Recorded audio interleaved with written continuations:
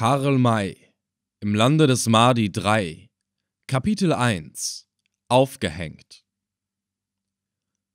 Unser nächstes Ziel war, wie bereits erwähnt, der Mai J Semkat, zu Deutsch der Mai J der Fische. Dieser Name sagte uns, dass wir dort auf reichlich Fleischnahrung rechnen konnten. Drei Tage brauchten wir bis dorthin. Dann mussten wir das Schiff verlassen und den Landweg antreten. Aber wie? Marschieren. Durch diese sumpfige Gegend. Das wäre eine böse Anstrengung gewesen, bei welcher wir nur höchst langsam vorwärts gekommen wären. Also reiten. Ja, aber auf was für Tieren? Pferde und Kamele gibt es in diesen Regionen nicht. Sie sind vollständig unnütz und gehen überhaupt sehr schnell zugrunde. Man bedient sich dort eines Reittieres, welches freilich nicht so edel wie das arabische Ross und nicht so oft besungen wie das Schiff der Wüste ist, nämlich des Ochsen. Diese Tiere gedeihen am sümpferreichen Obernile ganz vortrefflich. Sie sind stark, schnell, gelehrig und dabei recht gutmütig. Die Reitochsen scheinen sich durch Zucht herausgebildet zu haben und eine Rasse für sich zu sein. Natürlich werden sie auch zum Tragen von Lasten verwendet, Konnten wir solche Tiere bekommen, so hatte die Berechnung der Zeit ein sehr günstiges Resultat für uns. Ibn Assel wollte im Ganzen 20 Tage brauchen. Er war erst fünf fort und gelangte also wahrscheinlich nach 15 Tagen an sein Ziel. Wir aber konnten in neun Tagen Wagunde erreichen, und so bekamen wir einen Vorsprung von sechs Tagen, welcher mehr als ausreichte, ihm dort den von uns beabsichtigten Empfang zu bereiten. Nur fragte es sich, woher wir für uns alle Reit- und für unser Gepäck Lastochsen bekommen. Wir mussten sie uns eben in der Gegend unseres nächsten Zieles, des Mai Kat, suchen. Da oben wohnen die Boer, welche ungefähr 10.000 Köpfe zählen, die 40 Dörfer bewohnen und sehr große Rinderherden besitzen. Glücklicherweise sind diese Boer ein Zweig des großen Dinka-Volkes.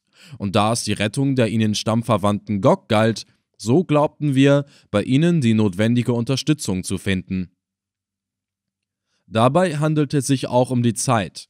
Wir wollten nicht gern einen Tag versäumen und mochten also die Unterhandlung mit diesen Leuten nicht bis zur Ankunft unseres Schiffes aufschieben. Darum wurde beschlossen, das große Boot vorauszusenden, welches acht Ruderer und einen Steuerer mit den notwendigen Mundvorräten fasste. Acht Ruderer gaben demselben eine weit größere Geschwindigkeit als der Falke, selbst beim allerbesten Winde entwickeln konnte. Ich sollte die Leitung übernehmen und erhielt vom Emir die Vollmacht, ganz nach Gutdünken mit den Schwarzen zu verhandeln. Als Ruderer wurden acht der kräftigsten Männer ausgewählt, unter denen sich der Dinka Agadi befand, der den Dolmetscher zu machen hatte, weil keiner von uns der Dinka-Sprache ganz mächtig war. Dass wir alle auch wohl bewaffnet waren, versteht sich ganz von selbst. Einige der Asaka wollten wissen, dass der Maije Semkat von Nilpferden wimmele und an seinen Ufern ganze Herden Elefanten zu finden seien. Das ließ mich ein interessantes Jagdvergnügen erhoffen. Dieser Plan wurde kurz nach unserer Abfahrt von der zerstörten Seriba besprochen und auch sofort ausgeführt. Wenige Zeit später waren wir neun Männer dem Falken schon sehr weit voran. Die Ufer des Flusses waren während unserer ganzen Bootsfahrt dicht bewaldet. Auf dem Wasser gab es oft und reichlich Schilf, was uns aber nicht auffiel, da wir überall leicht durchkamen. Um die Kräfte meiner Leute zu schonen, ließ ich abwechselnd vier und vier rudern. Ich selbst saß am Steuer. Selbstverständlich führten wir auch ein Segel, um uns die Gunst des Luftstromes nutzbar zu machen. Am Abende legten wir an, um den Aufgang des Mondes zu erwarten und dann weiterzufahren. Ich musste wenigstens eine kurze Zeit schlafen, da ich während der ganzen letzten Nacht kein Auge geschlossen hatte. Agadi befand sich in derselben Lage. Die anderen aber hatten auf dem Schiffe ihre volle Ruhe gehabt. Ein Feuer schützte uns gegen die Stechfliegen, welche hier höchst lästig werden. Die Breite, in welcher wir uns befanden, gehört schon dem Gebiete der mit vollem Rechte berüchtigten Bauda an, der Nordländer hat nicht die geringste Idee von der Höhe, welche die Insektenplage dort erreicht. Unsere Stubenfliege, ja unsere so zudringliche Wasserschnake sind Engel gegen diese höllischen Kreaturen, welche dort in Insektengestalt die anderen Geschöpfe peinigen. Der Neger brennt große Haufen von Holz, Mist und nassem Stroh an, um seine Herde bei denselben lagern zu lassen. Er selbst gräbt sich bis an das Kinn in die heiße, stinkende Asche ein, um die Mücken und Fliegen von seinem Körper abzuhalten. Die gräulichen Pupiparen bedecken die Rinder und Schafe oft in solcher Menge, dass die Haut gar nicht zu sehen ist.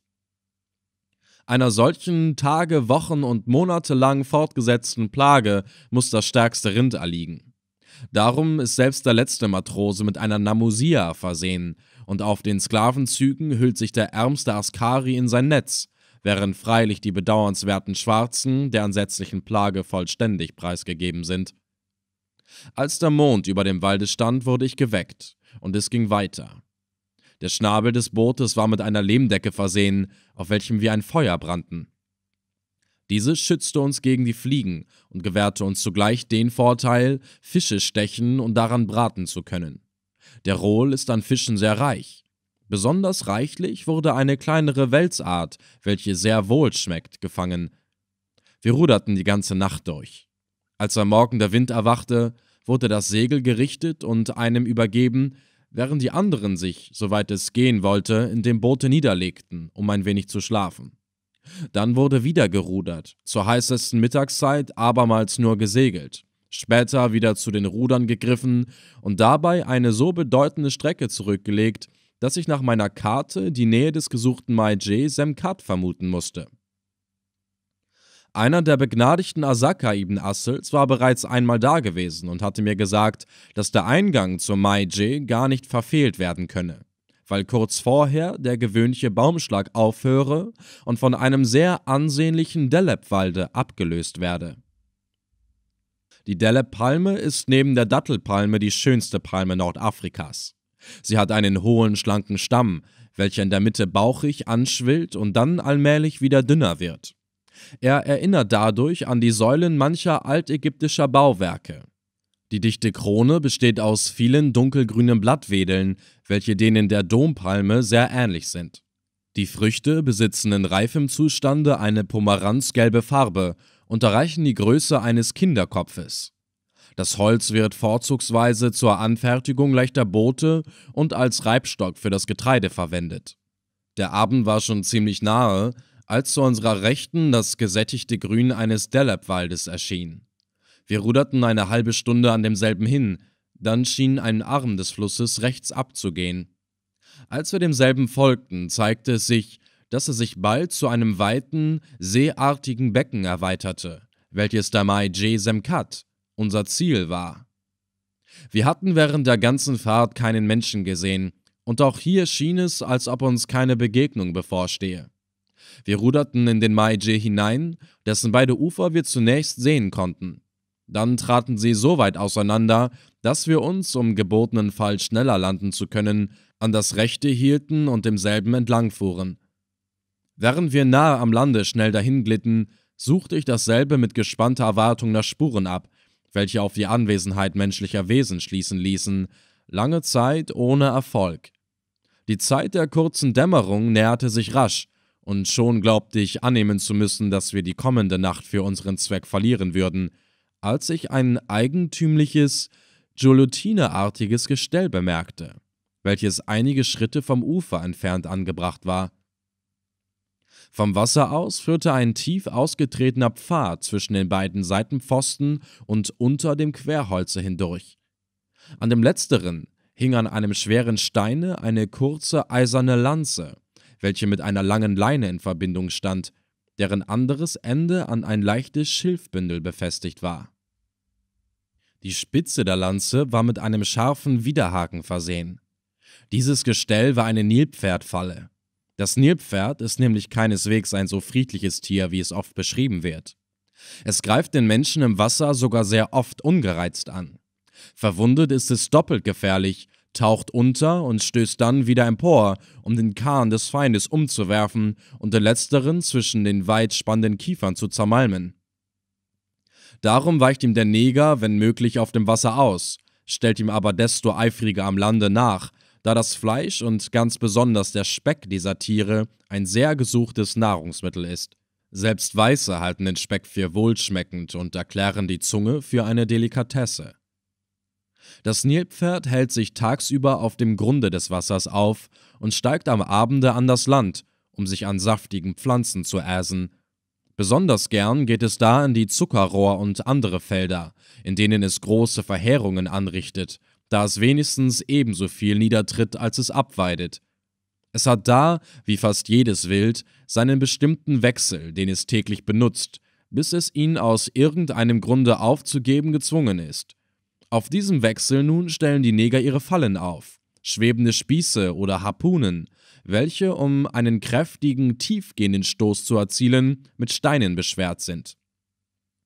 Die Fallen sind mit Vorrichtungen versehen, welche, sobald sie von dem Tiere berührt werden, die Harpune von ihrem Halte lösen und zum Fallen bringen. Sie sticht sich tief in den Nacken oder Rücken des Tieres ein und kann infolge des Widerhakens von demselben nicht abgeschüttelt werden. Das verwundete Tier stürzt sich ins Wasser und verblutet nach und nach. Die Leiche kommt nicht sofort zur Oberfläche, sondern bleibt oft tagelang und noch länger unten.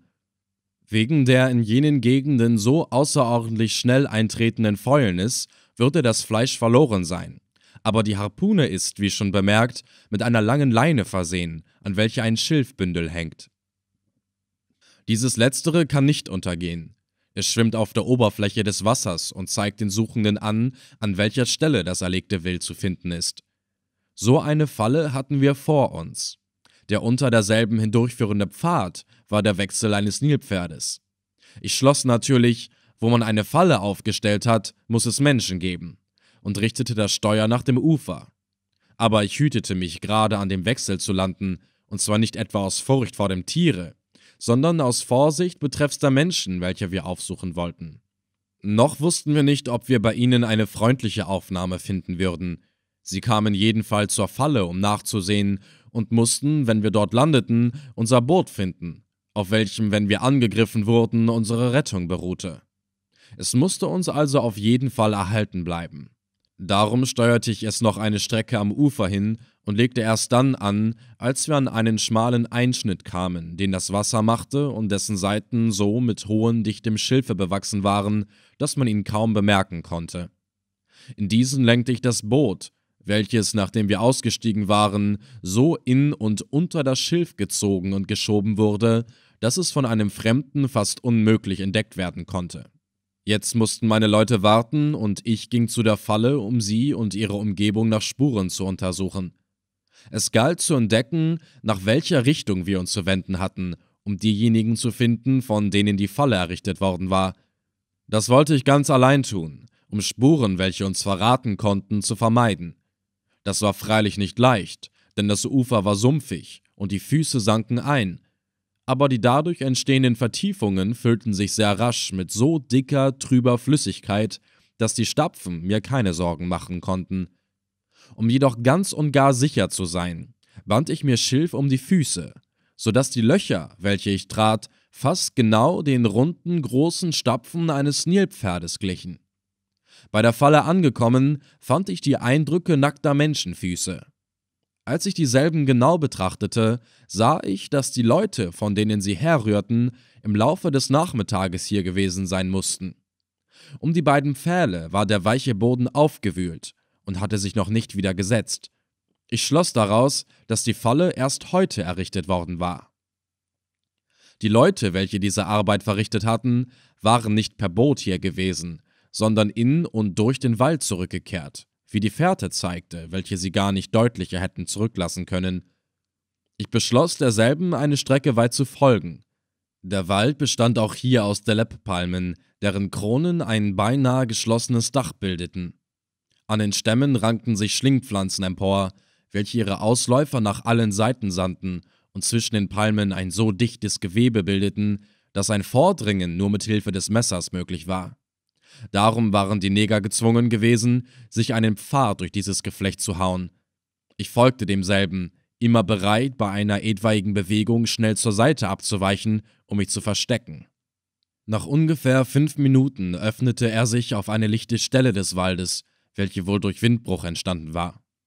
Auf derselben sah ich sechs Tokuls von solchem Umfange und so leichter Bauart, wie sie der Neger nur für einen kurzen Aufenthalt errichtet. Die Größe der Hütten ließ vermuten, dass trotz der geringen Anzahl derselben nicht wenige Menschen unter den sechs trichterförmigen Schilfdächern wohnten. Vor den Türen lagen, saßen und standen die Schwarzen, lauter Männer, wie ich sah. Einige von ihnen waren beschäftigt, Feuermaterial zusammenzutragen, denn in wenigen Minuten musste es dunkel werden. Wachen waren nicht ausgestellt, die Leute schienen sich hier vollständig sicher zu fühlen. An den Tätowierungen erkannte ich, dass ich Dinka vor mir hatte, also wohl Dinka von der Abteilung der Boer, welche wir suchten. Ich kehrte auf dem Wege, den ich gekommen war, erst bis zu der Falle und dann zum Boote zurück. Dort erzählte ich, was ich gesehen hatte.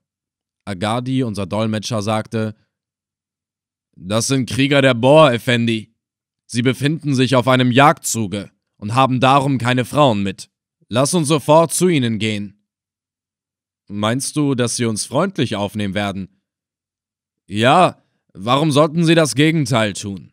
Wir kommen in freundlicher Absicht. Und ich als ein Donkiol bin Stammesgenosse von ihnen. Komm, wir wollen gehen. Er wendete sich in der Richtung nach der Falle ab, um dieselbe einzuschlagen. Halt! gebot ich ihm. Lass uns dennoch vorsichtig sein. Es ist noch nicht so gewiss, wie du denkst, dass wir ihnen willkommen sind. Wenn wir uns zum Rückzuge gezwungen sehen sollten und nur den einen Weg nach der Falle hätten, so ist ihnen derselbe bekannt und sie können uns leicht verfolgen. Wir haben noch gute Gewehre. Wir sind ihnen überlegen. Ich fürchte mich nicht etwa vor ihnen, aber wenn wir Verluste vermeiden können, warum sollen wir es nicht tun? Machen wir uns einen zweiten Weg, welcher von hier aus direkt nach den Tokuls führt. Wirst du die richtige Richtung treffen? Ganz gewiss. Falls wir fliehen müssen, ist ihnen dieser Weg unbekannt und sie können uns nicht folgen. Dadurch gewinnen wir Zeit, unser Boot flott zu machen. Wie du willst, Effendi, aber notwendig ist diese Arbeit nicht. Mochte er sich irren oder nicht, ich hielt es für besser, eine gesicherte Rückzugslinie zu haben. Wir zogen die Messer, hingen die Gewehre um und begannen uns einen Weg durch die Schlingpflanzen zu bahnen. Wir taten dies selbstverständlich so viel wie möglich ohne Geräusch. Ich gab die Richtung an. Unsere Messer waren scharf und wir rückten ziemlich rasch vor. Dennoch wurde es dunkel, ehe wir die Lichtung erreichten. Da zündeten die Bohr ihre Feuer an, so dass wir uns nach dem Scheine derselben richten konnten. Je weiter wir uns vom Ufer entfernten, desto trockener und fester wurde der Boden, was uns natürlich sehr willkommen war. Endlich hatten wir die Lichtung erreicht und sahen die Hütten vor uns liegen. Die erste derselben war von dem Orte aus, an welchem wir uns befanden, mit 30 Schritten zu erreichen. Vor jeder brannte ein Feuer, an welchem die Insassen beschäftigt waren, sich Fleisch zu braten. Der Duft desselben drang zu uns herüber. Agadi sog die Luft durch die Nase, schnalzte leise mit der Zunge und sagte: Das ist Mishwi el Husan el Bar. Sie müssen heute früher Nilpferd erlegt haben. Effendi, wir werden mit ihnen essen. Gehen wir gleich zusammen oder soll ich erst mit Ihnen sprechen? Nein, wir wählen keines von beiden, sondern den Mittelweg. Wir gehen zusammen bis an die erste Hütte. Dann trittst du vor, sie zu begrüßen und mit ihnen zu sprechen. Sobald du bemerkst, dass sie uns nicht wohlwollen, eilst du zu uns zurück. Das Weitere wird sich dann finden. Agadi war einverstanden und so schritten wir vorwärts. Da auch jetzt kein Wächter ausgestellt war, sah man uns nicht eher, als bis der Schein der Feuer auf uns fiel.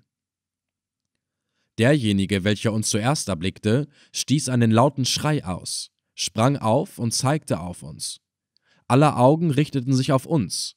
Ein vielstimmiger Schrei antwortete ihm. Dann verschwanden die Schwarzen mit unglaublicher Schnelligkeit im Inneren ihrer Hütten. Am liebsten wäre ich gleich mit allen vorgerückt, aber ich sagte mir, dass dies nicht geraten sei. Ich sah Gewehrläufe, die auf uns gerichtet waren, aus den Eingängen ragen. Gingen wir jetzt weiter vor, so konnten wir niedergeschossen werden, ohne die Sicherheit zu haben, auch nur einen einzigen Schwarzen zu treffen. Darum ging Agadi allein nach derjenigen Hütte, welche die größte war und in welcher wir den Anführer vermuteten.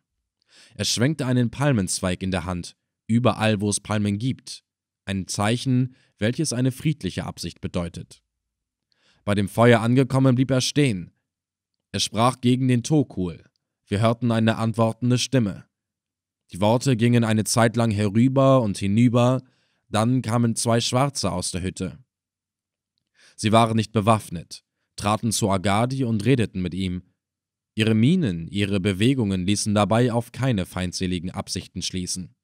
Endlich deuteten sie nach der Hütte, in welcher auch ein Feuer brannte, denn wir sahen den Rauch aus der oberen Öffnung steigen. Sie luden ihn ein, mit ihnen hineinzugehen. Ich wollte ihm zurufen, dies nicht zu tun, unterließ es aber, um sie nicht misstrauisch zu machen. Er folgte ihrer Aufforderung. Nun vergingen zehn Minuten, eine Viertelstunde, ohne dass er wiederkam. Aus der Viertel wurde eine halbe Stunde, und noch immer ließ sich niemand sehen. Die Neger steckten in ihren Tokuls und kamen nicht heraus. Die Feuer, welche nicht genährt wurden, brannten immer niedriger. Das musste Bedenken erregen. Warum kam Agadi nicht wenigstens auf einen Augenblick heraus, um uns zur Geduld zu mahnen? Wenn wir warteten, bis die Feuer verlöschten, gaben wir den einzigen Trumpf, den wir jetzt hatten, aus der Hand. Ich rief den Namen Agadi einige Male, doch vergeblich. Ich rief ihm zu, dass er antworten möge. Da klang seine Stimme aus der Hütte. Effendi, ich bin gefangen, weil man dich für Ibn Assel hält. Sie glauben es mir nicht. Ist der Anführer im Tokul bei dir? Ja. Er mag mit dir herauskommen. Ich will mit ihm reden. Er antwortete nicht. Es vergingen einige Minuten. Dann sah ich ihn aus der Türe treten. Die Hände waren ihm auf den Rücken gebunden und außerdem hing er an einem Stricke, welcher in das Innere der Hütte reichte. Man konnte ihn an demselben augenblicklich hineinziehen. Nun, fragte ich, wo ist der Häuptling? Im Tokul, er kommt nicht heraus. Ich soll dich auffordern, dich augenblicklich zu entfernen. Und wenn ich es nicht tue? So wird man uns erschießen. Und wenn du nicht gehst, zieht man mich an dem Stricke zurück und ermordet mich. Und wenn wir gehen, was wird dann? Es soll darüber beraten werden. Wann sollen wir das Resultat der Beratung hören? Morgen. Warum erst dann? Du weißt, wie kostbar unsere Zeit ist. Wie und wo sollen wir es erfahren? Hast du etwa gesagt, wo sich unser Boot befindet?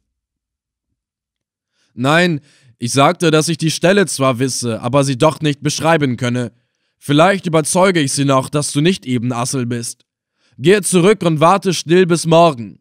Versuche jetzt nicht, mich zu befreien. Es würde mein augenblicklicher Tod sein. Ich werde überlegen, was zu tun ist und mich jetzt zurückziehen. Aber sage dem Häuptling folgendes. Ich werde schon beim Anbruch des Tages wiederkommen und mir Antwort holen. Erzähle ihm, was du von mir weißt, und teile ihm mit, dass wenn dir nur ein einziges Haar gekrümmt wird, er es unbedingt mit seinem Leben bezahlen muss. Ich drehte mich um und entfernte mich mit meinen Asakern, doch nicht weit. Sobald uns der Schein der Feuer nicht mehr traf, blieben wir stehen. Als ich jetzt zurückblickte, sah ich Agati im Eingange des Tokul verschwinden. Er ist verloren, sagte einer der Soldaten. Sie halten ihn für einen Verräter, für den Verbündeten von Ibn Assel. Da sie denken, dass du der Sklavenjäger bist, so werden sie bemüht sein, uns zu entkommen. Sie werden sich also heimlich davonschleichen und Agadi vorher umbringen. Dass sie die Absicht haben werden, sich davonzumachen, das glaube ich auch. Aber wir werden sie hindern. Wir umzingeln das Lager. Das hilft uns nichts. Wir könnten zwar einige erschießen, aber doch nicht alle. Wenn sie fort wollen, müssen sie uns alle vor die Flinten kommen. Denke nur nach. Sie wohnen am Flusse und lagern jetzt am Mai J. Der Wald ist undurchdringlich. Auf welchem Wege werden sie hierher gekommen sein? Etwa durch den Wald? Schwerlich. Sie wollten Nilpferde jagen und wohl auch fischen. Sie sind auf dem Wasser hierher gekommen. Einverstanden. Also wissen wir, was wir zu tun haben. Wir sahen ihre Boote nicht. Sie haben sie versteckt, jedenfalls nicht weit von hier. Und zwar in der Nähe des Nilpferdpfades, da man auf demselben am leichtesten nach dem Wasser kommt. Wenn wir ihnen diesen Weg abschneiden, können sie nicht fort. Wir sind acht Personen. Das gibt vier Doppelposten. Hier einen im Norden, Süden, Osten und Westen des Lagers. Wir stellen uns am Rande der Lichtung auf, um, wenn der Mond nachher kommt, im Schatten sein zu können. Wollen die Neger auf einer Seite durchbrechen, so ruft der betreffende Posten. Wir anderen hören es und eilen hinzu. Das ist alles, was wir zu tun haben. Die alten, schlechten Gewehre der Neger brauchen wir nicht zu fürchten. Kommt, Ich werde euch eure Plätze anweisen. Indem wir leise und langsam um das Lager schritten, ließ ich in der angedeuteten Weise drei Doppelposten hinter mir zurück. Der vierte bestand aus dem siebenten Askari und mir selbst. Ich hatte die südliche Stellung gewählt, weil da der Nilpferdpfad nach dem Maije führte und dies die Richtung war, in welcher wir ein Davonschleichen der Neger erwarten konnten.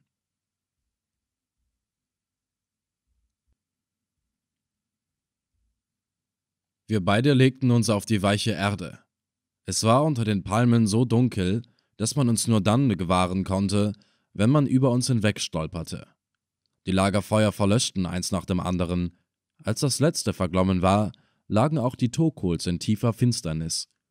Es herrschte dort eine tiefe Stille.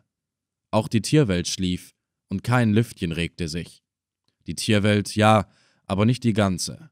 Myriaden von Leuchtkäfern zuckten unter den Wedeln der Palmen hin, und Abermyriaden Stechmücken fielen über uns her. Es gibt nämlich in den Zuflüssen des oberen Niles eine kleine ein- und linsenblättrige Wasserpflanze, welche gar keinen Geruch zu haben scheint, aber wenn man sie zerdrückt oder gar zerreibt, einen wahrhaft mephitischen Duft entwickelt. Wir waren am Nachmittage durch eine schwimmende Kolonie solcher Wasserpflanzen gerudert und hatten einige Handvoll von ihnen in das Boot geschöpft. Als wir dann ausgestiegen waren, hatten wir uns alle die Hände und die Gesichter mit ihnen eingerieben. Dies scheuchte jede Fliege, jede Mücke von uns fort. Ich kenne keinen Gestank, welcher demjenigen dieser Sid et Jami el Mincha gleicht. Wenn trotzdem ein Mensch, zumal ein Europäer, diese Qual derjenigen der Stechfliegenplage vorzieht, so kann man sich eine Vorstellung von der letzteren machen. Wird das Gesicht nicht durch ein Netz geschützt, so kann man es nach kurzer Zeit schon fast nicht mehr für ein menschliches halten.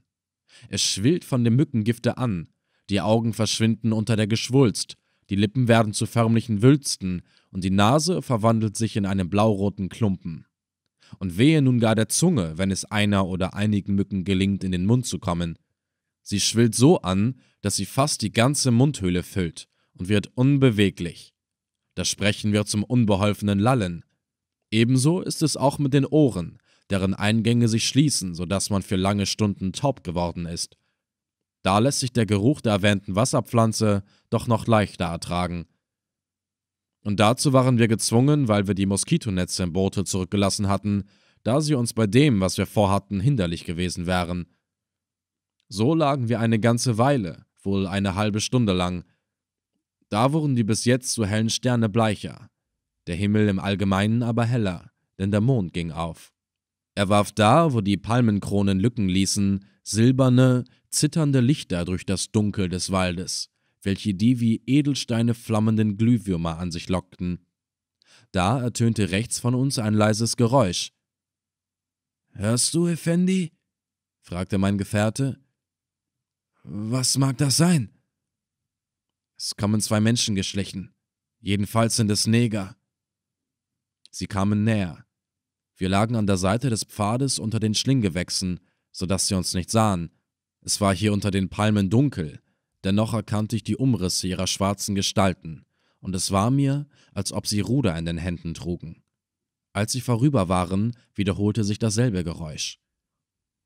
Es kommen abermals welche, flüsterte der Asaka. Wollen wir sie vorbeilassen? Ja, sie gehen zu den Booten. Wenn wir sie vorbeilassen, können wir erfahren, wo dieselben liegen. Im anderen Falle müssten wir sie mühsam suchen. Die nächsten aber, welche kommen, weisen wir zurück.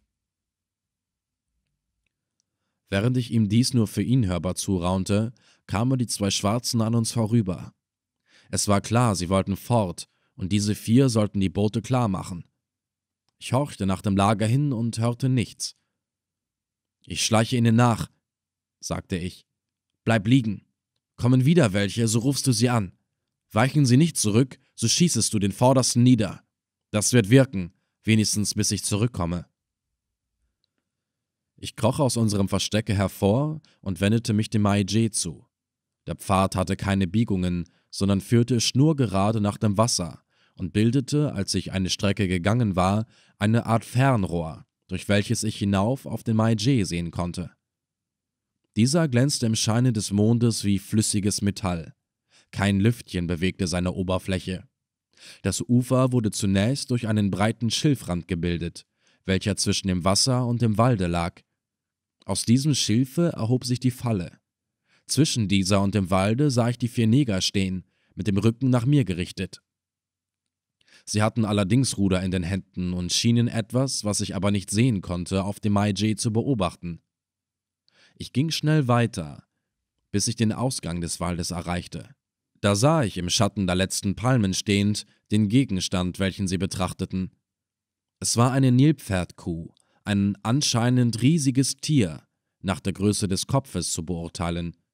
Sie spielte im Wasser, sie tauchte auf und nieder, ließ aber, wenn sie emporkam, nicht den ganzen Körper sehen, sondern nur Kopf und Nacken. Auf dem letzteren hockte in sehr lächerlicher Stellung ein noch junges Nilpferd, welches die Höhe eines Neufundländerhundes hatte, aber dicker war. Die alten Ägypter nannten das Nilpferd Rer, das ist Wasserschwein, und der Körper dieses Riesentieres hat wirklich eine große Ähnlichkeit mit demjenigen des Schweines, nur dass die Verhältnisse fast ungeheuerlich sind. Der Kopf lässt sich mit nichts vergleichen. Es gibt eben kein Tier, welches einen ähnlichen Kopf besitzt. Das Gesicht des Hippopotamus ist ganz unverhältnismäßig breit und platt. Die kleinen, schweineartigen Augen stehen hoch oben. Der Rachen, welcher mit starken Hauern bewaffnet ist, kann einen starken Menschen in der Mitte des Leibes umfassen. Da Augen, Ohren und Nasenlöcher in derselben Ebene liegen, so kann das Tier den ganzen Leib verborgen halten und das Gesicht allein über das Wasser erheben, um zu atmen oder nach den Feinden auszuschauen. Unter der starken Haut befindet sich eine dicke Schicht halbflüssigen Fettes, wodurch dem Tiere das Schwimmen ungemein erleichtert wird. Die sehr plumpen Beine sind so kurz, dass beim Laufen der Leih beinahe auf der Erde schleift. Jetzt tauchte das Tier auf und ließ die Wasser zu beiden Seiten aus dem Rachen laufen. Dann wieder stieß es dieselben durch die Nasenlöcher, eine halbkugelförmige, dichte, feuchte Staubfontäne bildend, wälzte sich hin und her, schüttelte das Kleine ab, dass es ins Wasser fiel, nahm es wieder auf und näherte sich endlich dem Ufer. Dort wurde das Junge wieder abgeworfen. Es platschte ziemlich unbeholfen durch das Wasser, erreichte das Land und trollte langsam den Pfad herauf, lief unter der Falle weg und blieb dann stehen, um sich nach der Alten umzusehen. Diese hatte den Kopf über Wasser gehalten, um das Kleine zu beobachten und ihm, wenn nötig, beizustehen. Jetzt, da sich dasselbe auf festem, sicheren Boden befand, kam auch sie an das Ufer. Eine gewaltige, unförmliche Körpermasse, welche sich wassertriefend und schnaubend an und durch das sumpfige Ufer arbeitete. Das Junge sah die Alte kommen und trollte gemütlich weiter, sich den Negern nähernd, ohne dieselben, welche sich jetzt niederbückten, zu beachten. Es hatte noch keine Ahnung von den Gefahren, welchen sogar ein anmutvolles Nilpferd ausgesetzt ist. Ich war ganz Auge. Meine Aufmerksamkeit war nur auf die beiden Tiere gerichtet. Alles andere erschien mir nebensächlich. So schien es auch den vier Negern zu gehen. Sie dachten nicht an die Boote, zu denen sie geschickt worden waren, Sie sahen den köstlichen Braten, wenn auch in noch ungeröstetem Zustande vor sich, und durch ihre Seelen ging ein tiefes Rühren, dem sich alles andere unterordnen musste. Jeder halbwegs gebildete Europäer kennt den gewaltigen Unterschied zwischen dem köstlichen Geschmacke eines zarten Spanferkels und dem schon mehr profanen Genusse, den ein alltäglicher Schweinebraten bietet. Ebenso weiß jeder leidlich erfahrene Sudanese, zwischen dem Braten eines Nilpferdküchleins und demjenigen eines alten Hippopotamus zu unterscheiden. Hier kam das zarte Küchlein den Schwarzen sogar so bequem entgegengerollt, dass sie der Versuchung unmöglich widerstehen konnten. Sie sprangen auf, fielen mit den Rudern über das ahnungslose Tierchen her und schlugen es nieder. Es kreischte zwei oder dreimal auf und erlag dann den schnellen, kräftigen Hieben, welche auf die empfindliche Nase gerichtet waren. Ich sah kommen, was nun kommen musste, nämlich das alte Tier. Dieses hörte kaum die Schmerzenslaute seines Jungen, so ließ es ein grimmiges Schnauben hören, welches mit sonst nicht zu vergleichen ist, und stürzte sich vorwärts. Mit einer Schnelligkeit, welche man dieser unförmlichen Fleischmasse gar nicht zutrauen sollte, schoss es durch die Falle. Dabei berührte es die Auslösung, die Harpune fiel, aber hinter dem Tiere, weil die Bewegung desselben zu schnell gewesen war. Das Nilpferd blieb unverletzt und jagte weiter, bis dahin, wo das Junge lag. Dort hielt es an und wendete es mit der Schnauze einige Male von einer Seite auf die andere. Hatten die vier Neger sich für sicher vor dem Alten gehalten? Hatten sie gemeint, dass dieses nicht weiter als bis unter die Falle kommen könne? Wenn das der Fall war, so sahen sie sich schrecklich enttäuscht. Sie standen erstarr vor Entsetzen, aber dadurch, dass die Alte bei dem Jungen anhielt, gewannen sie Zeit zur Flucht. Sie warfen die Ruder weg und rannten zurück, an mir vorüber, in den Wald hinein, dem Lager zu. In demselben Augenblicke hörte ich meines Gefährten laute, befehlende Stimme Halt, bleib stehen, sonst bist du eine Leiche. Dieser Drohung war zu entnehmen, dass die anderen Neger oder wenigstens wieder einige von ihnen kamen.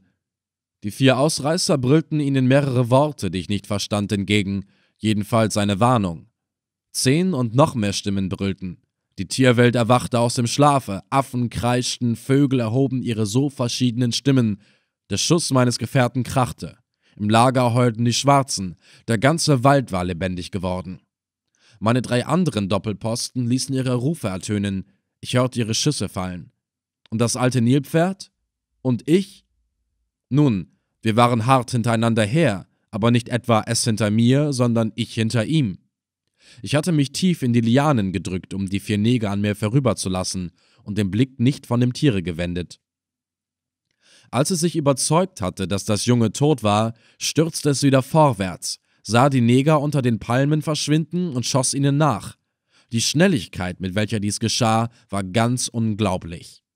Dabei ließ es einen Ton oder vielmehr Töne hören, welche gar nicht zu beschreiben sind. Das war kein Schnaufen mehr, kein Schnauben, kein Grunzen, kein Brüllen, und doch war es das alles und noch viel mehr als das. Als es mir nahte, blieb ich stehen, nicht vor Schreck, sondern aus Berechnung. Meine beiden Läufe waren geladen, ich hätte schießen können, war aber vorsichtig genug, dies nicht zu tun. Das Riesentier musste so getroffen werden, dass es sofort fiel. Hier unter den Bäumen aber hatte ich kein sicheres Zielen, und ein Nilpferd besitzt keineswegs viele Stellen, an denen es tödlich verwundbar ist. Von vorn durfte ich es auf keinen Fall nehmen.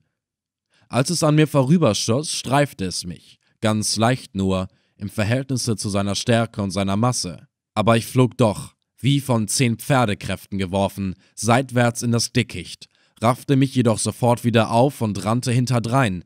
Was nun folgte, lässt sich wirklich leichter erleben als beschreiben. Man denke sich einen von einem Nilpferde ausgetretenen Pfad, der keineswegs einem parkettierten Fußboden gleicht, sondern buchstäblich aus tiefen, runden Löchern, in denen das Wasser steht, zusammengesetzt ist. Rechts und links Dickicht, oben die Palmenwipfel, welche den Pfad verdunkeln, und bricht ja ein einzelner Strahl des Mondes durch, so bewirkt er nur, dass die Unsicherheit vergrößert wird. Vorn Schüsse, Rufe, das Geheul und Geschrei der erschrockenen Menschen, von allen Seiten das Geplärr, Gekrächz, Gestöhn, Gebrumm, Gebrüll und Gekreisch der Tiere. Hart vor der Hand ein wütendes Ungeheuer, dem man den Garaus machen will, machen muss, um zehn und noch mehr Menschenleben zu retten. Wie ich mit solcher Schnelligkeit vorwärts gekommen bin, wusste ich damals nicht und kann es heute noch viel weniger sagen. Das Nilpferd flog und ich flog auch, über die Löcher und Pfützen hinweg, zwischen den Lianenwänden hin. Ich stolperte über menschliche Körper, welche von dem Untiere niedergerannt worden waren, und kam doch nicht selbst zum Fallen. Meine Füße berührten kaum den Boden, und doch blieb ich so gut bei Atem, als ob ich ruhig auf einem Sofa säße. Da lichtete sich das Dunkel über mir. Der Pfad war zu Ende, und die Bäume traten zurück. Die Lichtung begann und war von Mondenscheine förmlich überflutet. Rechts, links, vorn rannten, flogen, schossen, stürzten, purzelten, wälzten sich schwarze Gestalten. Zehn, zwölf Sprünge vor mir stampfte das Nilpferd einen Mann unter den Beinen zu Brei. Fünf, sechs weitere Sprünge links nach vorn, dann blieb ich stehen und legte an. Die Aufmerksamkeit zunächst auf mich selbst richtend, bemerkte ich, dass ich nicht zitterte. Dann den Blick auf das Visier, die Mündung handtief hinter das linke Ohr des Hippopotamus gerichtet und dann losgedrückt. Der Schuss erdröhnte durch den Wald. Die zweite Kugel folgte sofort nach. Ich schnellte mich weiter nach links bis in den Schatten der nächsten Hütte. Fuhr mit der linken in die Tasche, wo ich die Patronen hatte, und wendete mich erst nun zurück, um schnell wieder zu laden und dabei zu sehen, welchen Erfolg meine Schüsse hatten. Das Tier stand aufrecht, ohne sich zu bewegen. Es hatte den Rachen weit geöffnet und ließ die starken, stumpfen Hauer sehen. Es schien, als ob es in verderblicher Wut brüllen wolle, aber der Rachen blieb stumm. Die Quelle der Stimme, die Lunge, war gelähmt. Ein schweres Zittern lief langsam über den Körper. Er neigte sich nach rechts, nach links, nach vorn, wieder nach rechts und fiel dann schwer, wie aus Holzklötzen geschnitten, nach dieser Seite um. Da lag er starr und steif, ohne dass auch nur ein einziges Glied sich einmal noch bewegte. Unterdessen hatte ich wieder geladen und näherte mich vorsichtig dem Kopfe, bereit, demselben nötigenfalls noch zwei schnelle Kugeln zu geben. Es war nicht nötig. Wie sich später zeigte, waren die beiden ersten direkt in das Gehirn gedrungen und hatten das Ungeheuer augenblicklich und vollständig gelähmt. Es war tot. Jetzt sah ich mich um. Mehrere Tote und Gequetschte lagen hier und dort an der Erde, sonst war niemand zu sehen, aber im Inneren der Tokuls hörte ich Stimmen. Ich begab mich zum Größten, trat in den Eingang und fragte Agadi, bist du noch hier? Ja, Effendi, antwortete er.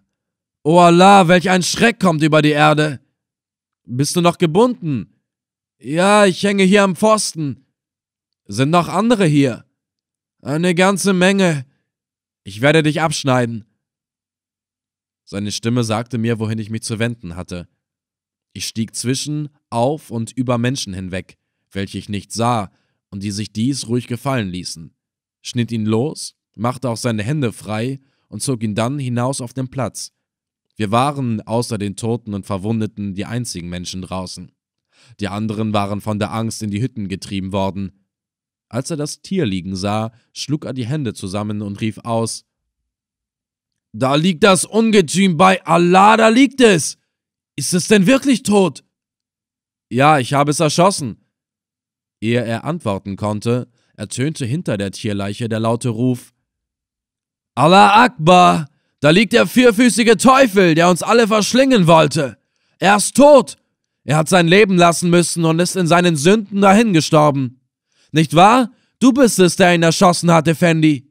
Ich stecke am Wege, und obgleich es dunkel war, sah ich dich hinter ihm herrennen.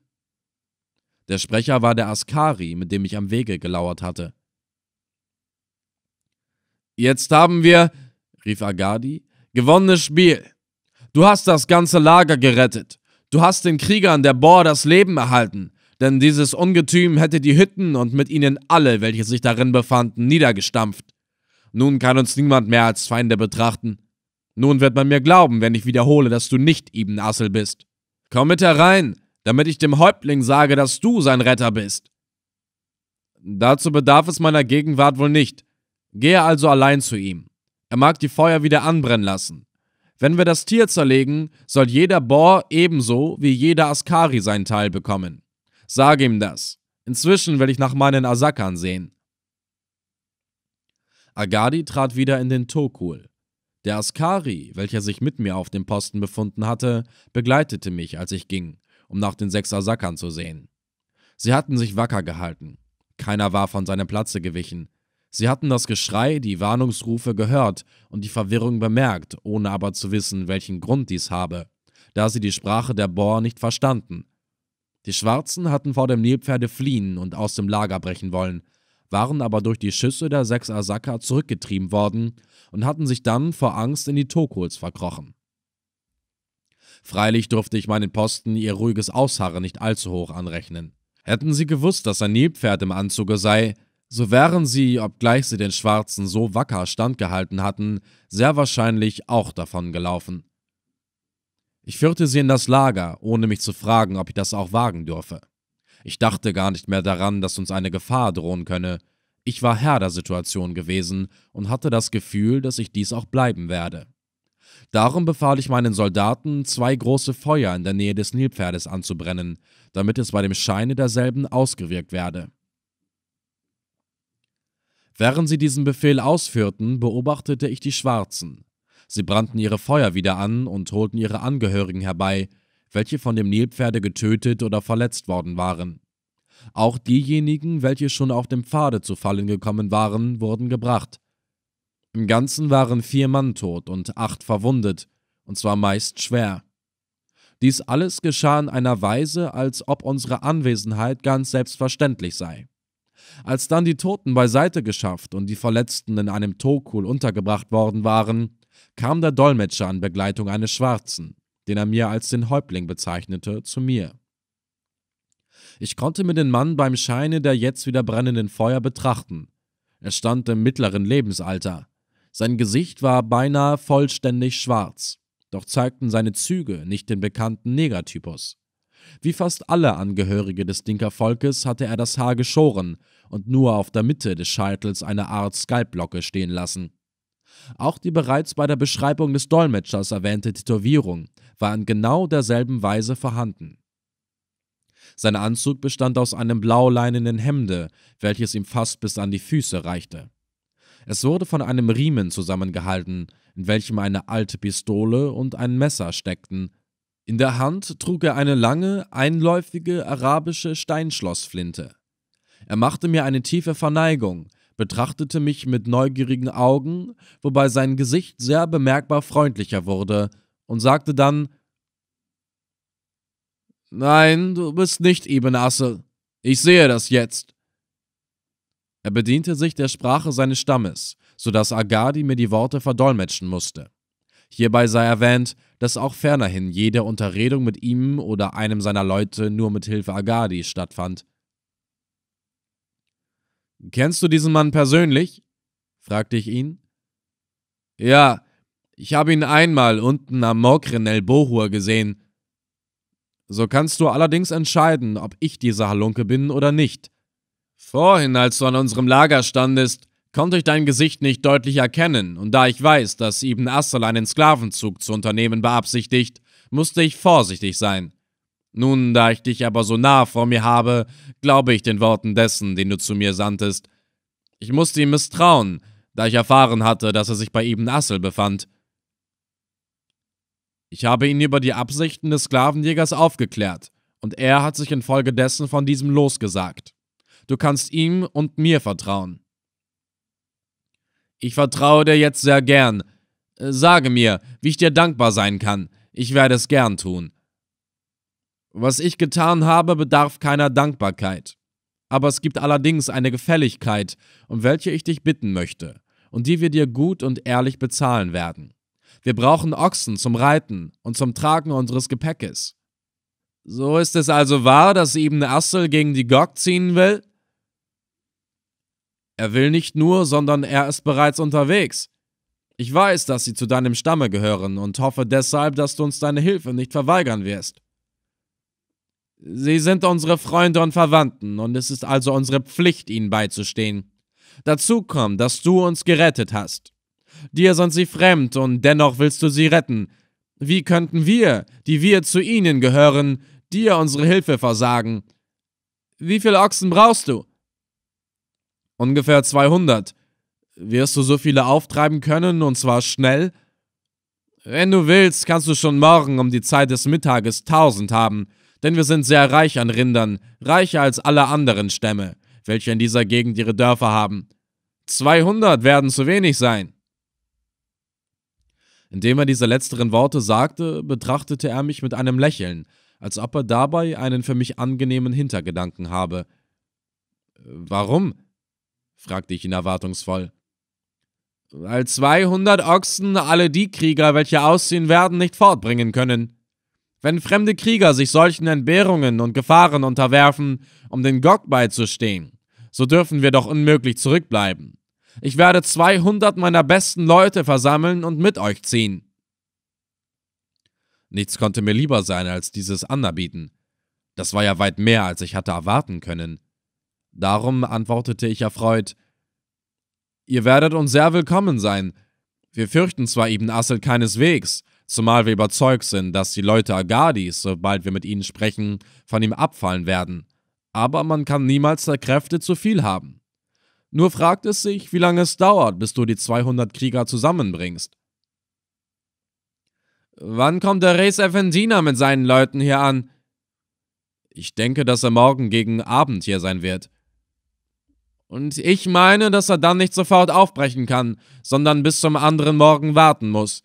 Der braucht ja unseretwegen keine Zeit zu verlieren, denn ich werde jetzt gleich Boten aussenden, dass meine Krieger am Mittag schon beisammen sind. Damit wir uns unterwegs nicht der Nahrung wegen mit der Jagd aufhalten müssen, werden wir uns einen genügenden Vorrat von Speisen backen. Damit werden unsere Frauen und Mädchen bis zum Morgen fertig sein. Erlaube mir, mich zu entfernen, um dem Boten meinen Auftrag zu erteilen.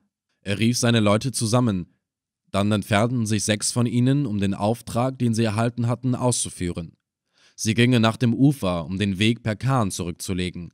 Die übrigen begleiteten sie, um das junge Nilpferd zu holen. Da auch ich mitging, sah ich, dass die Schwarzen ihre Boote in der Nähe der Nilpferdfalle versteckt hatten. Als wir nach dem Lager zurückgekehrt waren, wurde auch das kleine Hippopotamus zerlegt. Dann begann das Braten. Ich saß mit meinen Asakern an einem der Feuer und der Häuptling nahm bei uns Platz. Er freute sich auf den beabsichtigten Kriegszug, und ich erkannte aus jedem seiner Worte, dass wir an ihm einen sehr wackeren Verbündeten haben würden. Die Boer hatten schon zum Abend gegessen.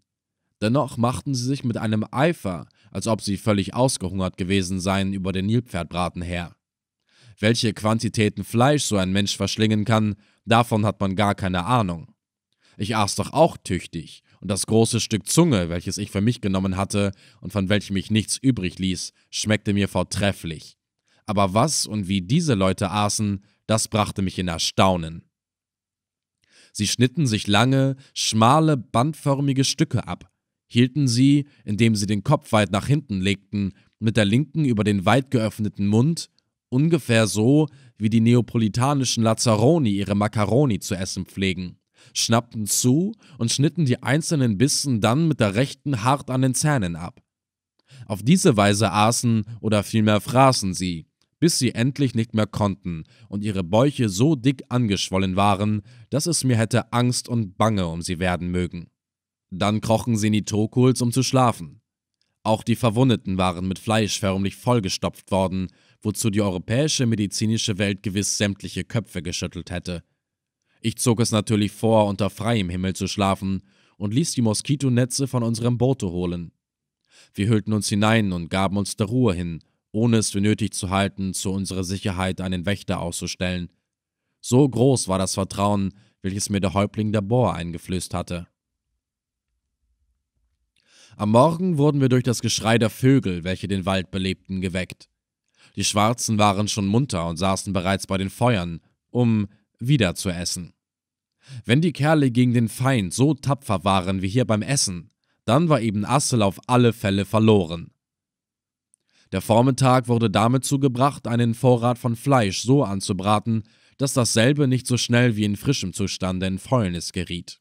Unterdessen kamen die Boten, welche nach sechs verschiedenen Dörfern geschickt waren, zurück und meldeten, dass die Krieger zu Mittag da seien und die Ochsen nach einer kleinen Savanne bringen würden, deren Namen ich vergessen habe. Dorthin würden später auch die Frauen mit den Speisevorräten kommen. Um die Mittagszeit stellte sich ein Schwarzer ein, welcher die Nachricht brachte, dass die Krieger mit den Ochsen eingetroffen seien. Der Häuptling wollte hin zu ihnen und ich sollte mit.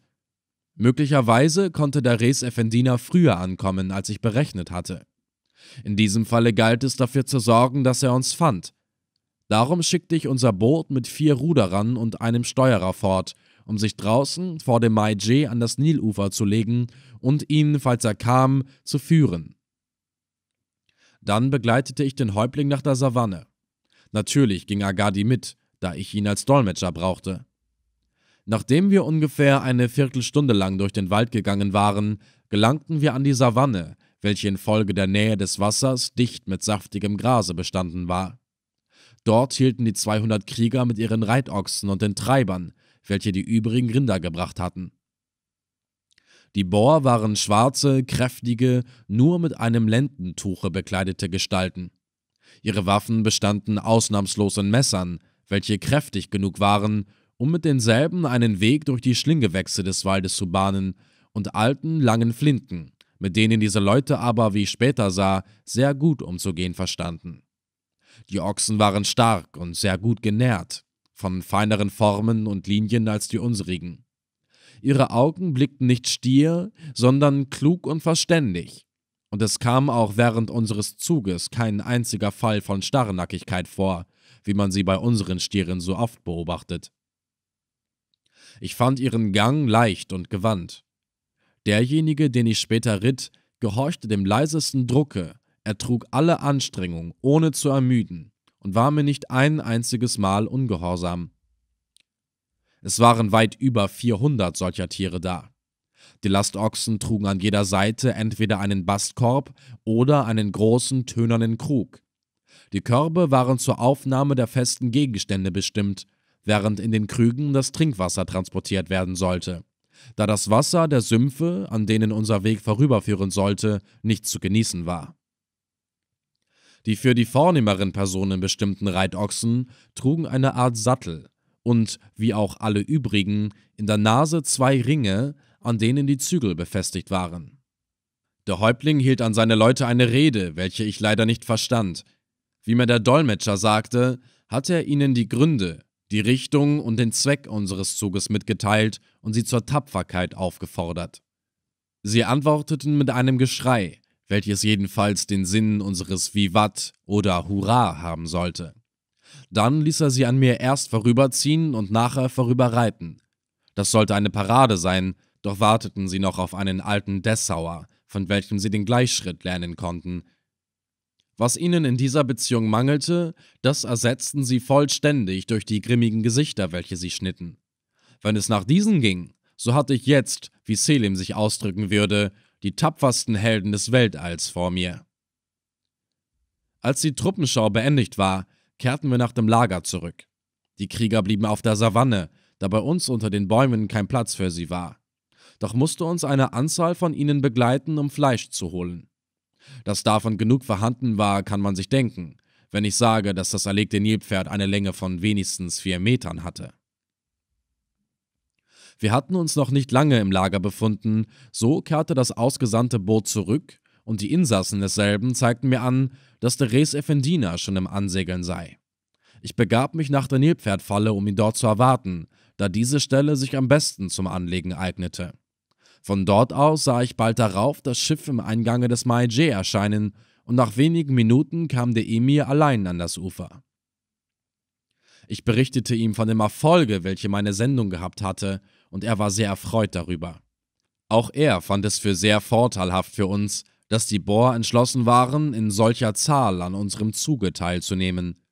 Dennoch gab er erst dann, als ich ihm versichert hatte, dass dieselben nicht etwa eine Heimtücke gegen uns beabsichtigten, den Befehl, dass die Besatzung des Schiffes an das Land kommen solle.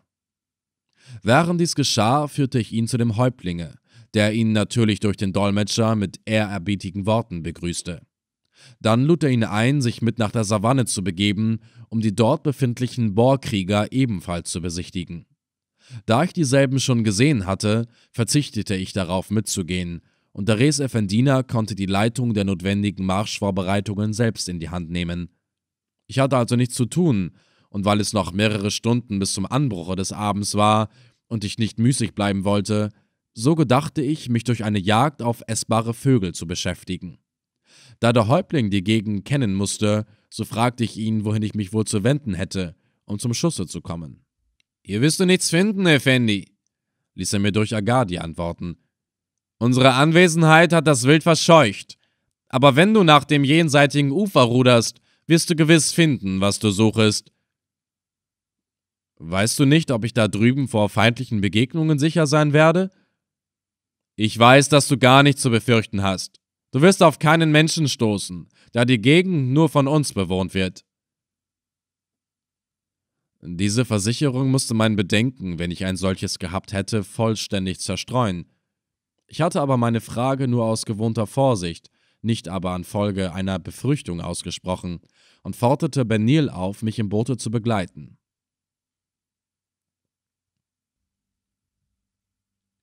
Das hörte einer, den ich früher oft mitgenommen hatte, was aber, da er seit einiger Zeit bei dem Res Effendine an Bord war, in letzter Zeit nicht mehr geschehen war, nämlich Selim, der Schleuderer der Knochen. Er trat schnell zu mir heran und sagte: Effendi, Nimm mich mit! Ich will auch Vögel schießen! Ich kann dich nicht brauchen, antwortete ich ihm in Erinnerung an frühere Kalamitäten, in die er mich gebracht hatte. Warum? Fragte er, indem er ein außerordentlich erstauntes Gesicht machte. Weil du jedenfalls doch nur wieder Dummheiten begehen würdest. Da warf er die langen Arme empor, schlug die Hände über dem Kopfe zusammen und rief aus Dummheiten! Ich, Selim, der berühmteste Krieger und Jäger des Weltalls! Dummheiten! Hat man schon einmal so etwas gehört? Du beleidigst die Tiefen meiner Seele und betrübst die Gefühle meines Herzens. Von mir kann der tapferste Held der Erde nicht bestehen. Lass 50 Nilpferde und 100 Elefanten über mich herfallen. Sie werden mir nichts anhaben können. Ich erlege sie vielmehr in der Zeit von fünf Minuten. Und du willst doch nur Vögel schießen. Selbst diese eifrige und beredte Vorstellung hätte mich wohl kaum vermocht, ihm seinen Wunsch zu erfüllen, aber Benil schien Lust zu haben, den alten Schwadroneur wieder einmal mit uns zu nehmen, denn er bat mich, Versag es ihm doch nicht, Effendi, du hast gehört, dass wir da drüben vollständig sicher sind. Es kann uns also nichts geschehen.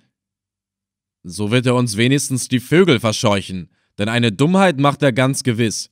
Nun, wir wollen sehen, ob er sich einmal verständig halten kann.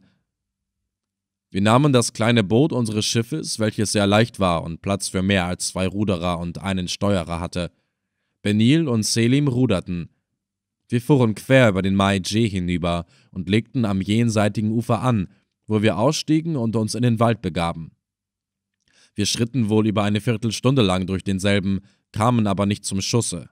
Es gab Vögel genug, aber sie waren zu scheu.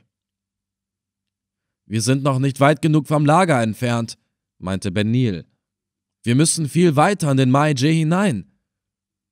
Da ich die Bemerkung Ben Nils für richtig hielt, kehrten wir nach dem Boote zurück und fuhren eine bedeutende Strecke am Ufer hin, bis wir an eine schmale Bucht kamen, welche sich links an das Land zog.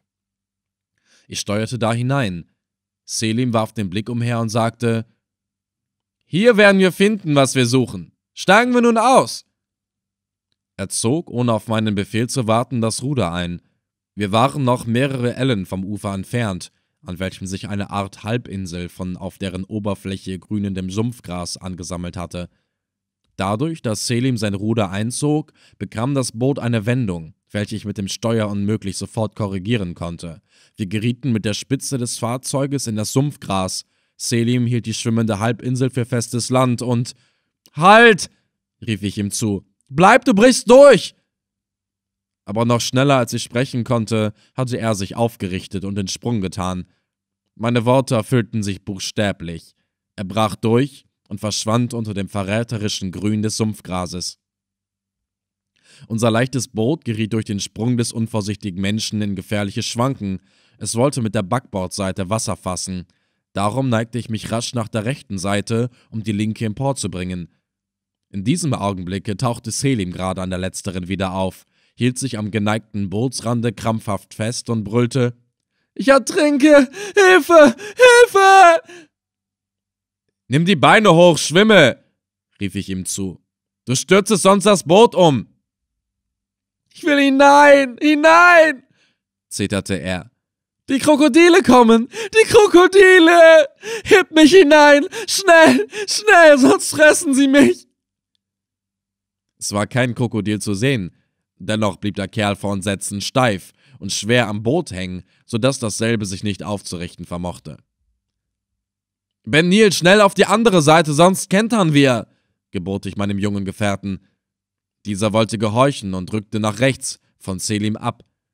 Dies vergrößerte die Angst des Letzteren, welcher schrie: Nicht fortrücken, bleib da! Zieh mich hinein! Sie kommen, sie kommen! Er zog sich aus Furcht vor den Krokodilen, die es doch gar nicht gab, am Rande des Bootes in die Höhe und langte nach Ben Nil. Die seitige Last war für das leichte Fahrzeug zu schwer. Es fasste Wasser und kippte, das Selim trotzdem nicht losließ, um. Der alte Pechvogel verschwand wieder in die Tiefe. Und auch Benil ging unter, mit ihm unsere Gewehre, welche auf dem Boden des Fahrzeuges gelegen hatten. Nur ich blieb an der Oberfläche, da ich so vorsichtig gewesen war, die Arme und Beine sofort zum Schwimmen auszubreiten. Benil kam rasch wieder empor. Wo ist Selim? fragte er, als er diesen nicht sah.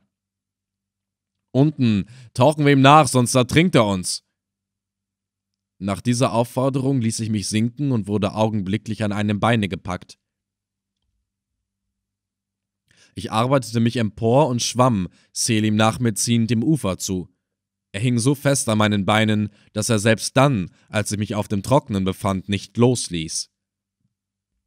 Halb im Wasser und halb am Lande liegend, hatte er die Augen fest geschlossen und bewegte sich nicht. Ich musste Kraft anwenden, um mich von seinem krampfhaften Griffe zu befreien. Er ist doch nicht tot? fragte Benil, welcher auch an das Ufer kam. Nein, so schnell ertrinkt niemand.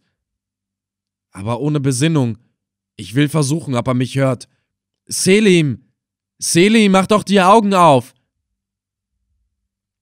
Er folgte dieser Aufforderung, sah uns an, kam sofort vollends an das Land, sah voller Angst nach dem Wasser rückwärts und schrie: Wo sind die Krokodile? Wo? Schnell fort von hier! Er wollte wirklich fort. Ich hielt ihn fest und gebot: Bleib, Feigling! Kein Krokodil wird so dumm sein, dich für einen guten Bissen zu halten.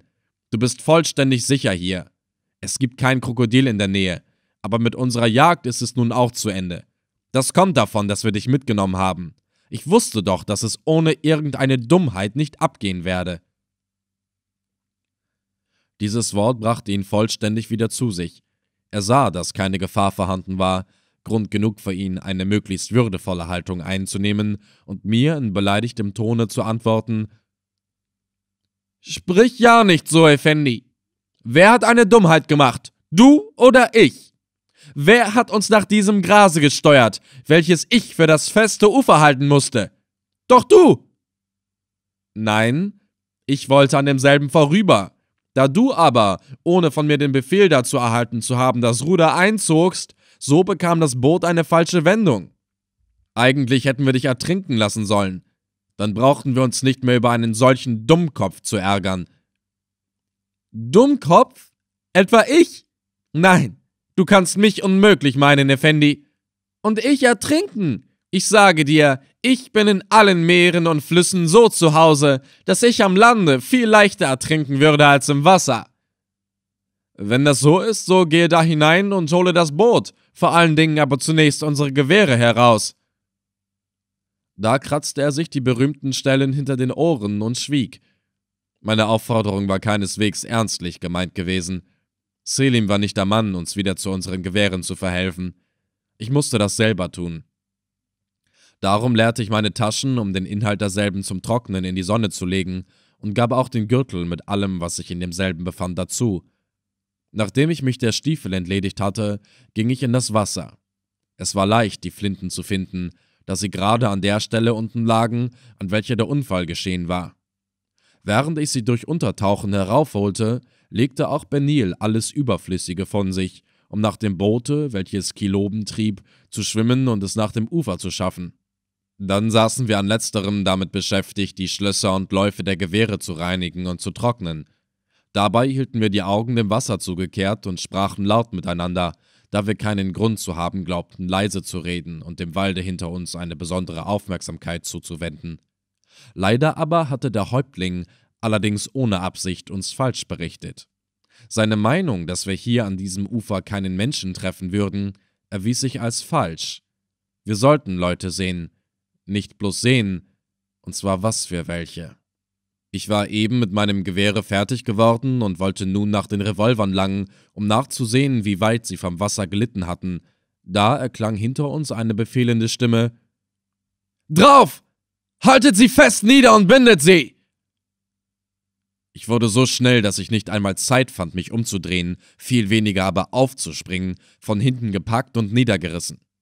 Drei oder vier dunkelfarbige Kerle knieten auf mir, und ein anderer bemühte sich, mir mit seinem Kopftuche die Arme an den Leib zu binden. Ich versuchte sie abzuwerfen und mich aufzurichten. Ich kam einige Male halb auf, wurde aber immer wieder niedergerungen, bis ich endlich gebunden und Widerstand also nicht mehr möglich war. Drei ähnliche, verwegen aussehende Menschen hatten Benil bemeistert. Neben diesem lag Selim.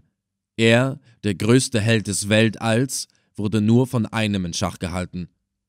Jetzt, da wir unschädlich gemacht worden waren, ließ sich derjenige sehen, dessen Kommando wir gehört hatten. Er war im Gebüsch geblieben, um nicht etwa von uns verletzt zu werden.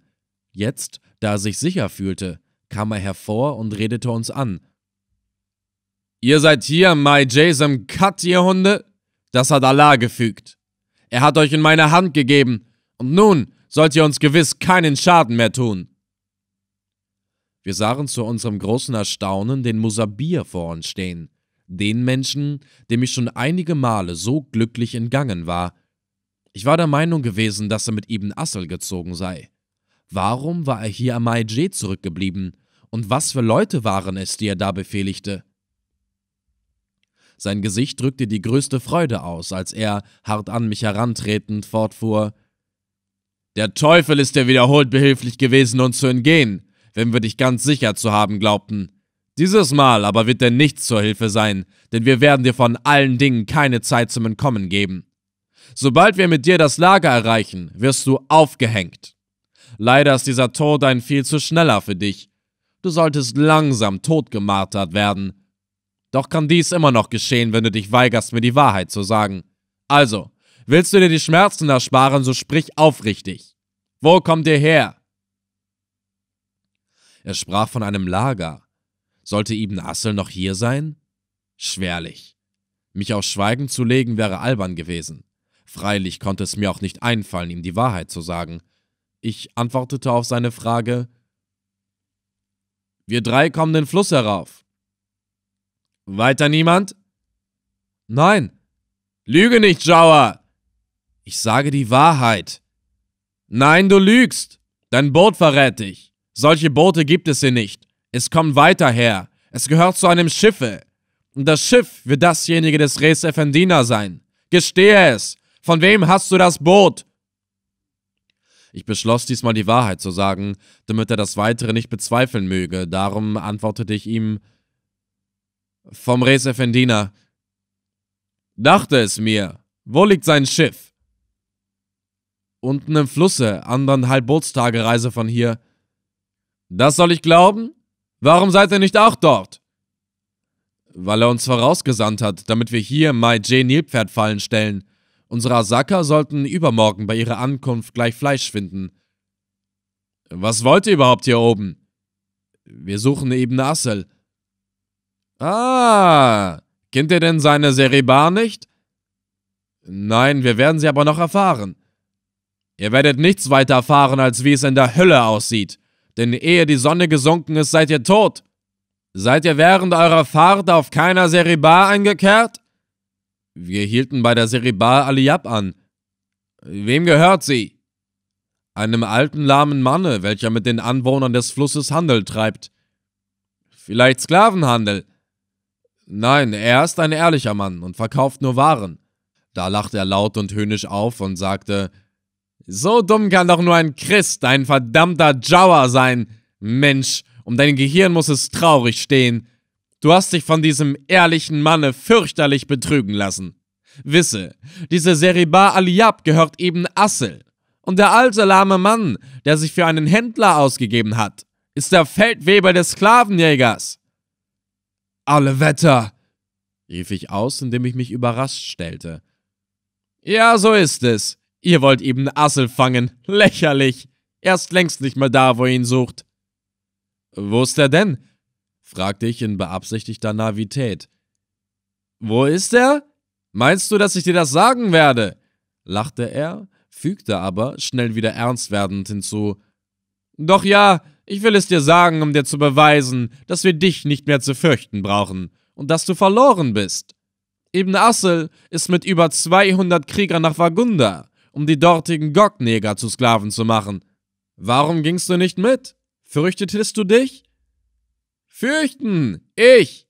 Ich sollte dir eigentlich die Antwort auf diese Frage ins Gesicht hineinschlagen. Ich bin mit dem Mokadem hier zurückgeblieben, weil eben Nassel, sobald er Sklaven gemacht hat, den Weg gerade nach hier einschlagen wird. Wir bauen hier eine neue Seribar, nur leichte Hütten einstweilen, in denen die Sklaven, sobald sie kommen, untergebracht werden sollen, bis wir Gelegenheit finden, sie sicher an den Mann zu bringen. Du sollst diese neue Seribar sehen, denn wir werden jetzt nach dort aufbrechen. Er hatte neun Männer bei sich. Je zwei von ihnen nahmen Benil und Selim zwischen sich, die anderen fünf mussten mich bewachen, und er gebot ihnen, außerordentlich aufmerksam zu sein. Das Boot blieb am Ufer liegen, wo es mit dem Stricke an einem Baume hing. Es sollte, wie ich hörte, später abgeholt werden. Wir wurden fortgeführt, längs des Ufers hin. Nach kurzem hörte der Wald auf, und ich sah eine ziemlich weite, offene Grasfläche vor mir, welche bis an das Wasser trat. Dort wurde der Maiji nur von einem schmalen Saum von Büschen eingefasst. Diese Prärie war jedenfalls infolge eines Waldbrandes entstanden. Es ging über sie hinweg, wohl eine halbe Stunde lang. Dann sahen wir, indem wir den Maiji immer zur rechten Hand behielten, wieder Wald vor uns, an dessen Rande mehrere Hütten errichtet waren. Das kreisrunde Gemäuer derselben bestand aus Schlamm und Schilf. Die trichterförmig sich verjüngenden runden Dächer waren nur aus Schilf gefertigt. Diese Trokuls bildeten jedenfalls die neue, im Werden noch begriffene Seribar des Sklavenjägers. Als wir uns derselben näherten, kamen uns vier Männer entgegen, drei mit afrikanischen Gesichtszügen. In dem vierten erkannte ich den Mokadem der heiligen Kadirine. Wie staunte er, als er mich erblickte. Nachdem er seine Freude, mich als Gefangenen wieder bei sich zu sehen, einen mehr als reichlichen Ausdruck gegeben hatte, fragte er, wo und auf welche Weise wir ergriffen worden seien. Der Gaukler teilte ihm nun alles mit, was ich gesagt hatte, und beide glaubten es, was freilich kein Beweis von großer Klugheit ihrerseits war. Da der Musabir mir gesagt hatte, dass ich schleunigst aufgehängt werden sollte, so war ich auf eine schnelle Flucht bedacht gewesen. Das Kopftuch, mit welchem man mir die Arme platt um den Leib gebunden hatte, musste zerrissen werden. Es war nicht neu, aber noch fest. Ich musste versuchen, es so weit zu bringen, dass man es für einen Augenblick öffnete. Auf der Seribar befanden sich unsere beiden Todfeinde und die zwölf Asaka, welche eben Assel bei ihnen gelassen hatte. Sie alle waren zwar bewaffnet, legten aber, als wir die Hütten erreichten, ihre langen Gewehre ab. Die Pistolen und Messer, welche sie nun noch bei sich hatten, konnten mir nichts schaden. Etwas seitwärts weideten zwei Ochsen, Reitochsen, wie es schien, die an den Nasenriemen befestigten Zügel waren ihnen um den Hals geschlungen. Es versteht sich, wie ich kaum zu bemerken brauche, ganz von selbst, dass man uns alle unsere Habseligkeiten abgenommen hatte. Der Mokadem war ganz damit einverstanden, dass wir durch den Strick sterben sollten, doch stellte er den Antrag, wenigstens mich vorher ein klein wenig zu martern. Während man darüber verhandelte, flüsterte ich meinen beiden Gefährten, welche nahe bei mir standen, zu, ich schneide euch los. Dann rennt ihr geradewegs, ohne euch umzusehen, nach unserem Boote und steigt ein, um sofort abrudern zu können, wenn ich nach euch komme. Wie willst du schneiden können? antwortete Benil für unsere Feinde unhörbar. Du bist doch gebunden und hast kein Messer. Ich mache mich frei. Werden wir entkommen? Sie werden alle hinter uns her sein. Hinter euch nicht. Ich schlage zunächst eine andere Richtung ein und da sie es doch meist auf mich abgesehen haben, werden sie mir nachrennen und nicht euch. Wartet dann aber ja, bis ich komme, sonst werde ich doch noch erwischt. Ich bewegte die Oberarme, um das Tuch zu lockern. Das tat ich nicht etwa heimlich, sondern man sollte es bemerken.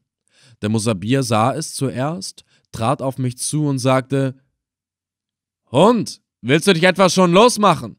Das sollte nicht gelingen.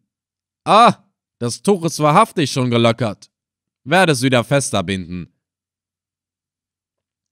Er bedachte nicht, dass er, um dies zu tun, den Knoten aufmachen musste. Dieser wurde allerdings nur für einen kurzen Moment gelöst. Aber in demselben Augenblicke stieß ich die Ellbogen von mir ab, bekam die Arme frei, drehte mich nach dem Musabir um, riss ihm mit der rechten das Messer aus dem Gürtel, schlug ihm die linke ins Gesicht, dass er hinten überstürzte, dann zwei rasche Schnitte. Benils und Selims Banden waren in zwei, und die beiden rannten, was sie nur laufen konnten, davon. Diese Bewegungen waren in größter Schnelligkeit geschehen, aber doch nicht zu schnell für den Mokadem, welcher herbeisprang und mich beim linken Arm ergriff, um mich festzuhalten. Ich hatte das Messer in der rechten, musste von ihm los, wollte ihn aber doch nicht erstechen. Darum warf ich es fort und schlug ihn mit der geballten Faust nieder, so dass er meine linke fahren lassen musste und rannte dann auch fort, aber nicht geradeaus, wie meine Gefährten es taten, sondern nach rechts in die Prärie hinein. Dabei musste ich an den beiden Ochsen vorüber. Es kam mir ein Gedanke. Ich sprang auf den Rücken des einen, ergriff die Zügel und schlug ihm die Fersen so kräftig gegen die Weichen, dass er augenblicklich mit mir davonrannte. Schon nach den ersten Sprüngen, welche er tat, bemerkte ich, dass er den Zügeln gehorchte und mich also, wenigstens in dieser Beziehung, nicht in Verlegenheit bringen werde. Hinter mir schrien die Sklavenjäger wie toll. Sie rannten mir nach.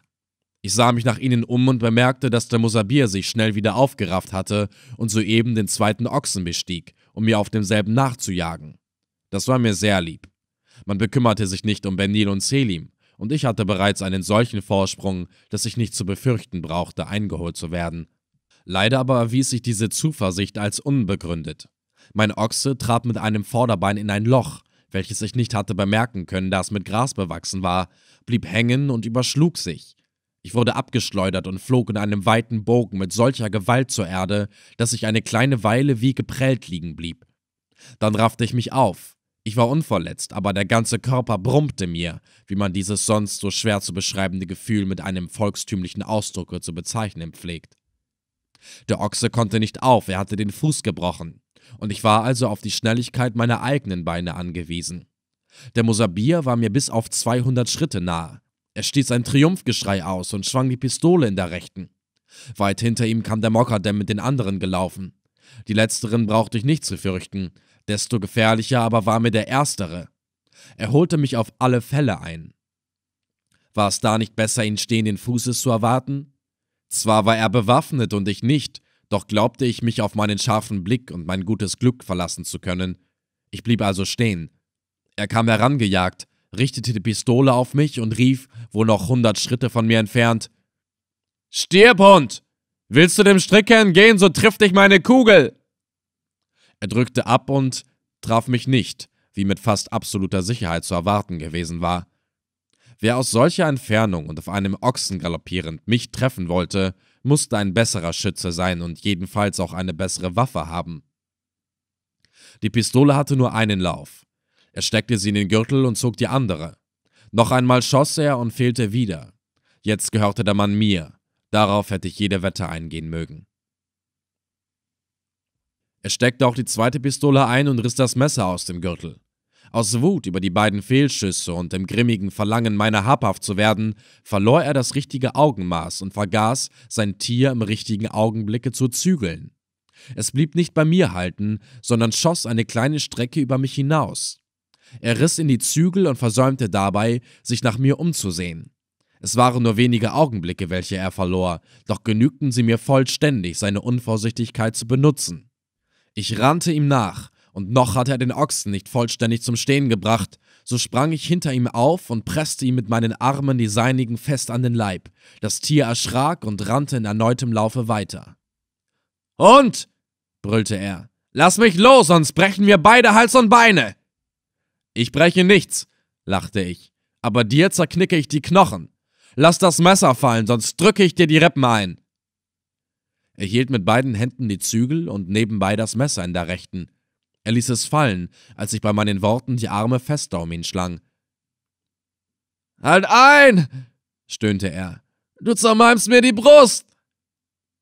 Falls du gehorchst, geschieht dir nichts. Im ersten Augenblicke des Ungehorsams aber zerquetsche ich dich wie eine faule Frucht. Du hast die Zügel. Lenke den Ochsen mehr nach links. Seine Leute waren immer noch so weit zurück, dass ich sie nicht zu beachten brauchte. Meine beiden Begleiter hatten die Savanne durchquert. Sie näherten sich, wie ich sah, dem jenseitigen Walde und konnten nicht mehr belästigt werden. Es handelte sich nur noch darum, ihnen zu folgen, und zwar nicht allein, der Mosabir musste mit. Darum zwang ich ihn nach links einzubiegen, in die Richtung, welche mich zu unserem Boote führte. Ich presste ihm die Rippen so zusammen, dass er gezwungen war, meinen Befehl auszuführen. Er stöhnte laut unter meinem Griffe, gehorchte aber, ohne ein Wort zu sagen. Der Ochse stürmte in vollem Laufe über die Prärie dahin und dem Walde zu. Die Sklavenjäger schlugen hinter uns unter der Leitung des Mokadem dieselbe Richtung ein. Sie schrien wie besessen, konnten mir aber nicht die geringste Sorge mehr machen. Wir hatten beinahe den Wald erreicht. Da hob der Musabir das eine Bein, um es auf die andere Seite des Ochsen zu bringen und dadurch vielleicht meiner Umarmung zu entschlüpfen. Ich war keineswegs gewillt, mich damit zu begnügen, dass ich meinen Feinden entkommen war. Hatte ich diesen Menschen einmal in meinen Händen, so sollte er auch in denselben bleiben.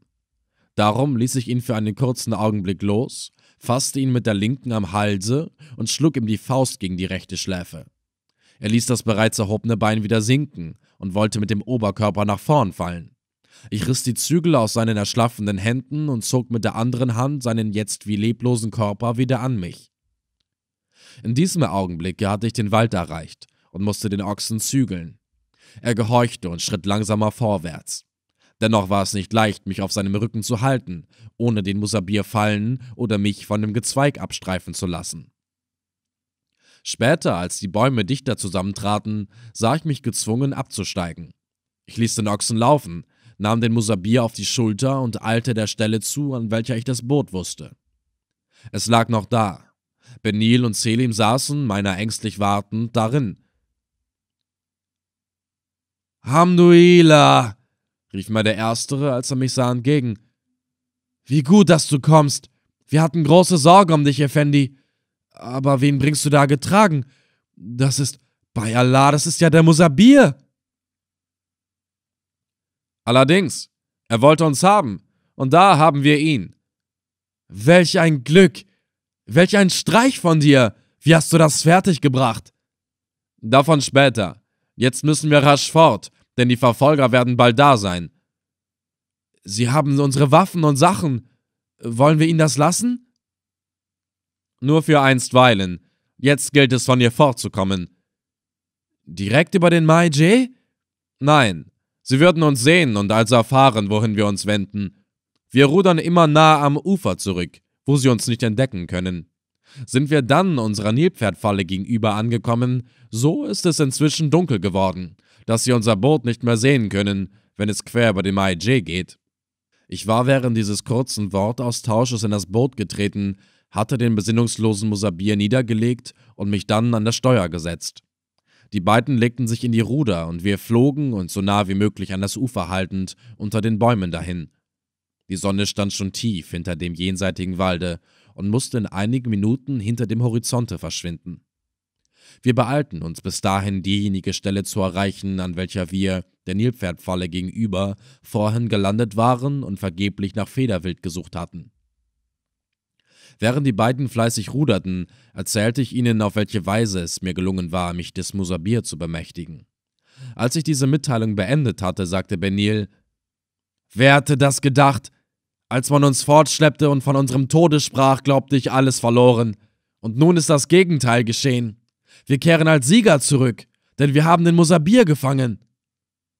Er war meines Lobes voll, sein Mund floss über.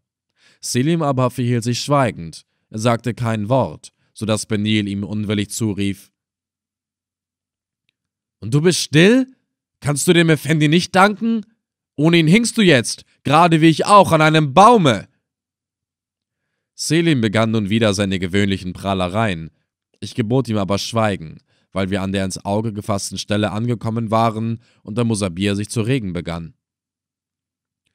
Wir legten an und fesselten den letzteren mit seinem eigenen Gürtel. Er ließ das geschehen, ohne einen Laut von sich zu geben oder nur den leisesten Versuch des Widerstandes zu machen.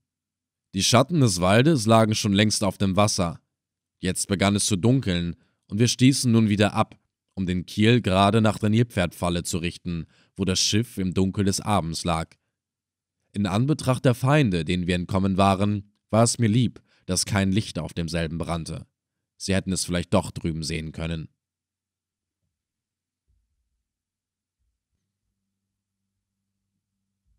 Der Res Effendina hatte Posten ausgestellt, befand sich aber bei den Tokuls der Bohr.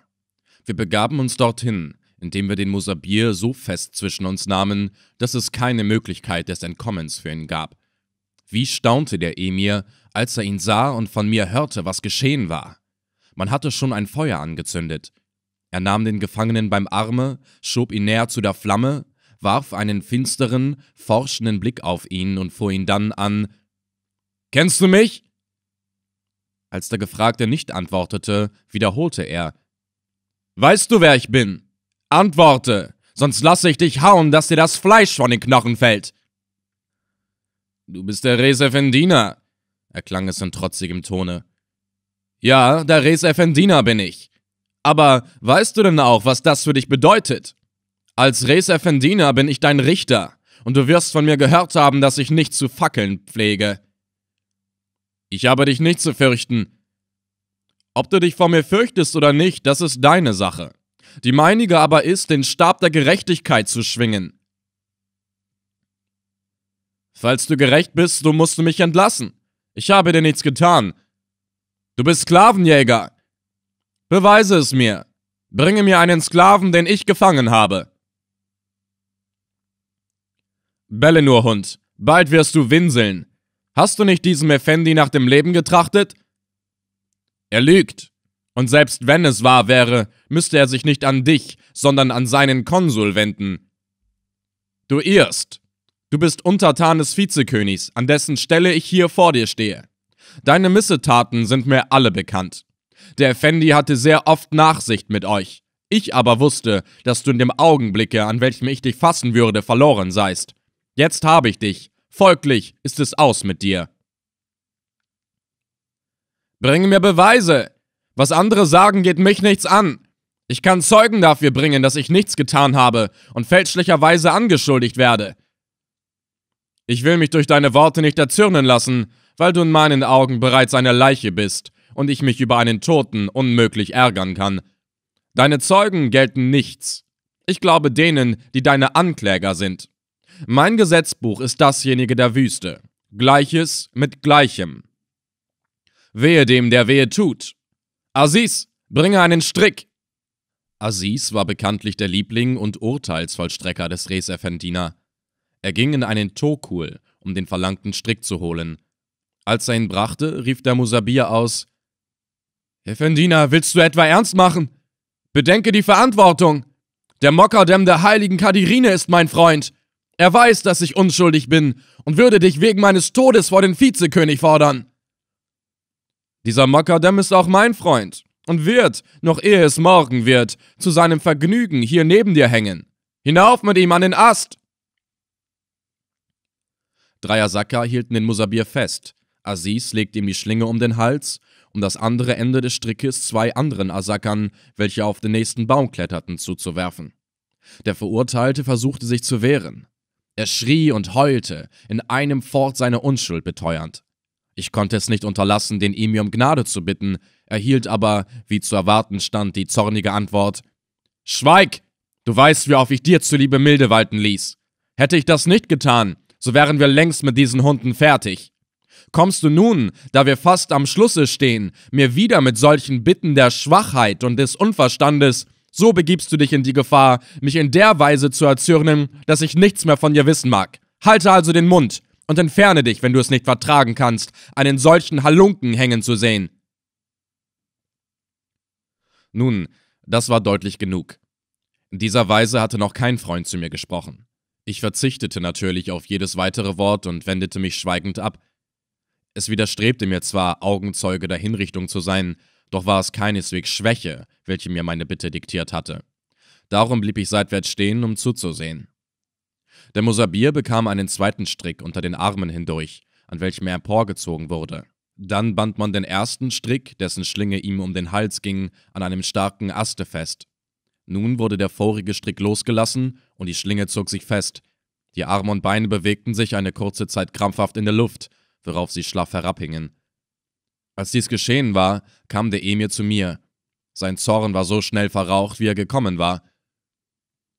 Effendi, die Gerechtigkeit ist befriedigt, doch nicht vollständig, sagte er. Wir müssen auch den Mokadem noch haben.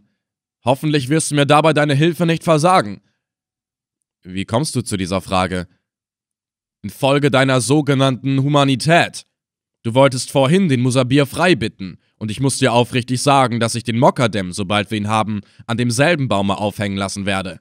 Ist dir das nicht recht? So mag Benil uns nach der neuen Seribar führen, und du bleibst hier, damit dein zartes Gewissen dir später keine Vorwürfe machen kann.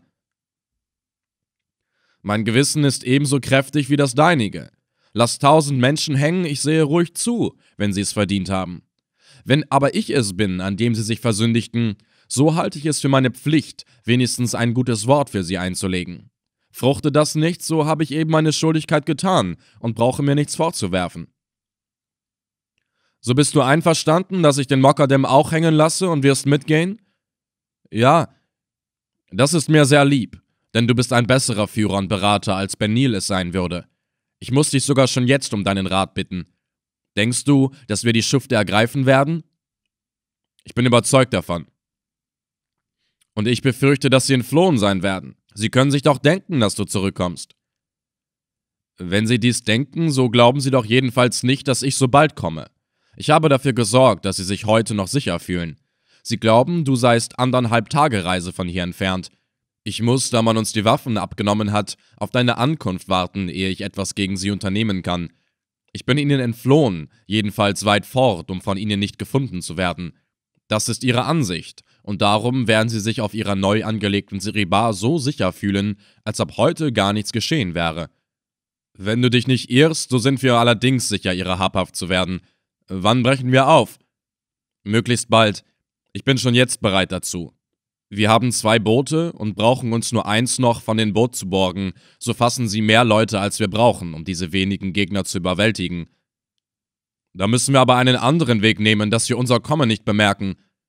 Natürlich. Sie wissen, dass wir in westlicher Richtung geflohen sind und werden also, falls sie überhaupt aufpassen, ihre Aufmerksamkeit nach dieser Gegend wenden. Wir müssen von Osten kommen.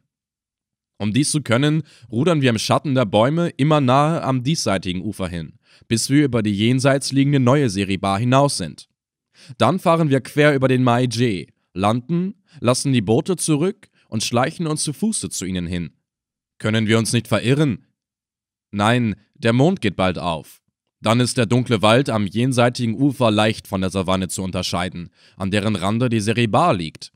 Nimm außer mir und Ben Neil 20 Mann mit. Das genügt. Ich denke auch, dass wir nicht mehr brauchen. Die Waffen, welcher du bedarfst, kannst du von jedem zurückbleibenden Askari erhalten. Lass sie dir geben. Ich mag keine. Ich hole mir die meinigen. Nähme ich jetzt andere mit, so müsste ich sie zurücktragen. Aber wenn es zum Kampfe kommt und du bist unbewaffnet, so kann es dir leicht schlimmer gehen. Schlimm? Pah, ich fürchte gar nichts. So will ich mit dem Häuptling wegen des Bootes sprechen. Der Anführer der Boer war nicht nur bereit, uns eines seiner Boote zu leihen, sondern er bat uns, ihn mitzunehmen, was ihm auch gern gestattet wurde. Ich stieg mit dem Emir und Ben Nil in das kleine Boot, welches wir am Nachmittag gehabt hatten, um voranzurudern, während die Asaka in den beiden größeren Fahrzeugen folgen sollten. Noch war der Mond nicht aufgegangen, als unsere Fahrt begann, doch leuchteten die Sterne hell genug, um uns in das Wasser ragende Wurzeln und andere derartige Hindernisse vermeiden zu lassen. Wir folgten genau dem Ufer, welches an dieser Seite einige größere Buchten hatte. Dadurch wurde unsere Fahrt verlangsamt, was mir mal gar nicht unlieb war, da ich, um dann später nicht zu irren, auf den Mond zu warten hatte. Als er aufging, sahen wir ihn tief am Horizonte stehen, denn es gab da drüben keine Bäume, die ihn verdeckten. Daran erkannte ich, dass wir uns schon parallel mit der baumlosen Prärie befanden, an deren anderem Rande die Seribar lag. Jetzt legten wir uns kräftiger in die Ruder als bisher. Der Mond stieg langsam höher, verschwand aber doch nach einiger Zeit hinter einer dunklen Wand, welche ihm uns unsichtbar machte. Das war der Wald, welcher drüben wieder begann. Wir waren also an der Savanne vorüber, ruderten noch eine kleine Strecke weiter und hielten dann quer über den Maije hinüber. Am jenseitigen Ufer angekommen, stiegen wir aus und banden die Boote fest. Es galt zunächst zu erfahren, ob unsere Annäherung bemerkt worden sei. Wir verhielten uns zu diesem Zwecke vollständig laut und bewegungslos, um zu lauschen, aber es war nicht zu hören. Dann suchte ich, während die anderen noch immer stillhalten blieben, die Umgebung ab. Die Bäume standen nicht dicht und der Mond schien zwischen den Kronen hindurch, so dass ich ganz leidlich sehen konnte. Es war kein Mensch in der Nähe. Also konnte nun der kurze Marsch beginnen. Wir befanden uns nicht mehr als 600 Schritte hinter der Seribar. Ich ging voran, vielleicht 20 Schritte von den anderen entfernt, welche hinter mir eine lange Einzelreihe zu bilden hatten. Noch hatte ich den Rand des Waldes nicht erreicht, als ich den Schein eines Feuers vor mir sah und laute Stimmen hörte. Ich ließ meine Asaka halten und schlich allein weiter, um genau zu rekognoszieren. Was ich sah, gab mir die Gewissheit, dass wir die Feinde überwältigen würden, ohne dass wir einen Tropfen Blutes zu vergießen brauchten. Wie bereits früher gesagt, standen die Tokuls der jungen Seribar am Waldesrande unter den ersten Bäumen. Zwischen zweien von ihnen hatte man das Feuer angebrannt, jedenfalls um die Stechfliegen zu vertreiben. An demselben saß der Mokadem mit seinen Asakern, von denen kein einziger fehlte. Man hatte es also nicht für nötig gefunden, eine Wache auszustellen. Man hielt sich für vollständig sicher. Das ging für mich auch daraus hervor, dass ich kein Gewehr sah. Man hatte die Flinten in den Tokuls liegen lassen. Das freute mich um unsert und auch um der Gegner willen, denn wenn auch der Mokadem nicht zu retten war, so hoffte ich doch, dass, falls kein Blut vergossen wurde, der Res Effendina die anderen begnadigen würde. Ich kehrte zurück und holte unsere Leute herbei. Sie konnten die Feinde deutlich sehen, denn das Feuer brannte so, dass der Schatten einer Hütte die Stelle, an welcher wir hielten, verdunkelte. Ich wollte dem Res Effendina meine Ansicht über das, was nun zu geschehen habe, mitteilen. Da nahm er mich beim Arme und sagte: Komm hier zur Seite, sonst wirst du getroffen. Er zog mich bei diesen Worten fort. Ich folgte ihm ahnungslos und fragte: Getroffen? Die Kerle können doch gar nicht zum Schusse kommen. Wir fallen plötzlich über sie her und. Effendi! unterbrach mich Bernil, welcher uns nachgehuscht war. Ich muss dir sagen, dass die Feinde erschossen werden sollen, außer dem Mokadem. Als du vorhin vorangingst, hat der Res Effendina befohlen, dass. Schweig! fiel ihm dieser zornig in die Rede. Dann deutete er nach dem Feuer hin und rief, ehe ich es zu verhindern vermochte, seinen Leuten zu: Jetzt gib Feuer! Schnell! Zwanzig Gewehre erhoben sich und zwanzig Schüsse krachten. Alle, die noch soeben ahnungslos am Feuer saßen, brachen zusammen, nur einen ausgenommen, nämlich den Mokadem, welcher aufsprang und entsetzt nach uns herüberstarrte. Ich ahnte, was nun folgen werde, und sprang nicht etwa auf das Feuer zu, um ihn zu ergreifen, sondern links dem Ufer zu, welches, soweit die Savanne reichte, mit Büschen eingefasst war. Was fällt dir ein? rief mir der Emir nach. Dort am Feuer steht doch der Kerl! Drauf! Er rannte, gefolgt von allen seinen Leuten, auf das Feuer zu. Das gab dem Mokadem seine Geistesgegenwart zurück. Er wendete sich, um zu fliehen. Wohin? In den Wald, aus dem er die Feinde kommen sah, konnte er natürlich nicht. Hinaus in die Prärie, wo der Mond so hell schien. Das war auch gefährlich. Also gab es nur den einen Weg zum Wasser hin.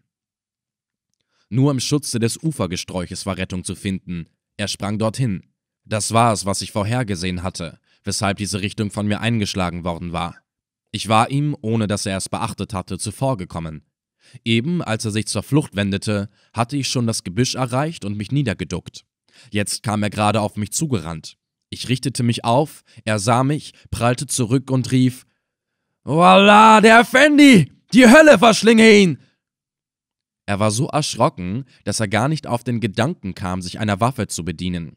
Er sah sein Heil auch jetzt nur in der Flucht und machte eine neue Wendung, um in die Savanne hinauszueilen. Da fasste ich ihn hüben und drüben bei den Oberarmen und warf ihn den Asakern zu, welche hinter ihm hergeeilt kamen und ihn niederrissen. Was sie dann noch mit ihm taten, war mir gleichgültig. Ich eilte an das Feuer, um nach den dort Liegenden zu sehen.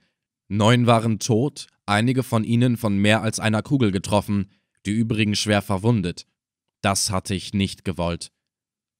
Der Res Effendina stand fern und beobachtete mich. Ich ging auf ihn zu und fragte ihn in so zornigem Tone, dass ich fast sagen möchte, ich fuhr ihn an. War das notwendig? Warum hast du es mir nicht vorher gesagt? Mussten sie denn ermordet werden? Ermordet? Ich verzeihe dir diese Frage, weil du dich in Aufregung befindest. Konnte ich diese Menschen laufen lassen und ihnen Gelegenheit geben, ihr Handwerk fortzutreiben? Das hätte ich nicht von dir verlangt. Du konntest sie begnadigen und in deinen Dienst nehmen. Du hast ganz dasselbe schon mit ihren Kameraden getan, welche wir in der Seribar Aliab gefangen nahmen. Ich tat das nur auf deine Bitte hin. Wollte ich mich stets und so weiter nach deinen Wünschen richten, so müsste ich alle Sklavenjäger des Sudans zu meinen Asakern machen. Und die Folge davon wäre, dass sie mich schließlich zwängen, selbst auch Sklavenjäger zu werden. Davon ist keine Rede. Es handelt sich nur um die zwölf Männer hier. Nur um die zwölf? Nur? Nimm die dazu, welche ich in der Serie Bar Aliyab begnadigte. So sind ihrer, den ich nie trauen kann, genug, mir meine bisher so zuverlässigen Soldaten nach und nach zu verführen und vollständig zu verderben. Nein, wehe dem, der wehe tut. Diese Hunde haben den Tod verdient, und ich kenne meine Pflicht. Du hast sie gesehen. Leben noch welche? Noch drei, die so schwer verwundet sind, dass sie unmöglich aufkommen können. Man wird sie erlösen. Komm zu dem Mokadem. Er wird ganz entzückt darüber sein, dich so bald wiedergesehen zu haben. Während ich dieser Aufforderung folgte, winkte er drei seiner Leute zu sich und erteilte ihnen einen Befehl, den ich nicht verstehen konnte. Sie gingen nach dem Feuer. Ich sah nicht hin, aber drei rasch hintereinander fallende Schüsse sagten mir, dass sie den Auftrag erhalten hatten, die drei Verwundeten zu erschießen. Der Mokadem war an Händen und Füßen gebunden und an das Feuer geschafft. Dann nahm der Res Effendina einen Feuerbrand und forderte mich auf, mit ihm das Innere des Tokuls zu untersuchen.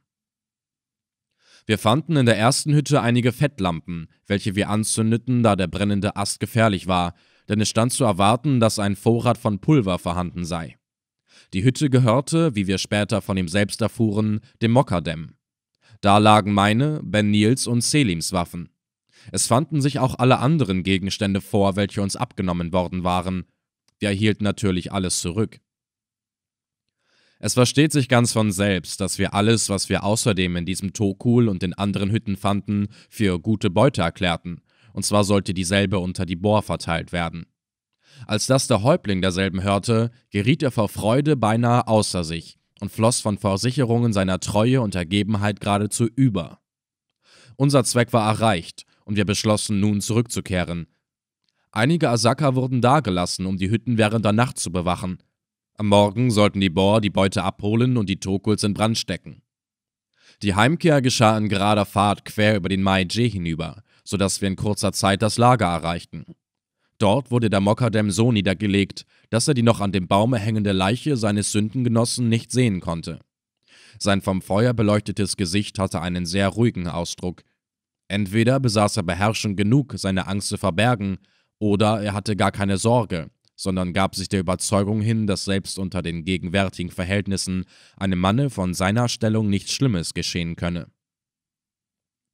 Diese Meinung wurde dadurch bestätigt, dass er, als man sich eine Zeit lang scheinbar nicht um ihn zu kümmern schien, mir fast in befehlendem Tone zurief Soll ich etwa so liegen bleiben? Ich will losgebunden sein.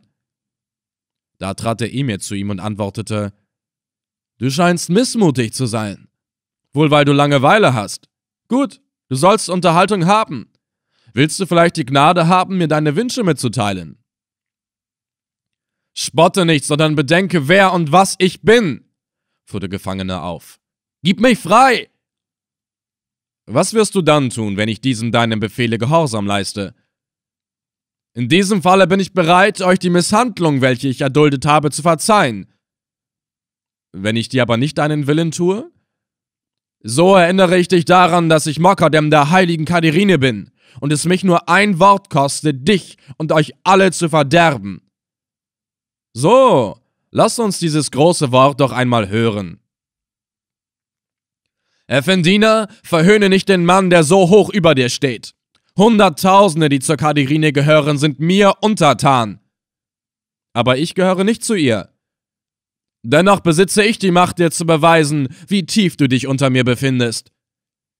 Du brauchst dich nicht zu bemühen, o oh großer Mokadem, denn ich besitze ganz dieselbe Macht und ich bin gern bereit zu zeigen, dass du recht hast.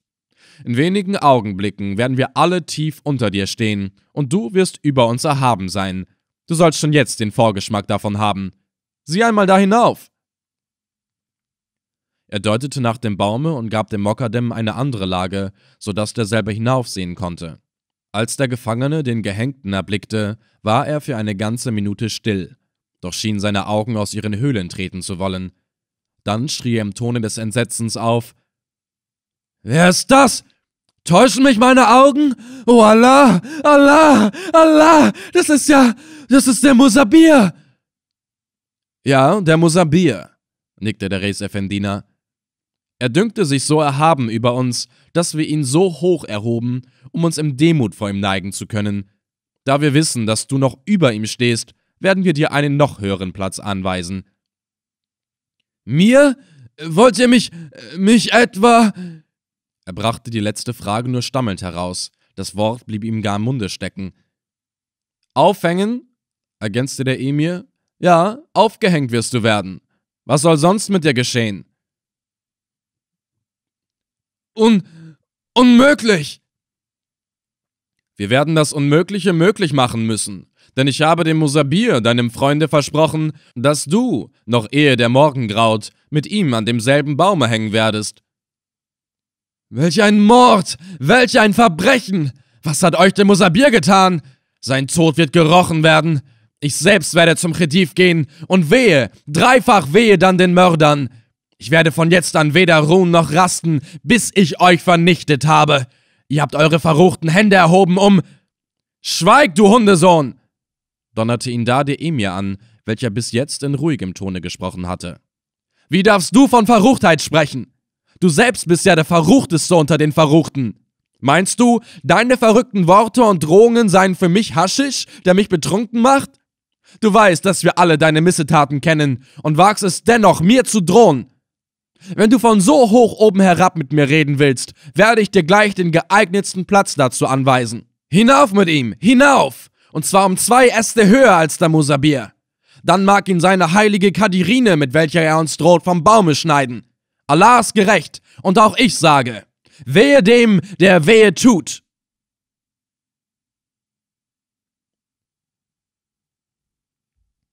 Kapitel 2 Gerechte Vergeltung am sechsten Tage nach diesem der gnadenlosen Vergeltung gewidmeten Abende wand sich unser Zug wie eine endlos erscheinende Schlange durch einen Wald, dessen Riesenbäume ein Laubdach bildeten, durch welches selbst die Sonne des Sudan nicht einen Strahl zu senden vermochte. Wir befanden uns in immerwährender Dämmerung. Diese wäre uns sehr willkommen gewesen, denn sie schützte uns vor der glühenden Hitze, welche draußen auf dem offenen, wasserlosen Gelände alles Leben vernichtete aber sie war wenigstens ebenso gefährlich wie dieser Sonnenbrand, denn unter den dichten Blätterhallen lag ein Boden, welcher unmöglich als Erde bezeichnet werden konnte. Sumpf, bodenlos tiefer Sumpf war es, in welchen die Giganten der Baumwelt ihre Wurzeln schlugen, ohne, was mir völlig unerklärlich erschien, in demselben zu versinken. Ich hatte in den Vereinigten Staaten den Dismal, Alligator, Catfish, Green und Gum Swamp kennengelernt und seit jener Zeit geglaubt, dass kein Sumpf der Erde sich mit diesen Swamps zu messen vermöge, musste aber jetzt einsehen, dass dieselben, verglichen mit der Region des oberen Niles, welche wir jetzt durchzogen, den Namen Sumpf gar nicht verdienten. Der Waldboden, auf welchem wir uns bewegten, war ein mit Wassermoos und anderen Sumpfpflanzen bedeckter, dicker Brei, welcher bei jedem Schritte den Reiter und sein Tier zu verschlingen drohte. Das schwappte und schnappte, klitschte und klatschte, schob sich nach vorn und schlickerte wieder zurück. Ich kam aus der Sorge, in diesen Schlamm hinabgezogen zu werden, gar nicht heraus. Ich glaubte jeden Augenblick meinen Vordermann in dem klebrigen Teige verschwinden zu sehen, und doch verschwand er nicht und ich nicht und keiner von uns allen. Wie war das zu erklären? Ich konnte wohl diese Frage aufwerfen, aber nicht die Antwort darauf finden. Wir alle ritten, und zwar auf den schon erwähnten Ochsen. Voran kam eine Abteilung der Bohrkrieger, dann ein Trupp Asaka, dann folgten Lastochsen, dann wieder Soldaten und Lasttiere, worauf die andere Hälfte Bohr den Zug beschlossen. Es war ein Glück für uns, dass die Schwarzen sich mit uns verbündet hatten, denn ohne sie hätten wir niemals unser Ziel erreicht, sondern wären in diesem unendlichen Sumpfe umgekommen. Sie aber kannten denselben, als ob er ihre Heimat sei. Ihre geübten Augen unterschieden mit Leichtigkeit die Stellen, denen man sich anvertrauen konnte. Nur durften dies nicht zwei zugleich wagen, und darum ritten wir im Gänsemarsche, immer einer hinter dem anderen. Ich bewunderte den Scharfblick und die Umsicht dieser Leute mehr und mehr und lernte hier auch Ochsen achten, denn ohne ihre Tiere hätten auch die Bohr nicht fortkommen können. Die Ochsen versanken fast bei jedem Schritte bis an das halbe Bein und zeigten doch niemals Ermüdung. Sie schienen sich hier ganz in ihrem Elemente zu befinden. Keiner wich zur rechten oder linken. Jeder wusste, dass er dem Vorgänger genau zu folgen hatte. Das geschah nicht etwa in schnurgerader Richtung, sondern der Häuptling der Bohr, welcher den Zug leitete, musste sich nach der Tragfähigkeit des Bodens richten. Und so kam es, dass wir zuweilen Windungen beschrieben, durch welche die letzten im Zuge den ersten ganz nahe kamen, während die in der Mitte Reitenden sich fern von Kopf und Schwanz befanden. So war es nun schon drei Tage lang gegangen, und wir hatten es redlich satt. Die Stechmücken machten uns entsetzlich zu schaffen, es gab kein festes Nachtlager, das Wasser ging aus, und das, was wir einatmeten, war nicht Luft, sondern geradezu Fieber zu nennen. Da ertönte vorn, wo der Häuptling ritt, in höchster Tonlage ein langgezogener Schrei, welcher augenblicklich von allen Bohr wiederholt wurde. Agadi, der Dolmetscher, ritt zwischen dem Emir und mir in der Mitte des Zuges. Ich fragte ihn, was dieser Schrei zu bedeuten habe, und erhielt zur Antwort, dass er das Zeichen eines freudigen Ereignisses sei. Welches Ereignis gemeint war, erkannte ich schon nach wenigen Minuten, als ich einen Sonnenstrahl durch die lichter werdenden Wipfel fallen sah und die Luft, wie Nektar in der Kehle, mir leichter und belebend in die Lunge drang. Der Boden wurde fester, er begann zwischen den riesigen Stämmen zierliche Sträucher zu tragen. Meine Vorderleute ritten zu Zweien, Dreien und Vieren nebeneinander. Alles deutete an, dass der Sumpf zu Ende sei, und hinter dem Emir ertönte Selims schnarrende Stimme. Amduillah! Der große Brei ist überwunden. Er sperrte seinen Rachen auf, um uns zu verschlingen. Aber wir sind hier über ihn hinweggegangen wie die Helden, die sich vor keinem Drachen fürchten. Nun klappt er hinter uns sein großes Maul zusammen und verschwindet vor Ärger und Scham darüber, dass es ihm nicht gelungen ist zu fressen. Selim, den tapferen Überwinder aller Sümpfe und Moorreste des Weltenalls. Der alte Maulheld konnte eben keine Gelegenheit, sich in Wix zu werfen, vorübergehen lassen. Aber Überwinder aller Moorreste des Weltalls, das übertraf alles, was ich bisher aus seinem Munde gehört hatte. Der Häuptling war halten geblieben, um uns an sich herankommen zu lassen, und sagte uns durch den Mund des Dolmetschers Der Sumpf ist hinter uns, und nun beginnt guter Weg. Bald werden wir Wasser trinken und Felder sehen, welche den Gog gehören. Gegen Abend ziehen wir in Wagunda ein. Es lässt sich denken, dass uns die Botschaft hoch erfreute. Die bisher so stillen, missmutigen Menschen wurden lebhaft und gesprächig, doch auch die Tiere schienen zu wissen, dass das Ziel nahe sei.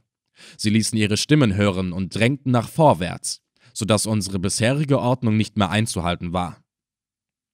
Nach einiger Zeit drang uns ganz plötzlich der hellste, vollste Sonnenschein entgegen. Nach der bisherigen langen Dämmerung war es, als ob uns ein förmliches Lichtmeer entgegenflute. Es war Mittag, aber wir fühlten die hier herrschende Glut nur als Wärme, welche unsere Körper wohltuend durchdrang und alle unsere Sinne neu belebte. Der Urwald hörte auf, er stieß an einen Fluss, an dessen anderem Ufer nur Schilf, untermischt mit Büschen, stand. Der Fluss war zwar breit, aber nicht tief.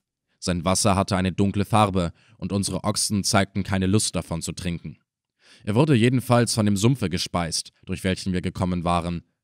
Die Bohr fanden nach kurzem Suchen eine Stelle, an welcher wir ihn durchreiten konnten.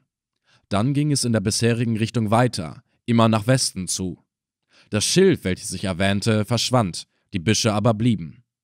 Sie bildeten Inseln in einem grünen Meere von Gras, welches an Saftigkeit nicht zu wünschen übrig ließ.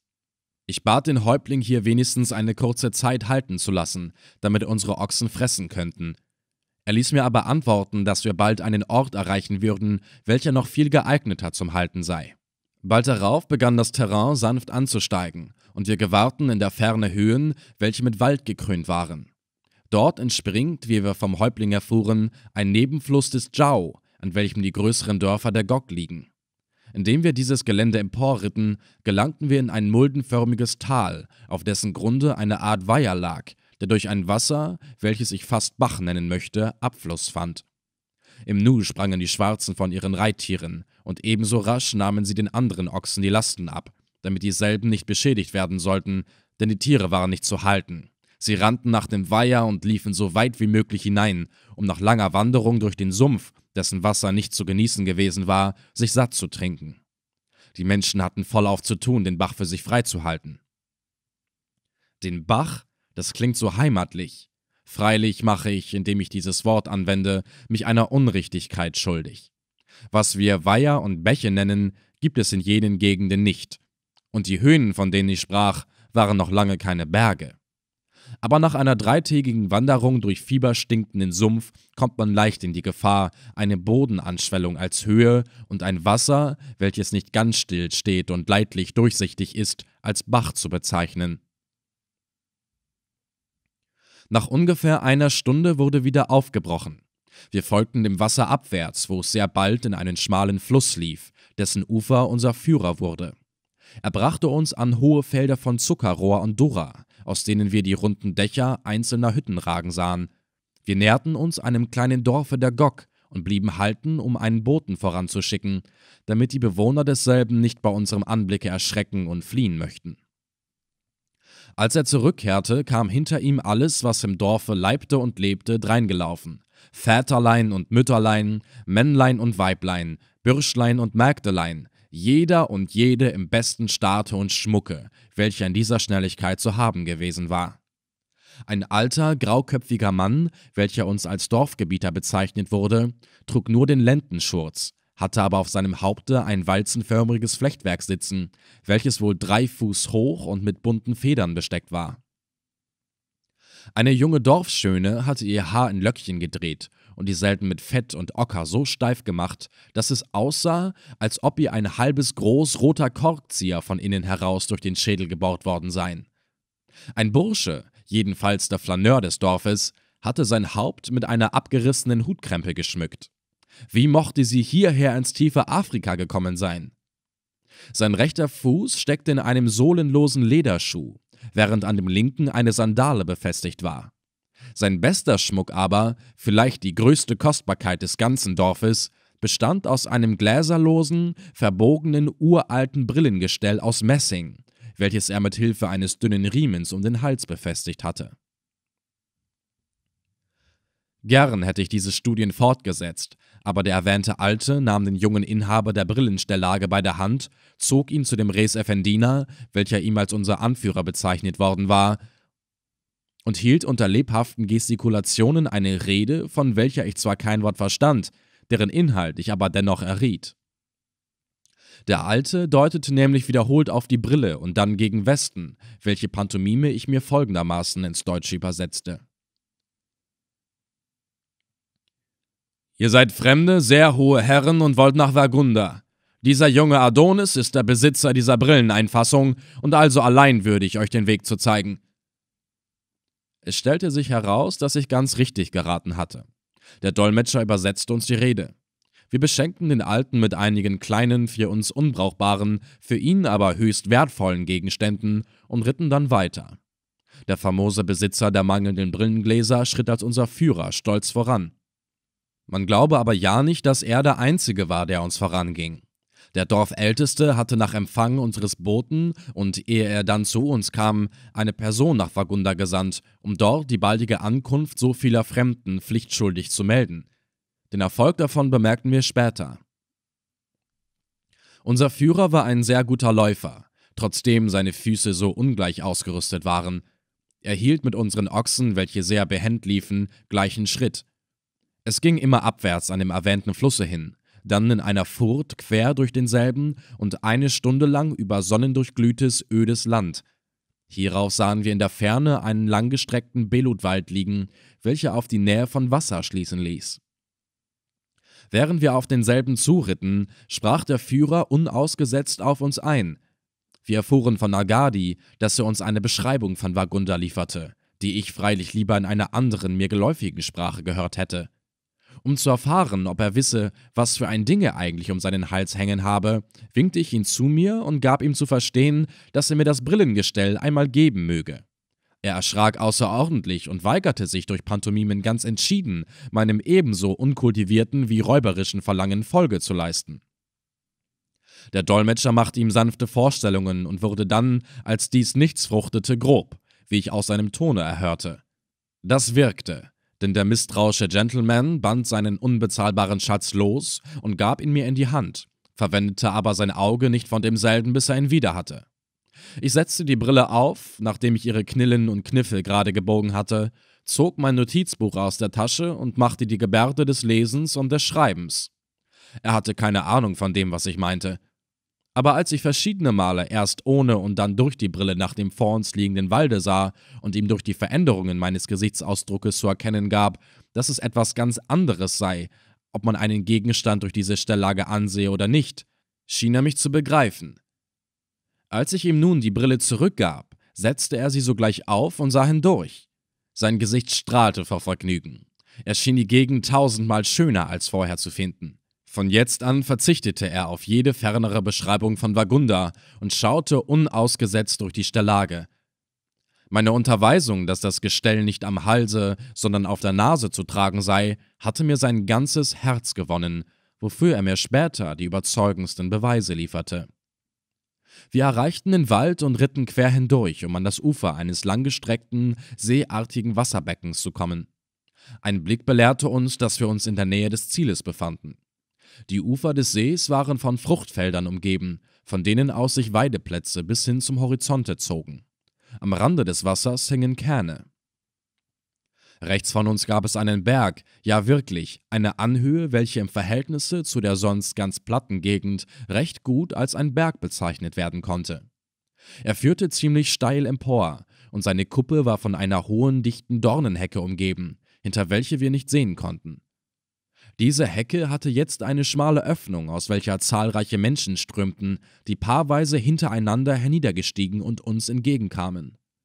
Nun erst erfuhren wir mit Hilfe des Dolmetschers, dass die Einwohner von Wagunda von unserer Annäherung durch einen Boten unterrichtet worden seien.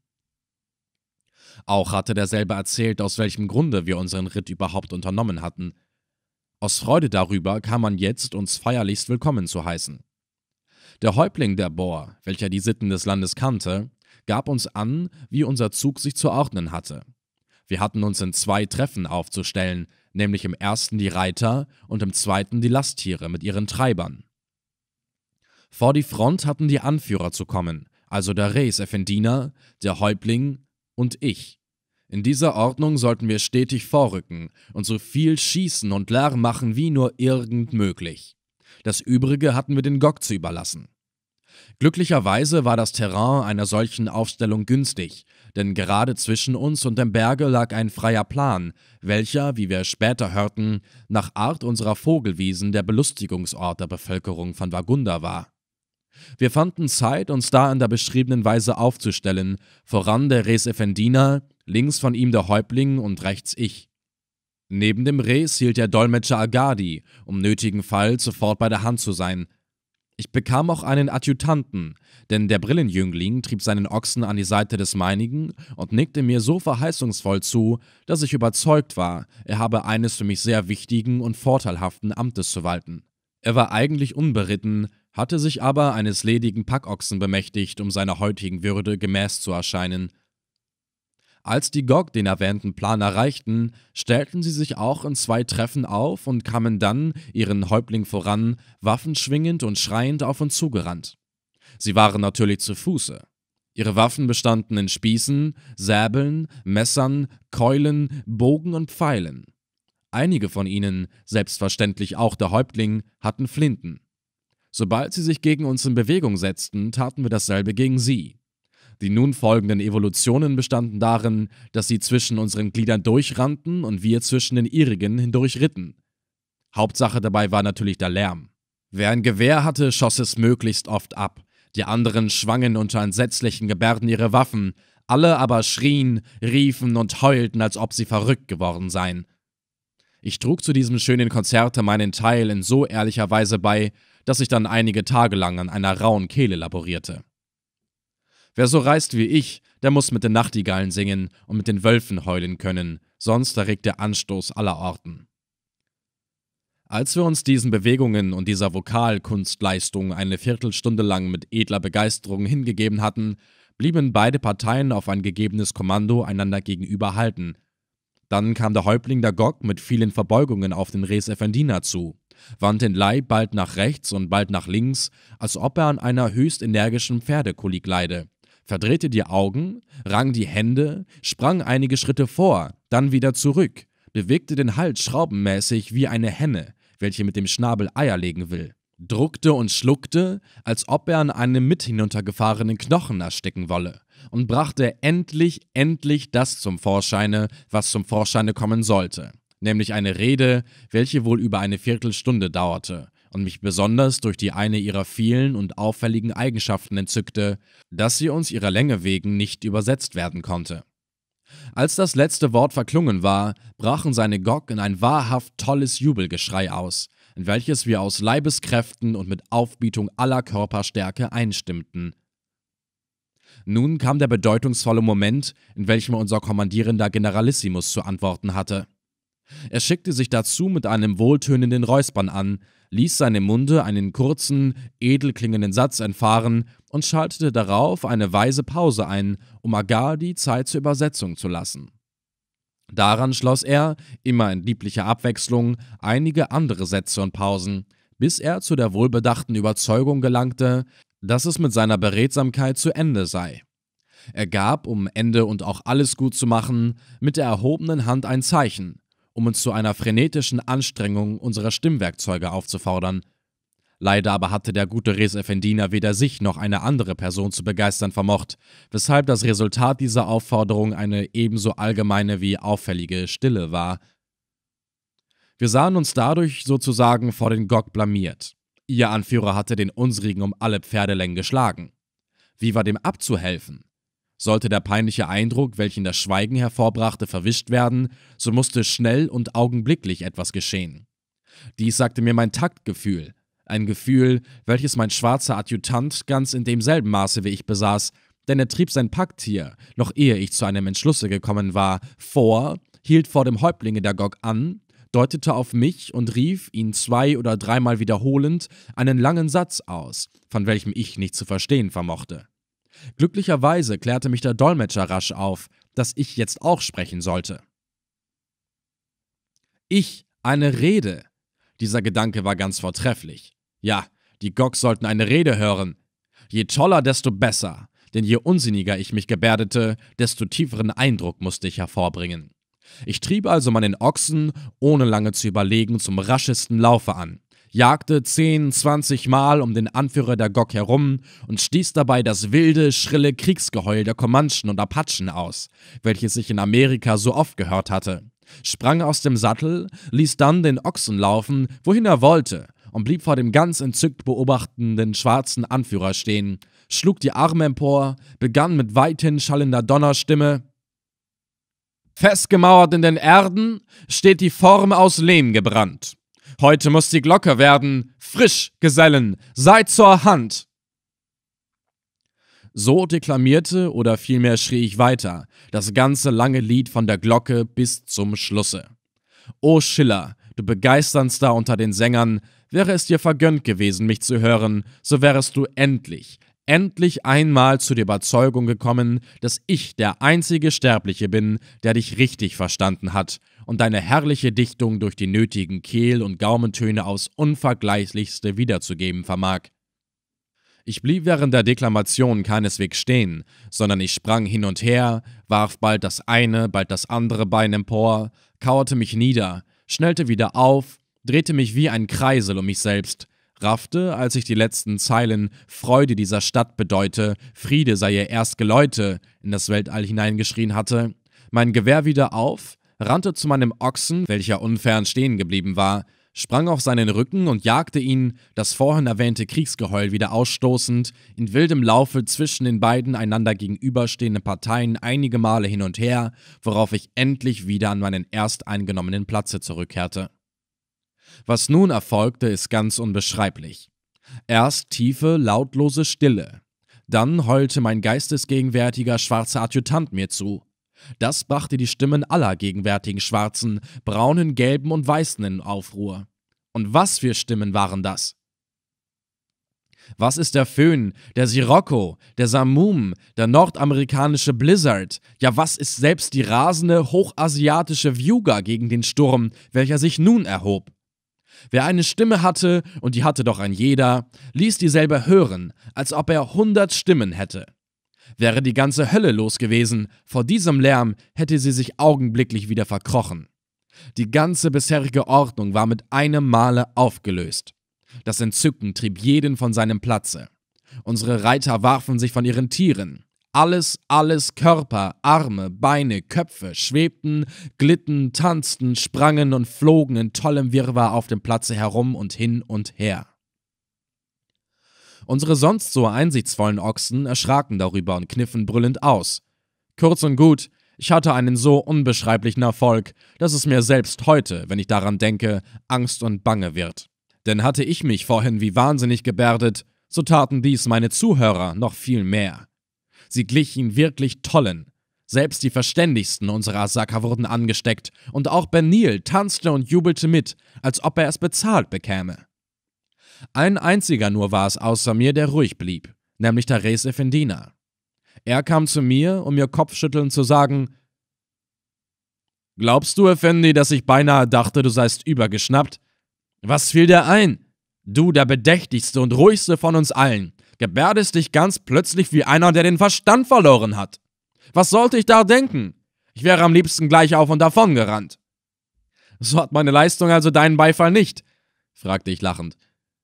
Nein, ganz und gar nicht. Du hast unsere Würde beschädigt. Für was für Menschen müssen diese Schwarzen uns halten? Für ganz tüchtige Kerle, darauf kannst du dich verlassen. Wenn man die Menschen nimmt, wie sie sind, wird man bei ihnen nie anstoßen, sondern vielmehr Anerkennung finden. Ich denke, dass du dich für mein Auftreten noch bei mir bedanken wirst. Schwerlich, ich bin der Vertreter des Vizekönigs, dessen Ansehen durch solche Tollheiten leiden muss. Ich habe freilich nicht an das Ansehen des Vizekönigs, sondern zunächst daran gedacht, uns hier ein solches zu verschaffen.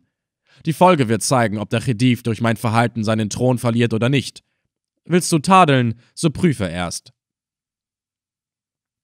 Aber du musst doch unbedingt zugeben, dass meine Rede viel würdiger war als die deinige. In meinen Augen ja. Aber hast du sie denn mir gehalten? Den Gog natürlich. So sind sie es, welche zu entscheiden haben. Es fragt sich, wessen Rede nicht uns beiden, sondern ihnen besser gefallen hat. Eigentlich haben sie durch ihren Beifall die Antwort auf diese Frage schon gegeben. Diese Antwort sollte gleich auch noch in anderer Weise kommen. Der Häuptling der Gog war ebenso wie jeder seiner Untergebenen mit herumgesprungen. Jetzt entfernte er sich aus dem Gewühl und hielt eine Art Banner empor, welches aus einer Stange bestand, an welche ein graues Affenfell befestigt war. Dies war das Zeichen zum Sammeln denn als die Seinen es erblickten, löste sich der Wirrwarr und jeder begab sich an den von ihm eingenommenen Platz. Der Anführer hielt eine kurze Beratung mit einigen Männern, welche nach unseren Begriffen wohl als Gemeinderäte zu bezeichnen waren. Dann schritt er mit ihnen auf den Häuptling der Bord zu, welcher sich auch wieder auf seinem vorigen Platze befand, denn auch unsere Leute hatten ihre frühere Stellung jetzt wieder eingenommen. Er sprach längere Zeit mit ihm, jedenfalls von dem Res Effendina und mir, da sein Auge uns immer wieder aufsuchte. Darauf kam er auf uns beide zu, verneigte sich vor dem Res Effendina und sagte zu diesem, natürlich durch den Dolmetscher, Herr, ich habe vernommen, was euch zu uns führt. Ihr seid gekommen, uns aus einer großen Gefahr zu erretten. Wir werden noch weiter über dieselbe sprechen und über die Art und Weise, in welcher sie abzuwenden ist. Vor allen Dingen heißen wir euch willkommen. Ich höre, dass du ein Liebling des Vizekönigs bist. Zwar sind wir demselben nicht untertan, denn wir sind freie Gog vom großen Volke der Jangay. Aber du wirst bei uns geachtet sein, wie du daheim geachtet wirst. Sei unser Gast und bleibe, solange es dir bei uns gefällt. Dann wendete er sich mit folgenden Worten an mich. Herr, der Häuptling der Bohr, welcher unsere Brüder sind, erfuhr von deinen Taten und hat mir einige in Kürze mitgeteilt. Du kommst aus einem Lande, in welchem lauter berühmte Männer wohnen. Du bläsest deine Feinde von dir wie Staub, und niemand kann dich je besiegen. Auch hörte und sah ich dich sprechen, wie ich noch keinen reden sah und hörte. Wer deine Stimme hört, wird wie von Merissa begeistert, und die Bewegungen deiner Arme und Beine zeugen von der Wahrheit deiner Worte. Sollte je ein Mensch deinem Messer widerstehen, so wirst du ihn durch deine Rede besiegen. Darum bist nur du der Mann, der uns zu retten vermag. Ibn Assel ist der größte Teufel unter den Sklavenjägern, und seine Leute sind wie böse Geister, vor denen es keine Rettung gibt. Wir vermöchten ihm und ihnen nicht zu widerstehen. Aber da du dich bei uns befindest, brauchen wir keine Sorge zu haben, denn du allein bist so viel wie hundert meiner Krieger. Ich werde meine Leute ausrüsten und sie unter deinen Befehl stellen. Sage mir, ob du ihr Anführer sein willst. Das war nun freilich im Superlativ gesprochen. Nach den Worten dieses guten Schwarzen zu urteilen, hätte ich ja wirklich die Bezeichnung, welche Selim so oft unrechtmäßigerweise für sich in Anspruch nahm, mit vollem Rechte verdient und wäre der größte Held des Weltalls gewesen. Also General en Chef sollte ich werden. Nun, ich hatte keinen Grund, diese Würde von mir zu weisen. Wenn ich sie annahm, so war ich wenigstens sicher, dass in der Leitung keine groben Fehler gemacht wurden und so erklärte ich denn dem Häuptlinge, dass ich bereit sei, auf seinen Vorschlag einzugehen. Als er diese Antwort seinen Leuten verkündigte, erhob sich ringsum ein lautes Jubelgeschrei, und es wurde abermals eine Fantasie ins Werk gesetzt, welche darin bestand, dass alles, was Beine hatte, im Kreise um mich zu tanzen begann. Sodann wurden wir eingeladen, mit hinauf in das Dorf zu kommen. Die Schwarzen stellten sich in Reih und Glied, nahmen uns in die Mitte, worauf sich der Zug in Bewegung setzte und sich auf demselben Wege bergaufwärts bewegte, auf welchem die Schwarzen uns vorher entgegengekommen waren. Ich ritt dabei neben dem Emir, aber nur wenige Schritte, dann machte sich mein famoser Brillenträger an meine andere Seite, und es war geradezu spaßhaft, die stolze Haltung, welche er sich dabei befleißigte, zu beobachten. Der ganze Abglanz derjenigen Hoheit, welche er mir beilegte, schimmerte auf seinem Gesichte. Auf der Höhe des Berges angekommen, sahen wir erst, welchen Umfang derselbe hatte. Wir befanden uns auf einem ebenen Plateau, welches auf den anderen drei Seiten so steil abfiel, dass es nur auf derjenigen, von welcher wir gekommen waren, erstiegen werden konnte. Die Verteidigungsverhältnisse dieses Ortes waren also sehr gute. Das Dorf nahm ungefähr die Hälfte des Plateaus ein und bestand aus lauter runden Hütten von der Art, wie ich sie wiederholt beschrieben habe, und war von einem hohen, sehr dichten Dorngestrüpp umgeben. Die Fläche außerhalb des Dorfes war mit kurzem Grase bewachsen. Es gab da mehrere Einzäunungen, um die Herden des Nachts und zur Zeit eines Überfalls in Sicherheit zu bringen. Der Eingang der Dornumfassung war geöffnet. Wir stiegen da von unseren Tieren, welche auf die Grasweide getrieben wurden, und zogen das Dorf ein, festlich empfangen von all denjenigen Bewohnern, welche vorher aus irgendeinem Grunde hatten zurückbleiben müssen. Die größte der Hütten wurde für den Res Effendiner und mich bestimmt. Alle anderen wurden einzeln bei den Dorfbewohnern einquartiert. Dann schlachtete man mehrere Ochsen und brannte Feuer an, um das Fleisch derselben zu braten. Ich hatte nicht die Absicht, in der Hütte zu wohnen. Die wibbelnde und kribbelnde, stechende und beißende Bevölkerung solcher Logements pflegt so zutraulich zu sein, dass ich es für geratener hielt, selbst des Nachts im Freien zu bleiben.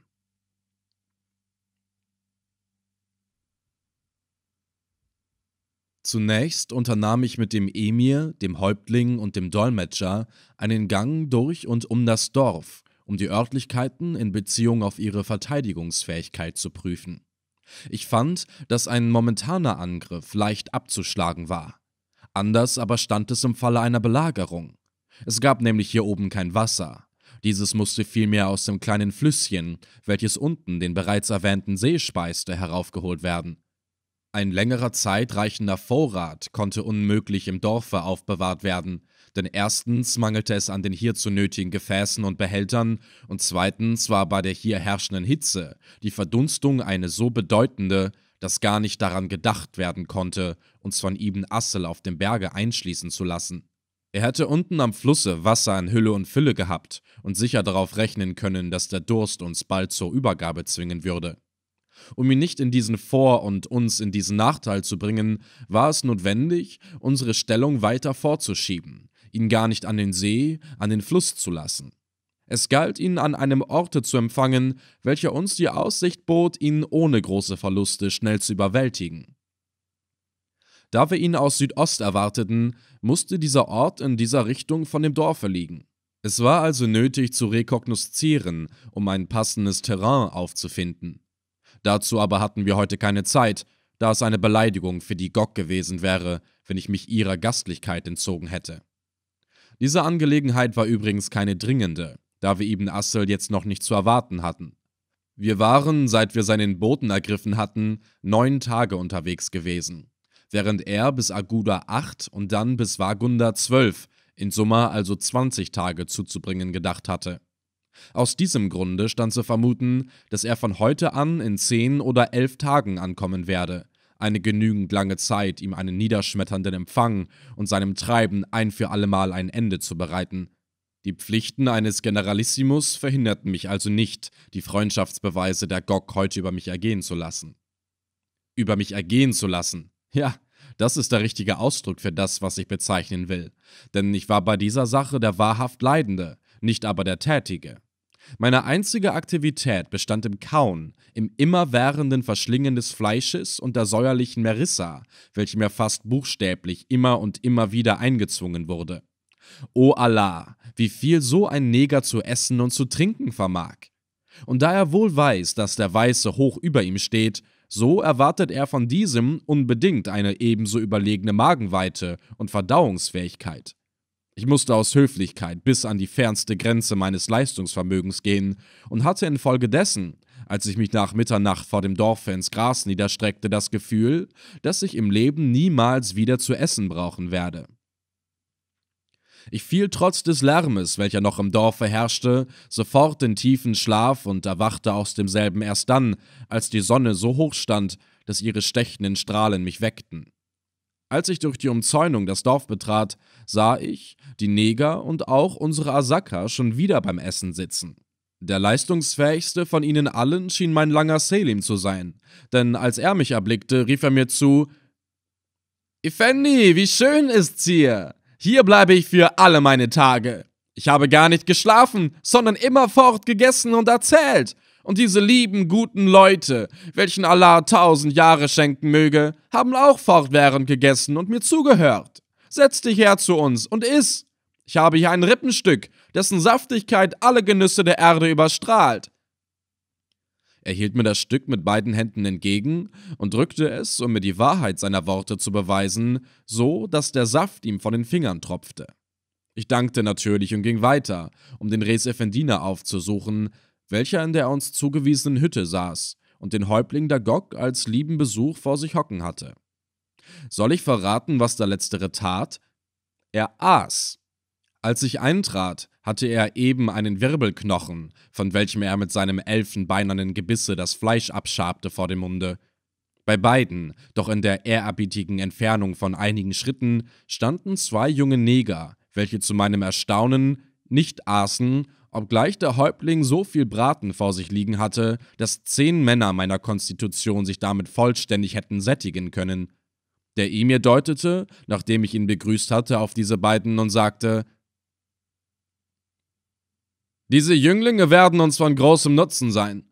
Sie stammen aus diesem Dorfe und kehren zufälligerweise gerade jetzt von einem zweijährigen Aufenthalte drüben in Hasab Alaba am Gazellenflusse zurück. Sie sind als Asaka dort gewesen und haben das Arabische so weit gelernt, dass sie uns als Dolmetscher dienen können. Diese Mitteilung erfreute mich, da es mir nun möglich war, mich freier zu bewegen. Ich bat den Häuptling, mir einen dieser Dolmetscher zur unausgesetzten Hilfe zuzuweisen, was er auch sofort tat. Dann erklärte ich dem Res Effendina, dass und warum es nötig sei, schon heute einen Ritt zu unternehmen, um die südöstliche Gegend kennenzulernen und fragte ihn, ob er mich begleiten wollte. Er lehnte ab. Wie ich später wohl bemerkte, geschah dies aus einer Art von Eifersucht. Er fühlte sich dadurch zurückgesetzt, dass gestern nicht ihm, sondern mir der Befehl über die Krieger der Gog übertragen worden war. Verletztes Ehrgefühl kann leicht die beste Freundschaft in das Gegenteil verwandeln. Nur der Dolmetscher und mein treuer Benil sollten mich auf dem erwähnten Ritte begleiten. Der Brillenjüngling wollte mit, ich gestattete es ihm nicht. Auch Selim meldete sich, er hatte so viel gegessen, dass er nicht gerade stehen, viel weniger noch auf einem Ochsen reiten konnte. Davon auch abgesehen, hätte ich ihn nicht mitgenommen, denn dieser Unglücksvogel wäre mir noch hinderlicher als jeder andere gewesen und hätte mich durch seine Dummheit nur in Schaden bringen können. Mein junger Dolmetscher war ein sehr brauchbarer Mann. Er sprach zwar nur das sogenannte Bar-Arabisch, doch verstanden wir uns leidlich, da ich mich bemühte, meine Ausdrücke demselben anzubequemen. Vor allen Dingen war ihm die Gegend, um welche es sich handelte, genau bekannt. Er war früher mit seinem Vater einige Male drüben in Aguda, von woher wir Ibn Assel erwarteten, gewesen und konnte meine Fragen zur Zufriedenheit beantworten. Er beschrieb mir genau die Route, welche Ibn Assel von Aguda nach Wagunda einzuschlagen hatte. Infolge seiner Erklärungen und meiner Rekognoszierung, von welcher wir erst am Abende zurückkehrten, entwarf ich einen Plan, von welchem ich mit Sicherheit erwartete, dass er Ibn Assel und alle seine Asaka ohne großes Blutvergießen in unsere Hände liefern werde. Wagunda liegt in der Nähe des oberen Tonje-Flusses, da, wo dieser sich in die beiden Arme teilt, aus denen er entspringt. Der eine ist gerade nördlich nach Avec gerichtet, während der andere aus Südosten kommt. Beide bilden einen stumpfen Winkel, in dessen offene Arme Ibn Assel laufen musste, Beide fließen durch sumpfiges Land, welches in der Nähe der Ufer geradezu ungangbar ist. Über den Südarm ist aus diesem Grunde nicht zu kommen, und der Nordarm bietet nur eine einzige Stelle, an welche der Boden so fest ist, dass man sich ihm nähern und ihn überschreiten oder, je nach der Jahreszeit, durchschwimmen kann. Nach dieser Stelle musste Ibn Assel, um nach Vagunda zu kommen, seinen Marsch unbedingt richten. Mein Plan war nun folgender. Die Furt musste auf beiden Seiten des Flusses mit genügender Mannschaft besetzt werden. Die Abteilung jenseits des Flusses hatte sich zu verstecken, bis Ibn Aslan vorübergezogen war und den Fluss erreicht hatte. Folgte sie ihm dann, so hatte er sie im Rücken, rechts und links den Sumpf und vor sich die Furt. Von ihr ins Wasser getrieben, musste er das diesseitige Ufer zu erreichen suchen, an welchem ihn die andere Abteilung zu erwarten hatte. So stark er am Wasser, hatte vor und hinter sich Sumpf und Feinde und war aller Voraussetzung nach gezwungen, sich ohne Gegenwehr zu ergeben. Dabei rechnete ich auf die Jangé-Krieger, welche bei ihm waren und deren Häuptling sich bei uns befand. Rief dieser ihnen von weitem zu, dass sie von Ibn Assel betrogen worden seien und zu uns übergehen sollten, so taten sie dies sicher, und er war dann mit seinen wenigen Asakern so unmächtig, dass es Wahnsinn von ihm gewesen wäre, sich zur Wehr zu setzen. Um des Gelingens vollständig sicher zu sein, nahm ich mir vor, an der Furt einige Gräben und Verhaue anzulegen, in und hinter denen wir sicheren Schutz vor feindlichen Kugeln finden würden. Mit diesem Plane kehrte ich heim und rief sofort nach meiner Ankunft eine Art Kriegsrat zusammen, welcher aus dem Res Effendina, den Häuptlingen der Jangé, Bor und Gok und mir bestand.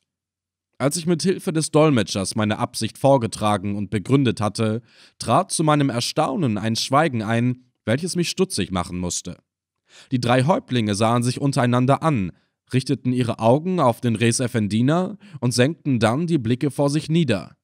Es war klar, sie wagten nicht mir beizustimmen. Hatte der Res ihnen Grund gegeben, sich so schüchtern zu verhalten? Ich richtete also an diesen die Aufforderung, sein Gutachten auszusprechen. Du sollst hören, antwortete er mir. Bist du Offizier, Effendi? Nein. Nun, ich bin einer. Und zwar als Reis Effendiner einer von nicht gewöhnlichem Range, das weißt du ja. Daraus magst du ermessen, wer von uns beiden, du oder ich, befähigt ist, einen Kriegsplan zu entwerfen. Zwar hat der Häuptling der Gog dir das Kommando übergeben, das kann er in Beziehung auf seine Leute tun. Aber meinst du, dass ich dem Oberbefehle über die anderen alle, die mit uns gekommen sind, entsage? Er sprach in einem geradezu unfreundlichen Tone. Er war eifersüchtig auf mich geworden. Er fühlte sich beleidigt. Ich hatte ihm manchen Dienst erwiesen und durfte wohl auf seine Dankbarkeit rechnen, also war eigentlich ich es, welcher Grund hatte, sich gekränkt zu zeigen. Ich tat dies nicht, sondern antwortete in meiner gewöhnlich ruhig freundlichen Weise wie kommst du zu dieser Frage? Habe ich dich aufgefordert, deinen Rechten zu entsagen? Als der Häuptling mich bat, der Anführer zu sein, hast du zu meiner Antwort geschwiegen, und ich durfte also annehmen, dass du einverstanden bist. Da ich jetzt höre, dass dies nicht der Fall ist, so bin ich gern bereit, mein Versprechen zurückzunehmen. Ich bin ein Abendländer, und es kann mir sehr gleichgültig sein, was hier im Sudan geschieht. Was ich getan und vorgeschlagen habe, habe ich zu eurem Wohle getan und gesprochen. Gefällt euch mein Plan nicht? Nun, so habt ihr ja das Recht, ihn zurückzuweisen. Sinnt euch einen anderen, besseren aus. Ist es euch dann recht, über denselben mein Urteil zu hören, so sollt ihr es haben. Wollt ihr aber ohne den Einfluss eines Fremden handeln, so wird es mir gar nicht einfallen, mich beleidigt zu fühlen. Ich bin gar nicht lüstern danach, Anführer zu sein oder durch Vorlegung eines Planes Verantwortung auf mich zu laden. Aber aus Interesse an der Sache und aus Freundschaft für dich bitte ich, in euren Reihen kämpfen zu dürfen, falls es zum Kampfe kommen sollte. Ich erwartete, dass diese Worte ihn umstimmen würden, hatte mich aber getäuscht, denn er meinte in ganz gereiztem Tone Du hast sehr richtig gesprochen, du bist ein Fremdling, und unsere Angelegenheiten gingen dich eigentlich nichts an. Du hast durch deinen gestrigen Tanz diese guten Leute verwirrt. Heute aber sind sie zur Ansicht gekommen, dass mein Verhalten ein würdigeres war, und der Häuptling der Gok hat den Oberbefehl über seine Krieger dir entzogen und mir übergeben. Dagegen, dass du mit uns kämpfest, wird kein Mensch etwas haben. Das befriedigt mich. Wie aber steht es mit deinem Plane? Darf ich ihn hören? Hören? Ja, Aber etwaige Einwendungen werden an demselben gar nichts ändern. Er ist ebenso einfach, wie er untrüglich zum Ziele führt. So bitte, sprich. Er gleicht dem deinigen, wie ein Haar dem anderen. Du willst den Ibn Assel in den Fluss, ich hingegen will ihn in den See werfen. In den See da unten am Berge? Ja, wir haben das viel bequemer. Infolge deines Planes müssten wir einen weiten Marsch nach dem Flusse machen und dort in den Sümpfen kampieren. Der meinige erlaubt uns hier zu bleiben. Wir verstecken uns hier oben. Ibn Assel hat keine Ahnung davon, dass wir uns hier befinden, dass die Gok gewarnt worden sind. Er wird kommen und sich natürlich zwischen dem Berge und dem See aufstellen. Sobald er das getan hat, stürmen wir hinab und drängen ihn in das Wasser. Das klingt allerdings verlockend, will aber dennoch überlegt sein. Draußen an der Furt ist der Feind so von uns, dem Sumpfe und dem Wasser umgeben, dass er nach keiner Seite ausbrechen kann und Rettung einzig nur darin findet, dass er sich ergibt. Hier aber hat er euch vor sich, den See hinter sich und zu beiden Seiten offenes Land. Er kann also, selbst wenn es euch gelingt, ihn zu schlagen, entweichen. Jedenfalls fließt Blut, viel Blut. Dein Trachten muss darauf stehen, vor allen Dingen Ibn Assel persönlich in die Hände zu bekommen. Ich glaube aber wetten zu können, dass. Gib dir keine Mühe, unterbrach er mich. Du bist stark, tapfer und listig, aber doch kein Offizier. Deine Kugel fehlt nie ihr Ziel, aber von der Strategie verstehst du nichts. Das habe ich wiederholt erfahren. Mein Plan ist gut und wird ausgeführt. Die Erlaubnis mitzukämpfen sollst du haben, natürlich unter der Voraussetzung, dass du zu gehorchen weißt. Das war ganz im Tone eines Vorgesetzten zu seinem Untergebenen gesprochen. Wie oft hatte ich die Fehler seiner Leute, sogar seine eigenen, gut gemacht. Jetzt wollte er wiederholt erfahren haben, dass ich nichts von Strategie verstand. Ja, gewiss, ein Stratege war und bin ich nicht im Mindesten. Aber Ibn Assel zu fangen, dazu glaubte ich ebenso viel Geschick wie er zu haben. Seine letzten Worte waren geradezu grob.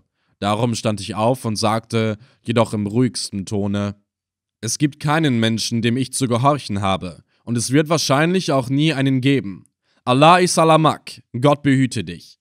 Bei diesen Worten wendete ich mich um und verließ die Hütte des Häuptlings, in welcher diese eigenartige Beratung stattgefunden hatte. Vor derselben stand Benil. Er sah mir besorgt in das Gesicht und sagte: Hamdulila, es ist besser verlaufen, als ich dachte. Ich glaubte, du werdest hocherzürnt herauskommen. Dein ruhiges Gesicht aber sagt mir, dass man doch nicht zu dumm gewesen ist, dir zu widersprechen. Woher weißt du, dass man dies beabsichtigt hat?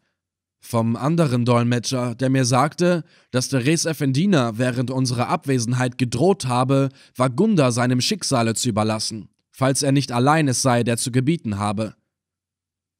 Und du hast geglaubt, dass ich ein grimmiges Gesicht dazu machen werde? Natürlich.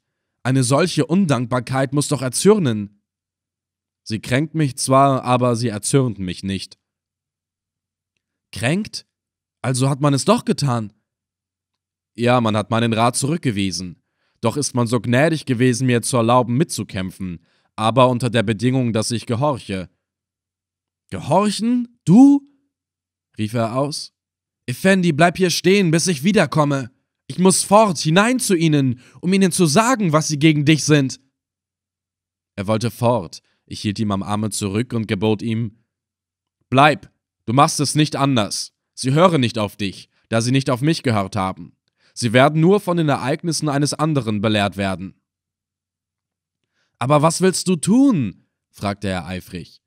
Es dir ruhig gefallen lassen und dich als gewöhnlicher Askari neben die anderen stellen, dich einem dieser Neger gleich achten lassen? Oh nein, geh nur in deine Hütte, hole deine Sachen und komm dann nach der meinigen. Er eilte von dannen.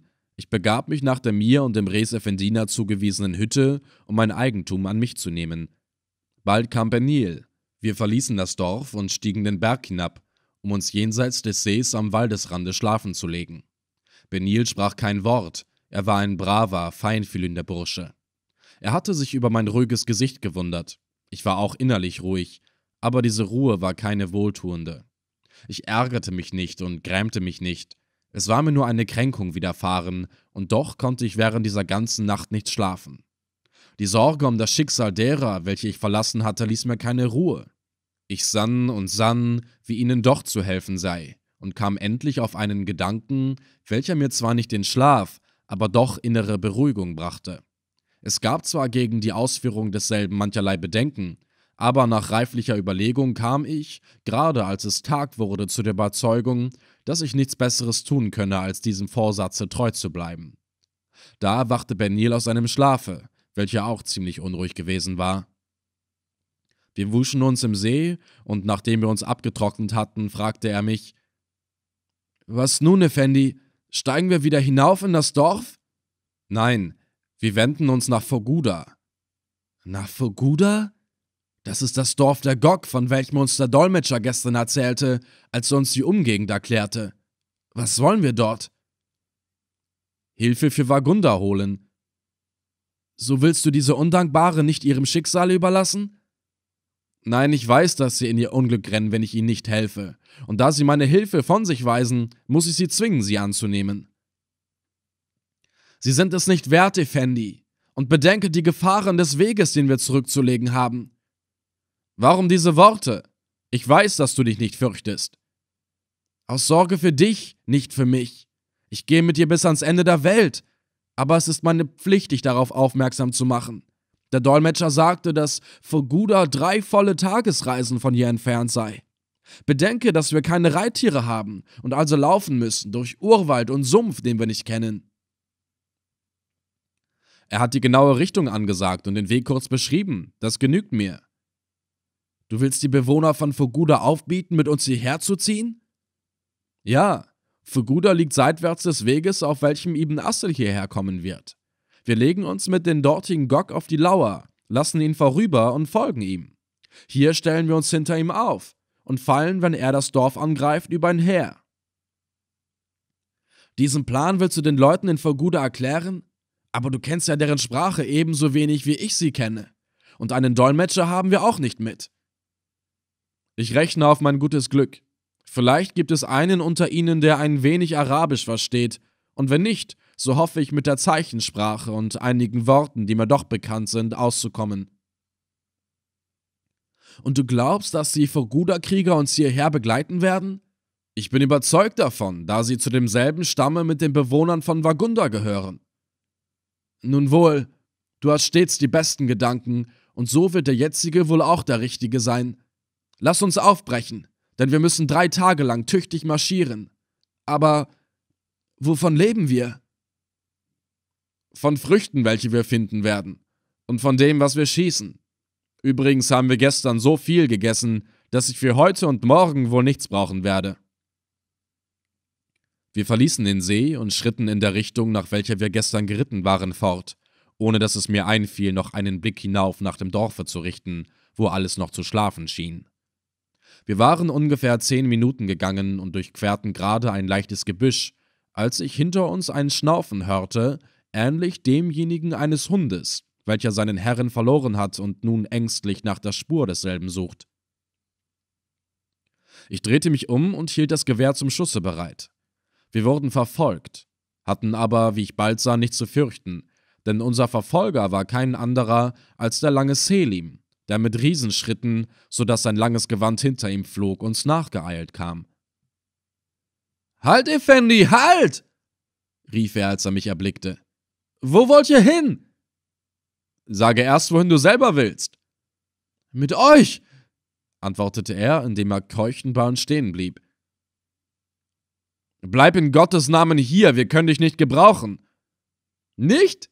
Mich, den tapfersten der Helden? Dich, den Unglücksbringer. So oft ich dich mit mir nahm, hast du mir Unheil gebracht. Allah! Sprich doch nicht so, Effendi! Allen meinen Schritten folgt Heil und Segen nach.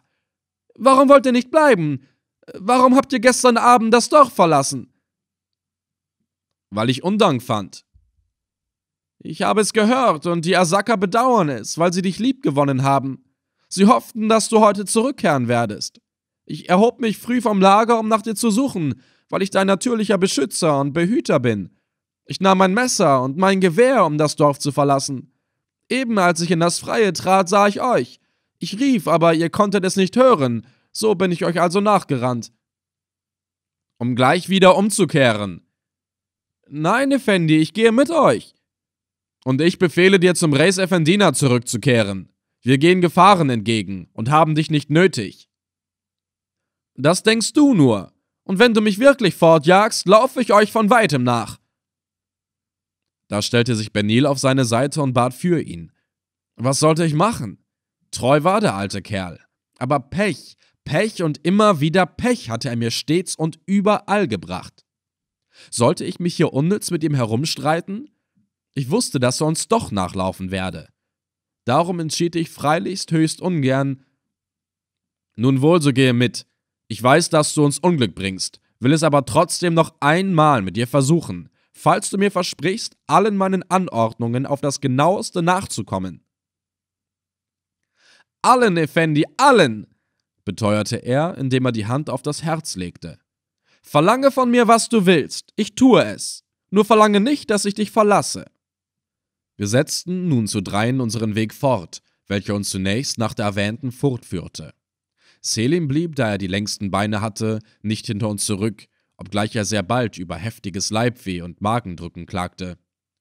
Nach dem, was er im Essen geleistet hatte, war dieses Unwohlsein sehr leicht zu erklären.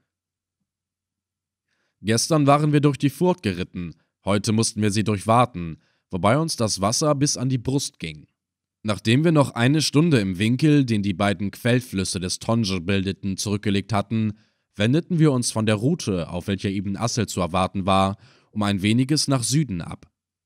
Ich richtete mich dabei weniger nach der Beschreibung des Weges, welche der Dolmetscher mir geliefert hatte, als nach meinem Kompass, auf welchen ich mich lieber verließ.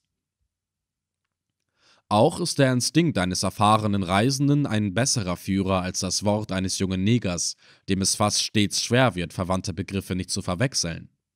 Ich wusste, in welcher Richtung Faguda lag, und wenn ich diese Richtung einhielt, mussten wir unser Ziel unbedingt erreichen. Das, was ich soeben Instinkt genannt habe, bewährte sich, wenigstens am ersten Tage. Wir kamen durch keine der Sumpflandschaften, welche wir gefürchtet hatten, sondern durch einen ungeheuren Tamarindenwald, welcher ohne Ende zu sein schien. Die Bäume desselben standen so weit auseinander, dass der Boden ziemlich trocken war und wir leichtes Wandern hatten, und doch auch wieder so dicht, dass die Kronen desselben uns einen sehr wohltätigen Schatten gewährten. An einer großen Wasserlache, an welcher wir vorüberkamen, gab es allerlei gefiederte Tiere, und es gelang mir einige Vögel zu schießen, welche wir am Abende braten konnten. Als die Sonne sich dem Horizonte näherte, war der Wald zu Ende, und wir kamen auf eine vollständig ausgedorrte Prärie, welche wir in derselben Richtung weiterwanderten. Sie konnte hier in dieser flussreichen Gegend nicht groß sein, und wirklich tauchten, eben als die Sonne ihre letzten Strahlen aus dem Westen sandte, gerade vor uns die Umrisse eines zweiten Waldes auf. Wir waren müde, hielten aber nicht am Rande dieses Waldes an, weil von demselben aus unser Feuer weit in die Prärie hinaus zu sehen gewesen wäre, sondern drangen trotz der Dunkelheit tiefer ein und machten erst nach angemessener Zeit den ersehnten Halt. Dürres Holz gab es hier genug, bald brannte das Feuer, und wir waren eifrig mit dem Rupfen und Ausnehmen unserer Jagdbeute beschäftigt. Der Braten geriet ganz nach den Verhältnissen unserer nicht sehr luxuriös eingerichteten Küche. Auch schien er etwas bejaht zu sein. Da aber weder Geburts- noch Impfzeugnis vorhanden war, verzehrten wir ihn als jung und legten uns dann schlafen. Aber wir schliefen nicht alle drei zugleich. Einer musste wachen, um nach zwei Stunden den nächsten zu wecken. Das gab in Summe sechs Stunden, welche wir für die Ruhe bestimmt hatten.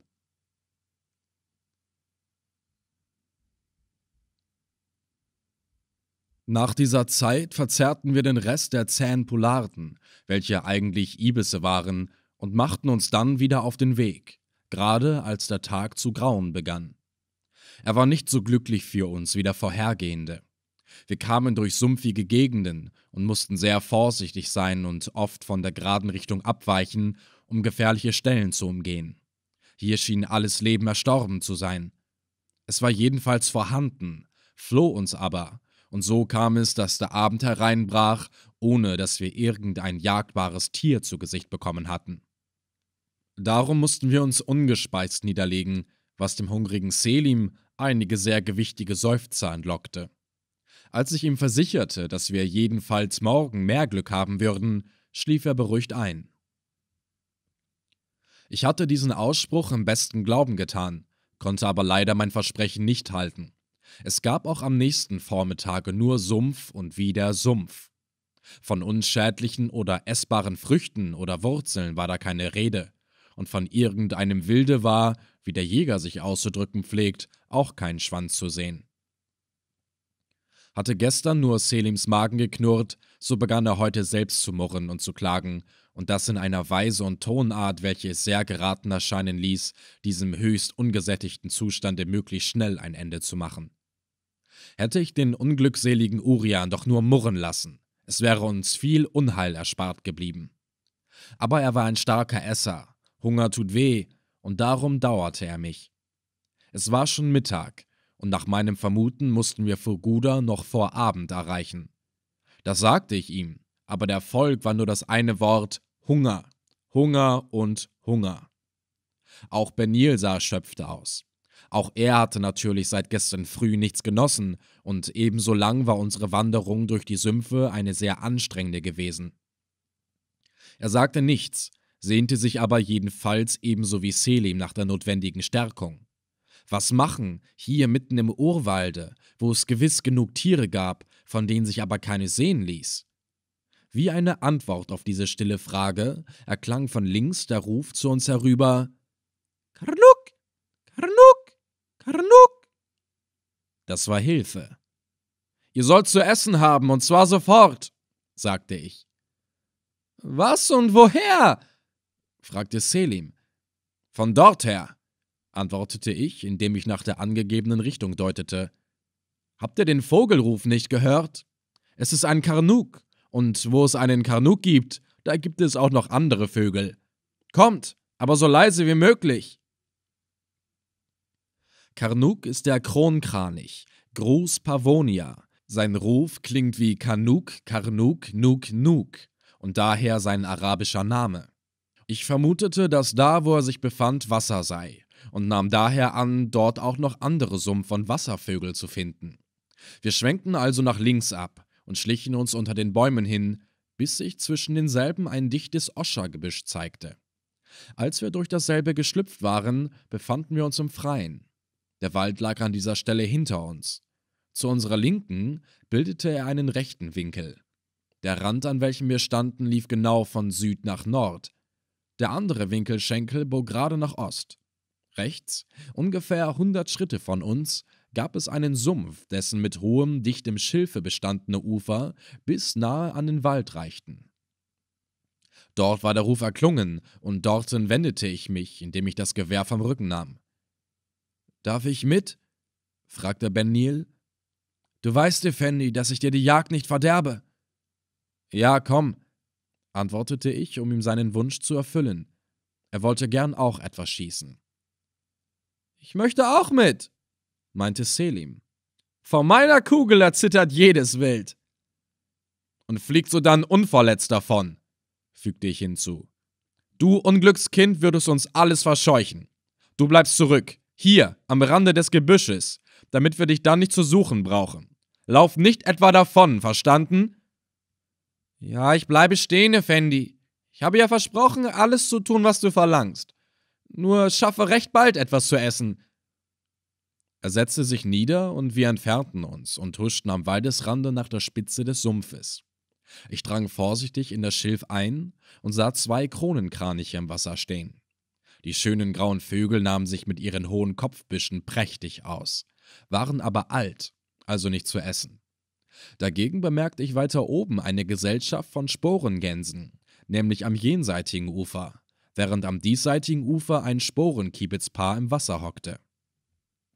Der Sudanese nennt diese letzteren sehr wachsamen Vögel nach ihrer Stimme Zigzag. Da eine Gans einen besseren Braten als ein Kiebitz gibt und auch leichter zum Schusse kommt als dieser, wendeten wir uns um die Spitze des Mai-Je hinum dem anderen Ufer zu, an welchem wir in gebückter Stellung hinter dem Schilfe entlang schlichen. Da klang es plötzlich und ängstlich Zigzag, Zigzag. Die Kiebitzer hatten sich drüben erhoben, kamen über den Mai-Je herüber und flogen über uns hinweg. Was ist das? fragte ich leise, indem ich stehen blieb. Die Kiebitze sind drüben aufgescheucht worden. Von wem? Von uns, meinte Ben Neil. Sie haben uns gesehen. Oh nein, das Schilf deckte uns ja.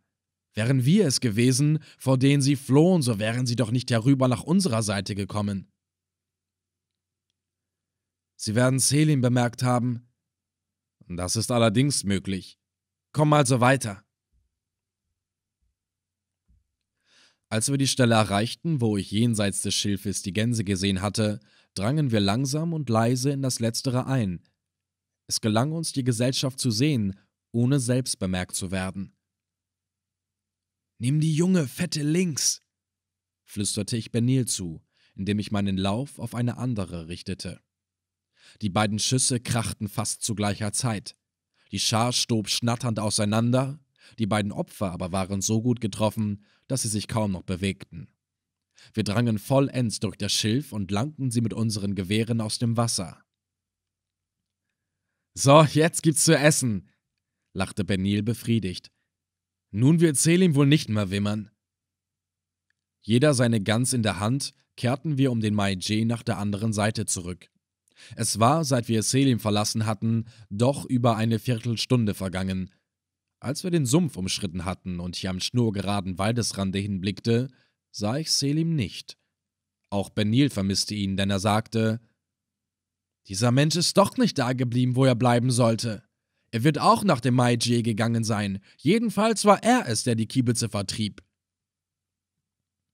Da dies sehr leicht möglich, ja sogar wahrscheinlich war, fühlte ich, der ich sonst so vorsichtig bin, mich nicht beunruhigt. Und so schritten wir langsam der Stelle zu, an welcher Selim gesessen hatte.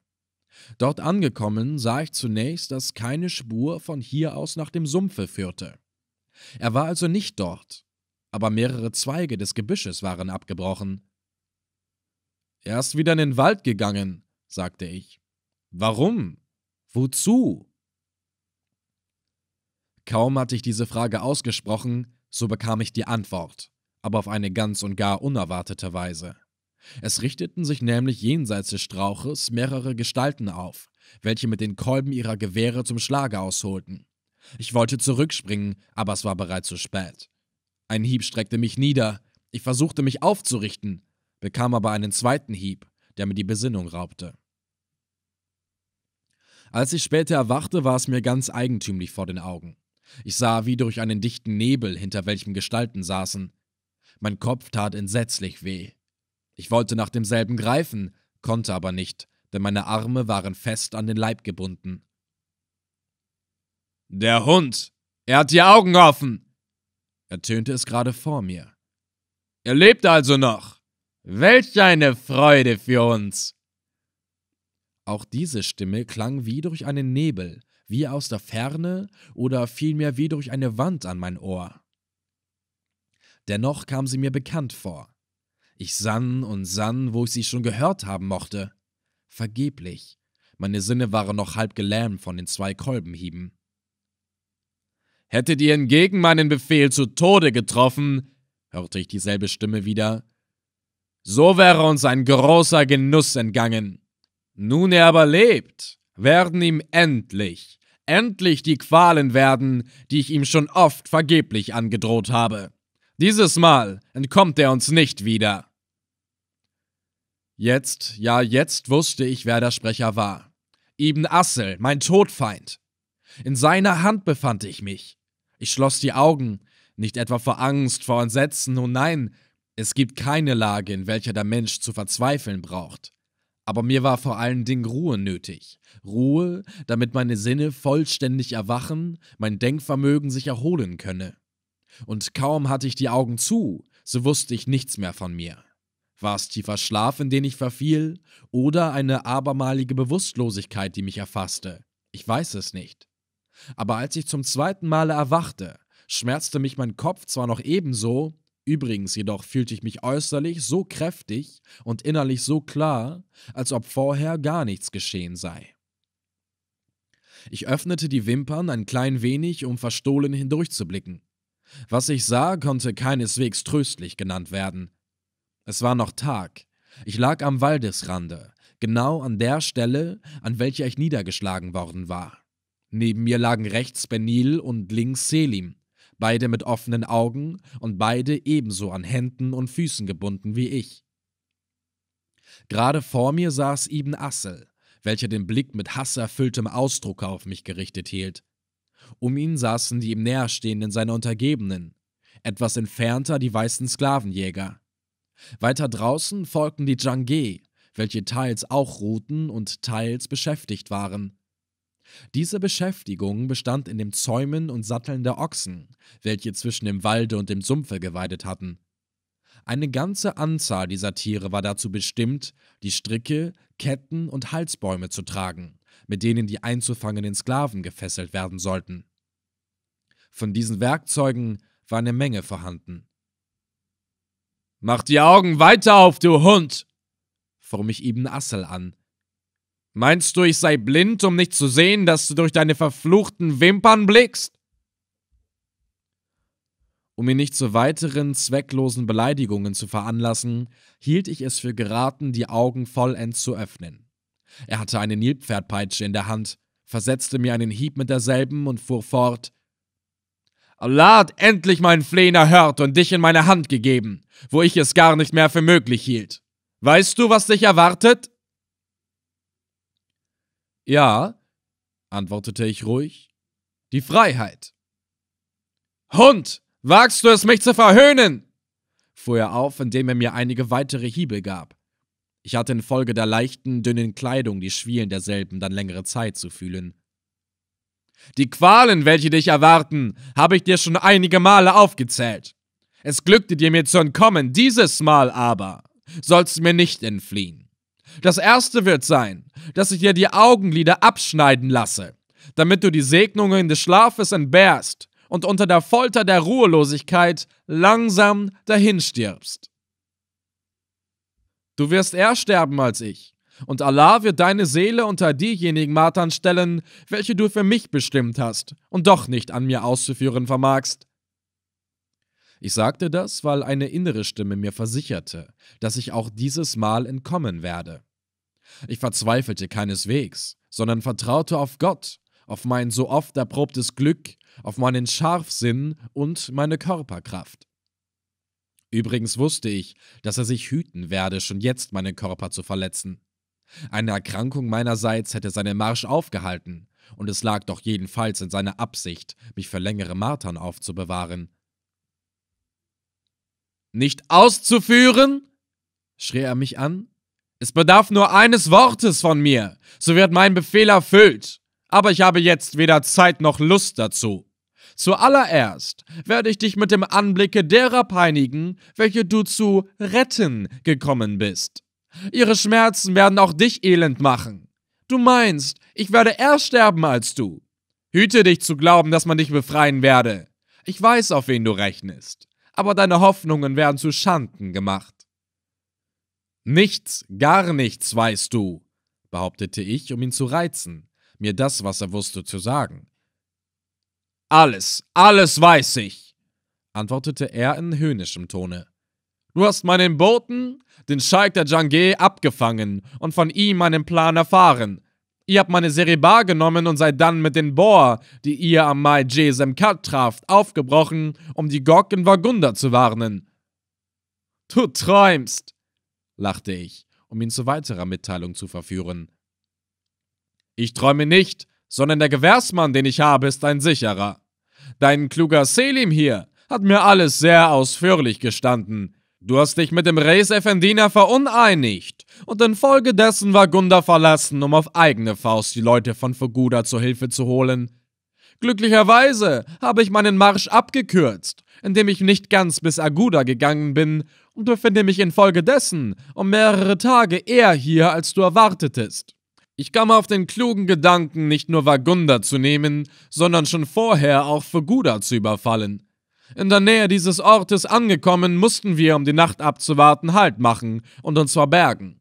Ich ritt mit einigen Asakern voran, einen dazu passenden Ort zu suchen und kam hierher, als Selim am Waldesrande stand und ihr euch jenseits des Schilfes befandet. Dieser Selim ist ein solcher Ausbund von Schlauheit, dass es ihm gar nicht einfiel zu entfliehen. Er hatte uns gesehen. Er musste auch bemerken, dass wir unsere Tiere schnell unter die Bäume zogen und uns dann durch die Büsche schlichen, um an ihn zu kommen. Er entfloh trotzdem nicht. Wenn die Krieger, welche ihr bei euch habt, alle so klug sind, wie er es ist, werde ich sehr leichtes Spiel mit ihnen haben. Wir ergriffen ihn, und als ich ihn im Weigerungsfalle mit dem Tode drohte, erzählte er mir alles. Alles, was ich zu wissen nötig hatte. Dann kamt ihr zurück und wurdet von uns niedergeschlagen. Du siehst, dass ich alles weiß. Du bist verloren. Jetzt werden wir nach Foguda aufbrechen, um dir den Anblick einer Sklavenjagd zu verschaffen. Das, was du da siehst, mag dir einen kleinen Vorgeschmack dessen geben, was ihr zu erwarten habt. Er stand auf und gab mit der Hand ein Zeichen, auf welches sich alle anderen Sitzenden auch erhoben, um zum Aufbruche zu rüsten. Da in diesem Augenblick niemand scharf auf uns achtete, benutzte ich denselben, mich an Selim zu wenden. Du hast Ibn Assel wirklich kommen sehen? Ja, Fendi, antwortete er. Es waren fünf weiße Asaka bei ihm. Und bist doch sitzen geblieben. Natürlich. Hast du vergessen, dass du mir befahlst zu bleiben? Und hast du vergessen, dass ich dir versprach, allen deinen Befehlen zu gehorchen?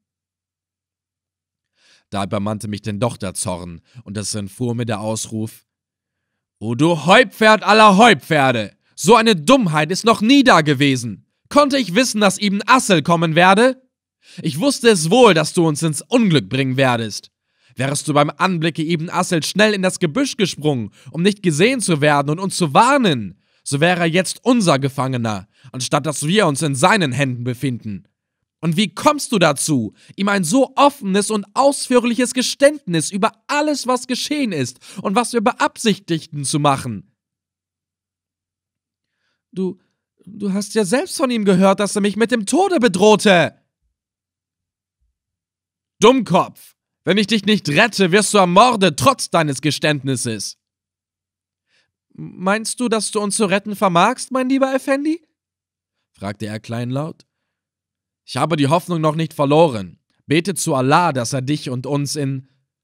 Ich wurde unterbrochen, denn es traten mehrere weiße Asaka zu uns, um uns zum Marsche fertig zu machen. Ibn Assel schien es überhaupt zu vermeiden, uns mit schwarzen Asakern oder gar den Jangé in nähere Berührung zu bringen, er befürchtete, wir würden verraten, dass der Häuptling der Letzteren Freundschaft mit uns geschlossen hatte. Ich musste aufstehen und bekam eine schwere Sheba angelegt. Unter Sheba versteht man einen starken Gabelast, in dessen Gabel der Hals des Sklaven oder Gefangenen gesteckt und dann durch ein Querholz festgehalten wird. Hierdurch behält der Gefangene den freien Gebrauch der Hände und Füße, während er durch den langen Ast, den er vor sich hertragen muss, am Entrinnen und an jedem Missbraucher der Hände verhindert wird. Man hatte, wie es schien, den schwersten aller vorhandenen Äste für mich ausgesucht. Aber das genügte noch nicht, denn es wurden mir noch zwei eiserne Handschellen angelegt, welche durch eine kurze Kette miteinander verbunden waren. Dann erst nahm man mir die bisherigen, nun überflüssigen Fußfesseln ab, Benil und Selim wurden nur durch je eine Sheba unschädlich gemacht.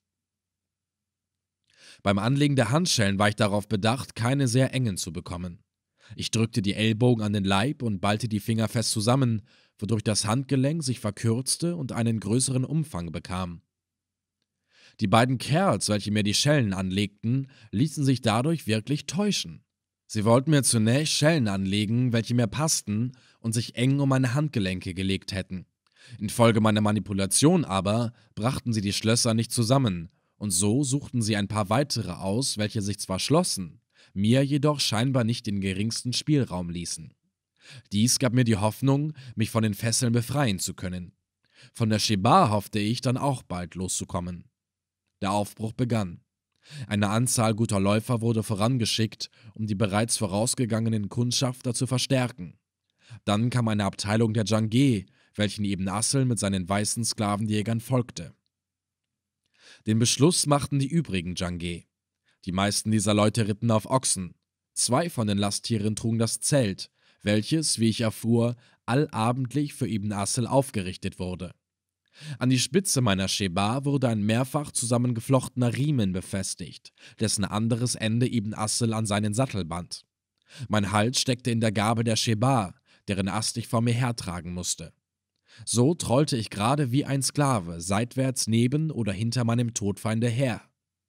Die Gabeläste von Selim und Benil waren in derselben Weise mit den Sätteln zweier anderer Reiter verbunden. Ich sagte mir natürlich, dass die Jangé, falls sie den wirklichen Sachverhalt gekannt hätten, ihrem jetzigen Anführer wohl nicht so bereitwillig gefolgt wären. Es stand vielmehr mit Gewissheit zu erwarten, dass sie sich in diesem Falle gesträubt hätten, ihm zu gehorchen. Ich war sogar überzeugt, dass sie dann wenigstens den Versuch gemacht hätten, uns zu befreien. Darum war ich entschlossen, die erste Gelegenheit, sie warnen zu können, trotz der Gefahr, welche mir dabei drohte, nicht vorübergehen zu lassen. Aber wie das Fertigbringen, da ich mich nicht so, wie es notwendig war, verständlich machen konnte. Ich suchte in Gedanken meinen geringen Wortvorrat zusammen und fand auch bald Gelegenheit, ihn in Anwendung zu bringen.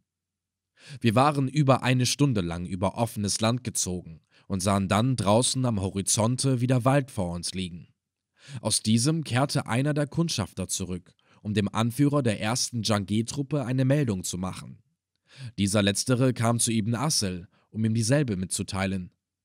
Es geschah dies in der Jangé-Sprache, welche Ibn Assel, wie ich jetzt sah und hörte, gut verstand. Sie sprachen eine kleine Weile miteinander. Als sich der Jangé dann zu seiner Abteilung zurückbegeben wollte, rief ich ihm zu Ibn Assel anatrem, Bajinu Shaykh Hador, Shaykh an Wird Afodran. Diese der Jangé und Nuer-Sprache entnommenen Worte bedeuteten so viel wie Ibn Assel ist ein schlechter Kerl. Er wollte deinen Scheik ermorden. Der Scheik ist jetzt als unser Freund bei uns. Weiter kam ich nicht, denn Ibn Assel griff nach meiner Sheba, riss daran, dass ich zu Boden stürzte und schrie mir grimmig zu: Schweig, du Hund, du armseligster aller Lügner! Soll ich dein Maul mit der Peitsche verstopfen? Er zog die Nilpferdpeitsche aus dem Gürtel und schlug mich, der ich mich wieder aufrichten wollte, mit dem Knopfe derselben so auf den Kopf, dass ich fast wieder niedergesunken wäre. Dann erteilte er dem Jangé den Befehl, sich zu entfernen, und dieser gehorchte, und zwar in einer Weise, dass ich wohl merkte, er lege meinen Worten nicht die von mir beabsichtigte Bedeutung bei. Wenn du nur noch ein einziges Mal mit einem Jangé redest, fuhr Ibn Asseldron fort, so gebe ich dir einen Knebel. Diese Drohung machte er gewiss wahr, und da es auf keinen Fall ein Vergnügen ist, einen Tag oder gar noch länger einen Knebel im Munde zu haben, so nahm ich mir vor, ihn nicht wieder auf diese Weise zu reizen. Bald erreichten wir den erwähnten Wald. Es war ziemlich düster in demselben, denn die Bäume standen dicht und der Nachmittag ging zu Ende. Es dauerte eine halbe Stunde, bis wir ihn durchquert hatten. Dann gelangten wir wieder auf offenes Land. Nach einer Viertelstunde brach der Abend herein. Unser Zug blieb trotzdem in Bewegung, bis es vielleicht acht Uhr geworden war. Da hielten wir an, weil wir auf die Kundschafter gestoßen waren, welche uns hier erwartet hatten. Ich schloss daraus, dass wir uns in der Nähe des Dorfes Foguda, welches zerstört werden sollte, befanden. Noch leuchteten die Sterne nicht in der Weise, dass ich weit genug hätte sehen können, um zu erfahren, welcher Art die Gegend war, in welcher wir uns befanden. Doch bemerkte ich wenigstens so viel, dass wir uns zwischen Büschen lagerten, welche den Sklavenjägern ein gutes Versteck gewährten. Wir drei Gefangenen wurden von den Sätteln losgebunden. Dafür aber fesselte man uns die Füße wieder.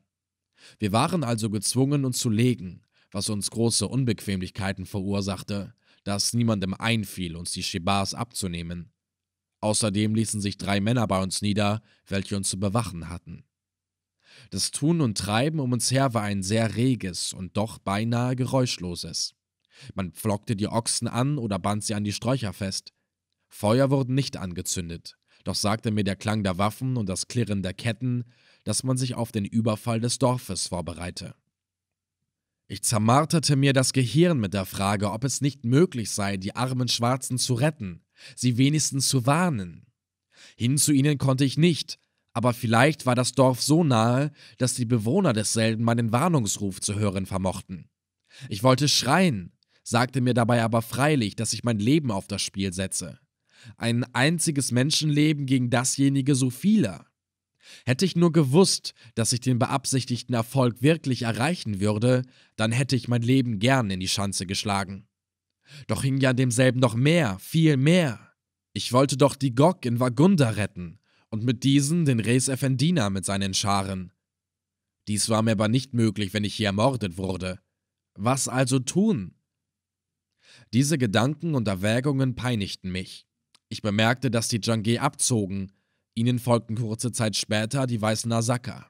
Nur einige von diesen letzteren blieben, unsere drei Wächter ausgenommen, zur Beaufsichtigung der Ochsen zurück. Die Zeit drängte. Meine Angst um das bedrohte Dorf wuchs von Minute zu Minute. Hätte ich nur eine Hand, eine einzige frei gehabt. Ich versuchte zwar in der Dunkelheit die Schellen abzustreifen, aber es gelang mir nicht. Meine Hände waren infolge der Tageshitze und des beschwerlichen Marsches so schweißig, so geschwollen, dass alle meine Bemühungen vergeblich blieben. Ungefähr eine Viertelstunde nach dem Abmarsche der Sklavenjäger hatte meine innere Unruhe einen solchen Grad erreicht, dass ich es nicht länger aushalten konnte. Ich musste warnen, mochte darauf mit mir geschehen, was da wolle. Ich legte also die Hände hohl an den Mund holte tief Atem, um meinem Rufe die nötige Stärke und Länge geben zu können, und stieß jenes Geheul aus, mit welchem wilde Völkerschaften ihre kriegerischen Angriffe zu begleiten pflegen. Ich tat das zwei, drei Male hintereinander, ohne dass unsere Wächter mich daran hinderten. Einer von ihnen stieß ein höhnisches Gelächter aus und sagte: Dummkopf. Meinst du, dass Ibn Assel sich nicht vorgesehen hat? Er kennt dich. Er dachte daran, dass du so albern sein werdest, die schwarzen Hunde warnen zu wollen. Darum hat er hier halten lassen. Von hier bis zum Dorfe hat man fast eine Stunde zu gehen. Also schrei in Allahs Namen, wenn es dir Vergnügen macht. Ich gönne es dir, da es das letzte Vergnügen ist, welches du erlebst. Beinahe schämte ich mich. Und doch war ich froh, dass mein Beginnen keine schlimmeren Folgen hatte. Zu retten war Foguda also nicht, aber ich hatte meine Pflicht getan und konnte in dieser Beziehung also ruhig sein. Nicht so in Beziehung auf die unglücklichen Menschen, denen jetzt das Verderben heimlich nahte.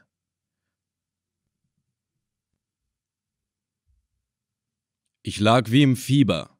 Eine Viertelstunde nach der anderen verging. Nach dem Stande der Sterne, welche jetzt heller erleuchteten, mochte es zwischen zehn und elf Uhr sein. Da begann der Himmel im Süden sich zu röten. Hamnuila, es geht los! Meinte der vorige Sprecher in freudigem Tone. Die Ratten werden ausgeräuchert. Wollt ihr sie verbrennen? fragte ich entsetzt. Verbrennen? lachte er. So weißt du also nicht, wie es bei einer Sklavenjagd zugeht. Ich bin kein Menschenjäger. So werde ich es dir beschreiben. Schweig, ich mag nichts hören. Du musst es hören. Du hast mir nicht schweigend zu gebieten. Wenn ich sprechen will, so spreche ich. Und dabei ist es meine Sache, wovon ich reden will. Gerade weil ich weiß, dass es dich quält und peinigt, werde ich dir sagen, wie man es macht, wenn man Sklaven fangen will. Ich gab ihm natürlich keine Antwort. Er fuhr fort. Du weißt, dass alle diese Negerdörfer von hohen Stachelzäunen umgeben sind. Die Dornen sind meist vertrocknet und brennen außerordentlich gut. Sobald man am Abende das Dorf umzingelt hat, brennt man den Zaun an verschiedenen Stellen an. In der Zeit von einigen Minuten brennt er überall. Die Funken fliegen auf Negerhütten, deren Dächer aus Schilf bestehen und sofort auch in Brand geraten. Die Schwarzen erwachen und wollen sich retten. Die kleinen Kinder und die Alten sind zu schwach dazu. Sie müssen verbrennen. Den Starken aber, und gerade diese sind es, die man haben will, gelingt es in kräftigen Sprüngen durch den brennenden Zaun zu brechen. Draußen ist es dunkel. Sie sind geblendet und sehen nicht, wen und was sie vor sich haben. Sie werden ergriffen und gefesselt. Wer von ihnen sich wehrt, wird niedergestochen, erschossen oder erschlagen. Schweig mit deiner Beschreibung, sagte Benil. Ihr seid keine Menschen, sondern wahre Teufel. Da hast du recht, lachte der andere. Dass wir Teufel sind, werdet auch ihr sehr bald erfahren. Euch wird es noch viel schlimmer ergehen als den Negern, die wir soeben fangen. Sie haben nichts zu klagen. Wird einer erschossen, erschlagen oder ans Feuer geworfen, so ist er schnell tot. Und wer Sklave wird, der braucht nicht mehr zu sorgen, denn sein Herr sorgt für ihn. Ins Feuer geworfen? fragte Benil entsetzt. Kommt das auch vor? Sehr häufig. Alte Weiber mit kleinen Kindern, denen es gelungen ist, sich aus dem Brande zu retten, treibt man einfach in das Feuer zurück. Wer unter fünf und über 30 Jahre alt ist, den können wir nicht brauchen, da niemand einen solchen Sklaven kauft. Und indem man solche unbrauchbare Schwarze in das Feuer zurücktreibt, erspart man das Pulver, welches sie nicht wert sind. In dieser Weise sprach der Kerl weiter und weiter. Ich konnte ihn nicht zum Schweigen bringen. Im Süden wurde es immer heller. Der Himmel glühte, das Dorf brannte. Das Feuer warf seine Helle sogar bisher zu uns, woraus ich schloss, dass Foguda ein ungewöhnlich großes Dorf sei. Wieder vergingen einige Stunden. Es war nach Mitternacht. Da kamen zwei weiße Asaka und meldeten den Dreien, welche uns bewachten, Ibn Assel will diesen gefangenen Hunden zeigen, welchen Fang wir gemacht haben. Folgt uns mit ihnen nach Foguda! Man nahm uns die Riemen von den Füßen, wir mussten gehorchen, mussten mit fort. Der Feuerschein war jetzt nicht mehr so hell wie vorher, erleuchtete die Gegend aber doch noch so, dass wir sehr gut sehen konnten. Wir gingen erst zwischen Büschen hin, dann über offenes Land. Nach einer halben Stunde kamen wir an Feldern vorüber, deren Besitzer die kommende Ernte nun wohl nicht einzuheimsen vermochten. Dann erreichten wir das Dorf. Es brannte nicht mehr, es bildete nur noch einen rauchenden Aschenhaufen. Aber außerhalb des früheren Dornenzaunes hatten die Sklavenjäger einige große Feuer angebrannt, in deren Nähe sie ihre Beute umzingelt hielten. Dieser letztere bestand aus Menschen und Tieren. Die Neger haben nämlich ihre Herden stets außerhalb der Dörfer auf einem zwar eingefriedigten, sonst aber freien Platze. Daher kommt es, dass bei einem Überfalle die Rinder, Schafe usw. So niemals mitverbrennen, sondern dem Sieger in die Hände fallen. Diese Herden sind dem Sklavenjäger noch weit lieber als die erbeuteten Schwarzen, da hier im Lande eine Kuh wenigstens doppelt so viel wert ist als selbst ein junger und kräftiger Sklave. Ibn Assel hatte reiche Beute gemacht. Ich sah über hundert Rinder beisammen stehen, und die Zahl der Schafe schätzte ich wenigstens auf das Vierfache, soweit ich nämlich in dem Helldunkel eine ungefähre Schätzung vornehmen konnte. Und Menschen, Gefangene? Nun, ich sage, wenn ich meine Hände frei gehabt hätte, so wäre es jetzt um Ibn Assel geschehen gewesen. Es ist verboten, Menschenblut zu vergießen. Aber bei dem Anblicke, den ich jetzt hatte, wäre es eine Wonne für mich gewesen, dem Sklavenjäger eine gute Klinge in das Leben zu stoßen. Zwischen zwei der größten Feuer lagen sie, die unglücklichen Menschen, welche vor kurzer Zeit noch so ruhig, so ahnungslos geschlafen hatten. Sie lagen lang ausgestreckt, in Reihen eng nebeneinander. Die Männer waren von den Frauen und Mädchen, diese wieder von den Kindern getrennt. Zwischen diesen Reihen gingen Wächter auf und ab, mit Peitschen in den Händen. Die Gefangenen waren alle gebunden. Wenn sich trotzdem einer von ihnen nur einigermaßen bewegte, bekam er Hiebe, dass, wie ich bei einem deutlich sah, sofort die Haut aufplatzte. Ich wendete mich von dieser Szene ab. Benil und Selim taten desgleichen. Ibn Assel stand bei den Kindern. Er befühlte ihre Gliedmaßen, um die Beschaffenheit derselben zu untersuchen. Er hatte uns kommen sehen. Er sah auch, dass wir uns abwendeten. Da kam er herbei, deutete auf einige starke Pfähle, welche den Negern zum Anbinden der Schlachtochsen gedient hatten, und befahl: die Hunde wollen nicht sehen, was sie sehen sollen. Bindet sie an die Pfähle, sodass ihre Blicke auf den Neger gerichtet sein müssen. Und wenn sie etwa die Augen schließen, so gebt ihnen die Peitsche so lange, bis sie dieselben wieder öffnen. Dieser Befehl wurde ausgeführt. Man band uns in der Weise an, dass wir die ganze grauenhafte Szene vor uns hatten. Zu meiner Rechten lag das niedergebrannte Dorf. Ich sah zwischen den glimmenden und qualmenden Trümmern zahlreiche Überreste halb verkohlter Menschen liegen. Links hielten die Herden, von einer Anzahl Jangé zusammengehalten und bewacht. Und gerade vor mir lagen die Reihen der Neger, zwischen denen sich die Wächter mit ihren drohenden Peitschen bewegten. Ibn Assel war zu den Kindern zurückgekehrt. Er setzte seine Untersuchung fort. Diejenigen von ihnen, die er für kräftig genug fand, den weiten Transport auszuhalten, blieben da liegen. Die anderen, die er mit einem verächtlichen Winke seiner Hand bezeichnete, wurden zur Seite getragen und dort niedergeworfen. Noch ahnte ich nicht, was er mit diesen Unglücklichen vornehmen werde. Da sie ihm als unbrauchbar erschienen, so war ich überzeugt, dass er sie ihrer Fesseln entledigen und einfach laufen lassen werde. Aber wie hatte ich mich da geirrt? Als seine Untersuchung zu Ende war, hörte ich ihn einen Befehl aussprechen, und zugleich eilten mehrere seiner Leute zu den ausgeschiedenen Kindern. Die Messer dieser Unmenschen blitzten, ich schrie laut auf und schloss die Augen. Mehrere Peitschenhiebe zwangen mich, sie wieder zu öffnen. Als ich dort hinübersah, lebte keines von den Kindern mehr. Die Mütter und Väter der Ermordeten schrien und heulten vor Schmerz. Sie sträubten sich gegen ihre Fesseln, sie wollten auf, um den Tod ihrer Kinder zu rächen. Die Armen. Man brachte sie durch Peitschenhiebe zum Schweigen, und einige, bei denen dieses Mittel nicht fruchten wollte, wurden einfach erschossen. Ich fühlte eine Wut in mir, welche gar nicht zu beschreiben ist. Meine Glieder zitterten förmlich, nicht aus Schwäche, sondern infolge des inneren Grimmes. Wie oft hatte ich Ibn Assel und mehrere, ja alle seiner Mitschuldigen geschont. In diesem Augenblicke bereute ich dies auf das bitterste.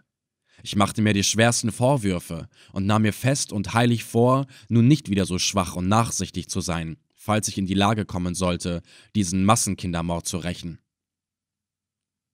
Leider hatte ich noch nicht alles gesehen. Es sollte, wenn auch nicht noch schlimmer, aber doch auch nicht besser kommen. Es ging nämlich jetzt an die Untersuchung der Erwachsenen. Dabei wurden die als untauglich Erscheinenden gar nicht erst entfernt, sondern an Ort und Stelle getötet. Um nicht aufzubrüllen, presste ich die Zähne zusammen. Aber ich behielt die Augen offen, jetzt nicht aus Furcht vor der Peitsche, sondern ich wollte nun Augenzeuge dieser Schlechterai bis zum letzten Ende derselben sein. Als sie vorüber war, wurden die Schebars und Eisenketten gebracht. Die Gefangenen waren bis jetzt nur mit Stricken und Riemen gebunden gewesen. Nun aber bekamen sie die Handschellen und Gabeläste angelegt, und es wurde einer immer in der Weise an den anderen gefesselt, dass sie alle nur auf der einen Seite liegen konnten und, wenn sie dessen müde waren, sich alle zugleich auf die andere Seite legen mussten. Sie verhielten sich jetzt still, Sie sahen ein, dass offener oder auch nur heimlicher Widerstand ihr Schicksal nur verschlimmern konnte. Als Ibn Assel diese seine Arbeit vollbracht hatte, kam er wieder zu mir, grinste mir höhnisch in das Gesicht und fragte: Nun, wie gefällt es dir? Meinst du nicht, dass wir einen guten Fang getan haben und ausgezeichnete Geschäfte machen werden? Ich drückte alle meine Empörung nieder und antwortete, wie ich glaube, im ruhigsten Tone Der Fang ist allerdings ein sehr reichlicher. Ich schätze die Schwarzen, welche du leben ließest, auf wenigstens 200. Lass unterwegs auch den vierten Teil zugrunde gehen, so sind es doch 150, für welche du Bezahlung bekommst. Dazu die Herden. Ich beneide dich. Wäre die Szene eine andere gewesen, so hätte ich im stillen über das Gesicht lachen müssen, welches er mir bei diesen meinen Worten zeigte. Er fuhr förmlich um einige Schritte zurück, staunte mich an und meinte Du beneidest mich? Allah tut Wunder über Wunder. Es muss ganz plötzlich ein anderer Geist in dich gefahren sein. Das ist allerdings der Fall, und ich denke, dass du diesen Geist sehr bald kennenlernen wirst. Willst du etwa auch Sklavenjäger werden? Nein, das nicht. Sklaven suche und mag ich nicht. Es sind nur einige ganz besondere Menschen, welche ich fangen will und hoffentlich auch fangen werde. Wer ist das? Ich könnte es verschweigen, will es dir aber doch sagen, damit du mich nicht für feig oder hoffnungslos hältst. Wen ich fangen will. Zunächst vor allen Dingen dich und sodann deine weißen Asaka. Er schlug ein schallendes Gelächter auf und rief: Mich und meine weißen Asaka! Warum nicht auch meine schwarzen Soldaten? Weil diese getäuscht, belogen und verführt worden sind. Darum wird die Strafe, die dich und deine Weißen erwartet, nicht auch sie mittreffen. Er starrte mir eine ganze Minute lang in das Gesicht, trat dann näher zu mir heran, untersuchte meine Shebar und die Handschellen sehr sorgfältig und sagte, als er diese ganz in Ordnung fand, Fast glaubte ich, du habest dich deiner Fesseln schon halb entledigt und seist also der Hoffnung, wieder frei zu kommen. Da ich aber sehe, dass dies nicht der Fall ist, so kann ich nur annehmen, dass du plötzlich verrückt geworden bist. Ich bin vollständig bei Sinnen und weiß ganz genau, was ich sage. So, nun werde ich dir jetzt zeigen, wie ich solche. Er hielt inne und betrachtete mich abermals mit stechendem Auge, während ich seinen Blick ruhig aushielt. Er hatte die letzten Worte im zornigsten Tone gesprochen und dabei das Messer aus dem Gürtel gerissen, als ob er es mir in die Brust stoßen wolle. Aber er besann sich eines anderen, fletschte mir mit überlegenem Lachen seine Zähne entgegen, steckte das Messer wieder zurück und fuhr fort Doch nein, mich überrumpelst du nicht. Ich bin klug genug zu wissen, was du beabsichtigst. Dazu gehört keine besondere Klugheit. Ich beabsichtige dir meine Meinung, die Wahrheit zu sagen, das ist alles. Oh nein, verstelle dich so sehr du nur willst, mich täuschest du doch nicht. Du gibst dich verloren. Du weißt, dass du meiner Rache hoffnungslos verfallen bist und dass dich Martan erwarten, die noch niemand vor dir erlitten hat. Um diesen Qualen zu entgehen, um leicht und schnell zu sterben, hast du dir vorgenommen, mich zu reizen. Du meinst, dass ich dich im Zorne rasch töten werde, aber da hast du dich verrechnet. Ich bin klüger, als du denkst. Ich werde dich schonen, bis ich Vagunde auch überfallen und verbrannt habe. Dann befindet sich dein geliebter Freund, der Reis Effendina, auch in meinen Händen. Und ich werde euch die Freude bereiten, euch gegenseitig in Schmerzen, Schreien und Jammertönen überbieten zu können. Nun legte er mir in höhnischer Freundlichkeit die Hand auf die Achsel und fügte noch hinzu Du siehst also, wie überlegen ich dir bin. Dich kann weder Allah noch der Satan aus meiner Hand erretten. Du bist verloren. Und solltest du vielleicht von dem Res Effendiner Hilfe erwarten und der Ansicht sein, dass ich diesen nicht ergreifen werde, so will ich dir hiermit sagen, dass ich noch in dieser Nacht nach Vagunda aufbrechen werde. Er erwartet mich jetzt noch nicht. Er kann mich noch gar nicht erwarten, und je mehr ich mich beeile, desto sicherer überrasche ich ihn. Ihr drei werdet jetzt zu essen und zu trinken bekommen, nicht etwa aus Mitleid, oh nein, sondern damit ihr stark genug seid, die schnelle Reise auszuhalten. Er wendete sich von mir ab und erteilte einige Befehle, welche seine letzten Worte betrafen. Ich hatte meine Absicht erreicht und war von dem, was er mir mitgeteilt hatte, sehr befriedigt. Dass er annahm, ich wolle ihn reizen, gab mir die Gewissheit, dass er sich wenigstens zunächst hüten werde, gegen unser Leben oder unsere Gesundheit etwas zu unternehmen. Wir bekamen Fleisch zu essen und Wasser zu trinken. Das erstere wurde uns in zugeschnittenen Bissen in den Mund gesteckt, und zwar so reichlich, dass ich mich vollständig gesättigt fühlte. Dann wurden wir von den Pfählen gebunden und unter Bedeckung der schon erwähnten drei Wächter seitwärts gebracht, wo wir uns niederlegen durften. Ich legte mich so, dass ich die Feuer und den Schauplatz der heutigen Untaten im Rücken hatte und nichts davon sehen konnte. Mit meinen beiden Gefährten zu sprechen hütete ich mich, denn ich wusste, dass der Versuch dazu doch nur mit Peitschenhieben zurückgewiesen worden wäre. Sie schienen, da sie sich ebenso still verhielten, ganz derselben Ansicht zu sein. Obgleich ich mit dem Gesicht abgewendet lag, bemerkte ich sehr bald, dass hinter mir irgendeine Vorbereitung getroffen wurde. Welcher Art dieselbe war, erfuhr ich bald die Vorbereitung zum Aufbruche. Die neu gefangenen Sklaven mussten sich erheben, um in Einzelreihen fortgeschafft zu werden. Die geraubten Herden trieb man hinter ihnen her. Wir drei wurden von Ibn Assel und fünf weißen Asakern besonders genommen und fortgeführt. Der Zug ging nordwärts zurück nach den Sträuchern, zwischen denen wir vor dem Überfalle gelagert hatten. Als wir dort anlangten, wurden einige Feuer angebrannt. Nach dem, was Ibn Assel zu mir gesagt hatte, war ich überzeugt, dass wir nur kurze Zeit hier verweilen würden, und es zeigte sich, dass diese Vermutung die richtige war. Man hatte uns so platziert, dass wir auf drei Seiten von Büschen umgeben waren und das, was auf dem Lagerplatze vorging, nicht sehen konnten. Man brachte gesattelte Ochsen herbei. Dann kam Ibn Assel und sagte: Benil und Selim sind keine Reiter. Wenn ich ihnen die Sheba ließe, würden sie mir unterwegs zugrunde gehen. Da ich sie jedoch lieb habe und sie mir zu erhalten wünsche, werde ich ihnen den Ritt dadurch erleichtern, dass ich ihnen den Gabelast abnehme. Du aber bist im Sattel zu Hause, Effendi, und wirst also mit der Sheba reiten. Ich hoffe, dass du mir für diese Auszeichnung dankbar bist. Diese spöttischen Worte stellten mir einen schweren, sehr schweren Ritt in Aussicht, doch nahm ich sie ruhig hin, da ich jetzt zu meiner Rettung nichts zu tun vermochte. Meine einzige Hoffnung konnte ich nur auf Wasser gründen. Auf Wasser? Wieso? Als mir die Handschellen zum ersten Male angelegt wurden, war ich bestrebt gewesen, sie so weit wie möglich zu bekommen. Ich hatte geglaubt, ihnen entschlüpfen zu können. Es wäre mir auf einige Haut- oder Fleischfetzen, die ich dabei verloren hätte, nicht angekommen. Aber ich hatte das Klima dieser Gegend nicht in Berechnung gezogen. Ich schwitzte, die Hände waren beständig feucht und so angeschwollen, dass es geradezu unmöglich war, sie selbst mit größter Anstrengung aus den Fesseln zu ziehen. Wollte ich diesen letzteren Zweck erreichen, so musste die Anschwellung zum Weichen gebracht werden, und das konnte nur durch kaltes Wasser geschehen. Also Wasser, nur Wasser. Benil und Selim wurden von ihren Gabelästen befreit und auf Reitochsen gebunden. Auch ich musste aufsteigen, was ich natürlich ohne Weigern tat, und wurde auf das sorgfältigste festgeschnürt. Dann leitete man unsere Tiere zwischen den Büschen hin, bis wir die freie Ebene erreichten, wo ich schon eine größere Anzahl Reiter halten sah. Man ordnete sich zum Zuge. Voran ritten zwei Kerle, welche, wie ich später bemerkte, eine ausgezeichnete Ortskenntnis besaßen. Dann kam ein Trupp von vielleicht zehn weißen Asakern, hinter ihnen Ibn Assel, an dessen Sattel hinten zwei Riemen befestigt waren.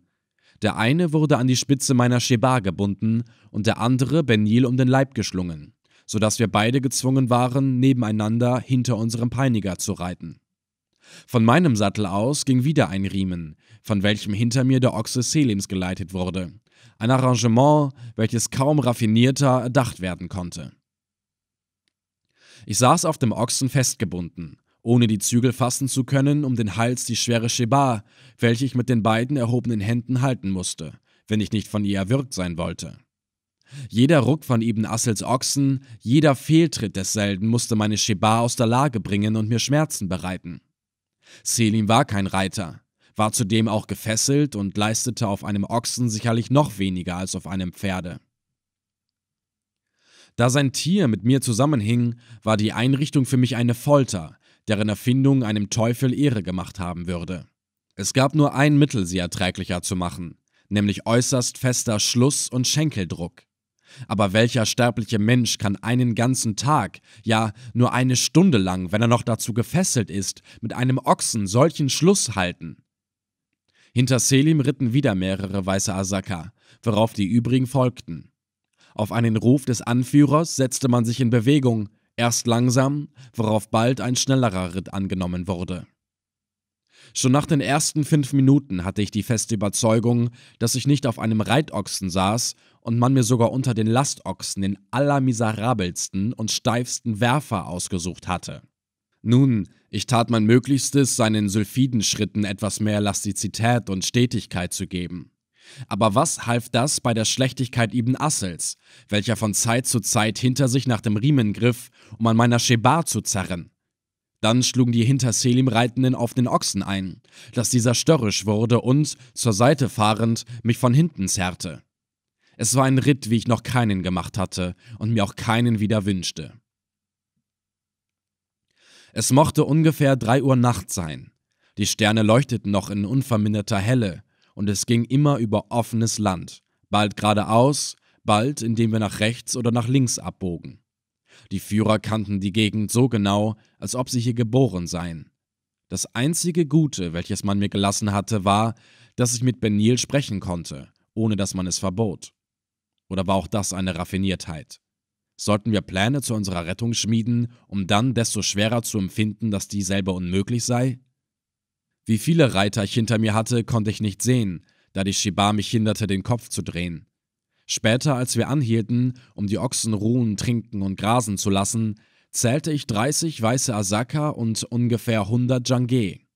Es waren also wohl 20 weiße und 50 schwarze zurückgeblieben, um die erbeuteten Ochsen und Sklaven nachzutreiben, während Ibn Assel in beschleunigtem Ritte voraneilte, um Wagunda sicher zu überraschen. Benil tat alles Mögliche, mir die Qualen dieses Rittes zu erleichtern. Aber da er auch an den Händen und Füßen gefesselt war, so hatte er sein Tier nicht so, wie er wollte, in der Gewalt. Effendi, dieses Mal ist es wohl aus mit uns, warf er mir in halblautem Tone zu. Oder sollte in deinem Herzen noch ein wenig Hoffnung vorhanden sein? Ein wenig? antwortete ich. Ich habe nicht das kleinste Stäubchen meiner Hoffnung verloren. Hoffnung. Das ist ein schönes Wort. Aber steht zu befürchten, dass dasselbe nicht mehr für uns existiert. Es existiert für mich, solange ich lebe, und da ich jetzt noch lebe, so hoffe ich eben noch. Trotz der Fesseln und auch trotz dieser Sheba, welche zu den Erfindungen der Hölle gehört? Trotzdem, Fesseln kann man zersprengen, und eine Sheba ist zwar ein festes, aber immerhin auch zerbrechliches Ding. Glaubst du denn, die Kette, welche deine Handschellen verbindet, sprengen zu können? Solange ich die Sheba halten muss, nein. Und solange du die Schellen an den Händen hast, kannst du dir die Sheba nicht selbst vom Halse nehmen. Das ist richtig, aber ich hoffe, diese Schellen nicht mehr lange tragen zu müssen. Wie willst du sie herunterbringen? Das wirst du später erfahren. Ich will nicht davon sprechen, weil man meine Worte doch vielleicht hören könnte. Schweigen wir jetzt. Ich habe meine Gedanken anderweit zusammenzunehmen, wenn ich nicht erwürgt sein oder mit dem Ochsen stürzen und den Hals brechen will. Die Bemerkung vom Brechen des Halses war von mir ganz ernst gemeint. Ich befand mich wirklich in der größten Gefahr, dieses Unglück zu erleiden. Ich wurde von vorn und von hinten gezogen und gezerrt. Jeden Ruck, den ich bekam, musste mein Ochse auch fühlen. Wenn er die Geduld verlor und auf die sprichwörtlich gewordene Eigenschaft seiner Sippe verfiel, konnte er leicht zum Sturze kommen. Ich war auf seinem Rücken festgebunden und trug die schwere, lange Sheba am Halse. Dieser letztere war also von meinen Körperteilen derjenige, den ich den gefährdetsten nennen musste. Als der Tag anbrach, fühlte ich meine Arme nicht mehr. Sie waren mir infolge der Stellung, welche sie beim Halten des Gabelastes einzunehmen hatten, eingeschlafen. Von den anderen Gliedern will ich nur die Beine erwähnen. Ich fühlte, dass sie bereits blutrünstig waren. Und doch sollte die Qual sich nicht vermindern, sondern steigen. Die Führer hatten wegen der nächtlichen Dunkelheit nur offene Gegenden aufgesucht. Jetzt, da es hell geworden war, konnten sie die gerade Richtung einhalten, und diese führte durch Wald und immer wieder Wald. Mit meinem Tiere und in meiner Lage, von vorn und von hinten gezogen und gerissen, war der Ritt unter den Bäumen hin und durch den Morast, den es da stellenweise gab, natürlich weit beschwerlicher noch als derjenige über die Lichtungen. Doch hielt ich es bis zum Mittage aus, um welche Zeit angehalten wurde, da die Ochsen der Erholung bedurften. Dies geschah auf einer Blöße, über welche ein kleines Wasser langsam floss. Wir drei wurden von den Tieren gebunden. Als meine Füße den Boden berührten, vermochten sie mich nicht zu halten, ich brach förmlich zusammen. Steht es schon so mit dir? lachte Ibn Assel höhnisch auf. Willst du dich auch jetzt noch deiner Stärke rühmen? Wann habe ich mich derselben gerühmt? antwortete ich. Meinst du etwa, dass ich leide? Ich freue mich vielmehr, denn ich weiß, dass du Wagunda nicht zur rechten Zeit erreichen wirst. Nicht? Warum? Weil ich dich hindern werde. Er sah nachdenklich vor sich nieder und wendete sich dann, ohne noch ein Wort zu sagen, von mir ab. Ich hoffte, das erreicht zu haben, was ich mit meinen Worten erreichen wollte, nämlich eine weniger grausame Behandlung. Meine Beinkleider waren steif vom Blute, doch erkannte ich bald, dass meine Schwäche vorhin nur eine augenblickliche und schnell vorübergehende gewesen war. Die unnatürliche, erzwungene Lage meiner gefesselten Glieder hatte sie, als sie in die gewöhnliche Lage zurückkehren durften, für eine Minute unbrauchbar gemacht. Doch ließ ich das nicht merken, sondern stellte mich schwächer, als ich in Wirklichkeit war. Diese Taktik sollte nicht ohne Erfolg bleiben. Wir bekamen auch jetzt Fleisch und Wasser. Da ich mich freier bewegen konnte, sah ich, wie bereits oben bemerkt, aus welchen und wie vielen Leuten unser Zug bestand. Man hatte Reserveochsen mitgenommen. Zwei von ihnen trugen das Zelt des Anführers. Auf dem Packsattel eines dritten sah ich ein langes Bündel, aus welchem die Kolben und Läufe unserer Gewehre blickten. Dass man uns nicht nur die Waffen, sondern überhaupt alles abgenommen hatte, bedarf eigentlich keiner besonderen Erwähnung. Zwei Stunden mochten wir geruht haben, als wir wieder aufbrachen. Wie war ich erfreut, als man mir, bevor ich aufsteigen musste, die Sheba vom Halse nahm. Ich bekam sogar einen anderen, besseren Ochsen. Meine Bemerkung hatte also die beabsichtigten Früchte getragen. Zwar wurde ich wieder durch Riemen mit Ibn Assel und Selim verbunden, aber die Gabel hinderte und drückte mich nicht mehr, und ich konnte trotz der gefesselten Hände die Zügel halten und auch führen. Das hatte zur Folge, dass ich während des ganzen Nachmittages fast nicht die mindeste Belästigung fühlte, nur dass am Abende, als wir wieder Halt machten, noch eine gewisse Steifheit zu bemerken war. Wir befanden uns am Rande einer Art von Prärie. Die Ochsen sollten einige Stunden grasen und dann wiederkäuen, natürlich unter Aufsicht von Wächtern, die sich während der Nacht abzulösen hatten. Für Ibn Assel wurde das Zelt aufgeschlagen und mir wurde die Sheba wieder angelegt. Als Abendessen bekamen wir einen Brei von Durramehl in kaltem Wasser angerührt. Es war ein Feuer angebrannt worden, welches, um die Stechmücken abzuwehren, die ganze Nacht unterhalten werden sollte. Dort hatten Benil und Selim sich niederzulegen, weil sie von den Flammenmaschinen besser bewacht werden konnten. Was aber mich betraf, so sagte Ibn Assel, nachdem er meine Handschellen und die Sheba sorgfältig untersucht hatte: Dich lasse ich nicht im Freien. Du musst mit ins Zelt hinein, damit ich deiner vollständig sicher bin. Ich wurde also in das Zelt geschafft und im Hintergrunde desselben niedergelegt, nachdem man mir mit einem Riemen beide Fußgelenke zusammengebunden hatte. Die Spitze der Sheba wurde fest an die eine Zeltstange geschnürt, so dass ich die ganze Nacht den Kopf und den Oberkörper nicht zu bewegen vermochte, eine mehr als unbequeme Lage. Nahe dem Eingange wurde für Ibn Assel ein Lager aus weichen Decken zurechtgemacht und für den etwaigen Bedarf während der Nacht ein Gefäß voll Trinkwasser daneben gestellt. Dieses Wasser hätte mich retten können. Leider aber stand es nicht in meinem Bereiche.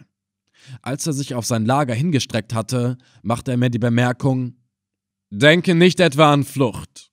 Ich werde jede deiner Bewegungen hören. Wolltest du dich erheben, so würdest du, da die Shiba mit dem Zelte verbunden ist, dasselbe erschüttern oder gar niederreißen. Auch sitzen die Wächter draußen am Feuer und werden das Zelt nicht aus den Augen lassen. Der gute Mann hatte sehr recht, aber wenn mir das Wassergefäß zugänglich gewesen wäre, so hätte er nicht recht gehabt. Er verschloss den Eingang des Zeltes, indem er den Vorhang vorzog und verhielt sich von jetzt an ruhig.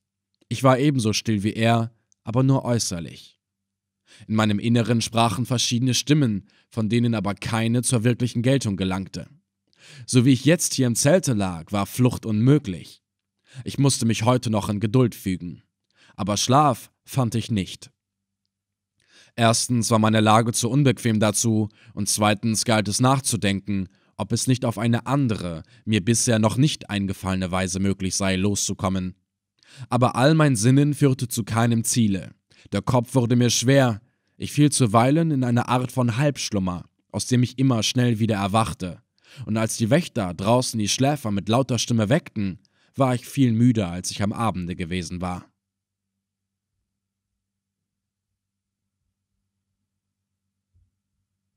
Der Tag brach an.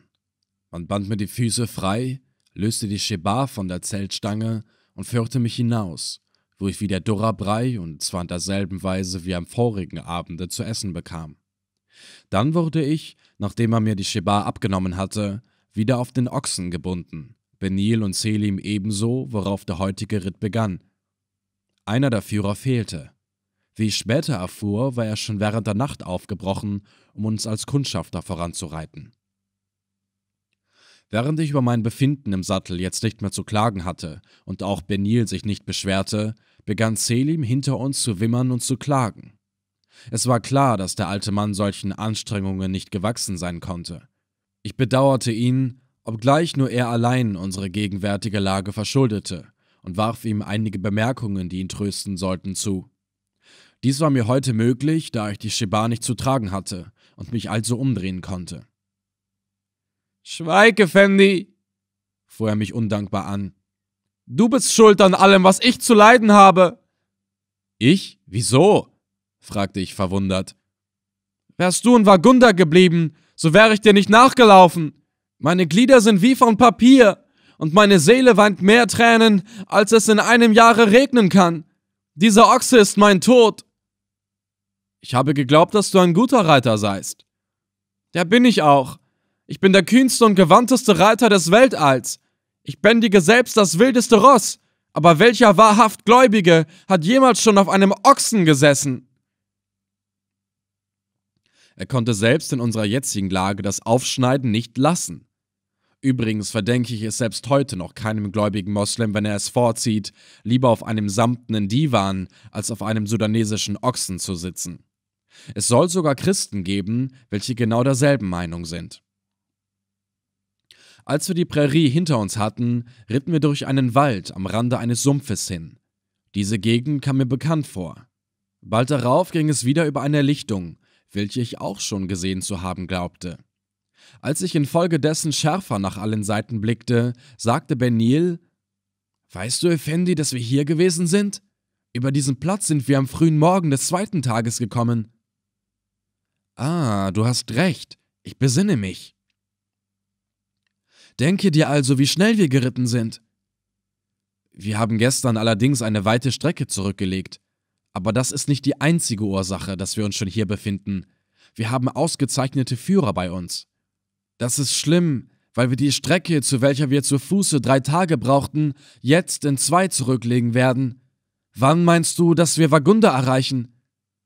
Wahrscheinlich schon heute. So sind unsere Freunde verloren und wir mit ihnen. Noch nicht. Bis dahin kann noch viel geschehen. Sei nur getrost. Es war nun allerdings Grund vorhanden, unsere Hoffnungen herabzustimmen. Wenn wir uns jetzt nicht in der Gegend geirrt hatten, so war anzunehmen, dass wir am Abende in die Nähe von Wagunda gelangen würden. Und der Umstand, dass ein Kundschafter vorausgegangen war, bewies, dass wir uns diesem Ziele näherten. Kamen wir nicht zu spät dort an, so durften wir vermuten, dass Ibn Assel den Angriff noch heute unternehmen werde, falls er nämlich finden sollte, dass die Verteidiger unvorbereitet seien. Das Dorf war zu gut besetzt, aber wenn die Leute schliefen, und es wie vor Guda angebrannt wurde, so waren unsere Freunde allem Vermuten nach doch verloren. Kurz und gut, die Entscheidung nahte mit schnellen Schritten. Wenn mir bis zum Abende kein rettender Gedanke kam, so brauchte mir später überhaupt keiner mehr zu kommen. Meinst du, dass der Reis Effendina auf seiner Hut sein wird? fuhr Benil fort. Ich möchte es fast bezweifeln. Ich auch, denn er erwartet Ibn Assel jetzt noch nicht. Und wenn er vorsichtig wäre, so würde das uns dreien doch nichts nützen. Sobald Ibn Assel einsehe, dass er verloren ist, würde er uns ermorden. Allah, das ist richtig, das ist wahr. Wir müssen frei sein, ehe es zum Kampfe kommt. Das ist aber unmöglich, und darum sind wir verloren. Ich werde die meinen nie wiedersehen, aber ich habe doch den Trost, dass es mir vergönnt sein wird, an deiner Seite zu sterben, mein guter, lieber Effendi.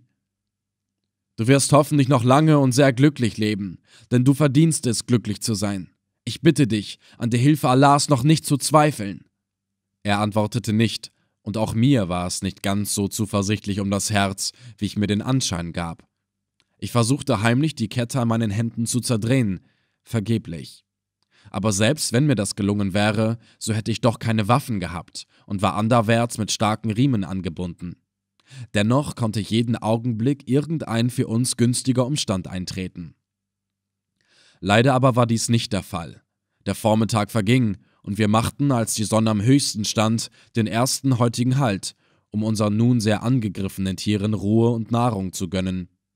Es war ihnen anzumerken, dass sie die bisherige Schnelligkeit höchstens nur noch bis heute Abend entwickeln könnten. Wir bekamen Dörrfleisch zu essen, mit welchem Ibn Assel zur Genüge versehen war. Wie gestern wurde nach zwei Stunden wieder aufgebrochen. Später wurde mir die Gegend bekannter als bisher. Um vier Uhr nachmittags erreichten wir die Stelle, an welcher wir vor fünf Tagen von dem Wege, auf welchem wir damals Ibn Assel erwartet hatten, rechts abgewichen waren. Wir befanden uns zwischen den beiden schon früher erwähnten Quellflüssen des Tonje und kamen kurz vor Sonnenuntergang an die Furt, an welcher ich Ibn Assel hatte empfangen und schlagen wollen. Als wir uns derselben näherten, kam der Kundschafter, welcher sich in voriger Nacht von uns getrennt hatte, zwischen den Büschen, hinter denen er sich versteckt gehalten hatte, hervor und näherte sich Ibn Assel, um seine Meldung zu machen. Da ich hinter dem letztgenannten ritt, konnte ich jedes Wort, welches gesprochen wurde, hören, zumal er sich nicht bemühte, dies zu verhüten. Nun, fragte er, bist du glücklich gewesen? Ja, Herr, lautete die Antwort. Glücklicher, als ich hoffen konnte. Wie weit liegt das Dorf von hier? Man geht über eine Stunde, reitend aber erreicht man es noch eher. Ich habe jenseits der Furcht im Walde zwei Männer belauscht. Schwarze aus Vagunda? Nein, weiße Asaka des Res Effendina. Sie waren in den Wald gegangen, ein Wild zu schießen, und da sie keines fanden, so saßen sie da, um sich zu unterhalten. Wovon sprachen sie? Von dir. Es war ein sehr glücklicher Zufall, dass ich sie traf. Er hätte, wenn sie aufmerksamer gewesen wären, sehr schlimm für mich ausfallen können. Ich war über die Furt geritten, um meinen Ochsen in dem Walde zu verstecken und mich dann in die Nähe des Dorfes zu schleichen. Eben hatte ich die ersten Bäume hinter mir, da kamen sie.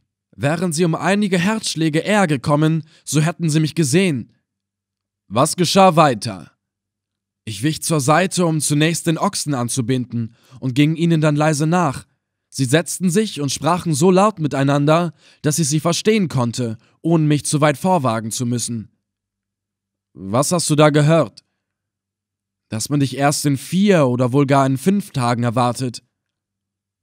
So hat man wohl noch gar keine Vorbereitungen zur Gegenwehr getroffen. Nein, man will dir Speer entgegensenden und dich bis an den See, welcher unterhalb des Dorfes liegt, kommen lassen. In diesen sollen wir dann von der Übermacht getrieben werden. Das ist nichts Neues für mich, da ich es schon von unserem Gefangenen, diesem Selim, gehört habe. Wer ist denn der Anführer? Der Reis Effendina? Ja, aber man hat kein großes Vertrauen zu ihm. Die beiden Männer sagten, dass der Effendi ihnen lieber gewesen sei, und auch die Boer, welche sich hier befinden, sollen mehr Vertrauen zu diesem gehabt haben. Da drehte sich Ibn Assel zu mir um und sagte: Hörst du deinen Lob, Effendi? Ich hoffe, dass du das Vertrauen, welches man in dich setzt, nicht zu Schanden machst. Sei überzeugt, dass ich mein Möglichstes tun werde, antwortete ich ihm. Mit deinen Möglichkeiten ist es leider zu Ende, lachte er hämisch und wendete sich dann dem Kundschafter wieder zu. Was hast du noch gehört? Weiter nichts, als dass man glaubt, die drei Männer, welche jetzt unsere Gefangenen sind, haben denselben Weg eingeschlagen, auf welchem sie in diese Gegend kamen. So ahnt man nicht, dass sie nach Faguda wollten? Nein, man denkt, der Effendi habe sich beleidigt und zurückgesetzt gefühlt und sich infolgedessen ganz und gar von dem Res Effendina zurückgezogen. Ich bin zufrieden mit dem, was du erfahren hast. Wie tief ist die Furt? Ein Reiter wird nur bis zu den Knien nass. Wir müssen uns dem Dorfe so weit wie möglich nähern. Kennst du einen Ort, an welchem wir alle lagern können, ohne gesehen zu werden? Ich habe mich danach umgesehen und einen gefunden, der auf halbem Wege von hier liegt. Wenn wir kein Feuer brennen, ist es ganz unmöglich, uns von Vagunda aus zu bemerken. So führe uns. Wir werden nur kurze Zeit dort liegen bleiben, da der Überfall noch vor Mitternacht geschehen soll. Herr, erlaube mir, dich darauf aufmerksam zu machen, dass die Bewohner des Dorfes Gäste haben. Die Bohr und die Asaka des Res Effendina sind bei ihnen, und wo sich Gäste befinden, da pflegt man spät zur Ruhe zu gehen. Das ist freilich wahr. Übrigens pflegt man zwischen Mitternacht und Sonnenaufgang am festesten zu schlafen. Vielleicht greifen wir sie erst um diese Zeit an. Ich werde nachher noch einen Lauscher senden. Jetzt vorwärts!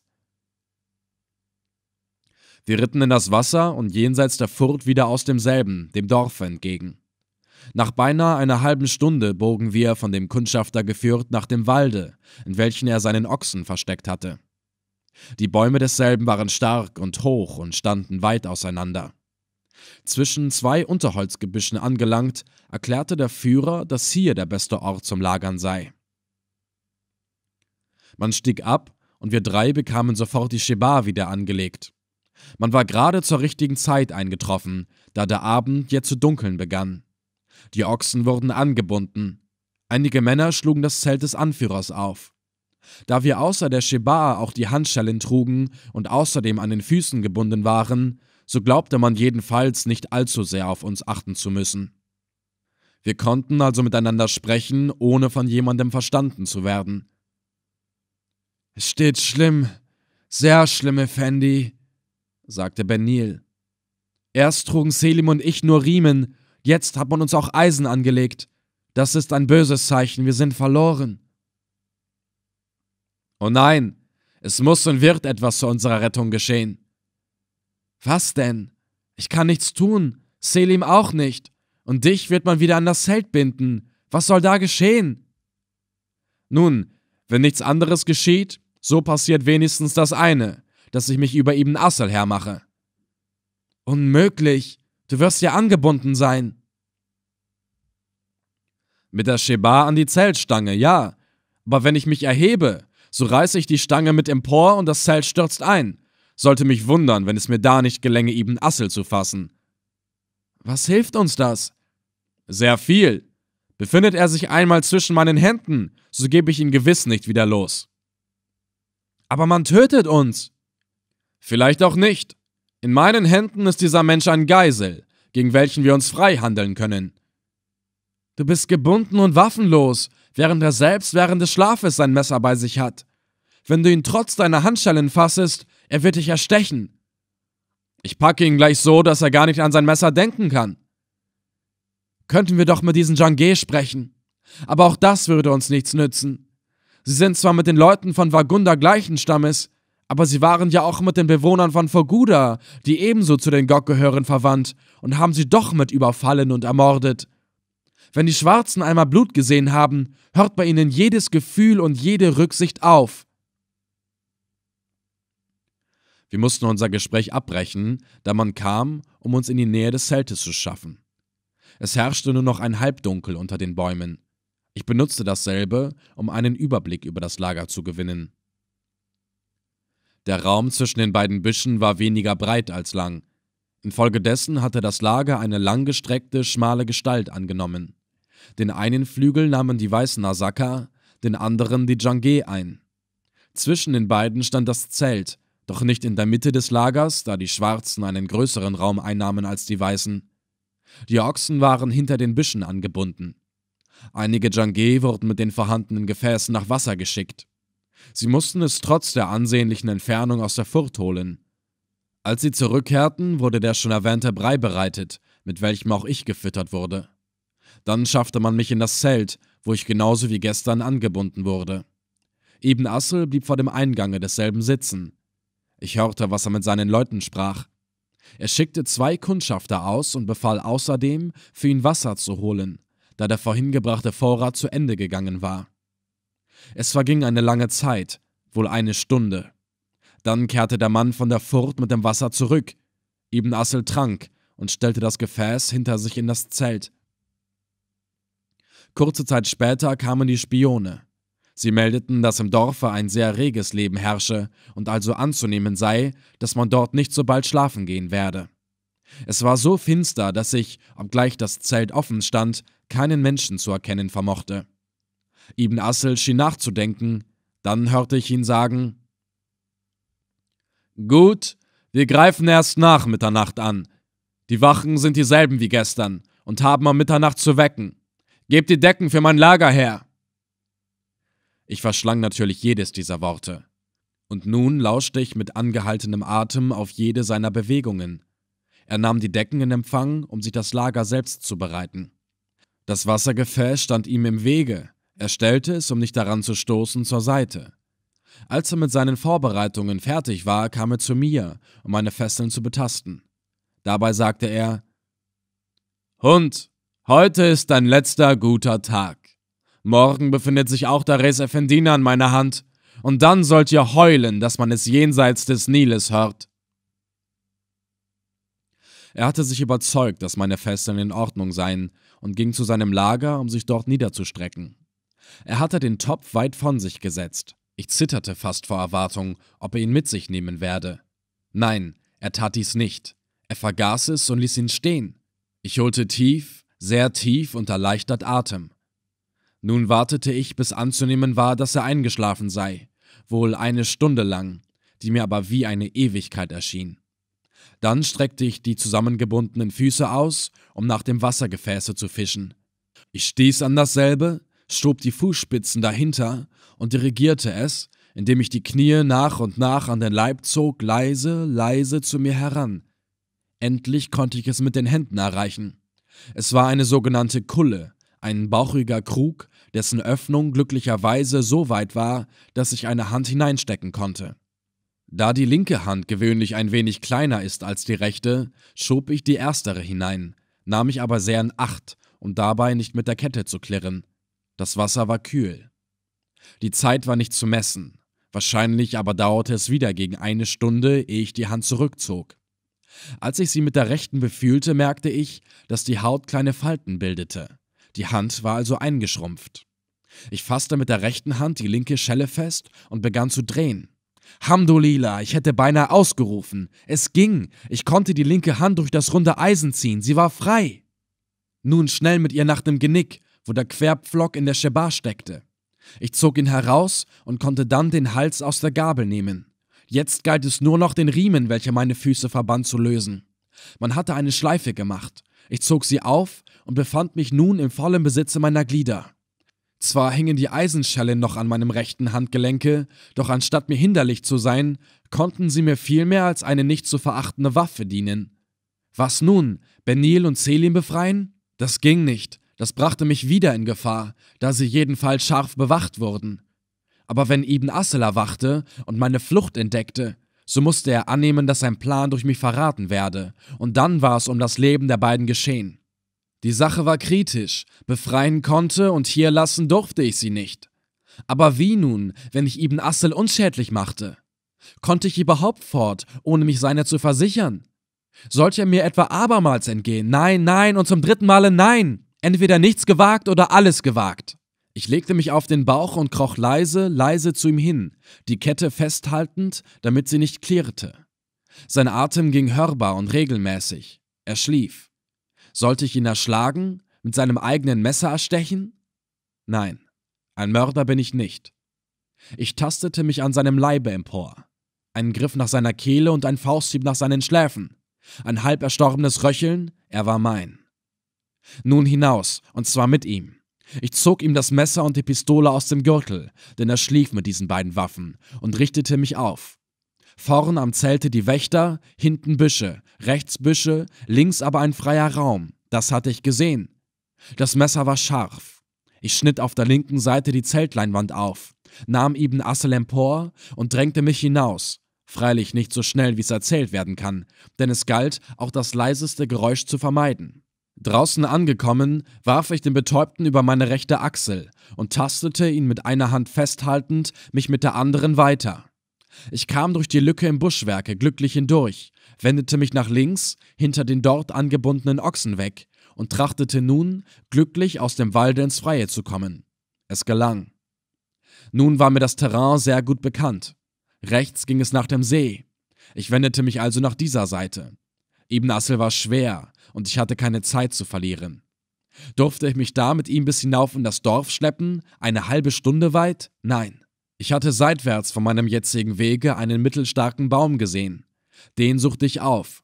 Das war nicht sehr schwer, denn es war über neun Uhr geworden und die Sterne leuchteten mir. Bei dem Baume angekommen, legte ich Ibn Assel zunächst nieder, um nach Fesseln zu suchen. Den Riemen von meinen Füßen hatte ich eingesteckt. Meines Gefangenen Gürtel und langes Turbantuch reichten aus, dazu sein eigener Fess als Knebel. In Zeit von zwei Minuten war er so fest an den Baum gebunden, dass er aus eigener Kraft unmöglich loskommen konnte. Der Knebel verhinderte ihn am Schreien. Nun rannte ich nach dem See. Dort angekommen, blickte ich nach oben, nach dem Dorfe. Es war alles dunkel. Man war ganz gegen die Voraussetzung der Kundschafter doch zeitig schlafen gegangen. Ich lief den Berg empor. Dabei dachte ich nach, was nun zu geschehen habe. Das Lager zu überrumpeln, dazu gehörte gar nicht viel. Aber konnte ein Blutvergießen dabei denn nicht vermieden werden? Ich dachte an den Jangé-Häuptling. Ja, mit dessen Hilfe war es möglich. Es war sogar noch etwas anderes möglich, nämlich der Beweis an den Res Effendina, dass er wohl mich, ich aber ihn nicht notwendig habe. Ich bin sonst kein ehrgeiziger Mensch, aber er hatte mich zurückgesetzt, und so zögerte ich nicht, ihm diese Lehre zu erteilen. Der Boden war weich, und meine Schritte wurden durch das Gras gedämpft. Auf halber Bergeshöhe stand ein breiter, nicht viel über manneshoher Felsen, an dem ich vorüber musste. Er war von heller Farbe. Es war mir, als ob sich etwas Dunkles daran bewege. Gegenwärtig musste mir alles verdächtig erscheinen. Ich zog also das Messer und trat näher. Da standen ein Männlein und ein Weiblein, also ein Liebespärchen, was, wie man munkelt, auch in anderen Erdteilen und nicht allein in Afrika vorkommen soll. Sie fuhren auseinander. Das Weiblein beachtete ich nicht weiter, desto mehr aber das Männlein. Es trug eine Hutkrempe auf dem lockigen Haupte und eine große, gläserlose Brille auf der Stumpfnase. Wahrhaftig, dieser Wunderknabe hatte sich während der wenigen Tage das Herz einer Negerfrau erobert. Als er mich erkannte und vor Freude zu schreien begann, legte ich ihm als Aufforderung zum Schweigen die Hand auf die wulstigen Lippen und wollte mich ihm eben durch Worte noch verständlicher machen, als um die Ecke des Felsens ein zweites Pärchen gehuscht kam, jedenfalls durch den Ruf des schwarzen Stutzers aufmerksam gemacht. Das Verschenken der Herzen schien hier epidemisch geworden zu sein. Ich sah mir auch dieses Männchen an und erkannte zu meiner Freude einen der beiden jungen Dolmetscher, die ich am letzten Tage meines Aufenthaltes hier gesehen hatte. Ich verständigte mich schnell mit ihm. Dann rannte er nach dem Dorfe, um den Häuptling der Jangé zu holen, sonst aber keinen Menschen zu wecken und noch weniger jemandem etwas zu sagen. Nach etwa zehn Minuten brachte er ihn. Jetzt galt es, den Häuptling zu unterrichten und für meinen Plan zu gewinnen. Das erstere erleichterte mir der Dolmetscher, und dann fiel mir das andere auch nicht schwer. Er war höchst ergrimmt über Ibn Assel und zeigte sich bereit, mich sogleich zu begleiten. Als wir gingen, nahm ich meinen biedernen Brillenjüngling und die beiden Mädchen mit, um sie Ibn Assel als Wächter zu geben. Der Brillenmann gelobte, sich lieber zu zerreißen, als den Gefangenen entkommen zu lassen. Dieser letztere hatte das Bewusstsein wiedererlangt. Er hielt zwar die Augen geschlossen, aber er schnaufte, um trotz des Knebels Luft zu bekommen. Nun ging ich mit dem Häuptling und dem Dolmetscher nach dem Walde. Mein Plan war, den Ersteren heimlich zu seinen Jangé zu bringen, die er über die eigentlichen Absichten Ibn Assels aufklären sollte. Während er dies tat, wollte ich mich mit dem Dolmetscher durch die zerschnittene Wand in das Zelt schleichen, um zur Bewältigung der weißen Asaka mit bei der Hand zu sein. Die Sterne blinkten leise durch das Blätterdach, und ich kannte die Örtlichkeit. Ich war also sicher, das Lager zu finden. Wir huschten an der betreffenden Stelle zwischen den Bäumen hinein und bückten uns dann nieder, um uns in dieser Stellung weiterzubewegen. Ich mit dem Häuptling voran, der Dolmetscher hinter uns. Die Hauptsache war, dass kein Lärm entstand, bevor die Schwarzen meinen Begleiter als ihren Häuptling erkannten. Sie hatten den vorderen Teil des Lagers inne, die Asaka den jenseits des Zeltes liegenden. Es herrschte tiefe Stille im Walde. Man hatte also meine Flucht und das Fehlen des Anführers noch nicht bemerkt. Wir schlichen uns leise weiter und weiter, bis wir die hellen Kleidungsstücke der Jangé, die vom tiefen Schatten des Waldes abstachen, vor uns sahen. Die Leute schliefen. Wir krochen zu dem uns nächsten Schläfer. Der Häuptling weckte ihn und flüsterte ihm einige Worte in das Ohr. Der Mann wollte auffahren, beruhigte sich aber schnell infolge einer Aufforderung des Ersteren. Ein zweiter und dritter wurden geweckt. Dann ließ der Häuptling mir durch den Dolmetscher sagen: Begib dich in das Zelt, Effendi. Einer von uns wird den anderen wecken, um die Kunde von meiner Anwesenheit leise zu verbreiten. Dann fallen wir über die schlafenden Asaka her. Vielleicht brauchst du zu ihrer Gefangennehmung gar keine Hand zu regen. Das befriedigte mich, und ich schlug mich mit dem Dolmetscher seitwärts hinter die Büsche und an den ruhenden Ochsen vorüber. Es war nicht ganz leicht, unbemerkt an und in das Zelt zu gelangen, da die Wächter jedenfalls in der Nähe desselben saßen, aber wir brachten es dennoch fertig. Im Inneren angekommen, legte ich mich nieder, kroch nach dem Eingange und schob den Vorhang ein wenig zur Seite. Mein Auge war an die Dunkelheit gewöhnt, und das Blätterdach hatte über uns einige größere offene Stellen. Ich konnte mehrere Schritte weit sehen. Gerade vor dem Zelte, mir den Rücken zukehrend, saßen die beiden Wächter. Zu ihren Füßen lagen Benil und Selim. Links dann sah ich die Gestalten der schlafenden Asaka ausgestreckt. Diese mir so bequeme Situation veranlasste mich, unter dem Vorhang hindurchzukriechen und die Pistole Ibn Assels hervorzuziehen. Es war eine alte, schwere Waffe. Zwei kräftige Hiebe mit dem Kolben derselben gegen die Köpfe der Wächter geführt, genügten, die Getroffenen niederzustrecken. Dann rasch zu Ben Nil. Er schlief nicht und erkannte mich sofort. Effendi, flüsterte er mir zu. Du bist frei? Ja, sei still, damit keiner erwacht. Ich zerschnitt ihm den Beinriemen und schob den Pflock seiner Shebar zurück. Er konnte sich erheben, musste aber die Hände leider noch in den eisernen Schellen behalten. Da rechts liegt der Pack mit unseren Gewehren, raunte er mir zu. Gib mir das meinige. Zuschlagen wenigstens kann ich damit trotz meiner Fesseln. Jetzt nicht. Komm mit in das Zelt. Die Jange könnten dich sonst mit einem Askari verwechseln. Die Jange? Was ist mit ihnen? Wie kämen sie dazu? Ich ließ ihn nicht ausreden und schob ihn in das Zelt. Und da endlich begann es, sich rechts von demselben zu regen. Die Schwarzen hatten, einer immer von dem anderen erfahren, dass ihr Häuptling hier sei, dass eben Assel ihn hatte ermorden lassen wollen und dass sie selbst von diesem für die ihm geleisteten Dienste später als Sklaven verkauft werden sollten. Sie kamen leise nach dem Zelte, neben welchem ein großer Haufen von Stricken und Riemen lag, für die Bewohner von Vagunda bestimmt. Sie kamen leise nach dem Zelte, neben welchem ein großer Haufen von Stricken und Riemen lag, für die Bewohner von Vagunda bestimmt. Sie nahmen davon, so viel sie zu brauchen gedachten, um die Asaka zu binden.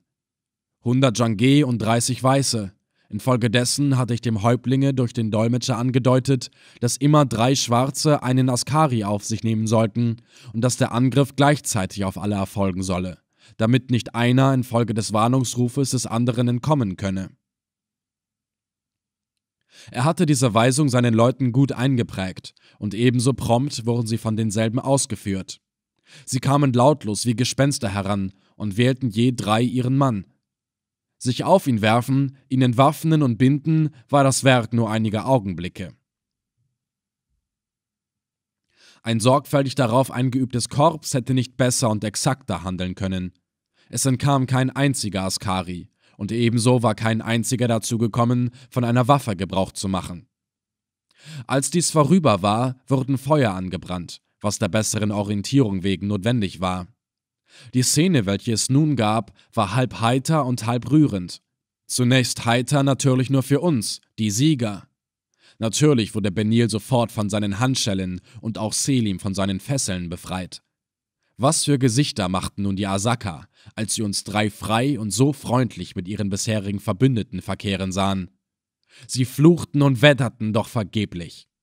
Die einzige Folge ihrer Grobheiten war, dass sie zu den bisherigen Riemen nun auch Ketten und Shibars angelegt bekamen.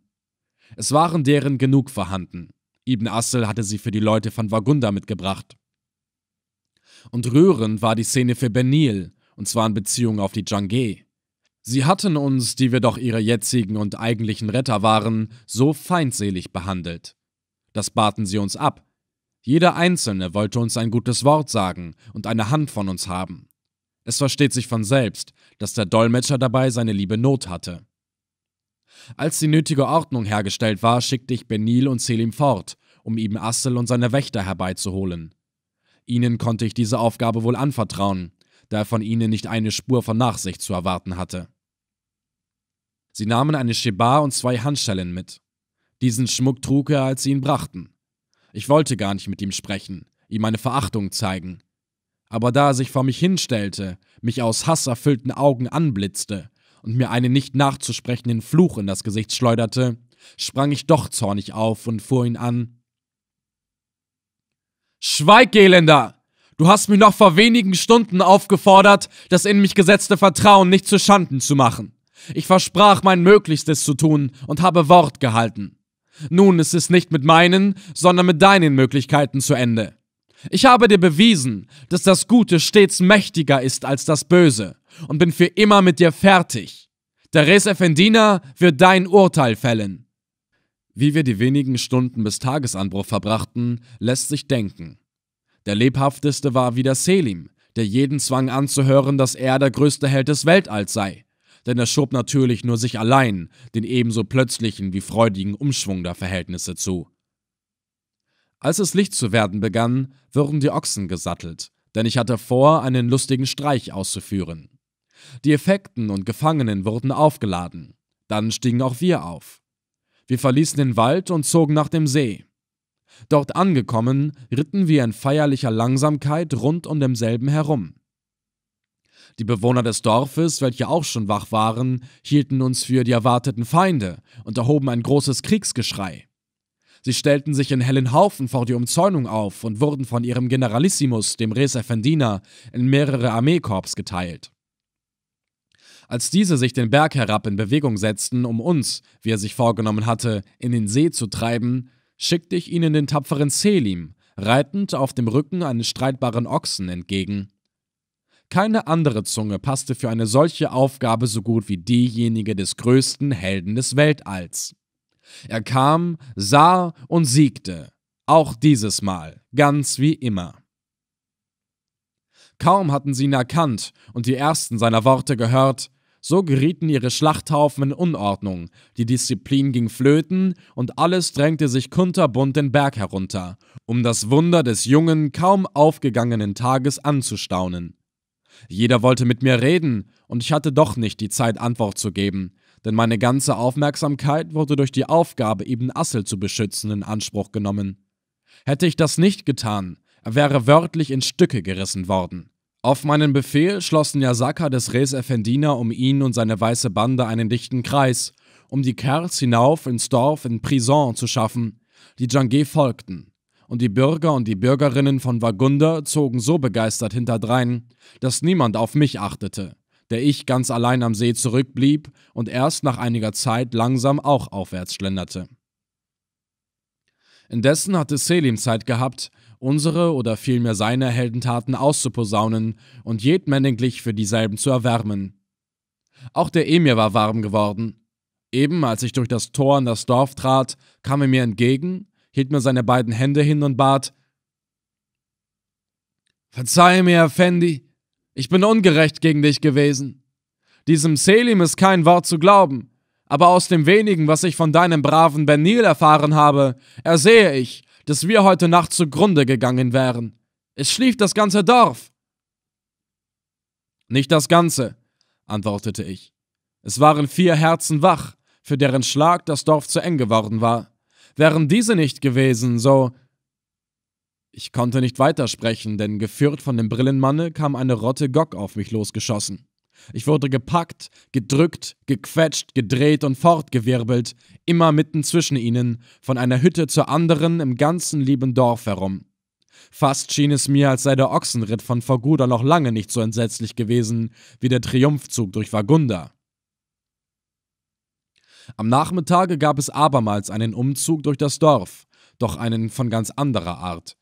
Ibn Assel und seine weißen Sklavenjäger wurden herumgeführt, ohne Ausnahme mit Eisen gefesselt und die Sheba am Halse. Ibn Assel trug dieselbe Schwere, mit welcher er mich gepeinigt hatte. Ich sagte bereits, dass der Berg, auf welchem der Ort lag, an drei Seiten senkrecht zur Tiefe fiel. Die Sklavenjäger wurden nach der einen Seite gebracht, dort hart an der Kante aufgestellt und erschossen.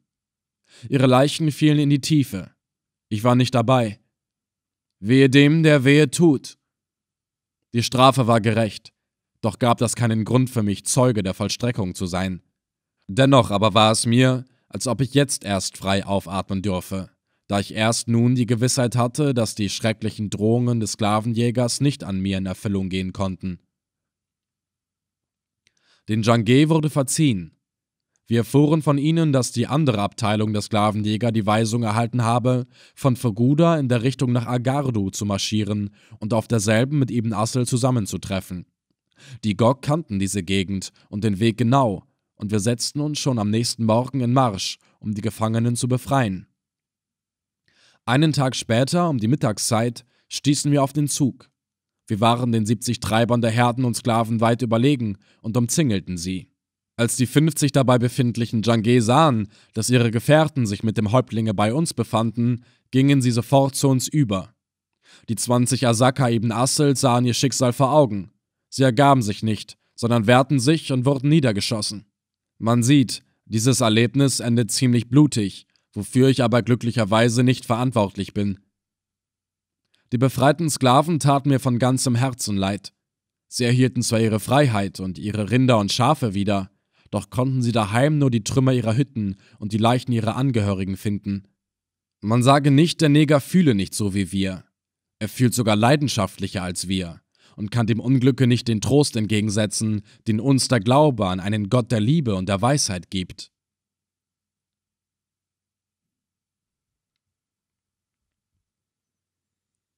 Kapitel 3 Tut wohl denen, die euch hassen. Mancher meiner geneigten Leser wird am Schlusse des vorigen Kapitels gedacht haben, Jetzt sollte der Verfasser eigentlich schließen, denn nach schriftstellerischen Regeln ist die Erzählung nun zu Ende, da die sämtlichen Konflikte gelöst worden sind und der Gerechtigkeit Genüge geschehen ist. Dem habe ich zu entgegnen, dass ich nicht eigentlich schriftstellere, sondern Erlebnisse niederschreibe und es unmöglich hindern kann, wenn sich das Leben und die Wirklichkeit nicht nach schriftstellerischen Regeln richten und sich selbst vom scharfsinnigsten Kritikus nicht den Gang der Ereignisse vorschreiben lassen. Es gibt ewige Gesetze, welche hoch über allen tausend Regeln der Kunst erhaben sind. Ja, ich hätte höchstwahrscheinlich meine Erzählung mit dem Aufenthalt in Vagunda schließen können, wenn mich nicht das Schicksal einige Jahre vorher und in einem weit von Sudan entfernten Lande mit einem Manne zusammengeführt hätte, dem es wieder alles Erwarten bestimmt gewesen war, mir hier im tiefen Süden wieder zu begegnen. Wer die Heilige Schrift kennt, hat jedenfalls auch gelesen, Herr, deine Wege sind wunderbar, und du führest alles herrlich hinaus. Ich hatte damals mit meinem wackeren Diener Halef, von dem alle meine Freunde gehört haben, zu Pferde eine Reise durch das Reich des silbernen Löwen gemacht, von welcher ich in einem späteren Bande erzählen werde. Wir kamen, müde von den Anstrengungen des monatelangen Rittes, aber reich an Erfahrungen, mitten im Gebiete räuberischer Kurdenstämme über die persisch-türkische Grenze und machten in dem kleinen Ort Koi einen kurzen Halt, um den müden Pferden einige Tage Ruhe zu gönnen. Zu jener Zeit lebte, wie ich bemerken muss, Ri, mein herrlicher, unvergleichlicher Rapphengst noch, der mir später unter dem Leibe erschossen wurde, indem ihn eine tödliche Kugel traf, welche eigentlich mir gegolten hatte. Und wenn dieses edle und ausdauernde Tier von der Reise angegriffen war, so lässt sich leicht denken, dass dieselbe das Pferd Hachi Halefs, obgleich es auch einen guten Stammbaum besaß, noch viel mehr mitgenommen hatte. Es war in den letzten Tagen vor Ermattung oft in Stolpern geraten, und so sahen wir uns in Anbetracht des beschwerlichen Weges, den wir noch bis jenseits des Tigris zurückzulegen hatten, gezwungen, in Koi den erwähnten Aufenthalt zu nehmen, obgleich dieser Ort ganz und gar nichts bot, was uns sonst zum Bleiben hätte verlocken können. Wenn wir, schon als wir die ersten Hütten erreichten, von den Bewohnern derselben angestaunt wurden, so lief, als wir vor dem elenden Kahn hielten, gar eine ganze Menge von Menschen zusammen, um uns ihre Bewunderung zu zollen. Freilich konnten wir nicht so unbescheiden sein, diese Bewunderung auf uns selbst zu beziehen. Sie galt vielmehr meinem Hengste, dem man es trotz seines herabgekommenen Zustandes gleich beim ersten Blick ansehen musste, dass er jenen unschätzbaren Wert besaß, infolgedessen so ein Pferd niemals verkäuflich ist. Er trug eines jener kostbaren Geschirre, welche Reschma genannt werden, und zog auch aus diesem Grunde aller Augen auf sich. Ich hatte es von einem hochgestellten Perser, dem einen Dienst zu erweisen mir gelungen war, als Geschenk erhalten. Und da mir in wahrhaft edler Freigebigkeit sein bestes Reschma ausgesucht hatte, welches nach kurdischem Begriffe ein Vermögen repräsentierte, so war es kein Wunder, dass alles und alle, Männer, Weiber und Kinder, aus den nahegelegenen Häusern gelaufen kamen, um Pferd und Ausstattung in Augenschein zu nehmen.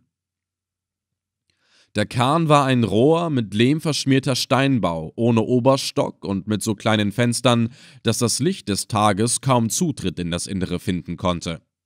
Wenn ich mich sträflicherweise der Bezeichnung Fenster bediene, so darf man ja nicht etwa an Glasscheiben denken sondern nur an einfache Maueröffnungen, durch welche der Wind blasen konnte, wie es ihm beliebte, und die zugleich dem löblichen Zwecke dienten, dem Raucherabzug zu gewähren, denn Schornsteine gab es nicht. Auch das Tor, welches in den Hof führte, war nur ein breites Mauerloch ohne Türflügel, und in diesem Hofe sah es aus, als ob dort seit langen Jahren die Exkremente des ganzen wilden und zahmen kurdischen Tierreiches zusammengetragen und von den hohen Herren und lieblichen Herrinnen der Schöpfung breitgetreten worden sei. Dementsprechend war das Aussehen des Wirtes, welcher unter der Tür erschien, um uns nach orientalischer Weise unter tiefen Verbeugungen und blumenreichen Redensarten zu begrüßen. Dabei wendete er sich nicht an Hatschi Halef Omar, sondern an mich, der als Besitzer des besseren Pferdes der Herr sein musste. Willkommen, o oh Herr, in meinem Hause, welches dir seine zwölf gastlichen Tore mit Wonne öffnet. Allah breite tausend Segen über dich und zehntausend Segen als Teppich unter deine Füße. Nie sah ich im Leben einen edleren und vornehmeren Gast. Wünsche alles, was dein Herz begehrt, und ich werde es dir augenblicklich bringen.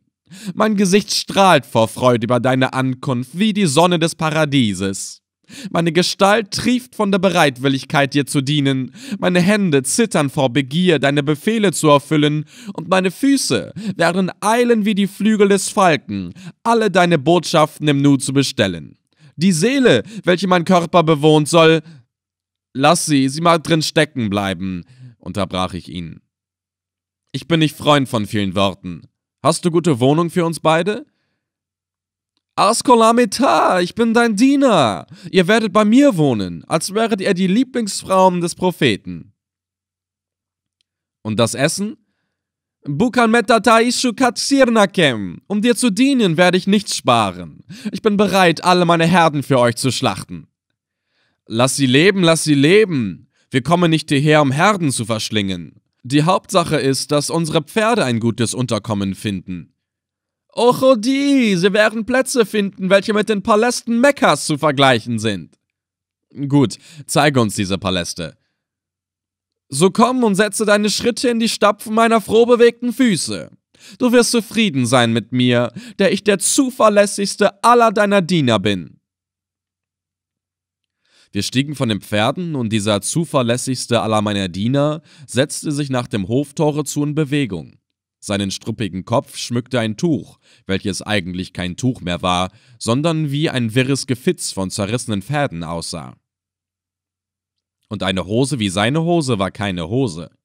Das unerklärliche Ding, welches ganz betrügerischerweise diesen Namen führte, war ein ausgefranster Lappen, welcher sich die ganz vergebliche Mühe gab, bis zum Knie herunterzureichen, und was die Unterschenkel betraf, so hatte es den Anschein, als ob sie von dunklen Trikotstrümpfen bedeckt seien. Bei näherer Betrachtung aber zeigte es sich, dass dieser Trikotstoff der landwirtschaftlichen Goldgrube des schon erwähnten Hofes entstammte. Auch eine Jacke hatte dieser edle Kurde an, von welcher rechts der dritte und links der vierte Teil eines Ärmels vorhanden war. Hinten war sie zu, wirklich zu, außer den Löchern, die es gab. Vorn war sie offen, wirklich offen, denn sie war hier, wenn ich die Wahrheit sagen soll, gar nicht mehr da.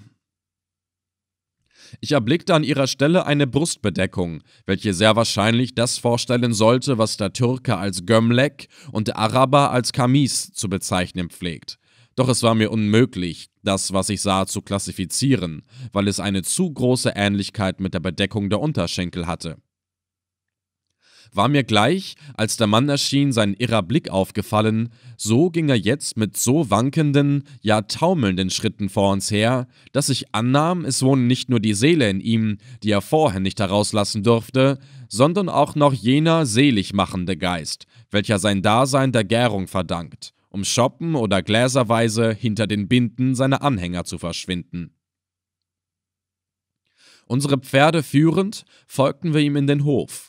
Natürlich gab es sonst nirgends als grad beim Eingange in denselben eine Vertiefung, in welcher sich die flüssigeren Teile des schon erwähnten Goldes angesammelt haben. Der Wirt kannte selbstverständlich als Besitzer und Inhaber des allgegenwärtigen Kompostes diese gefährliche Stelle und versuchte, mit Hilfe einer Schwenkung um sie herumzukommen aber die Zentripedalkraft dieses Punktes war so viel größer als die Stärke der beabsichtigten Zentrifuge, dass sie den Hotelbesitzer von Koi unwiderstehlich an sich zog. Er fiel der Mutter Erde in die weichen Arme. Ich streckte die Hand aus, um ihn herauszuziehen. Er aber schien die nötige Übung zu besitzen, sich in diesem speziellen Falle selbst zu helfen, denn er wies mich zurück und krabbelte langsam heraus, indem er mir zulachte Taklif Bella Knarek, Benma Batal, macht dir keine Umstände, unter uns sind sie unnötig. Er hatte sehr recht, denn als er wieder auf den Beinen stand, sah er keineswegs schmutziger aus als vorher. Sidi, sagte Halef in mogrebinischem Arabisch, welches der Wirt jedenfalls nicht verstand zu mir. Dieser Kerl ist ein Abu Kulchanasir, ein Vater aller Schweine, bei dem wir unmöglich bleiben können. Wollen wir uns nicht eine andere Wohnung suchen? Sein Kahn ist der einzige hier im Orte, lieber Halef. So lass uns lieber am Freien bleiben. Das geht nicht. Wir befinden uns im jetzigen Gebiete der Kilur-Kurden, welche die berüchtigsten Pferdediebe sind. Denke an meinen kostbaren Ri. Anstatt uns auszuruhen, könnten wir keinen Augenblick schlafen. Das ist leider richtig. Wir müssen ein Obdach haben, welches verschlossen werden, oder wo sich wenigstens kein solcher Räuber einschleichen kann, denn außer den Pferden wäre auch unser Leben in der größten Gefahr. Eine reinliche Stelle werden wir freilich hier nicht finden können. Suchen wir uns also eine aus, wo es am wenigsten schmutzig ist und wo uns dieser Gidel Wasach nicht so oft vor die Nase kommt. Ich habe schon viele Menschen gesehen, deren Anblick mich mit Ekel erfüllte, aber so einen Liebling des Düngers doch noch nicht. Der betrunkene Liebling taumelte über den Hof hinüber, wo es wieder eine Maueröffnung gab, an welcher er, sich an der Wand festhaltend, stehen blieb. Sich nach uns umwendend, sagte er Hier, Chodi! Hier ist der Ort, wo eure Pferde sich wie an den Pforten des Paradieses fühlen werden. Führt sie hinein und sagt mir, welches Futter ich für sie holen soll. Ich warf einen Blick in den Raum, der so finster war, dass mein Auge sich erst an die Dunkelheit gewöhnen musste. Dann aber sah ich in diesen Palästen von Mekka eine solche Fülle Unrates aller Arten, dass ich, ohne, wie man sich auszudrücken pflegt, der Sache einen Mantel umzuhängen, antwortete Bist du bei Sinnen? Hier ist der Schmutz so tief, dass die Pferde drin versinken würden. Er starrte mich eine Weile ganz verständnislos an und rief dann aus Schmutz! Schmutz bei mir? So etwas hat mir noch kein Mensch gesagt. Das ist eine Beleidigung, wegen der ich dich eigentlich zum Mysachevit fordern müsste. Diese Drohung kam mir so urkomisch vor, dass ich darüber in ein herzliches Gelächter ausbrach. Halef aber wurde, ganz entgegengesetzt von mir, durch sie so in Zorn versetzt, dass er den Mann anfuhr: Wie? Du wagst es, von einem Mysachevit zu sprechen? Weißt du, wer der hohe Herr ist, dem dies zu sagen du unternommen hast? Nein, antwortete der harmlose Wirt. Es ist der berühmte Emir Hachikara Benemsi aus Germanistan. Den kenne ich nicht. Und wer bist denn du? Ich bin der ebenso berühmte Hachi Halef Omar ben Hachi Abul Abbas ibn Hachi Davud al-Gossara. Wir brauchen nur einen Finger gegen dich zu erheben, so wirft dich der Schreck sofort über den Haufen. Oho, ich gehöre nicht zum verachteten Stande der Guranen, sondern zu den Assireten, die mit den Waffen umzugehen wissen. Es ist kein Schreck so groß, dass er mich umwerfen könnte. Du wankst ja aber schon. Es ist nicht der Schreck, sondern. So, sondern. sondern der Raki, fiel Halef ein. Raki? Ich habe heute noch keinen Schluck getrunken. Du willst mir doch hoffentlich nicht die Schande antun, mich für einen Sekran zu halten. Ja, gerade das tue ich. Du irrst. Beweise es. Ein gläubiger Anhänger des Propheten darf niemals trunken sein. Und wenn er es dennoch ist, so hat jeder gute Moslem die heilige Pflicht, ihm die Sure el-Imitan vorzuhalten. Kannst du sie auswendig? Nein. So werde ich sie dir schnell vorsagen und du sprichst sie ebenso schnell nach. Also, pass auf. Diese Sure ist die 109. des Koran.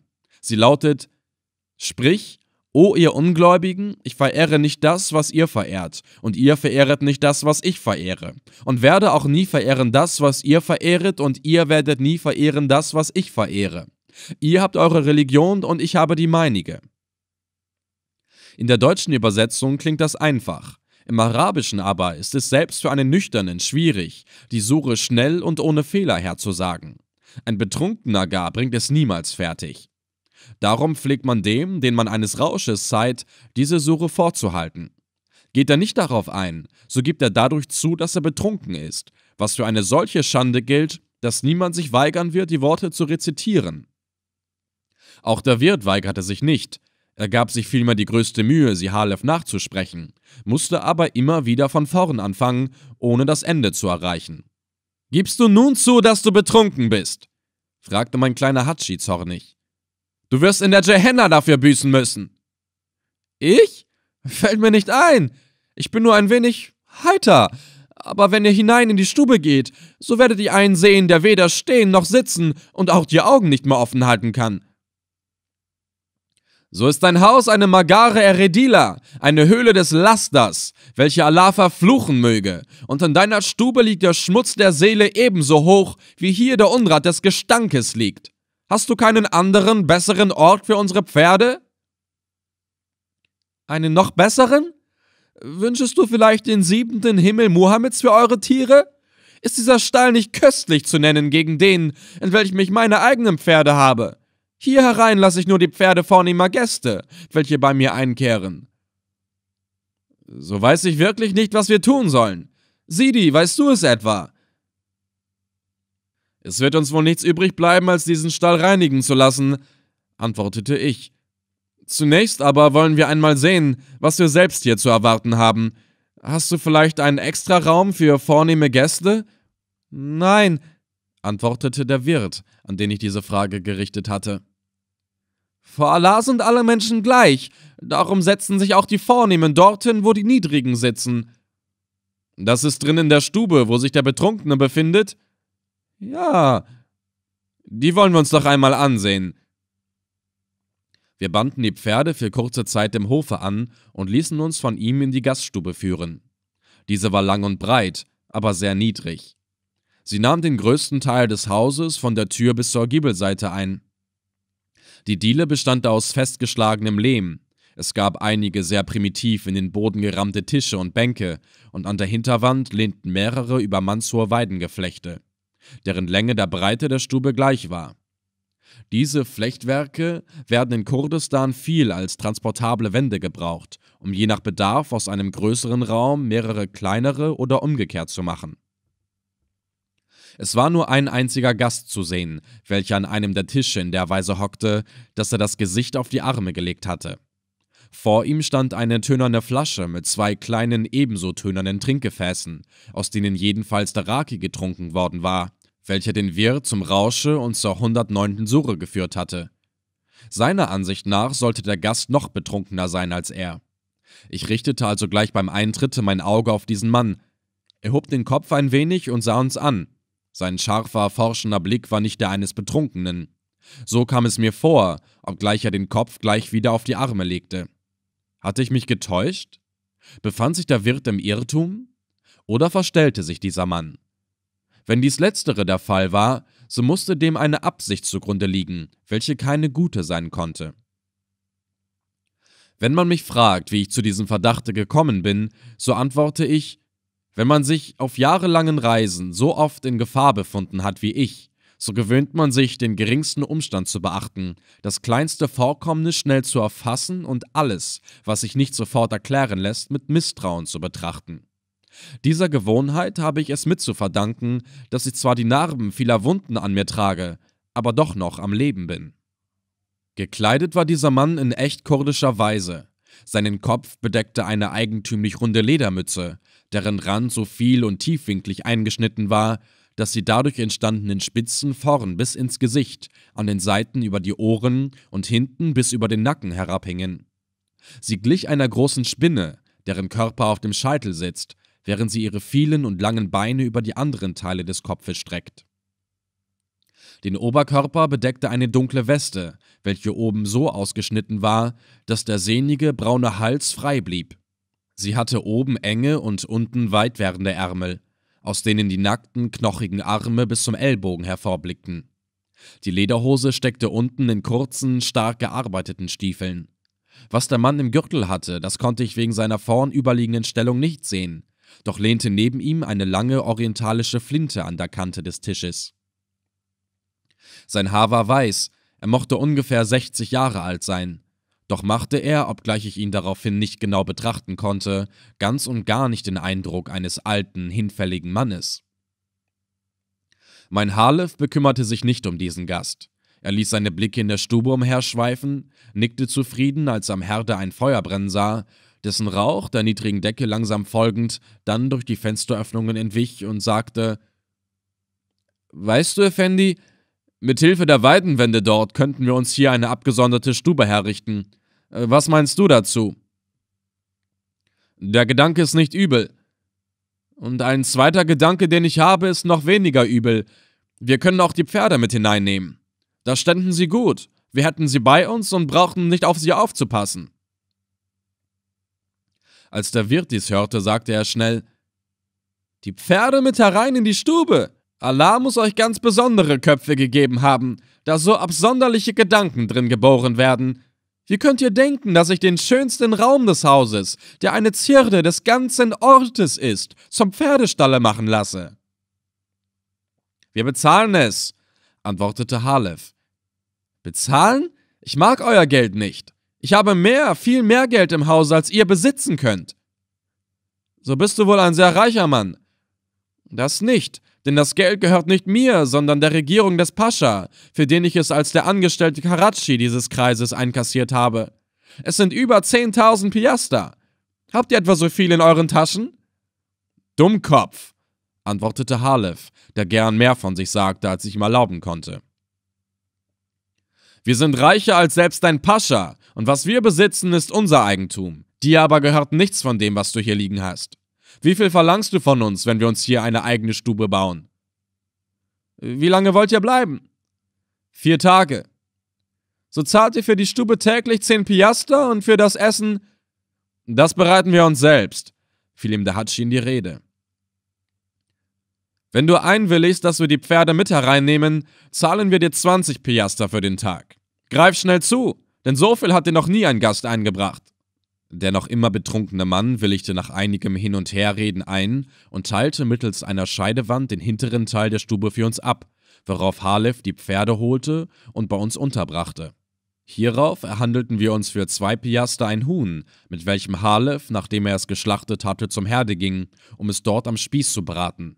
Denn aus den Händen des Wirtes etwas zu essen, das war uns die reine Unmöglichkeit. Ich breitete inzwischen hinter der Flechtwand meine Decke aus, um es mir darauf bequem zu machen. Durch die Lücken dieser Wand konnte ich die Leute beobachten, welche in die Stube kamen, um die Gäste zu sehen, die so vornehm waren, dass sie ihre Pferde nicht im Schmutze stehen lassen wollten. Sie wendeten sich an den Hatschi mit neugierigen Fragen, welche dieser in seiner drollig stolzen und vielfach übertreibenden Weise beantwortete. Als dabei mein Name genannt wurde, richtete sich der angeblich betrunkene Gast plötzlich auf und erkundigte sich: Ist das der Emir Karabenemsi Effendi, welcher damals den Stamm der Hadedin von allen seinen Feinden befreite? Ja, antwortete Halef. Er ist dieser berühmte Krieger, der noch nie einen Feind zu besiegen vermochte und der sogar den Löwen ganz allein und nur des Nachts aufsucht, um ihn mitten in das Auge zu treffen. Also derselbe, welcher dafür von Mohammed Emin, dem Scheik der Hadedin, den unübertrefflichen Rabhengst namens Ri geschenkt bekam? Ja. Ist es dieser Hengst, den du dort hinter dieser Wand gebracht hast? Er ist's. Warum fragst du nach ihm? Weil ich so viel von diesem Pferde und seinem jetzigen Herrn gehört habe, aus keinem anderen Grunde. Nach diesen Worten legte er sich wieder vorn nieder und verblieb längere Zeit in dieser Stellung, bis er dann einmal aufstand und unsicher wie ein Betrunkener zur Tür hinauswankte. Kaum zehn Minuten später kam eine Frau, welche, wie ich gleich merkte, die Wirtin war, eiligst herein und fragte ihren Mann: Soeben ist der Fremde fortgeritten, hat er dich gefragt? Gefragt, wonach? antwortete der Wirt.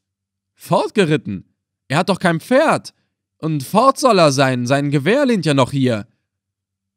Er saß auf einem unserer Pferde. So wird ihm etwas Notwendiges eingefallen sein, was er zu verrichten hat. Er wird sich nicht weit entfernt haben und bald wiederkommen, denn er will ja einige Wochen hier bei uns in Koi wohnen. Damit war die Sache für ihn abgemacht. Mir aber kam sie, obgleich sie mich gar nichts anging, doch befremdlich vor.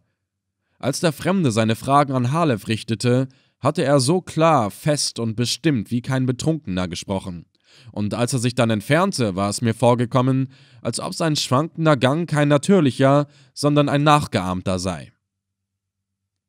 Aber ich hatte ja gar nichts mit dieser Angelegenheit zu tun, und so konnte es mir vollständig gleichgültig sein, ob ein Gast, der sich vom Wirte für kurze Zeit ein Pferd auslieh, diesen vorher besonders darum fragte oder nicht.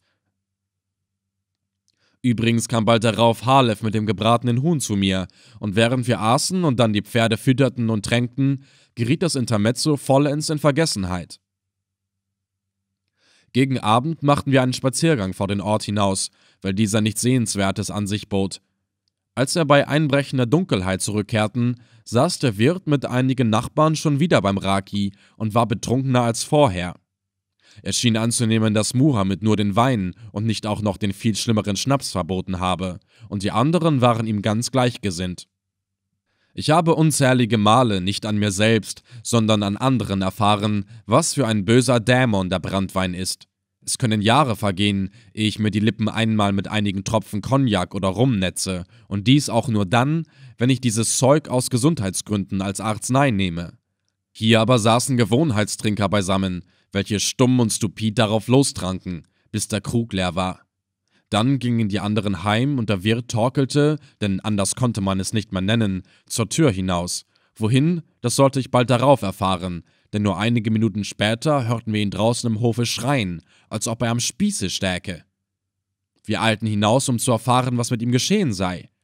Da stand er mit gerungenen Händen und schrie wütend auf seine Frau und andere Personen ein, welche durch seinen Lärm herbeigerufen worden waren. Der noch vor wenigen Augenblicken so schwere Rausch war plötzlich und vollständig von ihm gewichen, und zwar hatte ihn der Schreck so nüchtern gemacht. Ich hörte nämlich, dass die 10.000 Piaster verschwunden seien, und er klagte nun die Anwesenden der Reihe nach an, sie ihm gestohlen zu haben. Als sie alle ihre Unschuld beteuerten, rannte er nach dem Stalle, holte eine Peitsche und schlug mit derselben auf Frau und Gesinde ein. Ich riss ihm aus der Hand und sagte, Wie kannst du dein eigenes Weib und diese Leute für etwas züchtigen, was sie gar nicht getan haben? Nicht? antwortete er. Wie kannst du das behaupten? Einer von ihnen muss es gewesen sein. Wenn du den Schuldigen treffen willst, so prügele dich nur selbst. Wie? Mich selbst? Bist du bei Sinnen? Ich bin bei Sinnen, du aber bist es nicht. Du selbst hast dich bestohlen, aber nicht mit deinen eigenen Händen, sondern durch Fremde. Du redest, was man nicht verstehen kann. Ich werde mich doch nicht selbst bestehlen. Und doch hast du es getan, indem du dem Dieb, wie ich vermute, geradezu veranlasst hast, das Geld zu nehmen. Hattest du es versteckt? Ja. Kannte deine Frau den Ort? Nein. War er diesen Leuten hier bekannt? Auch nicht. Du bist ein höchst unvorsichtiger Mensch, den der Raki plauderhaft macht. Ich habe nicht geplaudert. So? Hast du nicht uns beiden, die wir dir vollständig fremde Menschen sind, erzählt, dass du über 10.000 Piaster im Hause habest? Aber wo das Geld lag, das habe ich euch nicht verraten. Uns nicht, aber sehr wahrscheinlich einem anderen. Kennst du den Fremden, der auf deinem Pferde fortgeritten ist? Ich hatte ihn, bevor er kam, noch nie gesehen, aber jetzt weiß ich, dass er ein reicher Mann aus Serdascht ist, der einige Wochen hier bleibt, um Galläpfel für seine Kunden in fernen Ländern einzukaufen. Wirklich? Ein Bewohner von Serdascht kommt von dort herüber, um Galläpfel zu erstehen? Deine Leichtgläubigkeit und Unkenntnis ist grenzenlos. Dazu frage ich dich, ob jetzt die Zeit zu solchen Einkäufen ist. Er fühlte, dass ich recht hatte und schwieg. Ist er mit dem Pferde zurückgekehrt? erkundigte ich mich weiter. Nein, und mit dem Gelde natürlich auch nicht. Da riss ihn der Schreck stramm empor und er rief: Der, der, hältst du ihn für den Dieb? Ja, Warum? Er stellte sich betrunken, war es aber nicht. Weißt du noch, was du im Rausche alles mit ihm gesprochen hast? Nicht alles. Hast du ihm von dem Gelde gesagt? Ja, denn er war ein sehr erfahrener Mann und sagte mir, wie er das Seinige zu verstecken pflegt. Und da hast du es ihm nachgemacht. Ja. So hat er also gewusst, wo es verborgen war. Ganz genau nicht, denn es waren mehrere Orte, die er mir riet. So hat er an diesen Orten gesucht, bis er den richtigen fand und sich auf dein Pferd gesetzt, um schnell fort und niemals wiederzukommen. Aber Effendi hat ja sein Gewehr noch hier. Ja, Haiwana, oh du Einfalt. Das musste er ja liegen lassen. Dann hätte er es mit aus der Stube genommen, so würde dadurch seine Absicht durchzubrennen verraten worden sein. Und wenn jemand 10.000 Piaster und dazu ein Pferd stiehlt, kommt dabei der Wert dieses alten Schießeisens gar nicht in Betracht. Die Betrunkenheit des Wirtes war, wie bereits gesagt, von ihm gewichen.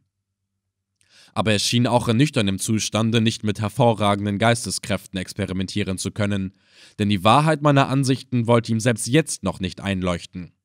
Er sah mich eine ganze Weile wortlos an und wendete sich dann ab, um das bisschen Denkvermögen, welches ihm noch geblieben war, weiter anzustrengen. Hierauf schien ihm plötzlich eine Eingebung gekommen zu sein, denn er drehte sich wieder zu mir um und sagte Fendi, Da fällt mir etwas ein, etwas sehr Wichtiges sogar. Über dem Loche, welches der Dieb machen musste, um zu dem Gelde zu kommen, lag ein Messer. Was sagst du dazu? Du hast es natürlich an dich genommen. Nein, ich habe es liegen lassen. Mensch, dir scheint ja alles zu fehlen, was zum Nachdenken gehört. Mit diesem Messer ist das Loch gegraben worden, und derjenige, dem es gehört, muss, wenn es ihm nicht darum zu tun war, dadurch den Verdacht von sich abzulenken, unbedingt der Dieb sein. Lass uns schnell hingehen, um es anzusehen.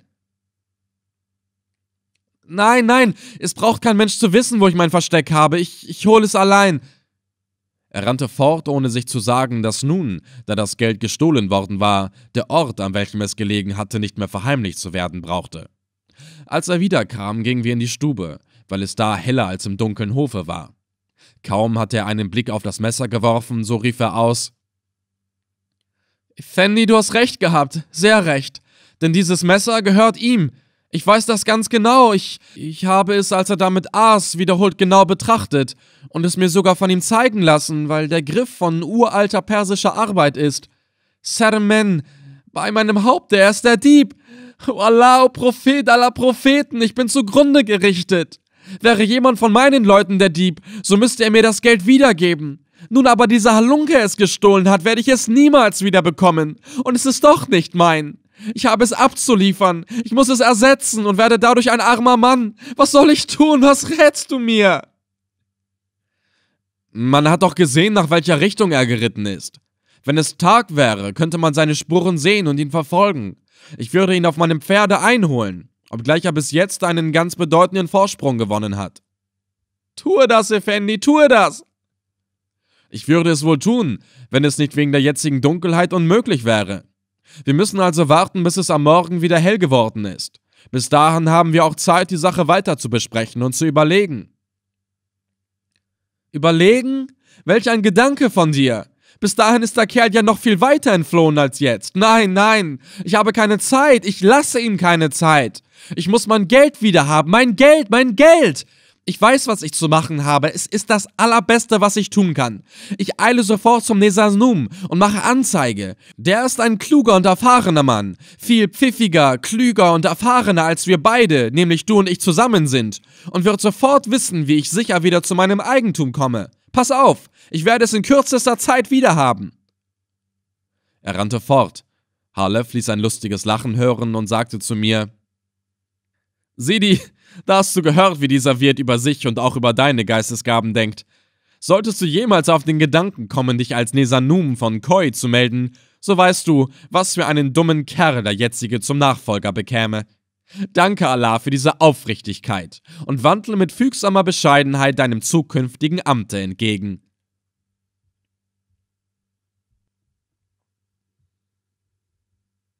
Ich bemitleidete natürlich den Wirt und hätte gern etwas für ihn getan, obgleich sein Vertrauen zu mir kein allzu übermäßiges genannt werden konnte. Unter den gegebenen Verhältnissen aber konnten wir nichts tun, als uns in unsere Abteilung zurückzuziehen und seine Rückkehr abzuwarten. Es verging fast eine Stunde, da hörten wir draußen Pferde schnauben. Halef ging hinaus und berichtete mir dann: Sedi, man denkt gar nicht daran, die Vorzüge unseres Geistes mit zu Hilfe zu nehmen. Soeben ist der pfiffige Nesanum mit dem Wirte und einigen anderen Männern fortgeritten, und zwar nach Westen zu, weil man den Dieb nach dieser Richtung hat reiten sehen. Ich wünsche Ihnen eine glückliche Reise. Du hast mir wiederholt gesagt, dass die Erde die Gestalt einer Kugel habe. Wenn du gern erfahren willst, ob der Kerl von ihnen erwischt wird, so bin ich gern bereit, mit dir hier zu bleiben und zu warten, bis sie aus Osten wiederkommen.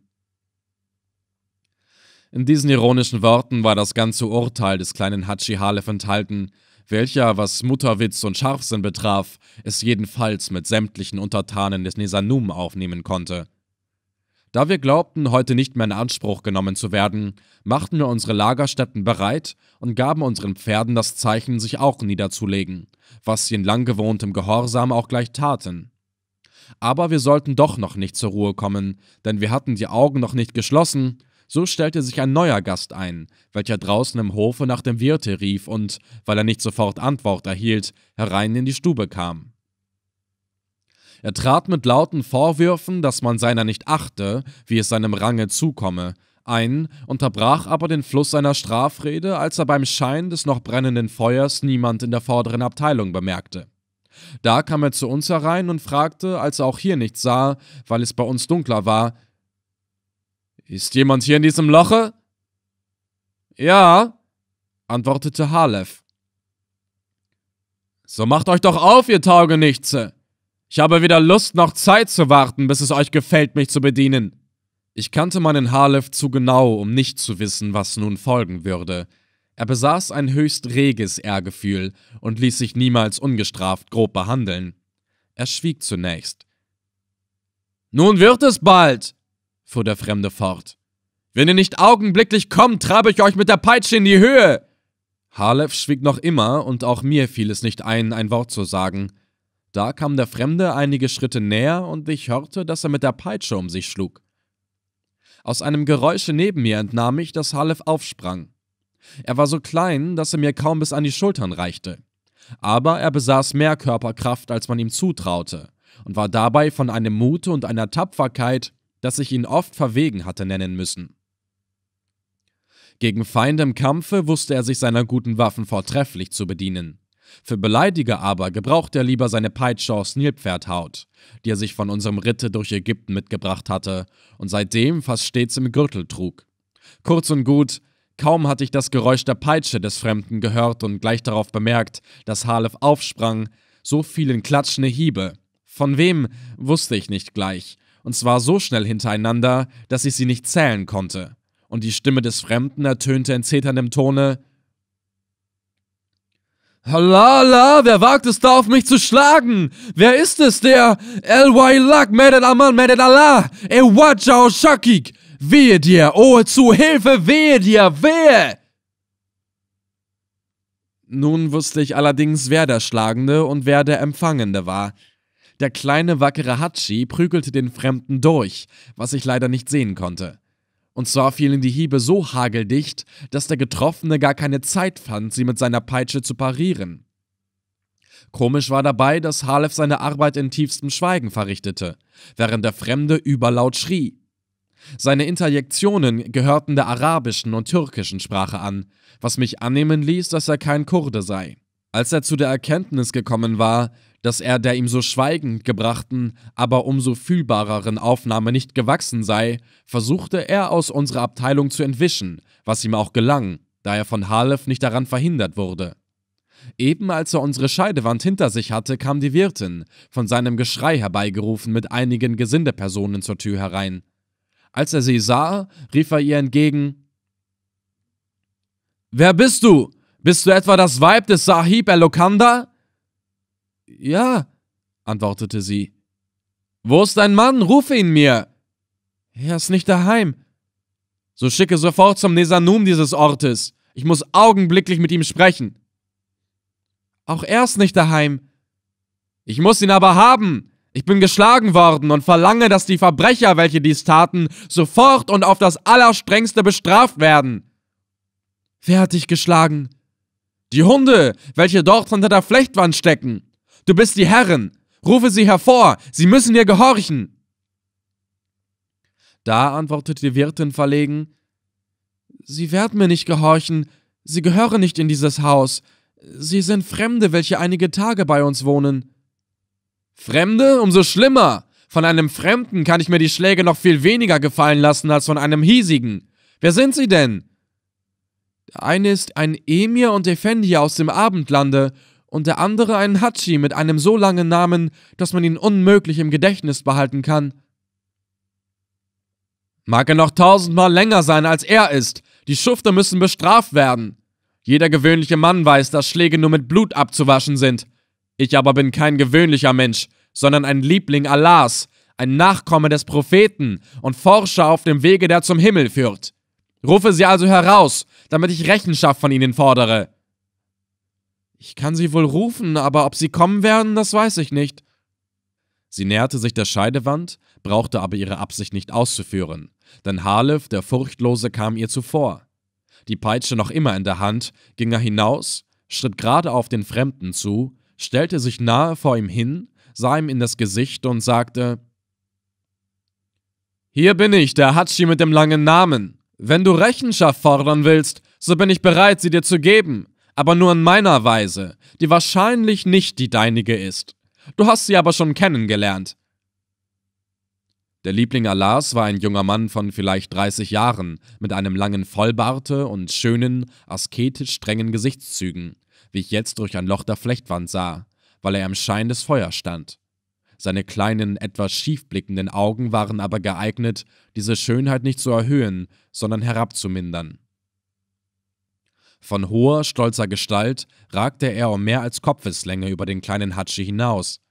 Die Farbe seines Turbans zeigte allerdings, dass er sich zu den Nachkommen des Propheten zählte.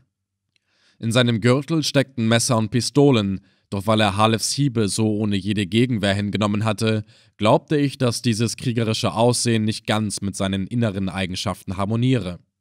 Er sah, als Halef ausgesprochen hatte, mit finsteren Augen auf ihn nieder und antwortete: Ich sehe eine Peitsche in deiner Hand. Bist du es etwa, der es gewagt hat, mich zu schlagen? Ja, geschlagen habe ich dich, aber gewagt war nichts, gar nichts dabei. Schweighund! Willst du mich abermals beleidigen? Da hob der Kleine die Peitsche drohend empor und sprach: Sagst du noch ein einziges Mal das Wort Hund zu mir oder ein anderes, welches mir nicht gefällt, so zieh ich dir diese Riemen des Nilpferdes über das Gesicht, dass du dich zehn Jahre lang vor keinem Menschen sehen lassen kannst. Wer bist du denn, dass du dich unterfängst, in dieser Weise mit mir zu sprechen? Wie heißest du und wie lautet der Name deines Vaters, deiner beiden Großväter und der vier Väter dieser Vatersväter? Das sollst du gleich hören. Wisse, ich bin Sali ben Akil, der berühmte Wanderprediger des wahren Glaubens, der uns eine Auferstehung und Wiederkehr des Propheten verheißt. Berühmt, nennst du dich? lächelte Halef.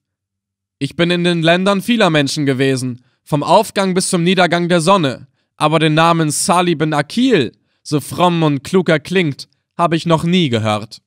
Ich aber bin Hatschi Halef Omar bin Hatschi Abul Abbas ibn Hatschi Davud al-Gossara. Als der Wanderprediger diesen Namen hörte, fuhr er einen Schritt zurück, machte eine Gebärde größter Überraschung und rief aus: Hatschi Halef Omar, gehörst du jetzt zum Stamm der Hadidin? Ja.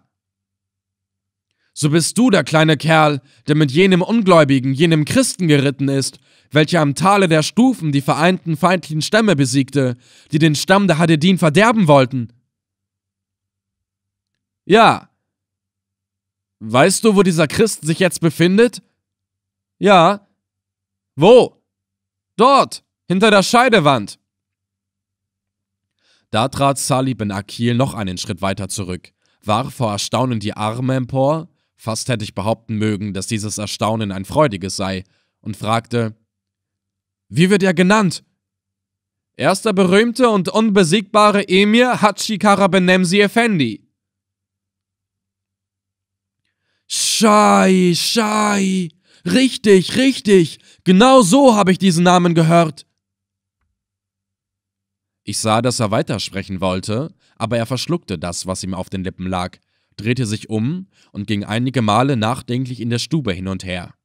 Es war jedenfalls ein wichtiger Gedanke, ein Entschluss, der ihn bewegte und mit dem er auch bald fertig war.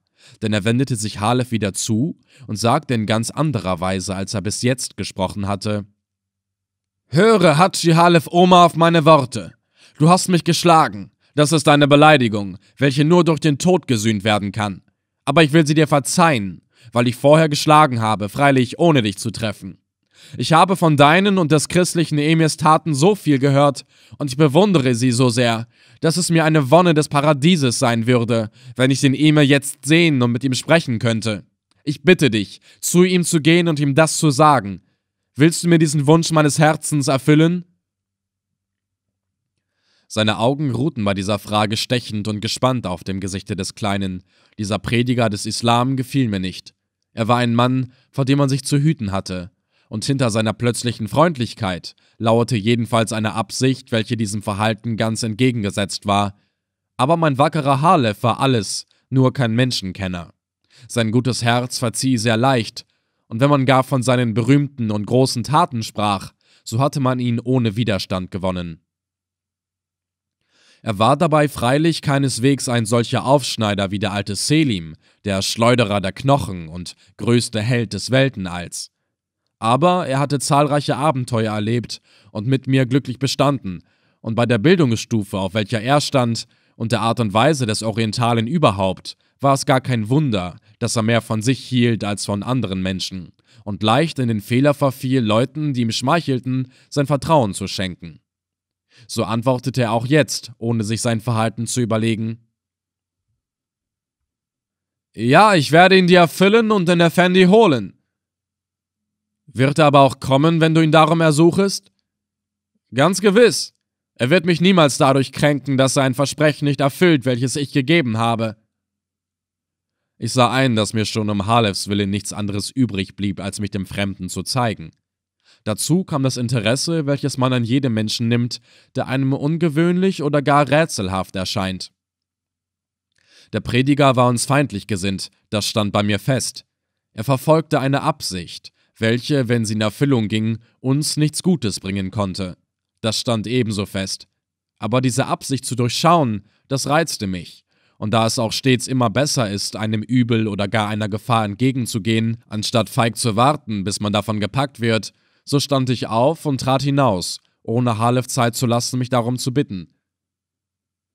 Als Salih ben Akil mich erblickte, trat er einige Schritte auf mich zu, kreuzte die Hände über der Brust, verbeugte sich tief und sagte: Allah grüße und segne dich, Emir. Noch in der Stunde meines Todes werde ich den Augenblick, an welchem ich dir heute begegne, zu den schönsten meines Lebens rechnen. Er blieb nach diesen Worten in gebückter Haltung stehen, um meine Antwort zu erwarten. Er wusste, dass ich ein Christ war. Er durfte als Moslem mir nicht in dieser Weise den Segen Allahs wünschen. Er tat es dennoch, obgleich er nicht nur Moslem, sondern sogar Khatib des Islam war. Das musste mich doppelt bedenklich machen. Ich ließ ihn natürlich nichts merken und antwortete in freundlichem Tone: Erhebe dein Haupt. Unter Männern ziemt es sich, dass sie einander in die Augen schauen. Aber du bist berühmter als ich, entgegnete er, indem er sich langsam und mit demutvollem Augenaufschlag emporrichtete. Was verstehst du unter berühmt? Nur einer ist berühmt, Gott, denn sein Name erschallt durch alle Lande, und sein Lob ertönt auf allen Sonnen und Sternen, jetzt und in Ewigkeit. Wenn ein Mensch ein weniges mehr getan hat als ein anderer, so darf er sich dessen doch nicht rühmen, denn es war ihm von Gott befohlen und er erhielt von ihm die Kraft dazu. Aus deinen Worten klingt mir die Stimme der Weisheit und Demut entgegen, doch bin ich mir gar wohl bewusst, wie hoch du über mir stehst. Wirst du mir verzeihen, dass mein plötzliches Kommen dich in der wohlverdienten Ruhe störte? Die Störung geschah in etwas ungewöhnlicher Weise über welche ich aber nicht richten will, weil du dich mit meinem guten Hachi Halef Omar darüber verständigt hast. Als deine Peitsche fragte, hat die seinige geantwortet, und so ist die Störung vorübergegangen, ohne dass du dich beklagen darfst, keine Antwort erhalten zu haben. Sein Auge schoss einen schnellen, scharfen Blitz auf mich, doch mit der freundlichsten Miene erwiderte er Ich hörte, dass du mehrere Tage hier zu bleiben gedenkst. Du brauchst also morgen früh nicht zeitig aufzubrechen. Und du kannst also den Schlaf um die Stunde verlängern, die ich ihm jetzt im Anfange raube. Lass mich dein freundliches Herz erkennen und sei mein Gast, wenn ich jetzt hier zum Abend speise. Wir haben schon gegessen, wehrte ich ab. Er antwortete, indem er einen vielsagenden Blick über die schmutzige Umgebung gleiten ließ. Emir, ich verstehe dich. Doch enthalten meine Satteltaschen genug Gaben der Reinlichkeit, dass ihr, du und dein Hatschi Halef Omar, getrost daran teilnehmen könnt. Erlaube, dass ich sie hole und mit diesem Weibe des Wirtes mein Verbleiben hier bespreche. Er ging hinaus und winkte der Frau und dem Gesinde, ihm zu folgen. Als ich mich nun mit Halef allein befand, fragte er: Sedi, Hättest du es für möglich gehalten, dass so ein grober, rücksichtsloser Ben el-Maschwaka sich so schnell in einen freundlichen und ergebenen Sibt el-Adab verwandeln könne? Ja, denn er hat jedenfalls seine guten Gründe dazu. Du aber, lieber Halef, bist ein Sohn und Enkel der Unvorsichtigkeit gewesen, als du ihm versprachest, mich hierher zu holen. Ich? Äh, warum? weil dieser Mann aus irgendeinem Grunde, den ich bald zu erfahren hoffe, ein Feind von uns ist Und in der kurzen Zeit, während welcher er vorhin hier auf und niederschritt, über einen Plan nachgedacht hat, der uns nur Böses bringen kann. Er hat ja aber doch den Segen Allahs gewünscht. Er, ein Lehrer des Islam, mir, einem Christen. Bedenke das, Halef. Cool, Shejatin. Alle Teufel. Das habe ich vor Freude über seine Umwandlung ganz übersehen. Aber was kann er Böses gegen uns wollen? Wir kennen ihn nicht und haben ihn nie beleidigt. Aber er kennt uns, und mancher Mensch hat mehr unbekannte als bekannte Feinde. Bedenke, dass wir uns dadurch, dass wir den Hadedin damals zum Siege verhalfen, ihre sämtlichen Gegner zu Feinden gemacht haben und dass wir auf unseren späteren Streifzügen oft gezwungen waren, uns der Angriffe von Personen zu erwehren, deren Angehörige uns nach den Gesetzen der Rache hassen müssen, wann und wo sie uns nur treffen. Es ist ja nicht unmöglich, dass dieser Sali ben Akil der Sippe eines solchen Menschen angehört. Das ist wahr, wie immer alles, was du sagst, Sidi. Wollen uns wieder niederlegen und ganz so tun, als ob dieser Liebling Allahs, wie er sich nannte, gar nicht gekommen wäre. Nein, das dürfen wir auf keinen Fall. Selbst wenn er nicht durch frühere Vorkommnisse zur Feindschaft gegen uns gezwungen wäre, würden die Hiebe, die du ihm erteiltest, ihn zur Rache zwingen. Käme dazu noch die große Beleidigung, dass wir seine Einladung zurückweisen, so könnten wir mit doppelter Sicherheit darauf rechnen, seine unversöhnliche Gegnerschaft herausgefordert zu haben. Und das ist bei einem so fanatischen Anhänger des Islam zehnmal gefährlicher als bei jedem anderen Menschen. So mag wenigstens unser Verhalten ein so stolzes und zurückhaltendes sein, dass er froh ist, wenn wir uns recht bald wieder entfernen. Auch das nicht, denn er würde dadurch zu der gleichen Zurückhaltung genötigt sein, und ich könnte also nicht das aus ihm heraushorchen, was ich doch von ihm erfahren will. Er muss überzeugt sein, dass wir ihm glauben und vertrauen. Darum werden wir zu ihm freundlich und für seine Einladung dankbar sein. Es ist am besten, du schweigst so viel wie möglich und lässest nur mich mit ihm sprechen. Das war von meinem stets redfertigen Halef zwar sehr viel verlangt, aber ich sagte es in einem so bestimmten Tone, dass er darauf verzichtete, etwas dagegen einzuwenden. Diese Instruktion war gerade noch zur rechten Zeit gegeben, denn eben, als ich die letzten Worte gesprochen hatte, kam Sali bin Akil wieder herein, gefolgt von einem Chadim, welcher die wohlgefüllten Satteltaschen trug.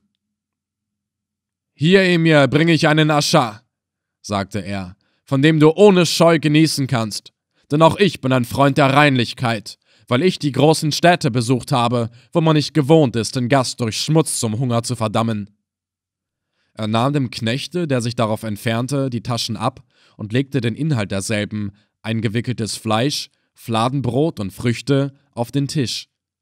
Das sah so sauber und einladend aus, dass Halef sich setzte und sein Messer zog. Ich folgte diesem Beispiele, und während wir zu essen begannen, erkundigte ich mich bei Salih, indem ich an seine letzte Bemerkung anknüpfte. In den großen Städten bist du gewesen. Willst du mir die Namen derer nennen, die du gesehen hast? Ich habe das ganze Reich des Padishah und auch das Land des Schah von Persien gesehen, denn ich ziehe von Ort zu Ort, um zu verkünden, dass die Zeit nahe ist, in welcher der Rechtgeleitete erscheinen wird. Woher weißt du das? Eine innere Stimme, welche während des Tages und während aller Nächte zu mir spricht, sagt es mir. Doch du als Christ kannst das ja nicht verstehen. Lass uns lieber von den Städten sprechen, in denen ich längere Zeit geblieben bin, um den Koran, die Auslegungen desselben und alle Regeln der Anbetung zu studieren. Welche sind dies? Erst ging ich nach Persien, als dem Lande, dessen Schulen meiner Heimat am nächsten lagen. Ich studierte in Teheran und Isfahan, bin aber der Hunde von Schiiten wegen, welcher Allah verfluchen möge, schon nach einem Jahre wieder fortgegangen. Ich wanderte nach Stambul, wo ich sehr fromme und sehr kluge Lehrer fand, aber doch nicht, was ich suchte. Hierauf schloss ich mich der großen Hadsch nach den heiligen Städten Mekka und Medina an. In Mekka warb ich mir dieses Hamail, welches ich am Halse hängen trage, wie es jeder Hadschi, der es Besitz zu tragen hat. Und in Medina blieb ich dann längere Zeit als Schüler eines berühmten Moderis, der die hervorragenden Auslegungen fast auswendig kannte. Da war Halef so unvorsichtig zu bemerken, Grad so ein Hamail wie du hat auch mein. Er wollte sagen, dass auch ich ein Hamail besaß. Das konnte ich nur in Mekka erworben haben, welches kein Christ besuchen darf. Darum fiel ich ihm schnell in die Rede, indem ich Salih fragte: Würdest du mir erlauben, deinen Hamail einmal zu betrachten? Er löste das Band und gab mir das Buch mit den Worten hin: Eigentlich darf dieser heilige Koran von der Hand keines Ungläubigen berührt werden. Wenn ich ihn dir dennoch gebe, magst du daraus ersehen, wie hoch du in der Achtung meines Herzens stehst. Der Koran ist mir gerade so genau bekannt wie unsere Bibel. Wenn ich um dieses Exemplar bat, so tat ich dies also nicht des Inhaltes wegen, sondern aus einem anderen Grunde. Ich wollte nämlich wissen, ob Salih wirklich ein Scherif war. Als ich die betreffende Bemerkung nicht eingetragen und untersegelt fand, fragte ich,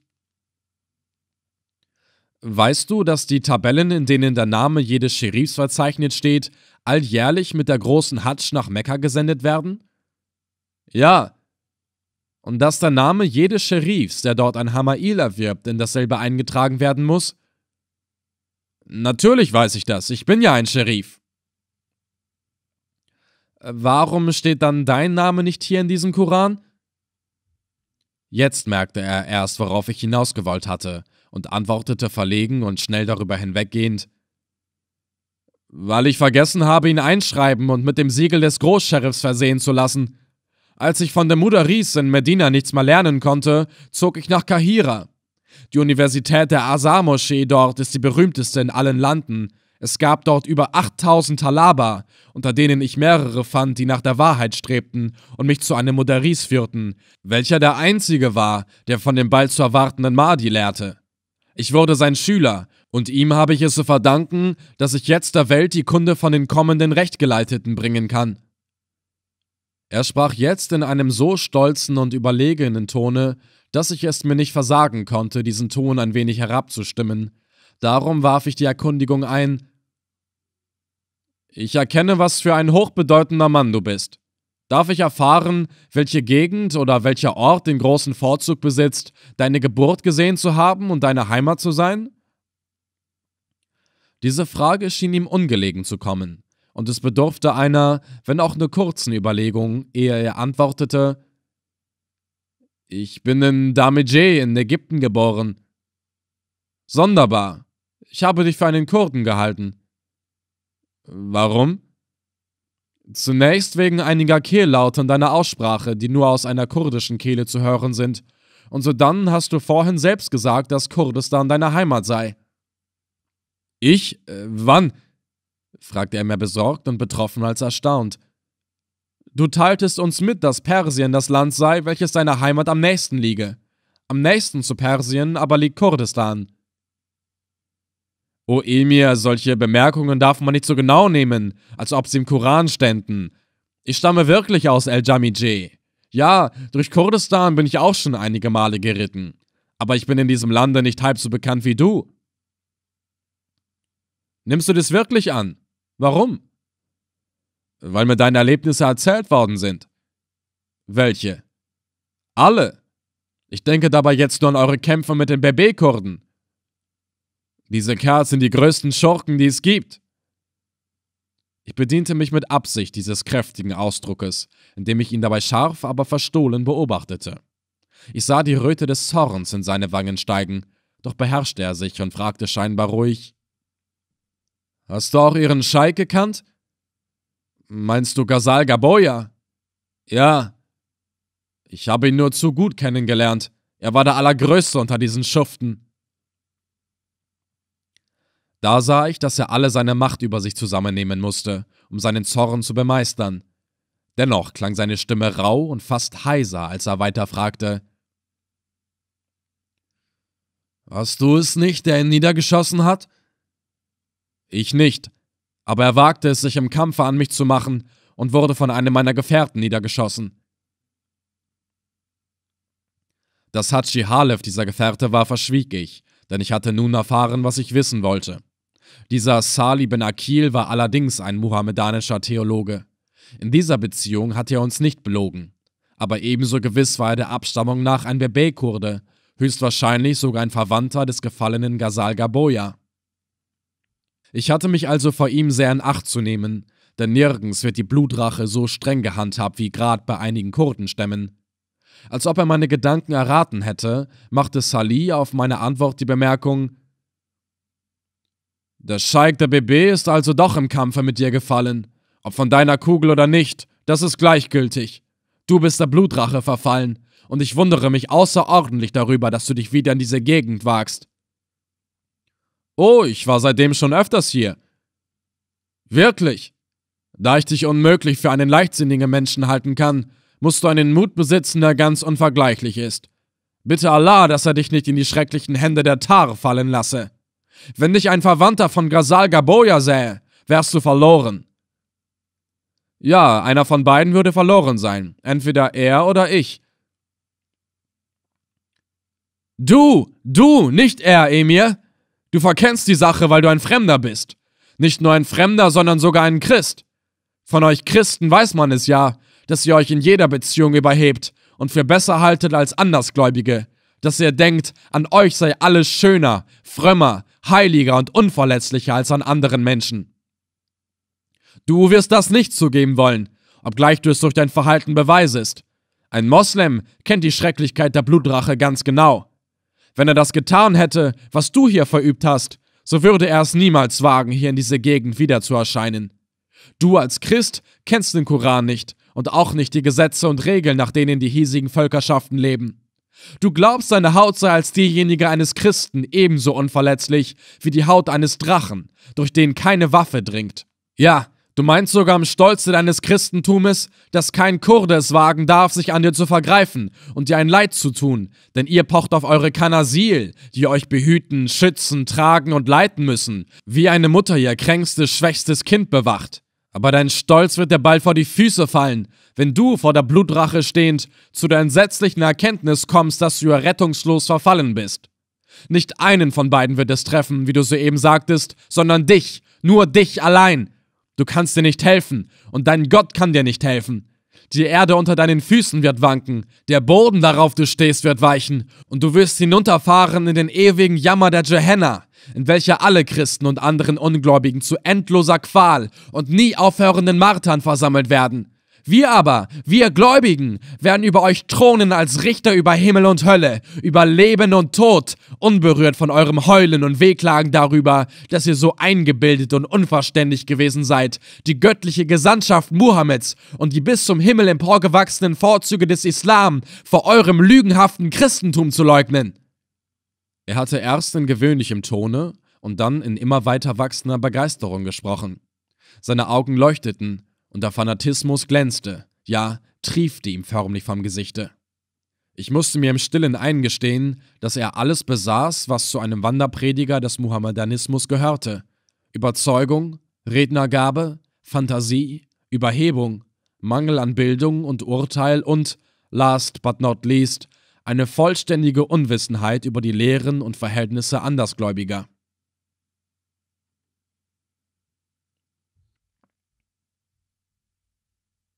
Als er gesprochen hatte und ich ihm nicht sofort antwortete, fügte er hinzu Du schweigst, du bist von der Wahrheit meiner Worte niedergeschmettert. Ja, der heilige Islam ist deine Sonne, gegen welche die armen, elenden Schemate Duhun der anderen Glaubenslehren verschwinden müssen wie Irrlichter, welche nur vom Gestank der Sümpfe leben. Man nennt dich einen berühmten Emir und hochgelehrten Effendi aus dem Abendlande, und du erhebst den Kopf allüberall, weil du dem Bilad el-Alman entstammst, aber deine ganze Berühmtheit und Gelehrsamkeit ist vor meiner überwältigenden Rede in stumme Wortlosigkeit versunken. Und die bewaffneten Herrscharen deines Volkes würden, wenn sie hierher nach Kurdistan kämen, um mit uns zu kämpfen, in den Staub niederfallen und um Gnade bitten müssen. Es war gar nicht meine Absicht gewesen, mit ihm über Glaubenssachen anzubinden, denn ich hatte das Gefühl, dass er mir die Gelegenheit aufzwingen würde, mit ihm noch in anderer Beziehung anzubinden. Da er aber meinem Schweigen eine solche Erklärung gab, musste ich gegen seine Ansichten nun das Wort ergreifen. Sali ben Akil, du scheinst ganz von Sinnen und Megnun zu sein. Denn anders kann ich es mir nicht erklären, dass du meinem Schweigen eine solche Deutung gibst. Ist dir vielleicht das Sprichwort Sedere Ei Karwan di Behure bekannt? Ja, antwortete er ahnungslos, warum ich gerade diese Redensart anzog. Und auch das andere, Aiku tief beke berbai tief deke ruichu. Auch das, Schau, wie gut du das Kurdische verstehst, obgleich du vorgibst, in El Damijeh geboren zu sein. Du glaubst, deine Rede habe mich niedergeschmettert, aber die Karawane ist trotz dieses Ballens ruhig weitergezogen. Du hast gegen mich gespeit, aber nicht mich, sondern nur dich selbst getroffen. Emir, wie kannst du solche Worte zu mir sagen? fuhr er auf.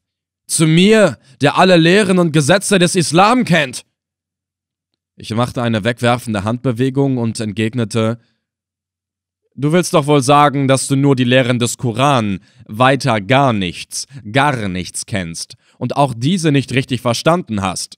Ich sage dir aus meiner Niedergeschmettertheit heraus, wenn einer von uns beiden zu viel Einbildung, grundlosen Stolz und Überhebung besitzt, so bin ich nicht dieser eine, sondern du bist es. Mit deiner Kenntnis des Koran ist es schlecht, sehr schlecht bestellt, wie du gleich erfahren wirst. Und auch die Gesetze und Regeln, nach denen die hiesigen Völker leben, kenne ich besser als du. Du behauptest, dass wir Christen uns auf unsere Konsuls verlassen und von ihnen wie unmündige Kinder beschützt werden müssen. Wenn man dir wirklich von uns erzählt hat, so sage mir doch nur einen einzigen Fall, welcher beweist, dass ich mich an die Hilfe eines Konsuls gewendet oder gar auf sie gepocht habe. Sage mir auch nur einen einzigen Fall, dass ich mich wie ein krankes, schwaches Kind betragen habe. Ich darf ganz im Gegenteile behaupten und kann es auch beweisen, dass gar mancher, mancher Moslem heute noch lebt und sich wohl befindet, der ohne meine Hilfe, also ohne die Hilfe des Christen, verloren gewesen und zugrunde gegangen wäre. Gerade die Kurden vom Stamme der BB wissen ganz genau, ob ich so ein Schwächling bin, wie du die Christen beschreibst. Gehe hin zu ihnen und frage sie, so wirst du erfahren, welche Furcht und Angst ihr ganzer Stamm vor mir gehabt hat. Es gibt unter ihnen Schweig! fuhr mich da zornig an. Die BB sind Helden, die keine Furcht kennen. Am allerwenigsten aber haben sie vor dir. Halte den Mund! unterbrach auch ich ihn in befehlendem Tone. Bist du etwa ein BB, dass du dich ihrer so annimmst? Soll ich denken, dass du nicht in Ägypten, sondern hier geboren bist? Grund genug hast du mir schon dazu gegeben. Ich warne dich. Gib mir ja keine Gelegenheit, dich und deine Absichten zu durchschauen, denn das könnte übel für dich ausfallen. Du hast gewagt mir zu sagen, dass weder Gott noch ich selbst mir helfen könne. Aber Gott hat durch mich schon manche Muhammedaner geholfen, dem sonst nicht zu helfen gewesen wäre. Und bis jetzt habe ich dir noch keine Veranlassung gegeben, anzunehmen, dass ich nicht wisse, wie man sich gegen muhammedanische An- und Übergriffe zu verteidigen hat. Wie kommst du ferner dazu, zu behaupten, dass wir Christen der Hölle verfallen seien? Welcher Dummkopf hat dir das weiß gemacht? Etwa einer deiner Professoren? Dann ist der Islam zu bedauern, dass er nicht bessere Lehre aufzuweisen hat. Wenn ihr es nicht wisst, nun, so wissen wir Christen es umso besser und kennen den Koran umso genauer, dass Muhammad wiederholt erklärt hat, der Himmel stehe auch den Christen offen. Blicke in das Samail, welches du wohl am Halse, nicht aber am Kopfe zu haben scheinst. So wirst du die Stellen finden, die ich meine. Und endlich hast du behauptet, dass ihr Muhammedaner im jenseitigen Leben hoch über uns thronen werdet als Richter über Himmel und Hölle, über Leben und Tod. Wer dir diesen Gedanken beigebracht hat, in dessen Kopfe ist niemals eine Spur von Hirn zu finden gewesen. Wenn du nicht hier säßest und ich deine Worte nicht mit eigenen Ohren gehört hätte, würde ich es für unmöglich halten, dass ein denkender Mensch solchen Unsinn aussprechen könne und solcher Überhebung fähig sei. Wer sich eine Behauptung wie diese ist zu Schulden kommen lässt, dem muss der Koran ein vollständig unbekanntes Buch sein. Und ebenso wenig darf er sagen, dass er jemals eine Auslegung desselben in den Händen gehabt habe. Du, du willst also einst auch mit Richter sein über Tod und Leben, über Himmel und Hölle? Armer Teufel! Noch weißt du selbst nicht, ob du glücklich über Es-Siret, die Brücke des Todes, gelangen wirst. Und sagt nicht Muhammad und sagen nicht die Kalifen und alle Ausleger des Koran, dass nur Isa ben Mariam allein es ist, der am jüngsten Tage vom Himmel kommen und von der Moschee der Omajaden in Damaskus aus alle Lebendigen und Toten richten wird. Also Christus, den wir als Gottes Sohn verehren. Christus, der Sohn Mariens, der unser Mittler und Fürsprecher ist im Leben und im Sterben. Also nicht euer Muhammad, sondern unser Christus wird richten. Denn nur Gott allein kann richten. Und Christus ist ja Gott, während Muhammad zwar euer Prophet, aber doch ein Mensch gewesen ist. Wo bleibst da du, Sali ben Akil, der du von dir behauptest, dass auch du mitrichten werdest über Himmel und Hölle, über Tod und Leben? Wenn du dereinst vor Isa ben Mariam erscheinst, was wird er dich fragen und was kannst du ihm antworten? Er wird dein Richter, dein gerechter, aber strenger Richter sein. Wirst du ihm, dem göttlichen Gründer des Christentums, etwa auch sagen, dass die Christen, seine Gläubigen, in die Hölle zu ewigem Jammer und endloser Qual verdammt werden müssen, weil sie nicht Muhammad, sondern ihn verehrt haben? Er hatte während meiner Rede einige Male vergeblich angesetzt, mich zu unterbrechen. Jetzt aber war er stumm geworden und saß vor mir, ohne ein Wort zu sprechen. Darum fuhr ich fort. Nun, du schweigst. Ich habe dir alle deine Behauptungen widerlegt. Wenn du gegen meine Worte etwas sagen kannst, so sprich. Da er auch jetzt im Schweigen verharrte, ergriff der kleine Halef das Wort. Sieh es geht ihm, wie es mir ergangen ist und wie es jedem ergeht, der sich unterfängt, mit dir gegen deinen Glauben zu reden. Weißt du noch, lieber Effendi, welche Mühe ich mir in der ersten Zeit unserer Bekanntschaft und sogar auch später gab, dich vom Christentum abzubringen und zum Islam zu bekehren? Ja, antwortete ich lächelnd. Ich weiß es gar wohl. Schau, deine Lippen verziehen sich zur Lustigkeit, und die Spitzen deines Bartes nehmen die Haltung des mitleidigen Wohlwollens an. Du bedauerst mich, und ich gebe zu, dass du dazu berechtigt bist. Wer dich von deinem Glauben abbringen will, der gleicht dem Himar, welcher dem Nisr weismachen will, dass es im dunklen, schmutzigen Stalle herrlicher zu leben sei, als droben in den hellen, freien, reinen Lüften, wo das Gold des Sonnenscheins sich mit dem Purpur der Morgen- und der Abendröte vermählt. Mensch, fuhr ihn da der Wanderprediger an. Soll das etwa heißen, dass du mich mit einem Esel vergleichst? Ah, habe ich von dir gesprochen? Fragte Halef in ruhigem Tone. Ich glaubte nur, denjenigen gemeint zu haben, die da meinen, meinen Sidi, der alle Bücher und Schriften von jedem Glauben auswendig kennt, mit den paar armseligen Brocken, die sie im Kopfe haben, belehren zu können. Wenn du dich zu diesen Leuten zählst, so ist das deine eigene Schuld und ich habe nichts dagegen. Sag, ob du ein Moslem bist. Ich bin einer. Und doch redest du ihm, dem Christen, das Wort. Allah, ich würde sogar mehr als ein Wort für ihn reden. Ja, ich würde sogar meine Flinte und mein Messer für ihn sprechen lassen. Er ist der Adler, von dem ich gelernt habe, mit ihm hoch über den Wolken zu fliegen. Dort gefällt es mir. Wenn es den anderen Geschöpfen unten lieber ist, so fällt es mir nicht ein, mich mit ihnen darüber zu streiten. Aber ich dulde auch nicht, dass sie mir meine reine Luft nicht gönnen. Er sagte das in einem Tone, der fast wie eine Drohung klang, und der kleine, furchtlose Kerl war ganz der Mann dazu, seinen Worten den gehörigen Nachdruck zu geben. Das wusste Sali, der ja von ihm ebenso wie von mir gehört hatte, und darum hielt er es für geraten, seine Gegnerschaft wenigstens jetzt nicht weiter zu treiben. Auch kam es ihm, wie ich später bemerkte, sehr darauf an, uns keine Veranlassung zu geben, eine unvorteilhafte Meinung über ihn zu fassen. Und so überwand er sich, in versöhnlicher Weise zu bemerken, es ist mir gar nicht eingefallen, deinen Effendi anzugreifen. Er mag der Christ bleiben, der er ist, während ich mich wie vorher zu Muhammad bekenne, den Allah über alle Himmel erheben wird. Du hast aber nicht bloß von der Religion gesprochen, sondern ihm und mir mit der Blutrache gedroht. Gedroht? Das habe ich nicht. Ich verehre ihn und bewundere eure Taten. Darum habe ich mir erlaubt, eine Warnung auszusprechen, die aus einem wohlmeinenden Herzen kam.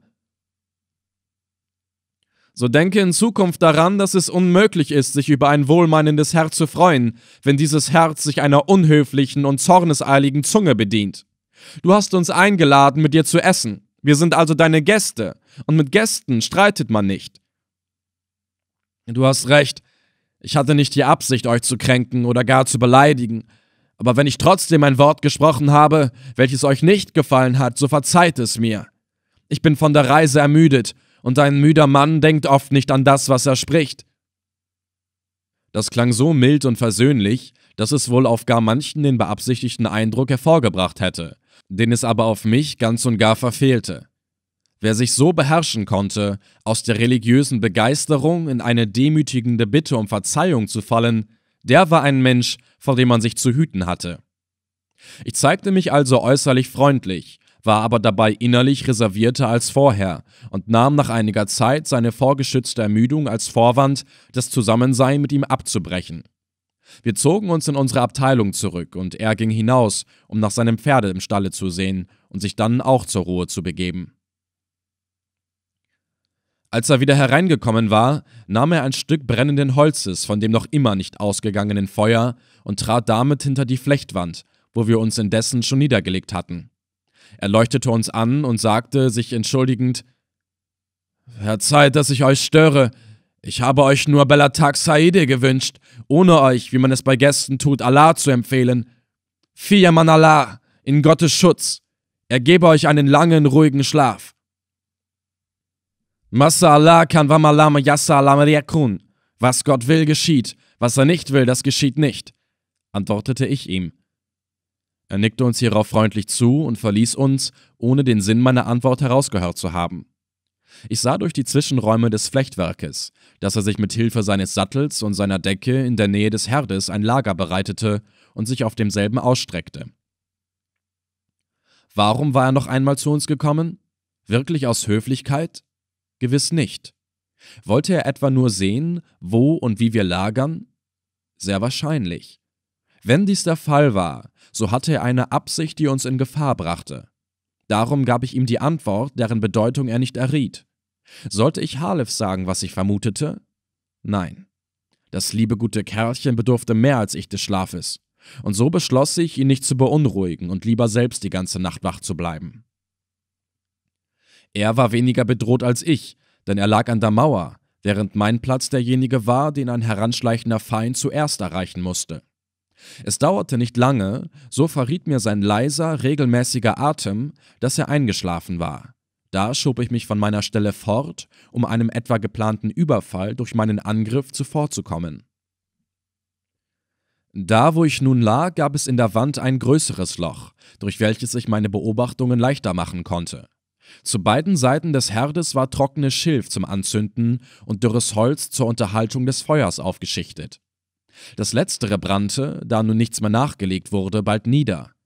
Ehe es ganz ausging, sah ich, dass Sali seine Arme aus der Decke, die ihn umhüllte, hervorzog und, den Kopf ein wenig hebend, mit scharfen Augen nach uns herblickte. Dieser Umstand befestigte mich in dem Verdachte, den ich hegte. Hierauf wurde es ganz finster, und ich konnte mich nur noch auf meine Ohren, nicht mehr auf die Augen verlassen. In Lagen wie diejenige, in der wir uns befanden, vergeht die Zeit mit quälender Langsamkeit. Die Minuten wurden mir zu Stunden, aber ich ließ nicht nach in meiner Aufmerksamkeit, welche endlich, endlich ganz nach Erwarten belohnt wurde, denn ich hörte das, wenn auch nur ganz leise zu vernehmende Geräusch, welches hervorgebracht wird, wenn ein Gewand, ein Kleidungsstück auf dem Boden hinstreift. Wäre mein Gehör nicht während meines Aufenthaltes im Wilden Westen so außerordentlich geschärft worden, so hätte ich jetzt sicherlich nichts wahrgenommen. Wie gut, dass ich misstrauisch gewesen war und Verdacht gefasst hatte. Der BB-Kurde, denn dass er das war, das stand nun bei mir fest, fühlte sich als Vertreter der Blutrache und kam jetzt, um sie auszuführen. Welch ein Ruhm und welch eine Ehre für ihn, wenn er seinem Stamme dann die Meldung bringen konnte, dass er Kara Benemsi und Hachi Halef Omar getötet habe. Eine solche Bluttat stand nach der Ansicht dieser Leute mit seinem geistlichen Berufe nicht im geringsten Widerspruche. Er glitt durch die Wandöffnung zu uns herein und wendete sich dann nach rechts, wo ich erst gelegen hatte und wo Halef noch lag, während ich mich jetzt links davon befand. Ich konnte ihn nicht sehen, täuschte mich aber trotzdem nicht, denn das leise, leise Streichen des Gewandes war keine Halluzination, und wenn ich ja noch gezweifelt hätte, so gab es jetzt ein zwar sehr kurzes, aber noch deutlicheres Geräusch, welches mir bewies, dass ich mich in keinem Irrtume befand. Es war das Knacken eines Gelenkes, welches bei einem gut geschulten Anschleicher, der er aber nicht war, unmöglich vorkommen kann. Dies ist wieder einmal ein Beweis, wie außerordentlich schwer ein tadelloses Anschleichen ist, denn an dem leisen Knacken auch nur eines Fingergelenkes kann das Leben hängen. Als er die Wendung nach rechts gemacht hatte, folgte ich ihm, auf die beiden Knie und die linke Hand gestützt, denn die rechte musste ich vorsichtig tastend ausstrecken, um mich mit ihm in Verbindung zu setzen. Ich berührte dabei die Sohle seines Schuhes, den er unverzeihlicherweise nicht ausgezogen hatte. Mich noch mehr zur Seite, aber weiter vorschiebend, fühlte ich dann einen Zipfel seines HX, also nicht einmal diesen hatte er abgelegt. Diesen Zipfel zwar festhaltend, dabei aber immer nachgebend, fühlte ich jede seiner Bewegungen, bis er sich ganz nahe der Stelle befand, wo er mich liegen glaubte. Bisher war er auf allen Vieren gekrochen. Jetzt richtete er sich kniend auf, meine Zeit war gekommen. Ich erhob mich ebenso wie er, streckte mich aus und griff mit beiden Händen zu. Ich erwischte ihn mit der rechten beim Oberarm und mit der linken im Genick. Der Schreck über diese unerwartete, plötzliche Berührung entriss ihm einen lauten Schrei. Ich zog ihn vollends an mich heran und nahm ihn mit beiden Händen um den Hals, und zwar so fest, dass ihm nicht der geringste Widerstand möglich war. Die Arme sanken ihm schlaff herab, und wenn ich ihn nicht in den Händen gehabt hätte, wäre er niedergefallen.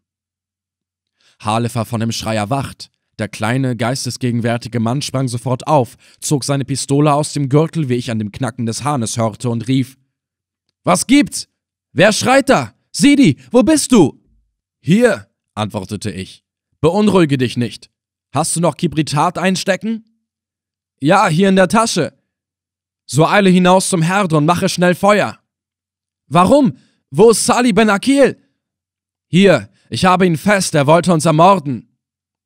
Allah Wallah! Hast du ihn wirklich sicher, ganz sicher? Ja, sorge dich nicht, aber Licht müssen wir haben. Gleich, gleich, ich eile, es soll im Augenblicke hell werden. Ermorden uns, dieser Schurke. Wir schicken ihn dafür in die Hölle. Vorher aber bekommt er von mir hundert Peitschenhiebe dahin, grad dahin, wo sie ihm am wenigsten gefallen. Während er diese Worte des Zornes ausstieß, eilte er hinaus zum Herde. Sali bewegte sich unter mir und griff nach meinen Händen. Ich schlug ihm also die Faust an den Kopf, dass er die Besinnung verlor. Da flammte draußen das brennende Schilf auf und warf seinen Schein durch die vielen Ritzen des Flechtwerkes. Grad vor mir sah ich das Messer des Kurden liegen. Er hatte uns also erstechen wollen. Ich hob es auf, schob es an meinen Gürtel und schleifte dann den Bewusstlosen hinaus an den Herd, wo inzwischen auch das Holz zum Brennen gekommen war. Während wir dort dem Ertappten die Füße zusammen und die Hände auf den Rücken banden, erkundigte sich Halef. Aber Sidi, wie war es möglich, dass dieser Mensch uns, die wir doch seine Gäste waren, nach dem Leben trachten konnte? Ich vermute, dass er ein Kurde ist und zum Stamme der BB gehört. Mashallah! Wunder Gottes, ein BB! Also Blutrache! Und doch hat er uns, bevor er sich schlafen legte, dem Schutze Allahs befohlen. Um uns zu täuschen. Er wünschte uns aber auch einen langen Schlaf und hat damit höchstwahrscheinlich den Todesschlaf gemeint. Gilandagno! Verflucht sei sein Bart! Als ich mich niederlegte, hatte ich keine Lust, außerhalb dieser Erde aufzuwachen. Du hast dir und mir das Leben gerettet. Wir sind dir also beide zum größten Dank verpflichtet. Wie aber ist es gekommen, dass es dir möglich war, die Mordtat zu verhüten? Ich bin wach geblieben, denn ich ahnte, was der Kerl für eine Absicht hatte. Und du hast mir nichts davon mitgeteilt, Sidi.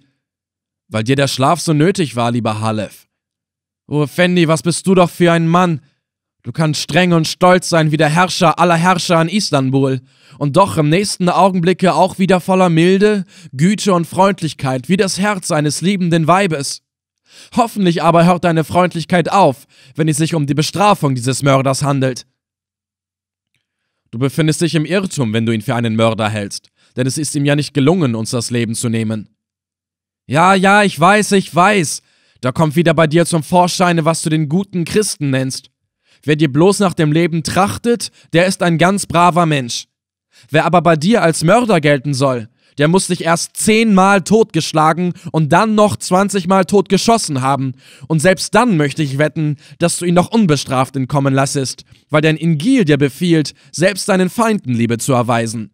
Schau, da schlägt er dir Augen auf. Nun wollte ich, ich dürfte die Peitsche nehmen und ihm hundert Piaster aufzählen. Aber nicht silberne, sondern lederne, die aus der Haut des Nilpferdes geschnitten worden sind.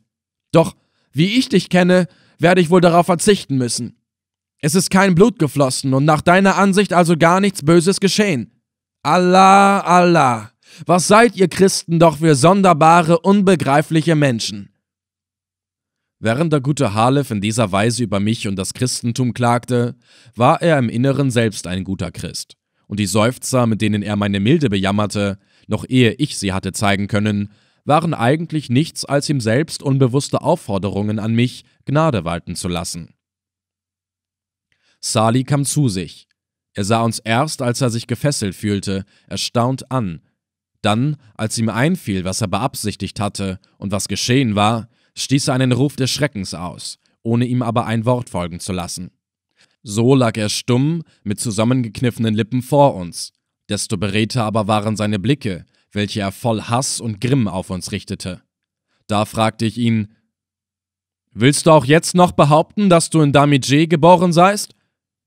Er antwortete nicht sogleich, dann aber zischte er wütend zwischen den Zähnen hervor: Die List gebot mir die Unwahrheit zu sagen, aber denke ja nicht, dass ich nun aus Angst vor dir weiterlüge. Allah schien dich in meine Hand gegeben zu haben. Ich habe mich in ihm geirrt. Dies ist wohl nicht das erste Mal, dass du dich in Gottes Fügung irrst. Du bist ein Kurde. Ja. Vom Stamme der BB? Ja. Der Scheik Ghazal Gaboya war ein Verwandter von dir. Er war der Bruder meiner Mutter. Ich begreife. Du erfuhrst hier, wer wir sind, und die Blutrache zwang dich, das Leben von uns zu fordern. Ja, sie zwang mich, so wie sie jetzt dich zwingt, mir das Leben zu nehmen. Ich bin ein Christ und kenne die Blutrache nicht.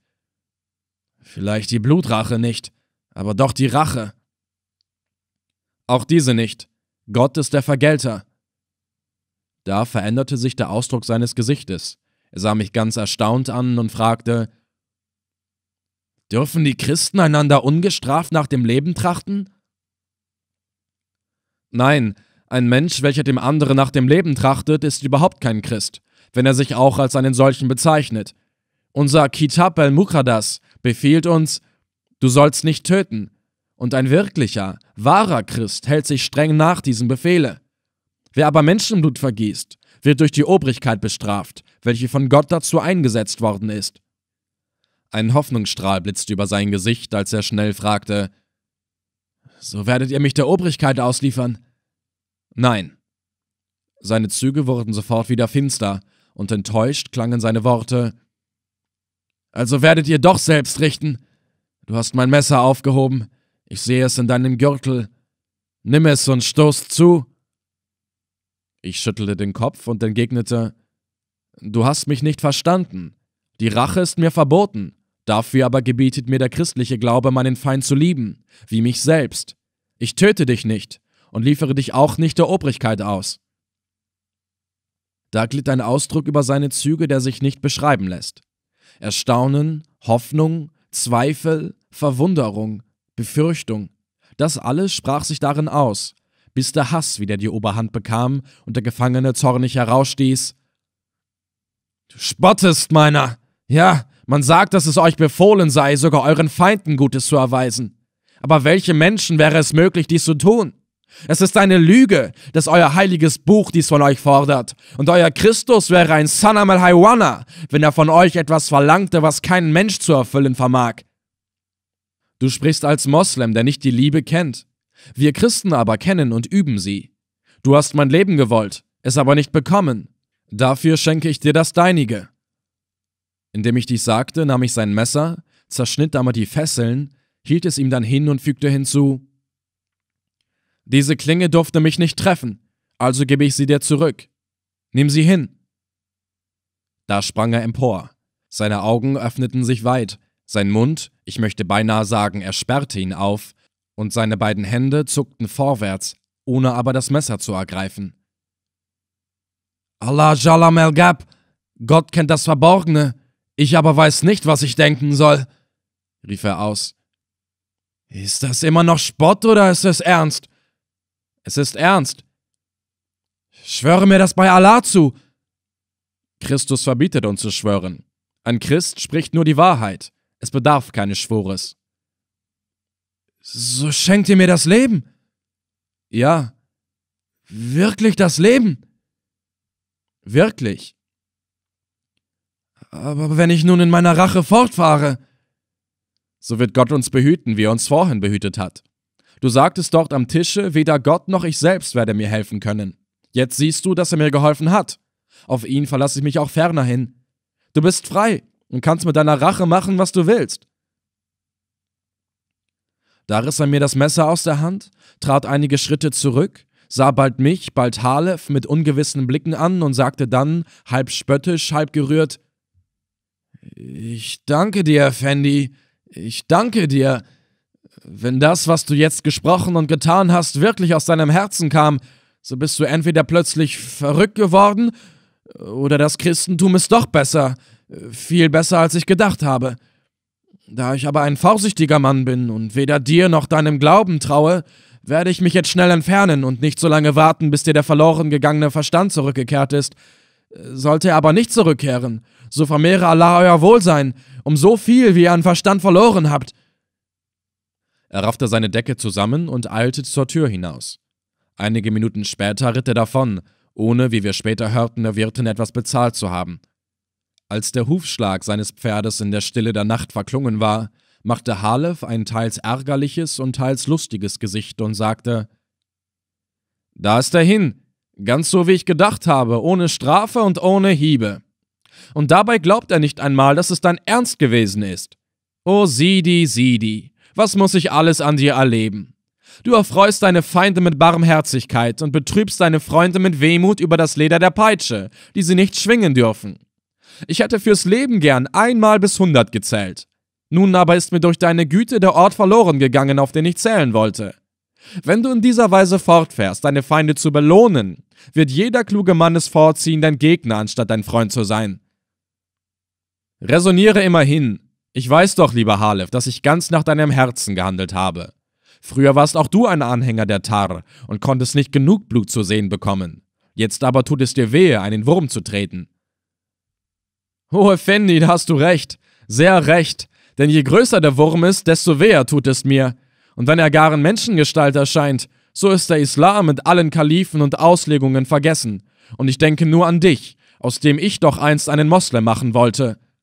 Wenn das so fortgeht, wirst du mich noch dahin bringen, von einem eurer Priester die heilige Mamudija zu erbitten.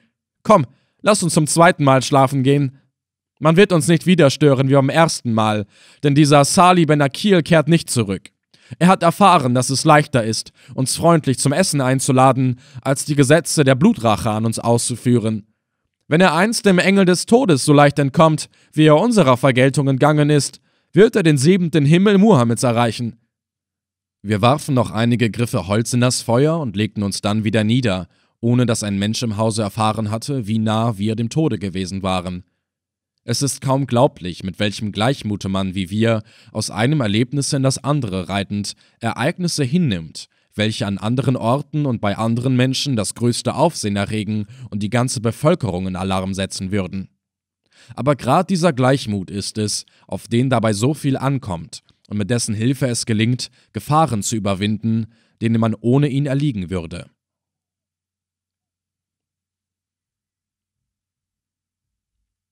Als Halef annahm, dass wir nun nicht wieder gestört würden, hatte er sich geirrt, denn wir mochten noch nicht mal zwei Stunden geschlafen haben, als uns ein Lärm erweckte, welcher sich draußen erhoben hatte. Es war ein vielstimmiges Schreien und Brüllen, aus welchem wir zuweilen den Ruf Ihr Harik, ihr Harik heraushörten. Es brannte also irgendwo im Orte, und so wenig uns das eigentlich anging, wir sprangen doch auf und rannten hinaus, um unsere Hilfe anzubieten, wenn sie nötig war. Wir sahen, dass es sich dabei um einen bedeutenden Brand handelte und eilten der betreffenden Gegend zu.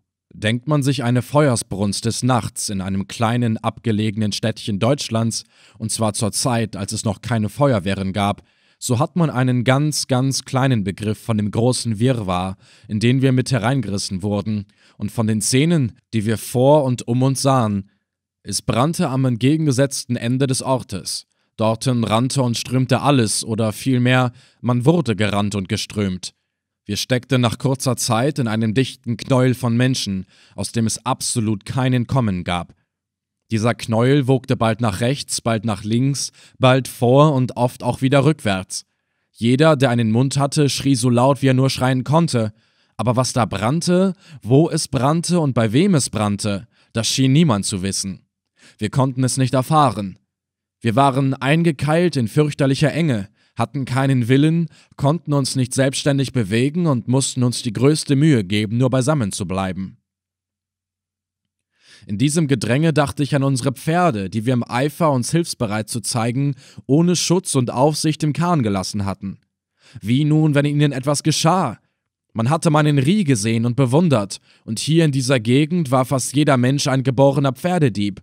Mir wurde Angst, ich teilte Halef meine Besorgnisse mit, und wir gaben uns nun alle Mühe, uns Bahn zu brechen, um nach dem Kahn zurückzukehren. Aber je mehr wir schoben, drängten und stießen, desto mehr wurden wir gedrückt und gequetscht, gestoßen und geschlagen. Wir fühlten bald, wie man sich auszudrücken pflegt, unsere Knochen nicht mehr, und schon gaben wir es auf, unseren Willen durchzusetzen, als uns plötzliche Hilfe wurde, und diese Hilfe kam durch die Tulumba. Tulumba, was ist das?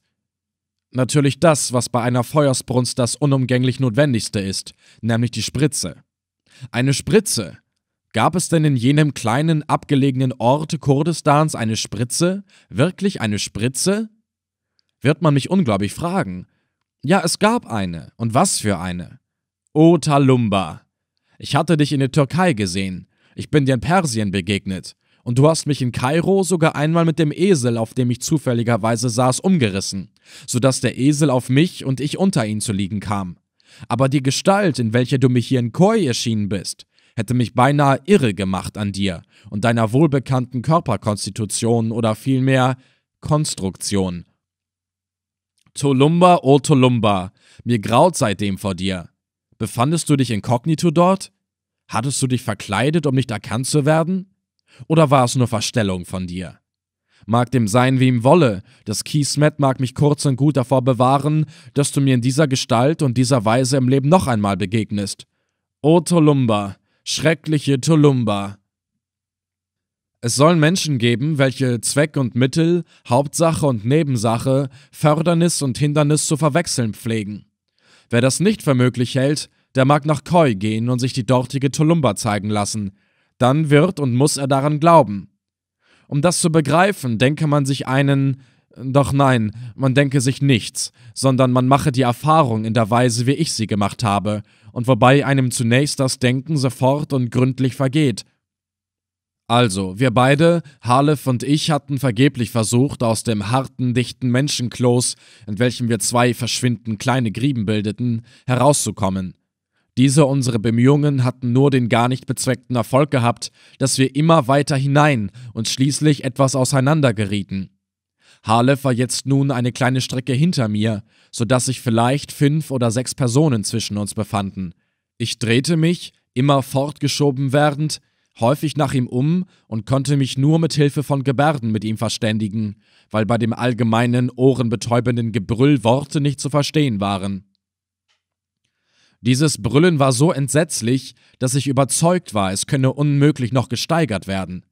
Ein Lärm in deutscher und ein Gebrüll in kurdischer Sprache, das gibt übrigens einen ganz bedeutenden Unterschied. Gar nicht zu gedenken, dass viele Schreier sich auch der türkischen, arabischen und persischen Sprache bedienten. Plötzlich verwandelten sich diese fürchterlichen Tonwellen in die entsetzlichsten Tonwogen.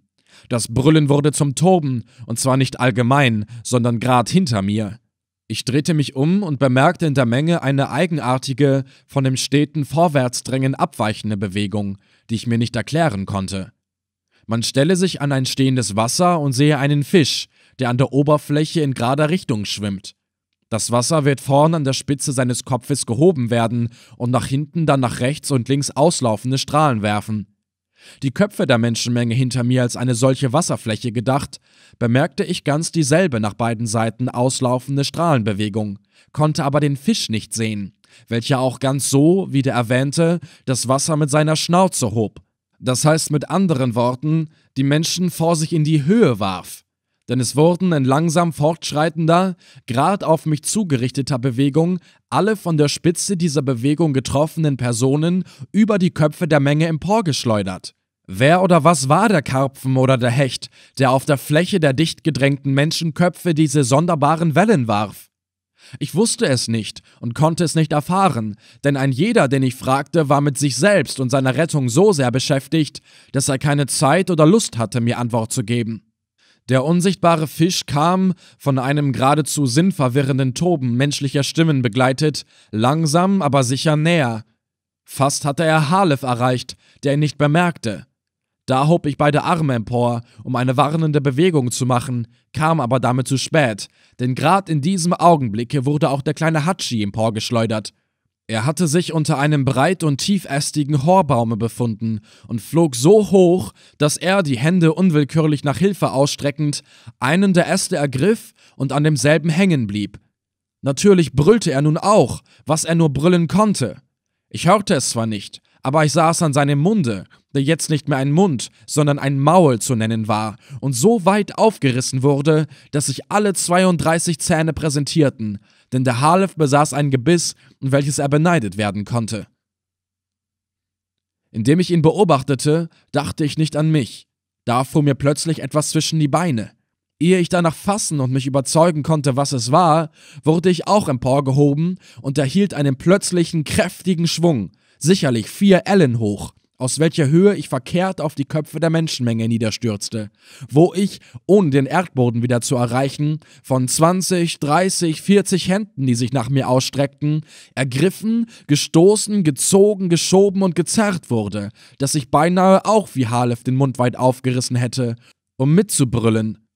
So wurde ich eine kleine Weile auf den Köpfen der Menschen liegend hin und her gerissen, bis mir der Gedanke kam, mich auf ungewöhnliche Weise in Sicherheit zu bringen.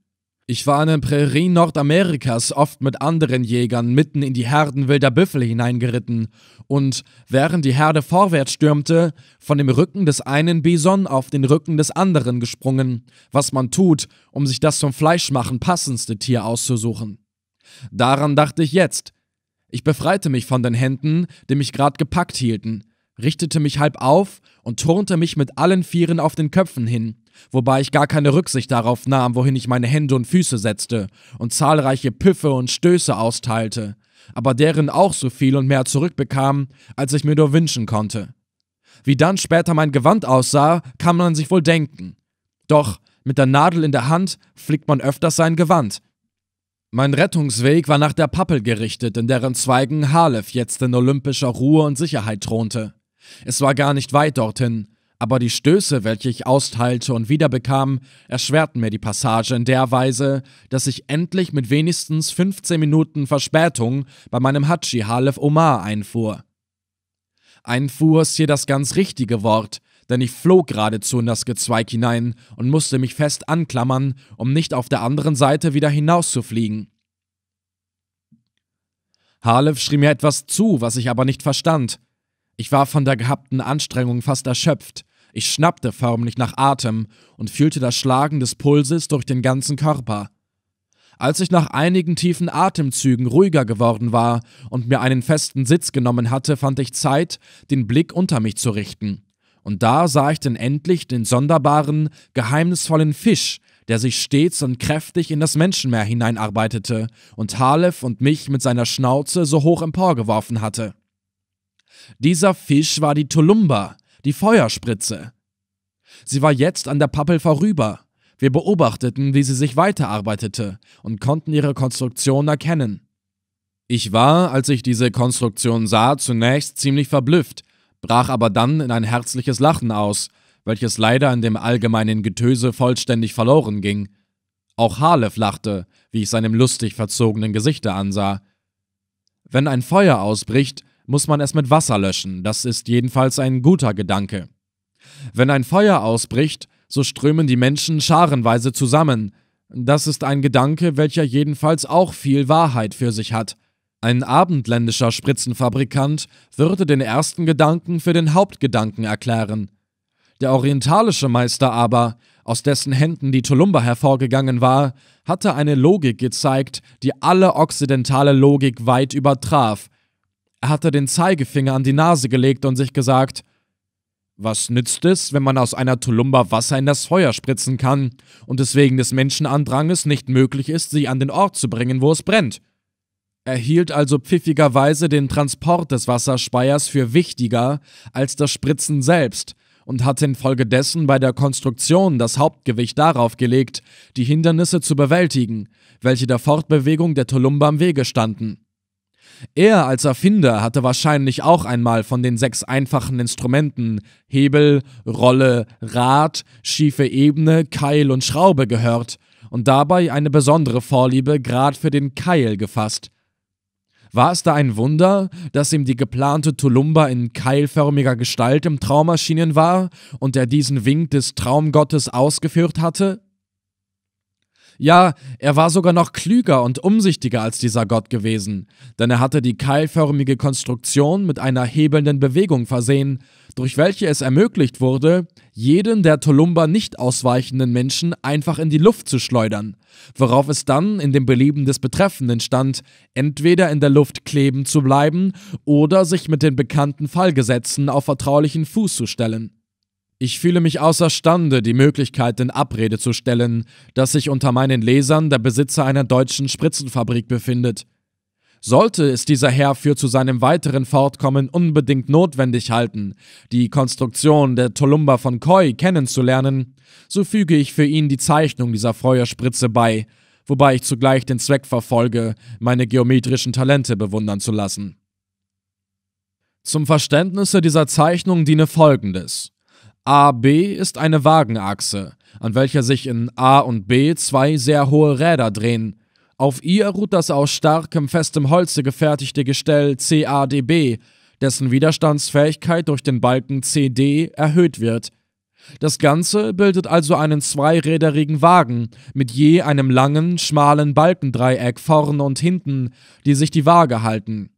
Es bedarf also gar keiner Anstrengung, das hintere Dreieck zu senken und dadurch das vordere zu heben oder umgekehrt.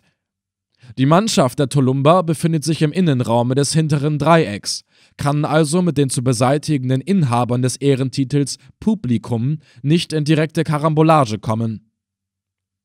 Diese Feuerwehrmänner, es waren ihrer 20, schieben das Gestell vorwärts, ohne alle Rücksicht in die Menschenmenge hinein, Sie heben dabei von Zeit zu Zeit die hinteren Balken hoch, wodurch sich der vordere Teil tief senkt und den im Wege stehenden an und zwischen die Beine gerät, denn die Spitze geht in einen schmalen, scharfen Balken aus. Ziehen sie nun hinten plötzlich nieder, so werden diejenigen, welche von der Spritze ergriffen worden sind, je nach der Gewalt des Rucks mehr oder weniger hoch emporgeworfen, während die keilförmige Gestalt die anderen auf die Seite drängt. Man kann sich das Geschrei, die Quetschungen und Püffe denken, die es gibt, wenn so ein Keil in die dichte Menschenmenge hineingerammt wird. Auf den Gedanken, eine solche Tolumba zu bauen, kann man freilich auch nur kommen, wenn man es mit einer kurdischen Bevölkerung zu tun und ein kurdisches Gehirn im Kopfe hat. Es ist selbstverständlich, dass die Spritze nur höchst langsam vorwärts kommt, denn es muss sehr oft angehalten werden, und es kommt häufig vor, dass sich das widerspenstige Publikum zur Wehre setzt. Geschah es doch auch im gegenwärtigen Falle, dass die Talumba die Brandstätte gar nicht erreichte und das große Holzlager, welches die Brandstifter angesteckt hatten, vollständig eingeäschert wurde. Aber der umsichtige Erfinder hatte wirklich auch die Möglichkeit in Betracht gezogen, dass die Spritze an dem Orte ihrer Bestimmung ankam und für diesen Fall bei Punkt E der Wagenachse einen starken Haken angebracht, an welchem ein Wasserfass mit einigen Eimern hing.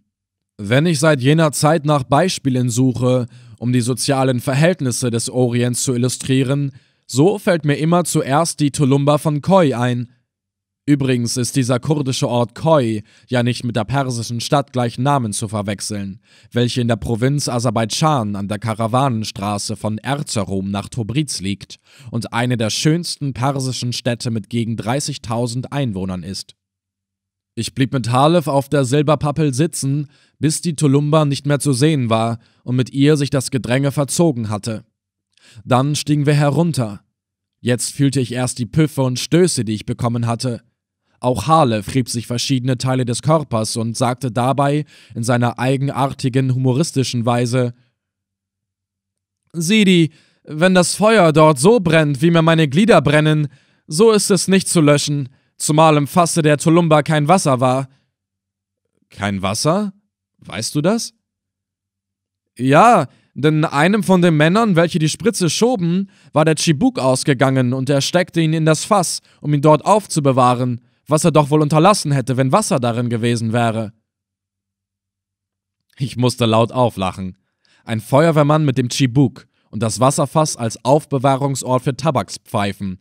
Das war doch mehr als komisch. Halef lachte mit und fuhr fort.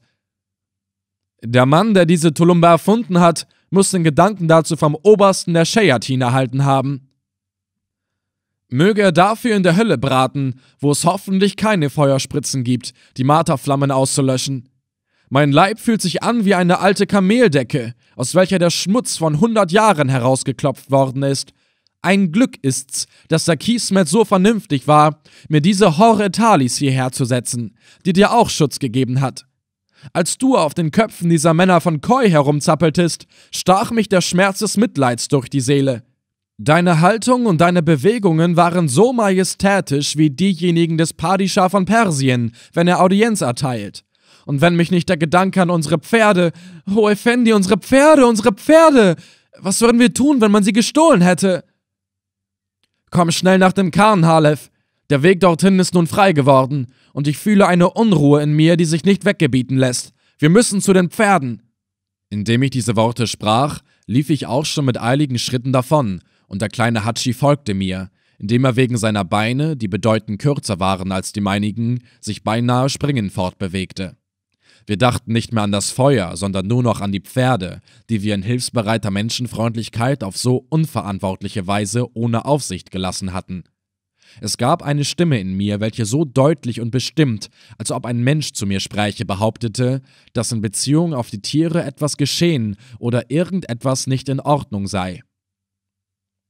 Leider sollte diese Stimme recht behalten, denn als wir den Kahn erreichten, in dessen Hof sich kein Mensch befand, weil außer der Wirtin alle nach der Brandstätte gelaufen waren und dort in die Stube traten, fanden wir dieselbe vollständig dunkel, denn es brannte kein Licht, und das Feuer auf dem Herde war ausgegangen. Ich wartete gar nicht ab, bis ich die hintere Abteilung erreichte, sondern rief gleich beim Eintreten mein Pferd beim Namen. Es war gewohnt, mir stets und gleich durch ein freundlich klingendes Schnauben zu antworten. Diese Antwort aber blieb jetzt aus, und so eilte ich erschrocken hinter, indem ich dem Hatschi zurief: Sie sind fort, Halef, Sie sind fort, denn wären Sie noch da, so würde sich Rie hören lassen. Halef blieb stehen, er, der sonst so wackere Mann, der keine Furcht und kein Zagen kannte, konnte vor Schreck nicht weiter. Ich hörte es ihm an, dass es ihm Mühe machte, die Worte hervorzustoßen. Fort sind sie? Allah Muawin, Gott sei unser Helfer! Wenn man uns die Pferde gestohlen hat, so liegen wir hier wie Fische auf dem Trockenen. Mir ist der Schreck in alle meine Glieder gefahren. Ich hoffe, dass wenigstens die deinigen davon verschont bleiben. Als ich die hintere Abteilung erreichte und die Hände nach den Pferden ausstreckte, griff ich in die Luft. Meine Ahnung hatte mich also nicht betrogen. Und eine fast noch schlimmere Befürchtung durchzuckte mich, als mir jetzt unsere Waffen einfielen. Wenn meine Gewehre auch fort waren, so ergab das doppelten Verlust. Ich hatte sie, ehe wir vorhin fortrannten, zu Halefs Flinte in die hintere Ecke gelegt und unsere Decken darauf geworfen. Jetzt war ich mit einigen raschen Schritten dort und bückte mich nieder, Gott sei Dank. Die Decken lagen noch da, und ich fühlte unter ihnen die Gewehre. Zugleich hörte ich Halef rufen: Sind Sie fort? Sind Sie wirklich fort, die Pferde, Effendi? Leider ja. So möge der Scheitern die Diebe braten und bis auf die Knochen verbrennen lassen, dass seine brennende Großmutter keinen Bissen von ihnen genießen mag. Ich muss mich selbst überzeugen, ob es wahr ist. Ich komme hinter, ich komme zu dir. Und wenn man dann die, Allah, da bin ich über eine Person gestolpert, welche am Boden liegt und. Oh Allah, Allah, komm her zu mir, Sidi, komm schnell her! Da liegt ein Mädchen oder ein Weib, eine Frau, die rund um den ganzen Körper gebunden ist und nicht reden kann, weil sie einen Knebel im Munde hat. Das können nur die Diebe gewesen sein. Denn ein ehrlicher Mensch kennt die Regeln der Höflichkeit, nach denen man die Frauen zu behandeln hat, und die es jedermann verbieten, einer Sejid einen Gegenstand in den Mund zu stecken, nachdem sie keinen Appetit verspürt. Der kleine Kerl behielt selbst in der gegenwärtigen Lage die possierliche Ausdrucksweise bei, die eine Folge seiner stetigen guten Laune war. Ich folgte natürlich seiner Aufforderung, ging aber zuerst nach dem Tische, wo ich den Stumpf des Talglichtes, welches vorhin dort gebrannt hatte, noch vermutete. Er war noch da, und ich erhellte mit seiner und eines Zündholzes Hilfe die Stube. Da sah ich die Wirtin am Boden liegen. Sie war mit Baststricken umwickelt, dass sie sich nicht rühren konnte, und hatte so viel von ihrer Schürze, wie nur möglich war, in den Mund gestopft bekommen. Als wir sie von den Fesseln und dem Knebel befreit hatten, holte sie einige Male tief, tief Atem und bat dann in flehendem Tone Tu mir nichts, Emir. Lass es nicht mich entgelten, denn ich bin unschuldig, völlig unschuldig daran. Das glaube ich dir, antwortete ich. Es fällt mir gar nicht ein, dir Übles zuzufügen. Setz dich hierher an den Tisch und erzähle uns ausführlich, was sich während unserer Abwesenheit hier zugetragen hat. Ich führte sie, die an allen Gliedern zitterte, zur Bank und zog sie auf dieselbe nieder. Es dauerte trotz meines begütigenden Zuredens eine geraume Zeit, ehe sie in gesammelter Weise erzählen konnte. Als alle Menschen zum Feuer rannten, wollte ich auch mit fort, aber es fiel mir ein, dass ich das Haus nicht allein lassen dürfe und also hier bleiben müsse. Aber ich fürchtete mich draußen und ging darum herein in diese Stube. Kaum befand ich mich hier, so kamen viele fremde Kerls herein, welche wie Räuber bewaffnet waren und über mich herfielen. Ich wurde gebunden und dann nach euch gefragt, ob Emir Karabenemsi Effendi und Hachi Halef Omar wirklich eure Namen seien.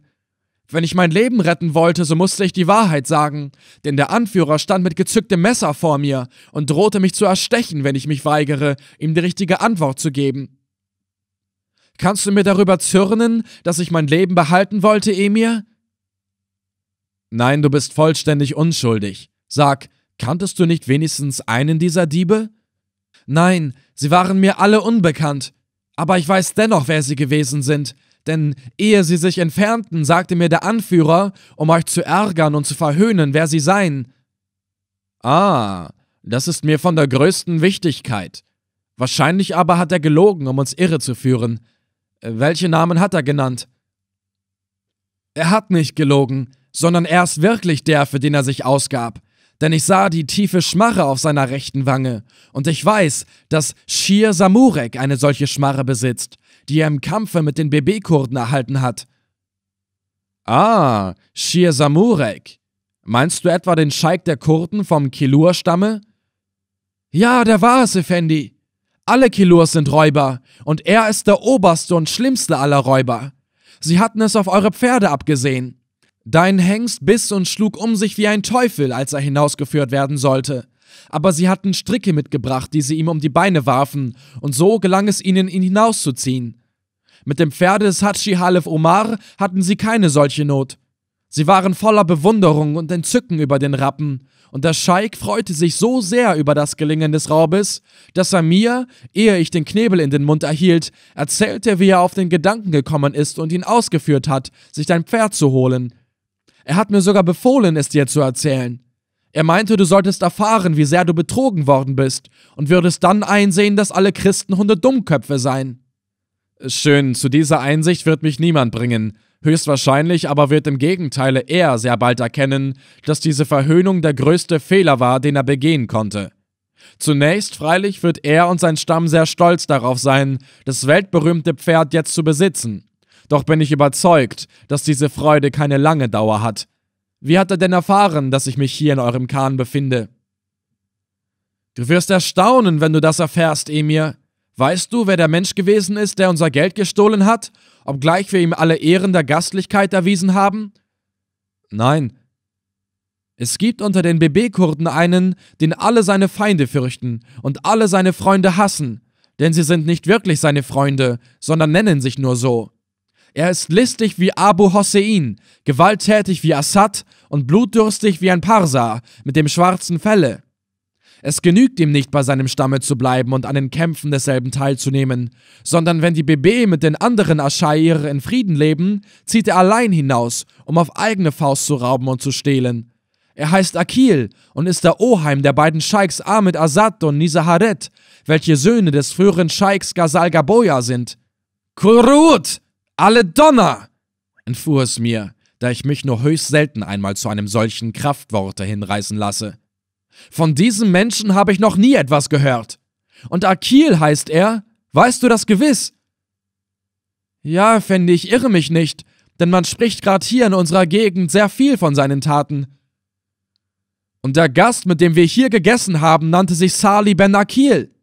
Er leugnete zwar ein Kurde zu sein, doch glaubte ich ihm nicht.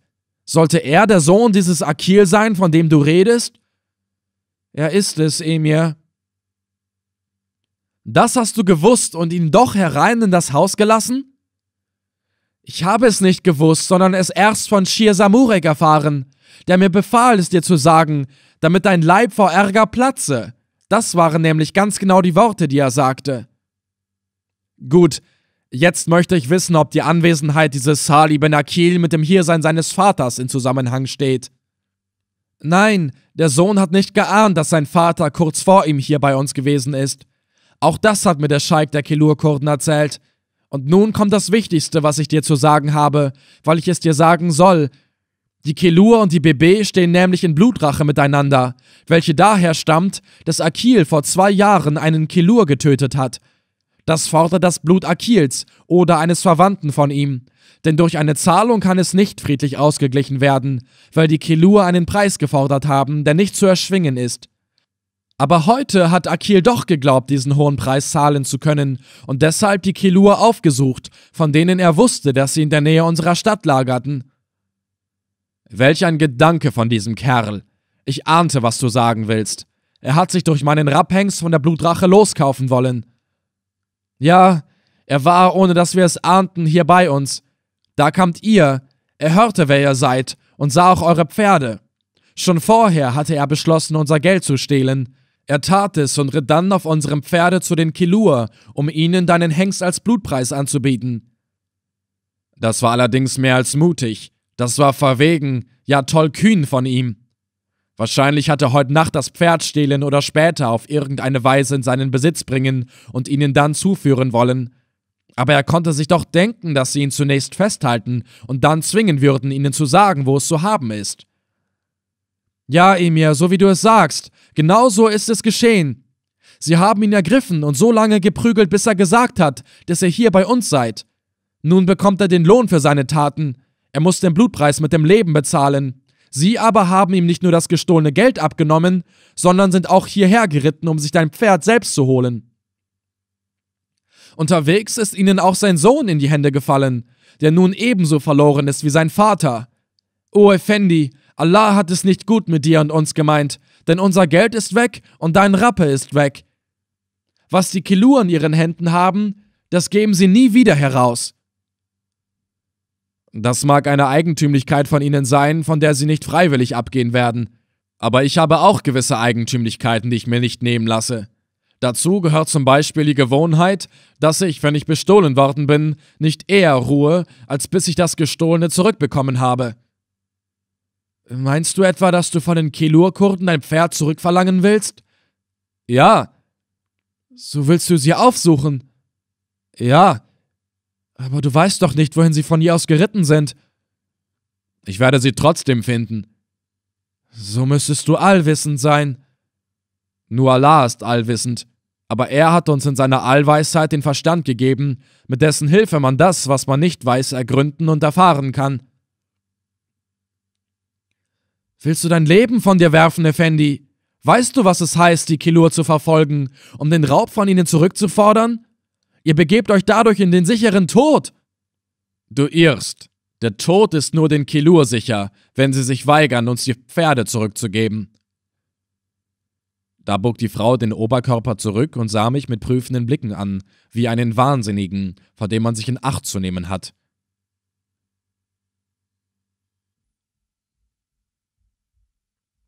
Und als es ihr nicht gelang, etwas Verrücktes an mir zu entdecken, schüttelte sie den Kopf und sagte Effendi, ich habe gehört, dass ihr Christen Leute seid, welche nicht nur anders glauben und anders fühlen und denken, sondern auch alles anders machen als wir. Darum ist es vielleicht möglich, dass du etwas erreichst, wo ein gläubiger Moslem nichts erreichen würde. Du und Halef, ihr beide habt viel getan, was man eigentlich nicht glauben möchte.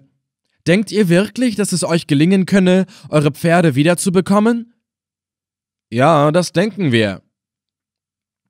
Allah, Wenn die Kelur gezwungen werden können, euch euer Eigentum zurückzuerstatten, könnte man sie doch auch dazu anhalten, uns unser Geld wiederzugeben.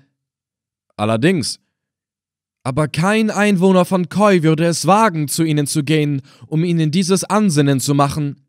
Emir, weißt du wohl, wie höflich und gastfreundlich wir dich empfangen und behandelt haben?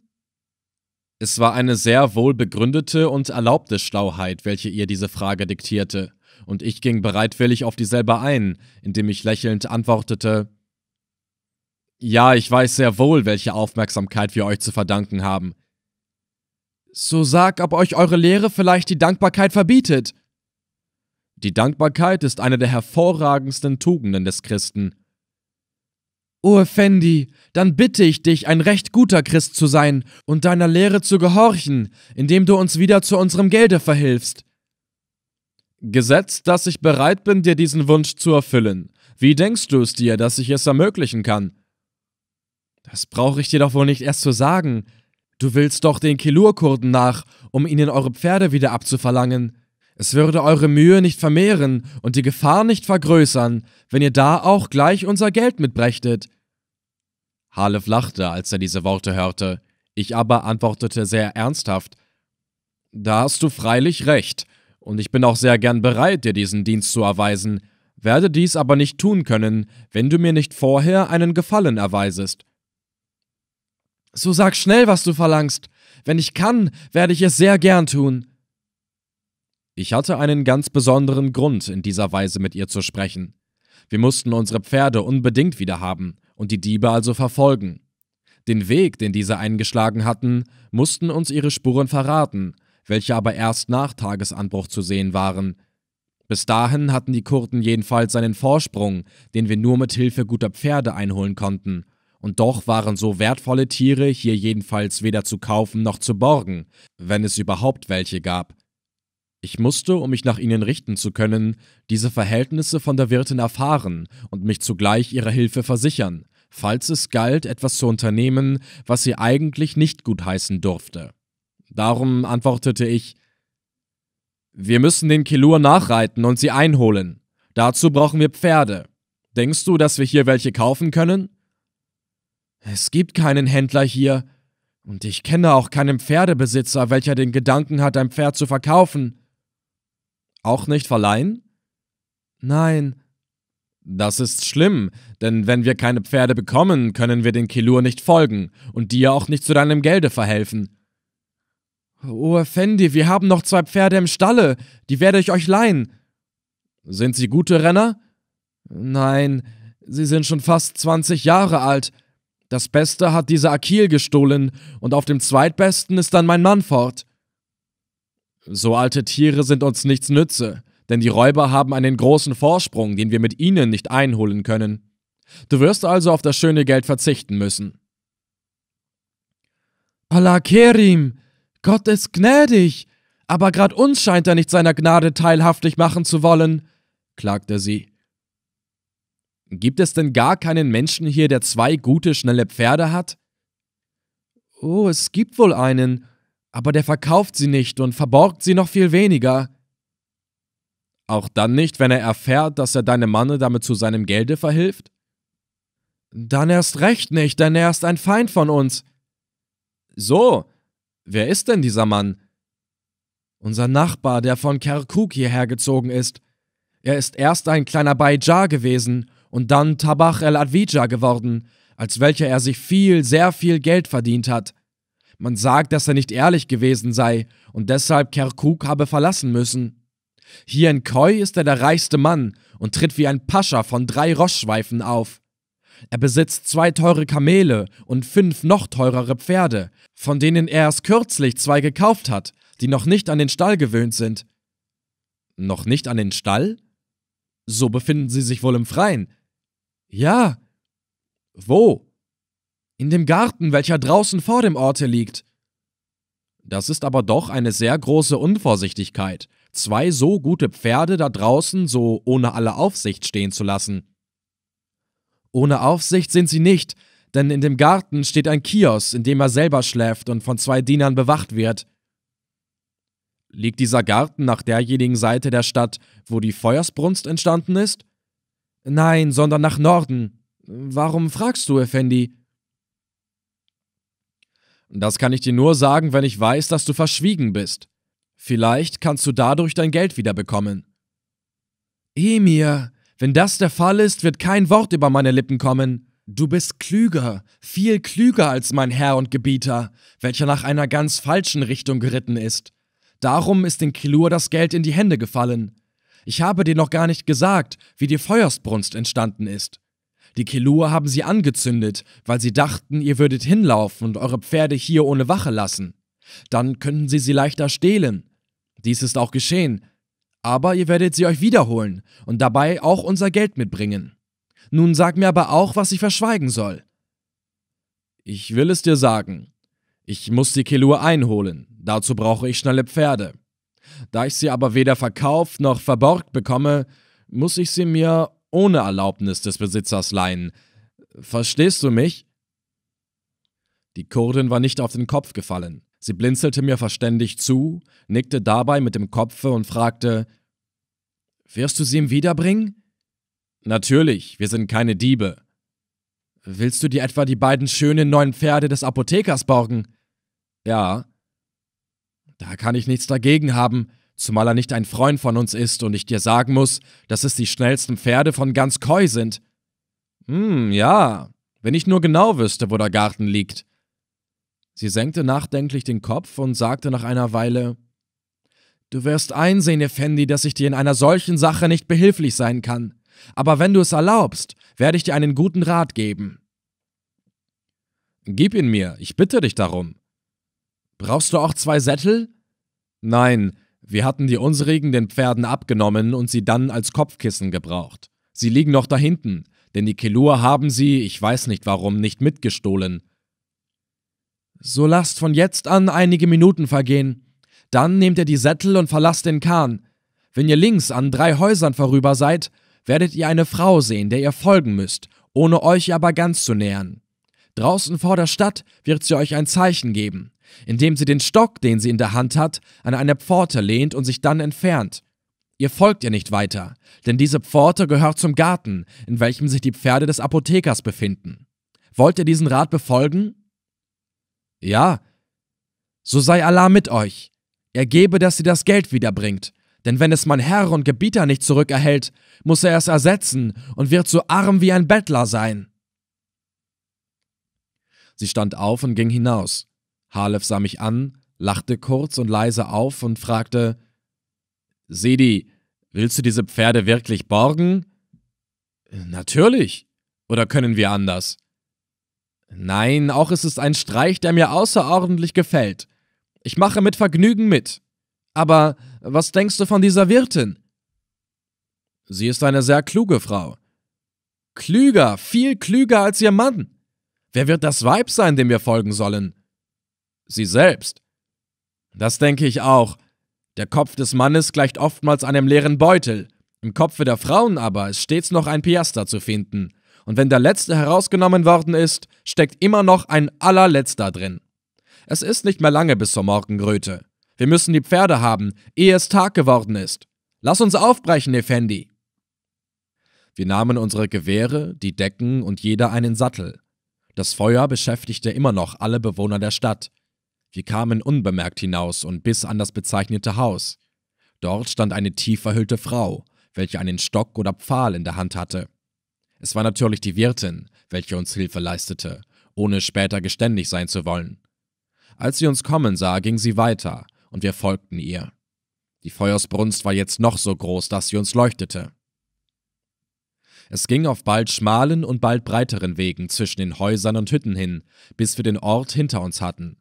Da erreichten wir einen aus Dornen bestehenden langen Zaun, in dessen Mitte die etwa 20 Schritte vor uns hergehende Frau stehen blieb, um den Pfahl anzulehnen.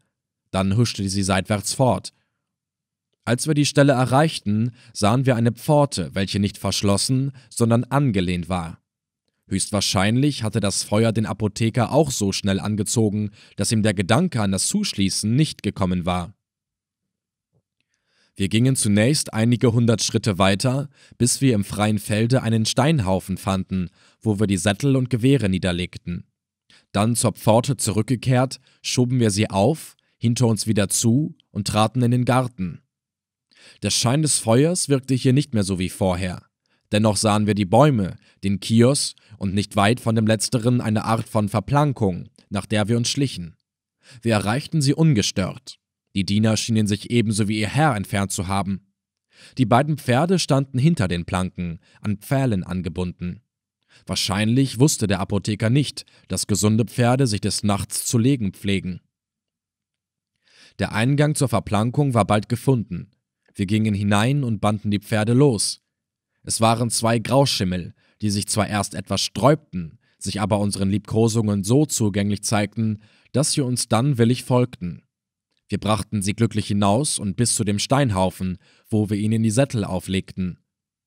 Jetzt waren sie unser, und kein Mensch wäre imstande gewesen, sie uns wieder wegzunehmen. Wir hatten sie grad zur rechten Zeit bekommen, denn im Osten zeigte sich der fahle Schein des neuen Tages. Allah sei Dank, wir haben die Pferde, sagte Halef. Und ich glaube, die Frau hat recht gehabt. Diese Grauschimmel scheinen von keinem schlechten Ahnen zu stammen. Aber nun fragt es sich, nach welcher Richtung wir uns zu wenden haben. Was denkst du darüber, Sidi? Ich denke daran, dass die Kilur-Kurden das Feuer angelegt haben, um uns und die Bewohner von Koi nach der Brandstätte zu locken. Werden sie dazu einen Ort gewählt haben, an dem sie dann mit unseren Pferden vorüber mussten?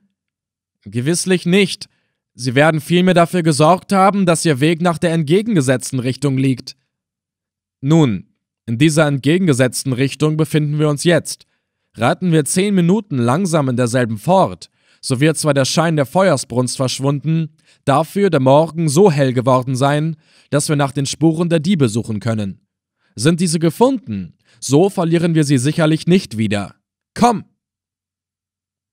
Ich stieg auf und Harle folgte meinem Beispiele. Dabei bemerkten wir, dass die Pferde Temperament besaßen und wohl seit langem keinen Reiter getragen hatten, sie mussten aber gehorchen. Noch waren die zehn Minuten nicht vergangen, so sahen wir seitwärts ein Pferd liegen. Wir ritten hin und ich stieg ab, den Kadaver zu untersuchen. Man hatte es in den Kopf geschossen, und zwar nicht früher als in dieser Nacht, denn das Blut, in dem es lag, war noch nicht ganz geronnen. Warum war es erschossen worden? Ich setzte meine Untersuchung fort und entdeckte sehr bald, dass es nicht weiter gekonnt hatte, weil ihm ein Bein zerschlagen worden war.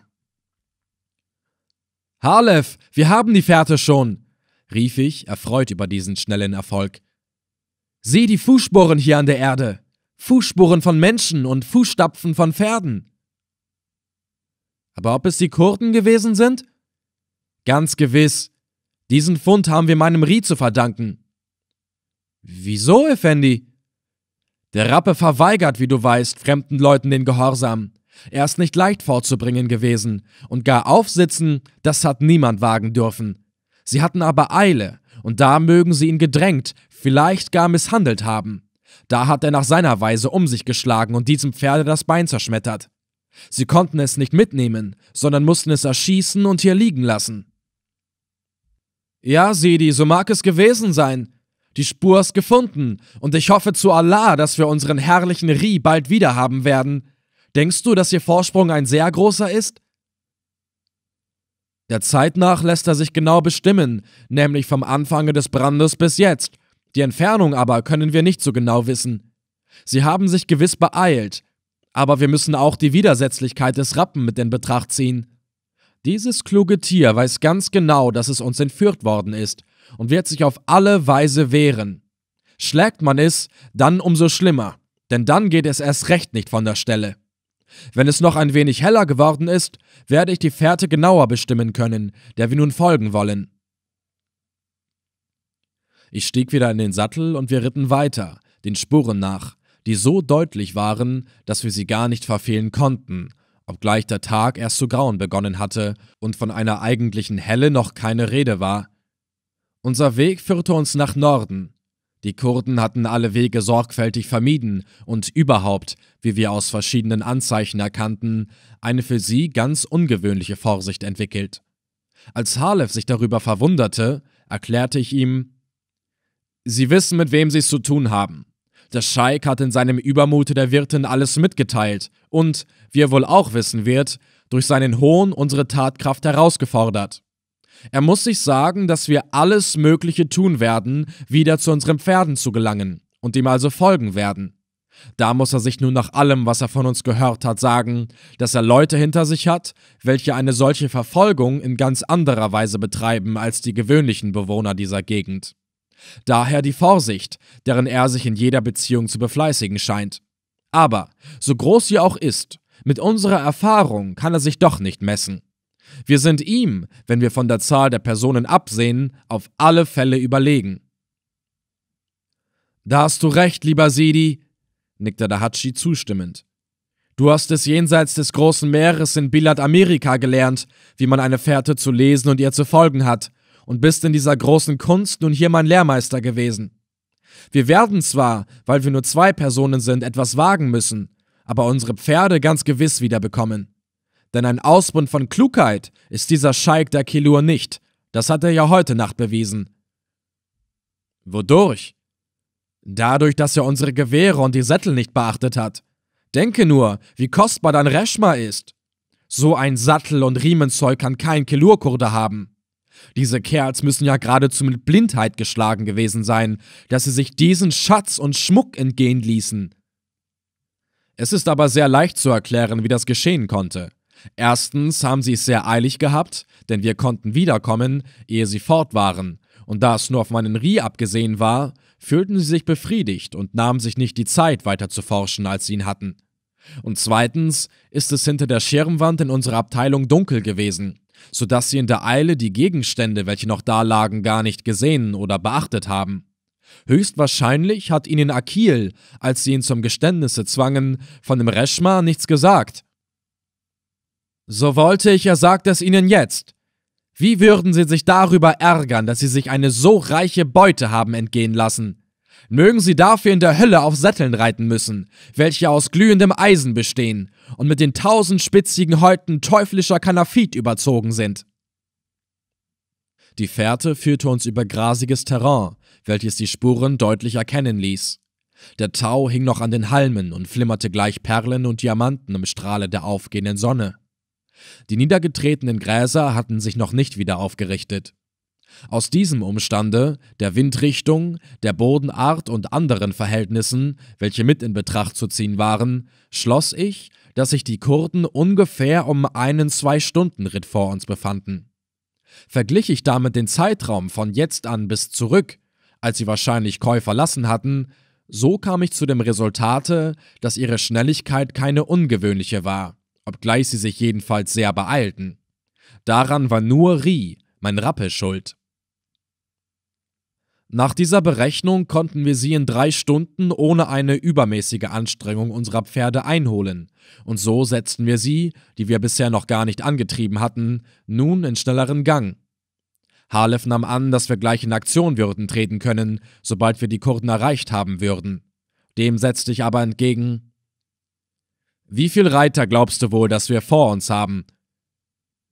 Ich verstehe das nicht so genau zu beurteilen wie du, Sidi, zumal ihre Spuren zeigen, dass sie nicht Ordnung gehalten haben, sondern immer wirr untereinander hineingeritten sind.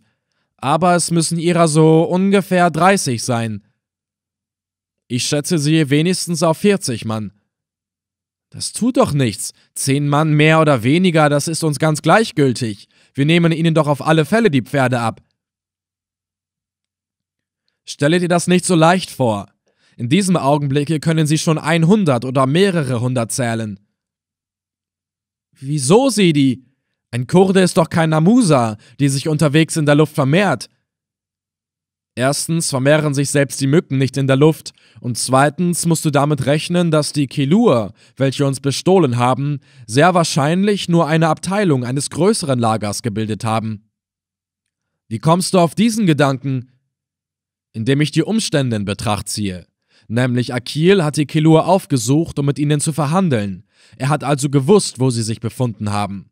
40 Reiter aber sind eine sehr bewegliche Truppe, die bald hier und bald da auftaucht und von der man nicht wissen kann, wo sie zu finden ist.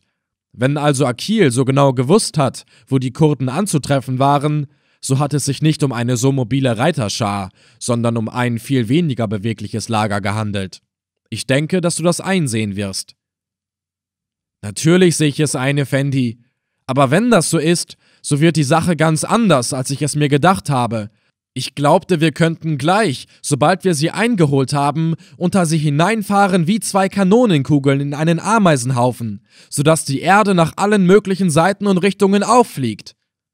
Das würden wir selbst dann nicht tun, wenn es sich nur um diese 40 Reiter handelte. Was nützt uns die Wiedererlangung unserer Pferde, wenn wir dabei erschossen werden? Oh, nicht jede Kugel trifft, Effendi. Das ist richtig, aber wenn 40 Kugeln auf uns abgeschossen werden, so ist es doch sehr wahrscheinlich, dass wenigstens zwei von ihnen treffen.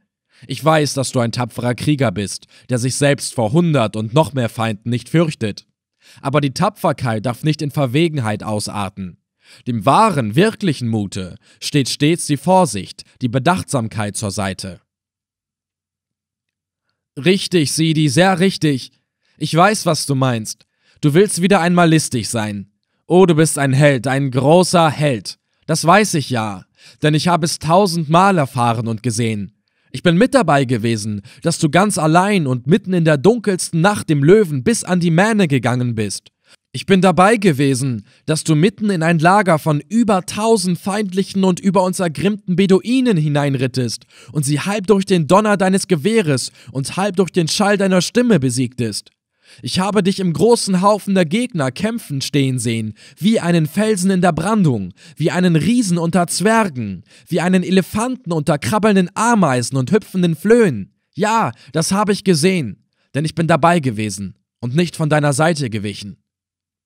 Das Herz ist mir dabei groß und weit geworden, und der Stolz hat mir die Brust geschwellt. Denn wenn wir dann als Sieger heimkehrten, so wurden wir empfangen von dem Jubel der Unsrigen, von dem Preise der Kamanschat und dem Frohlocken der Anfar. Die kleine Nakara sang unser Lob, und die große Tarabuka schlug den Takt dazu.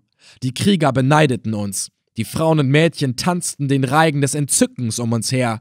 Und Hane, mein Weib, das beste und schönste Weib der Erde, die duftigste und lieblichste Blume unter allen Blumen der Wiesen, Felder und Gärten, schlug dann im stillen Zelte die Arme um mich, weinte Tränen der Freude und nannte mich ihren Liebling, den einzigen Gedanken ihres Herzens, den Besitzer ihrer Seele und den Sonnenschein ihres Glückes.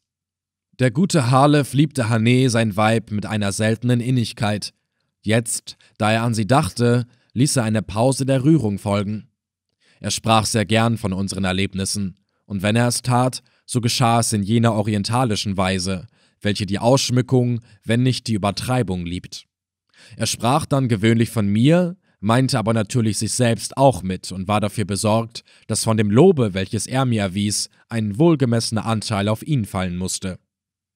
Ich gönnte ihm das gern, denn er war trotz der Kleinheit seiner Gestalt von einer Furchtlosigkeit, der ich oft einen Dämpfer auflegen musste, und hatte Gefahren bestanden, die ihm die Bewunderung sogar der an ein bewegtes Leben gewöhnten Beduinen sicherten.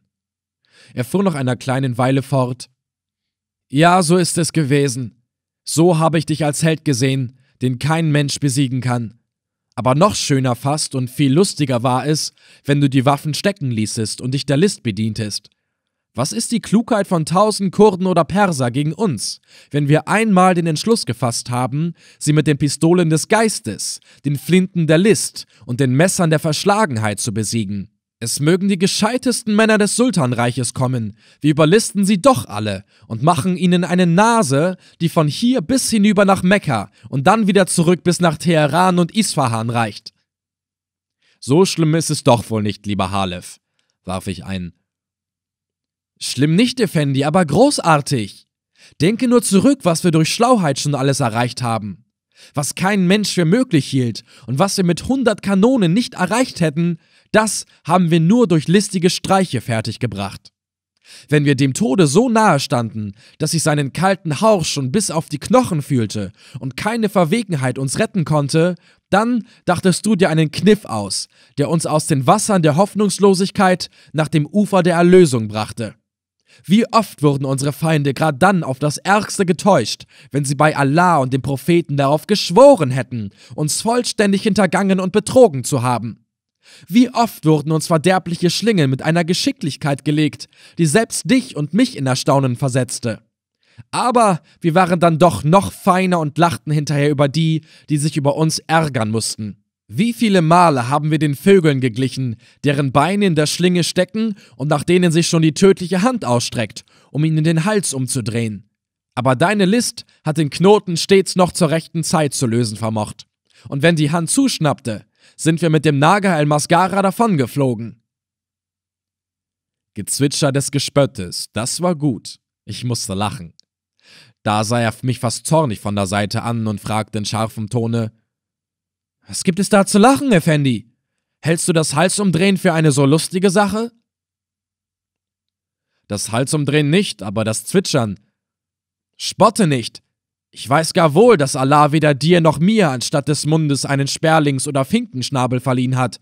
Und wenn ich mich im Gespräche mit dir der höheren, bilderreichen Kunst der Rede bediene, so tue ich das aus Achtung vor deiner Gelehrsamkeit, die es nicht verdient, von dir verlacht zu werden.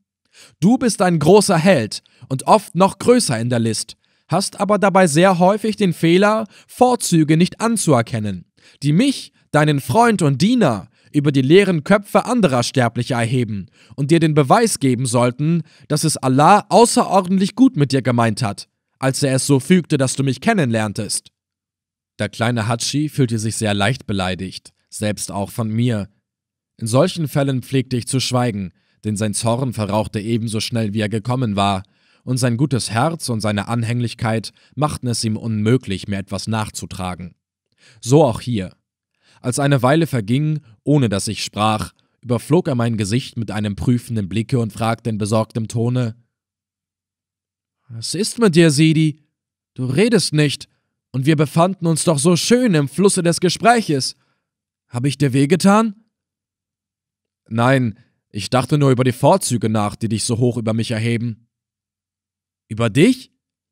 Das habe ich nicht gemeint, davon habe ich nicht gesprochen, denn all die Vorzüge, welche ich besitze, hast erst du doch in mir ausgebildet. Drum preise und danke ich Allah täglich in allen fünf Gebeten dafür, dass er mich damals mit dir zusammenführte, als wir uns mitten in der Wüste kennenlernten. Willst du nun wieder gut mit mir sein? Ich bin gar nicht böse auf dich gewesen. Diese deine Worte erquicken mein Herz und erfreuen meine Seele bis dahin, wo sie am tiefsten in meinem Inneren liegt. Es kommt sehr selten, aber doch zuweilen vor, dass du unzufrieden mit mir bist. Dann fahren mir zehntausende Babys durch mein Gemüt, und es ist mir, als ob im Mittelpunkte der Liebe, die ich zu dir fühle, hunderttausend Kipritat Frangija brennen. Ich habe da nicht eher Ruhe, als bis dein Mund wieder lächelt und dein Auge wieder freundlich geworden ist. Das mit den Stecknadeln und Zündhölzern war wieder gut. Ich hütete mich aber, mein Lachen von vorhin zu wiederholen. Wir sind übrigens, fuhr er fort, ganz von dem abgekommen, was wir vorhin sprachen. Du meintest, dass wir nicht Gewalt, sondern List gegen diese Kurden anwenden wollen. Hast du dir den Streich, den wir ihnen spielen werden, vielleicht schon ausgedacht? Nein. Aber ein guter Feldherr muss stets schon vorher wissen, welch einen Plan er auszuführen hat. Ich bin kein Feldherr, aber wenn ich einer wäre, würde ich nicht eher einen Plan entwerfen, als bis ich den Feind und alle Verhältnisse, die ihn und seine Absichten betreffen, kennengelernt hätte. Wenn du ein Pferd kaufen willst, kannst du da, ehe du es gesehen hast, im Voraus sagen, wie du es behandeln wirst? Nein. Ebenso wenig können wir jetzt schon bestimmen, in welcher Weise wir gegen die Kilur vorgehen werden. Lass uns übrigens das Gespräch abbrechen, denn ich finde, dass die Fährte nun unsere ganze Aufmerksamkeit in Anspruch nimmt.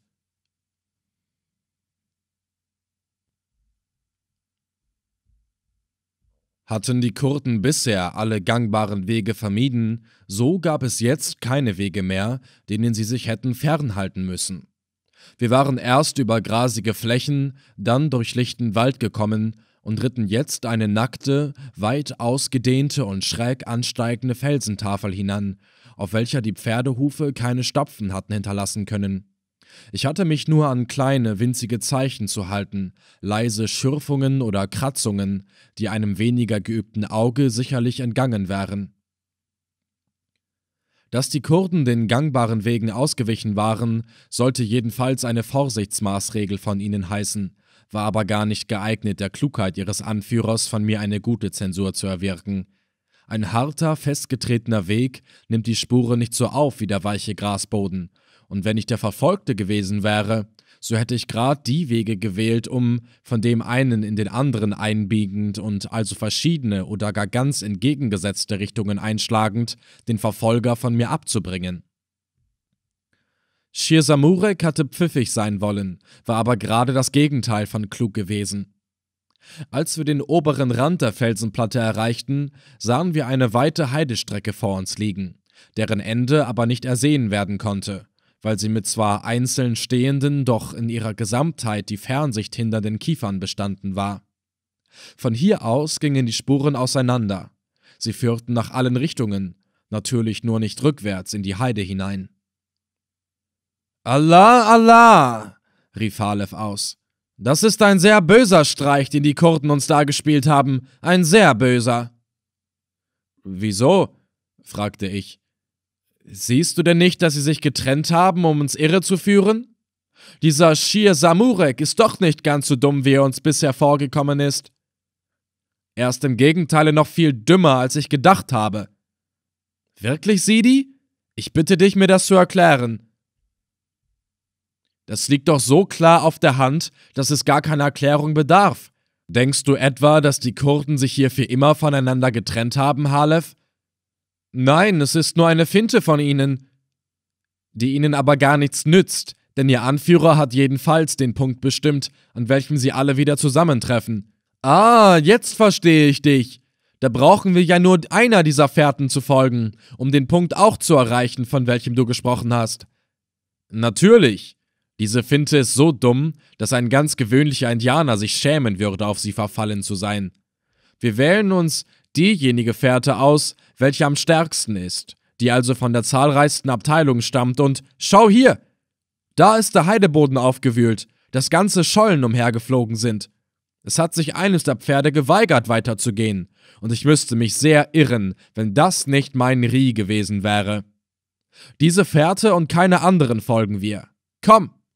Wir gaben unseren Pferden die Sporen und galoppierten auf den erwähnten Spuren hin, denn die weit auseinanderstehenden Kiefern hinderten uns nicht, ein so schnelles Tempo einzuhalten. Unsere Grauschimmel waren jung, der Apotheker, vielleicht kein guter Reiter, hatte sie zwar ziemlich aus der Schule kommen lassen, unter uns aber fanden sie sich leicht zurück. Und ich wurde zu meiner Genugtuung überzeugt, dass wir zu unserem Zwecke gar keine geeigneteren Tiere hätten bekommen können. Als wir eine Viertelstunde so fortgeritten waren, senkte sich die Höhe wieder niederwärts, und wir kamen in ein wasserloses, sandiges Tal, in welchem nur Ginsterbüsche und andere anspruchslose, holzige Schmetterlingsblütler ihr Leben fristeten. In diesem Sande war die Fährte so deutlich zu sehen, wie wir nur wünschen konnten, und als wir dem Tale und seinen Windungen vielleicht eine kleine halbe Stunde gefolgt waren, sah ich eine Spur von links herabkommen und sich mit derjenigen, welche wir folgten, vereinigen. Dann stieß eine zweite, dritte, vierte und fünfte herzu, bis die Hufeindrücke, welche droben an der Felsenplatte auseinandergegangen waren, sich alle wieder vereinigt hatten. Sidi, du hast recht gehabt, sagte Halef. Jetzt sind die Kurden wieder beisammen, und der Kniff ihres Anführers hat uns nicht eine Minute aufhalten können. Sobald wir ihn gefangen genommen haben, werde ich ihm sagen, dass er, wenn er in der Einbildung lebt, sich mit ihr messen zu können, einer alten, dicken, heiseren Batta gleicht, welche sich erfrecht, mit den Bellabil des siebenten Himmels um die Wette zu singen.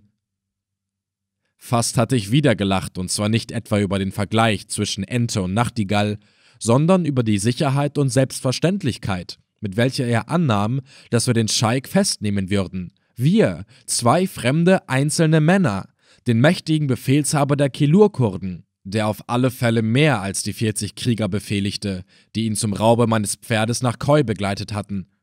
Aber so war der kleine, kühne Kerl nun einmal.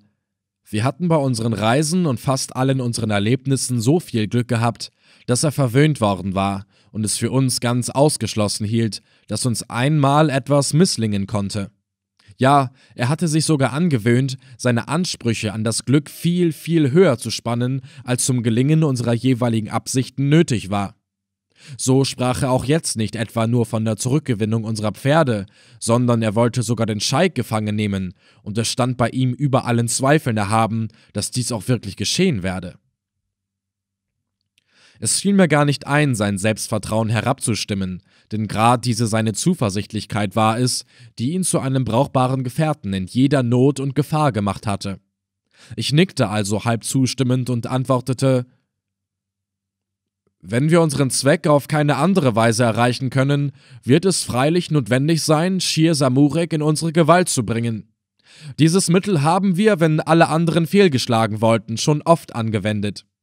Hat man sich des Anführers oder einer sonst hervorragenden Person versichert, so kann man fordern, anstatt bitten zu müssen.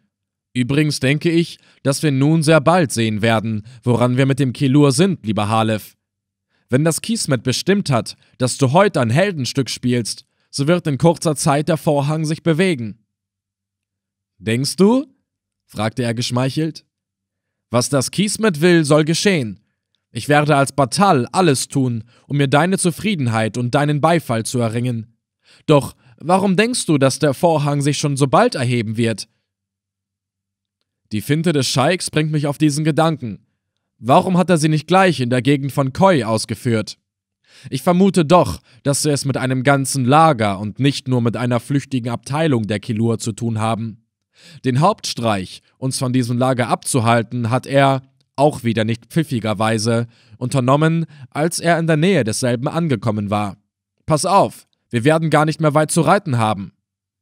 Das Tal, in welchem wir uns befanden, machte eine so scharfe Biegung nach links, dass sie einen spitzen Winkel bildete. Die Kurden waren dieser Biegung nicht gefolgt, sondern die Seite des Tales, an welche der Winkel stieß, hinaufgeritten. Halef wollte, ohne anzuhalten, weiterreiten, ihnen nach. Ich hielt ihn aber zurück und sagte: Halt! Wenn wir uns, wie ich vermute, in der Nähe des Lagers befinden und wenn der Scheik annimmt, dass wir ihn verfolgen, so steht zu erwarten, dass er hier Wachen ausgestellt hat, die uns entweder kurz wegputzen oder ihm unsere Annäherung melden sollen. Wir müssen also vorsichtig sein. Du bleibst also hier zurück und hältst mein Pferd, während ich mich zu Fuße weiterschleiche, um die Sicherheit des weiteren Weges zu erkunden. Du verlässest die Stelle hier auf keinen Fall eher, als bis ich wiederkomme oder dich dort von der Höhe aus zu mir rufe. Ich stieg vom Pferde, übergab ihm die Zügel und klomm an der Lehne des Tales empor, wo es wieder Bäume und Sträucher gab, die ich als Deckung benutzen konnte. Indem ich dabei die Fährte der Kurden im Auge behielt, konnte ich keine einzelne Spur entdecken, die von derselben abgewichen war. Droben gab es Felsen mit Fichtenwald, in welchem einzelne Eichen eine freundliche Abwechslung hervorbrachten. Da folgte ich der Fährte wohl über eine Viertelstunde lang. Sie blieb ungeteilt, und es wich auch hier kein Stapfen von ihr ab. Schon wollte ich nun umkehren, da bemerkte ich, dass der Wald sich abwärts zu senken begann. Die Fährte führte links nach einer Bodenrinne. Rechts stieg ein Feldstück wie ein halb eingefallener Warturm aus den Büschen auf, zu diesem ging ich hin und kletterte hinauf. Hatte ich erwartet, von da aus einen Ausblick zu gewinnen, so sah ich mich nicht getäuscht. Der Fuß des Berges ging in eine grüne Ebene über, durch welche ein Bach floss, der in der erwähnten Rinne zu entspringen schien. Ziemlich weit draußen in dieser Ebene befand sich, vom Bache durchflossen, das Kurdenlager, oder vielmehr es hatte sich dort befunden, denn ich sah beim ersten Blicke, dass es aufgehoben worden war. Es bewegte sich dort alles geschäftig, ja eilig durcheinander. Ich sah ledige Menschen und Pferde, ich sah Reiter, welche bereits im Sattel saßen, Frauen gab es nicht und andere Tiere als Pferde auch nicht. Es handelte sich also nicht um ein gewöhnliches Wohnlager, an welchem die Frauen und Herden teilnehmen, sondern es hatten nur Männer hier gewohnt, und zwar nicht in Zelten, sondern unter leicht zu errichtenden Zweig- und Blätterdächern, die auf je vier Pfählen ruhten. Um einen Jagdzug konnte es sich nicht handeln, um einen Kriegszug, welcher die hiesige Gegend betraf, auch nicht. Für jetzt war mir der Aufenthalt der Kelur hier ein Rätsel, bis ich dann erfuhr, dass sie einen Raubzug nach jenseits der Masara-Berge beabsichtigt hatten, um die Bewohner der persischen Grenze zu brandschatzen. Es waren ganz gewiss 300 Krieger beisammen, welche außer ihren Reitpferden wenigstens 50 Maultiere bei sich hatten, die mit Packsätteln versehen waren. Die großen, hellen, oft vier Fuß im Durchmesser haltenden Turbane gaben diesen Leuten das Aussehen, als ob sie Kürbisse auf den Köpfen trugen. Ich versuchte, mein Pferd zu entdecken, was aber bei dem Gedränge, welches es dort gab, unmöglich war. Halb befriedigt und halb enttäuscht kehrte ich nun zurück, doch nicht ganz zu Halef. Ich blieb vielmehr oben auf der Seite des Sandtales stehen und rief ihm zu, heraufzukommen. Er folgte diesem Rufe und erkundigte sich, als er bei mir ankam und mir das Pferd übergab. Hast du Wachen entdeckt, Sidi? Nein. Aber wohl das Lager? Ja. Welch eine Unvorsichtigkeit von Shir Samurek. Er muss doch unbedingt durch Wächter dafür sorgen, dass wir uns seinem Lager nicht so leicht und unbemerkt nähern können. Er hat das nicht für nötig gehalten, weil das Lager abgebrochen wird.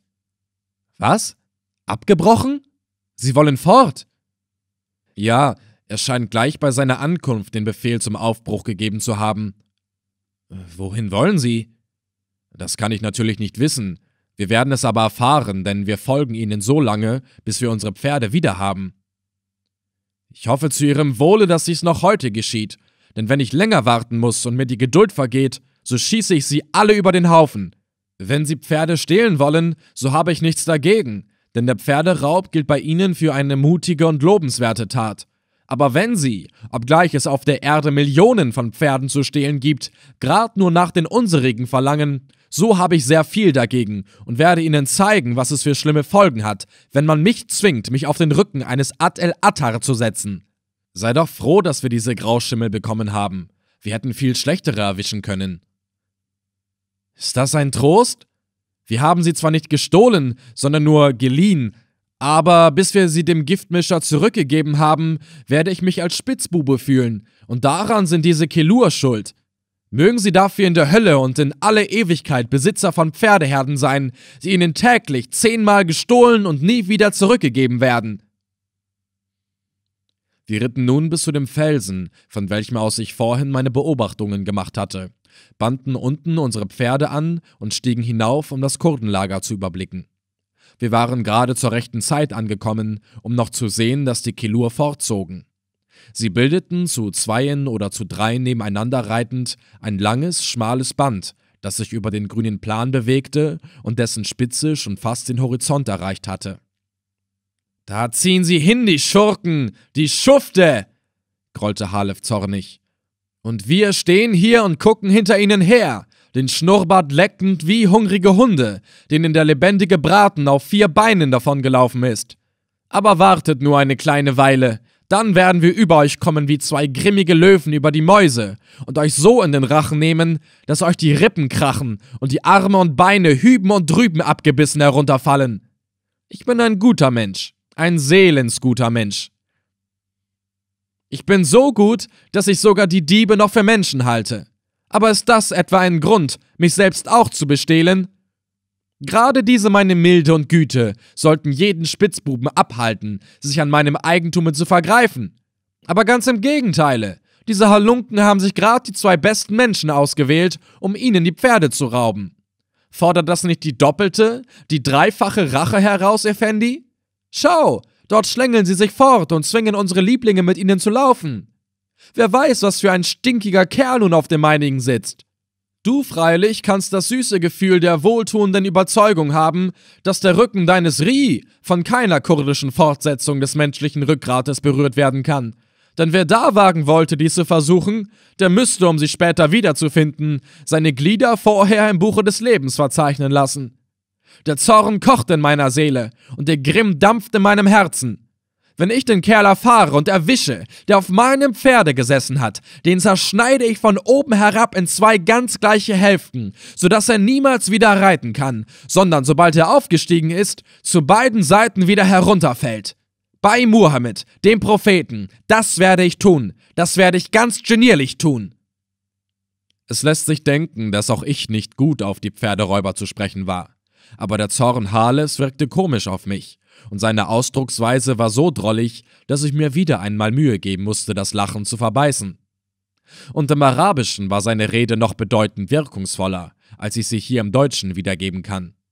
Und dabei hatte er nicht einmal eine Ahnung, dass mir das Lachen näher stand als das Resonieren. Neben seinen vielen guten, ja vortrefflichen Eigenschaften war es nicht zum geringsten auch diese seine Drollerie, die ihn mir so lieb und wert gemacht hatte. Es ist ja überhaupt keine Frage, dass originelle Charaktere stets und überall einen tieferen Eindruck machen als gewöhnliche Dutzend Menschen. Das nächste, was wir zu tun hatten, war natürlich, den Lagerplatz der Kurden zu untersuchen. Das konnten wir aber nicht eher vornehmen, als bis die Kilur jenseits des Horizontes verschwunden waren. Die Linie, welche sie eingeschlagen hatten, lag gegen Südost. Wenn wir ihnen folgten, mussten wir also wieder nach dem Zapflusse, der uns aus dem Grenzgebirge herab nach Koi geführt hatte. Wir waren also, wenn wir ihn wieder erreichten, die Kanten eines Dreiecks geritten, was einen Zeitverlust ergab, den wir nur diesen Kilur-Kurden zu verdanken hatten. Dies gab einen weiteren Grund, ihnen mit keinen freundlichen Gesinnungen zu folgen. Endlich waren die letzten von ihnen im Südosten verschwunden. Wir stiegen von dem Felsen herab und wieder auf unsere Pferde, die wir nach der Bodenrinne lenkten, welche ich schon bezeichnet habe und nach der die Fährte nach Kilur führte. Die Rinne war schmal und tief, aber doch leidlich wegsam. Je weiter wir ihr abwärts folgten, desto feuchter wurde sie, und bald brachen rechts und links kleine Wässerchen aus den Wänden, die sich miteinander vereinigten und tiefer unten, ganz so, wie ich vermutet hatte, den Bach bildeten, der von mir vom Felsen aus gesehen worden war. Als wir am Fuße des Berges anlangten, lief die Rinne breit in die Ebene aus, und wir ritten im Galoppe dem Bach entlang, bis wir die Stelle erreichten, wo die Kurden gelagert hatten. Während Halef die Pferde hier erst trinken und dann grasen ließ, untersuchte ich sehr sorgfältig den ganzen Platz, indem ich hoffte, vielleicht etwas zu entdecken, was unserem Vorhaben förderlich sein könnte. Ich hatte mich aber getäuscht, denn nach einem ziemlich langen Forschen hatte ich weiter nichts gefunden und erfahren, als dass das Lager vielleicht eine Woche lang benutzt worden war. Dies erfahren zu haben, hatte für uns gar keinen Wert. Wertvoller war der Schluss, den ich aus der schnellen Entfernung der Kurden zog. Sie hatten sehr wahrscheinlich vorher nicht die Absicht gehabt, heute das Lager zu verlassen denn ich sah, dass einige der bereits erwähnten Schutzdächer erst gestern neu gedeckt worden waren, was man jedenfalls unterlassen hätte, wenn der heutige Aufbruch schon gestern beschlossen gewesen wäre. Da war gegen Abend Akil hier angekommen, um wegen des Blutpreises zu verhandeln, zu seinem und unserem großen Schaden, denn sie hatten ihn festgenommen, später auch durch Zufall seinen Sohn ergriffen und dann unsere Pferde gestohlen. Akil und sein Sohn Salih ben Akil befanden sich jetzt noch in ihren Händen. Sie waren der Blutrache, also einem jedenfalls nicht leichten Tode verfallen. Hatten die Kilur wegen dieser beiden Gefangenen den Lagerplatz so schnell verlassen? Oder vielleicht, weil sie dachten, dass ich mit Halefi herkommen werde. Vielleicht hatten beide Gründe zusammengewirkt. Man braucht mich nicht für einen eingebildeten Menschen zu halten, weil ich es für möglich hielt, dass 300 Kurden wegen uns zwei Menschen sich aus ihrem Lager entfernt hatten. Im Oriente fällt es der Mücke gar nicht schwer, in kurzer Zeit ein Elefant zu werden. Ja, sie kann sogar ganz ohne ihr Zutun sehr leicht zum Dickhäuter werden. Ich hatte Gelegenheit gefunden, mich mit einigem Geschick aus bösen Lagen zu ziehen. Mit Hilfe einiger Kenntnisse, die jeder gebildete Europäer besitzt, und den im Wilden Westen gesammelten Erfahrungen, war es mir gelungen, einigen Stämmen der Jezire hier und da einen kleinen Dienst zu erweisen. Das war erzählt und von Mund zu Mund weitergetragen worden. Weil nun jeder Erzähler seiner Fantasie dabei freien Raum gelassen hatte, war eine Sagen- und Legendenbildung entstanden, durch welche mein Bild und auch Harlefs kleine Figur wie auf der Leinwandfläche eines Hydrooxygengasmikroskopes erschienen. Die Legende hatte meine Kenntnisse und Geschicklichkeiten in das Ungeheure vergrößert. Noch berühmter aber als ich selbst waren meine beiden Gewehre. Man erzählte sich, dass die Kugel meines Bärentöters durch Stahl und Mauern dringe und dass ich mit dem Zaubergewehre, nämlich dem Henry-Stutzen mit 25 Schüssen, in alle Ewigkeit und ohne Aufhören schießen könne, ohne einmal laden zu müssen. Dazu kam freilich, dass ein Fehlschuss bei solchen Gewehren nicht leicht vorkommen kann und dass die indianische Art zu reiten selbst jedem Beduinen imponieren muss. Ferner war ich im Anschleichen und Auskundschaften beobachtet worden, und da auch in dieser Beziehung der Asiate nicht den zehnten Teil dessen leistet, was der Indianer mit Leichtigkeit vollbringt, so war es gar kein Wunder, dass eben Wunder von mir erzählt wurden und dass auch hier die Kilur-Kurden ihr Lager lieber aufgaben, als sich, wie sie dachten, von mir beschleichen und von meiner Zauberflinte niederpaffen zu lassen. Wenn trotz dieser Angst Shir Samurek den Fehler begangen hatte, mich durch seinen Hohn hinter sich herzulocken, so war es eben ein Fehler gewesen, den er jetzt wahrscheinlich bereute. Also war es keineswegs Überhebung von mir, sondern eine ganz objektive Beurteilung der Umstände, wenn ich annahm, dass die Kurden wegen mir von hier fortgezogen seien. Selbstverständlich mussten wir ihn nachreiten, aber das hatte nun keine große Eile, weil wir uns doch erst abends an sie schleichen konnten und ihnen nicht so Knall und Fall folgen durften. Wir mussten ihnen vielmehr, wenn wir nicht von ihnen entdeckt sein wollten, Zeit lassen, einen auch für uns vorteilhaften Raum zwischen sich und uns zu legen. Verschwinden konnten sie uns auf keinen Fall, dafür sorgte schon ihre Fährte, welche unsichtbar zu machen sie nicht die Übung und das Geschick besaßen. Darum ließen wir unsere Pferde fast zwei Stunden lang grasen und brachen erst dann auf, als wir gerade ebenso weit vom Mittag waren, also gegen 10 Uhr vormittags. Als die Sonne am höchsten stand, befanden wir uns zwischen den Bergen, wo ich in einem Walde von Balamuteichen, von denen die dortigen weltbekannten Galläpfel kommen, ein Wildschwein schoss, welches uns den notwendigen Proviant lieferte. Wir saßen da für kurze Zeit ab, um einige gute Stücke davon anzubraten und mitzunehmen. Denn solange wir uns den Kurden von jetzt an auf den Fersen befanden, und das konnte mehrere Tage dauern, durften wir auf kein Wild mehr schießen, weil der Schuss uns ihnen verraten konnte. Eigentlich war es im Hadschi als Mohammedaner verboten, Schweinefleisch zu essen. Aber der Umgang mit mir hatte ihn in der Weise emanzipiert und sein Gaumen war so empfindlich für den Wohlgeschmack des Schwarzwildes, dass er lieber das Missfallen des Propheten und aller toten Kalifen riskierte, als auf einen Genuss verzichtete, auf den ich ihn durch Wort und Tat erst vergeblich und dann mit immer größerem Erfolge aufmerksam gemacht hatte. Hier bekenne ich mich leider ohne alle Reue als den Verführer einer Menschenseele. Nun war aber doch so viel Zeit vergangen, dass wir einen größeren Vorsprung einholen mussten, als erst in unserer Absicht gelegen hatte. Wir folgten der Fährte darum mit größerer Eile als vorher. Am Nachmittage lag die Südbiegung des kleinen Zab zu unserer Rechten hinter den steilen, waldigen Höhen, an deren Fuß wir uns befanden. Wir ritten längs eines kleinen Flüsschens, welches im Frühjahre höchstwahrscheinlich hoch angeschwollen war, jetzt aber kaum so viel Wasser hatte, dass es unseren Pferden bis über die Hufe reichte. Es gab hier außerordentlich viel lockeres Geröll, welches bei jedem Schritte unter den Pferden wich. Zahlreiche freigespülte Wurzeln wurden uns hinderlich, und die vielen kurzen Krümmungen des Flussbettes ließen uns nicht von der Stelle kommen. Das Scheitern muss den Kurden diesen Weg gezeigt haben, klagte Halef. So ähnlich wie dieser muss der Pfad beschaffen sein, der vom Tode hinab in die Verdammnis geht, nur dass dieser hier nicht ab, sondern aufwärts führt. Auch ich begreife nicht, stimmte ich bei, warum die Kilur gerade diese Steinrinne aufgesucht haben. Ah, gibt es endlich einmal etwas, was du auch nicht begreifst, Sidi? Habe nur keine Sorge. Das Begreifen wird sie schon zur rechten Zeit einstellen. Wo sie nur hinwollen, von hier aus führt doch kein Pass über diese Bergkette hinüber. Nein, wenn ich mich nicht ganz irre, haben wir zwei Berge vor uns, die wir von unseren früheren Ritten her noch kennen, nämlich rechts den Mekilik und links den sonderbar gestalteten Nakul. Zwischen ihnen führt kein Pass hinauf. Shir Samurek will also nicht über die Berge, sondern sein Ziel liegt diesseits von ihnen. Was aber da zu suchen hat, das ist mir ein Rätsel. Allah, sollte hier die Gegend sein, in welcher die Mushallah el-Amwad liegt? Die Mushallah el-Amwad? Von der habe ich noch nie gehört. Äh, was ist das für ein Ort? Ein Ort, den jeder Mensch meidet. Mag er nun Sunnit oder Schiit, Christ oder Jude sein. Du weißt, dass ich vorgestern im Khan, wo wir blieben, mit einigen Masijila beisammen saß und mich mit ihnen unterhielt. Sie waren in dieser Gegend bekannt, hatten viel erlebt und erzählten davon. Die schönsten und besten Galläpfel wachsen bei der Mushallah al-Amwad in Menge. Aber niemand getraut sich hin, sie zu sammeln, denn die Geister der Toten gehen dort um. Es ist vor mehreren hundert Jahren gewesen. Da kamen Christen in das Land und bauten sich die Mushallah in den Bergen, um Allah nach ihrer Weise zu verehren. Sie waren gute und fleißige Leute, die jedermann zuliebe lebten. Aber die Schiiten beschlossen dennoch, sie von der Erde auszurotten.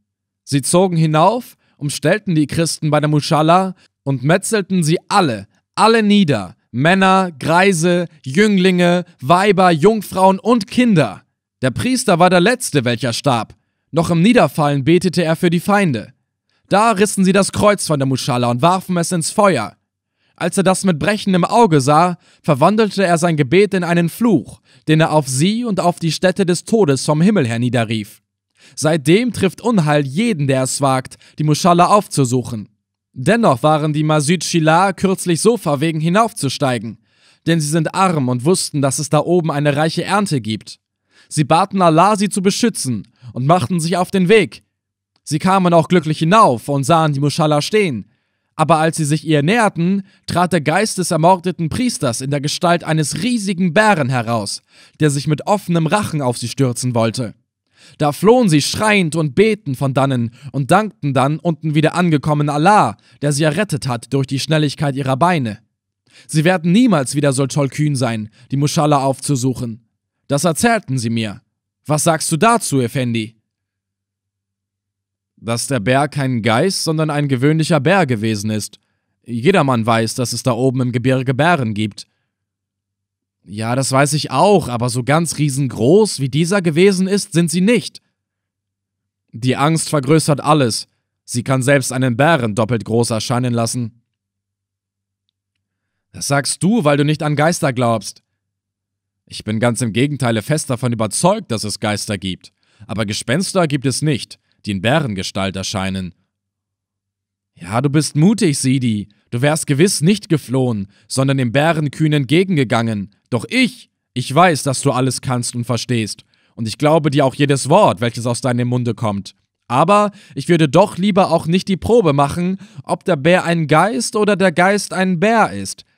Wir haben Bären miteinander erlegt, weißt du? Drüben in den Schluchten des Balkan, wo es keine Muschala al-Amwad gibt.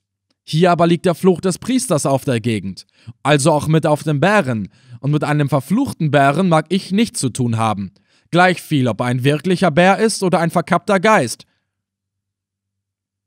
Hast du eine Ahnung, in welcher Gegend die Muschala liegt? Die Masicila haben sie mir beschrieben.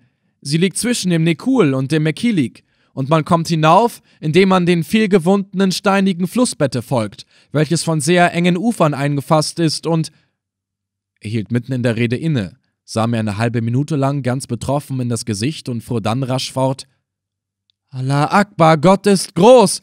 Das passt ja ganz genau auf unseren Weg. Ja, wie es scheint. Der Nekul und der Mekilik sind die beiden Berge, welche du vorhin erwähntest. Im steinigten, engen und vielgewundenen Flusslaufe befinden wir uns also. Also, Mashallah, wir befinden uns auf dem Wege zu Moshal al-Amwat, zur Kapelle der Toten, von welcher ich dir erzählt habe. Das ist allerdings sehr leicht möglich. Aber mach den Mund wieder zu, lieber Halef, sonst kommt der Bär und springt hinein. Weit genug dazu hast du ihn offen. Spotte nicht auch noch, Sidi. Warum soll mir der Mund nicht offen stehen, wenn ich staune? Wenn ich nicht mehr staune, fällt er von ganz allein wieder zu. O Wunder, o Fügung! Wir befinden uns auf dem Wege nach der Kapelle der Toten! Das scheint unser Kismet, unser Fatum zu sein. Wenn ich nur wüsste, was wir dort oben sollen. Das fragst du noch? Natürlich, weißt du es denn? Ja. Nun was? Wir sollen das Gespenst von seinem Bärenfell erlösen. Oh Verwegenheit, oh Hohn, du spottest noch immer, Effendi. Mir ist es aber auf dem Rücken kalt wie Eis, und ich weiß wahrhaftig nicht, wozu ich mich entschließen werde. Entschließen? Wie meinst du das? Nun, wenn der Bär gelaufen kommt, ob ich da fliehen oder auf ihn schießen soll. Ist er wirklich ein Bär und ich laufe fort, so lasst du mich aus. Und ich habe mich bis zum Tode meiner Angst zu schämen. Ist er aber ein Geist und ich schieße auf ihn, so geht ihm die Kugel durch den Leibe, ohne ihn zu verletzen. Und was dann aus mir werden wird, das weiß nur Allah allein. Halef, Halef. Wenn du auf den Geist schießest, geht ihm die Kugel durch den Leib. Geist und Leib. Welch ein Widerspruch das ist. Bin ich denn so lange ganz umsonst dein Lehrer und Berater gewesen? Hast du nichts von mir gelernt? Wohnt wirklich noch der dumme Aberglaube der früheren Zeit in dir? Sag mir doch, für wen der Priester damals gestorben ist. Für seinen Gott und für seinen Glauben, Effendi. Wie nennt man solche Leute? Shuhada. Was sagt der Koran? Von unserer heiligen Schrift gar nicht zu sprechen, von dieser Shuhada dass sie direkt vom Tode in den Himmel eingehen. Verstehe mich wohl. Ich spreche, um dir das Verständnis zu erleichtern, wie ein Moslem zu dir. Sogar nach der Ansicht der Mohammedaner geht ein Schahid direkt in den Himmel ein, zur Belohnung für die Leiden und Martern, die er ausgestanden hat. Diesen frommen Priester aber soll Gott für seinen Märtyrertod in den Pelz eines Bären verbannt haben. Würde das nicht anstatt eines Lohnes eine fürchterliche Strafe, anstatt des Himmels eine Hölle sein? Er öffnete wieder den Mund und sah mich eine Weile mit weit offenen Augen an. Da staunst du nun schon wieder, lächelte ich. Ja, Sidi, ich staune abermals, nickte er. Worüber jetzt? Über die Vortrefflichkeit deines Beweises, dem ich nicht widerstehen kann. Allah Insaf oder Allah el-Adala. Gott ist die Gerechtigkeit, sagen wir. Wie würde es aber mit Gottes Gerechtigkeit in diesem Falle stehen? Wenn der Bär ein Geist wäre, so würde Allah nicht gerecht sein. Da es aber unumstößlich und unanfechtbar feststeht, dass Allah gerecht ist, so, so, so. Nun, weiter, weiter. So kann der Geist kein Bär und also der Bär auch kein Geist sein. Gut, mag also der Bär, der wirklich ein Bär ist, auch in deinem Kopf ein Bär sein und bleiben. Bist du nun überzeugt, Halef? Ja, Effendi. Du bist wie in allem, auch in den Regeln der Mantik, unüberwindlich und hast mein an diesem Bären erkranktes Gehirn im Nu wieder gesund gemacht. Nun mag er immer kommen. Ich werde sofort und ohne mich zu besinnen auf ihn schießen. Das Schießen überlass lieber mir. Die kurdischen Bären sind keine abgehetzten Isabellbären vom Hauran und vom Libanon. Sie werden wenig gestört, fast gar nicht gejagt und also sehr groß und alt. Die Galläpfelsammler haben ja von der ungeheuren Größe dieses Exemplares gesprochen. Eine Kugel aus deiner Flinte würde ihn nicht töten, sondern nur zur Wut reizen. Und ferner musst du bedenken, dass wir es jetzt unterlassen müssen, unsere Anwesenheit durch Schüsse zu verraten. Übrigens kommt er jetzt noch nicht gelaufen und wird wahrscheinlich auch gar nicht gelaufen kommen. Wir wissen es ja nicht einmal genau, sondern denken es nur, dass wir uns jetzt auf dem Wege zur Mushala al-Amwad befinden. Die Hauptsache ist, dass du überhaupt einen Geist im Bärenfälle nicht mehr für möglich hältst. Weder in einem Bären noch in irgendeinem anderen Fälle, Effendi. Ich habe eingesehen, dass ein Geist in einem Fälle undenkbar ist. Einen Geist kann man weder sehen noch fühlen oder greifen, wenn ich ihm das Fell abzöge, was würde da wohl übrig bleiben? Nichts. Gar nichts. Wenn aber nichts im Felle steckt, so kann auch kein Geist darin gewesen sein. Ganz richtig, lachte ich. Und ebenso wenig kann es einen Bären geben, der nur aus seinem Felle besteht. Die Schärfe deiner Logik ist weit größer als die meinige. Nun haben wir sowohl den Bären wie auch das Gespenst glücklich abgetan und was ist?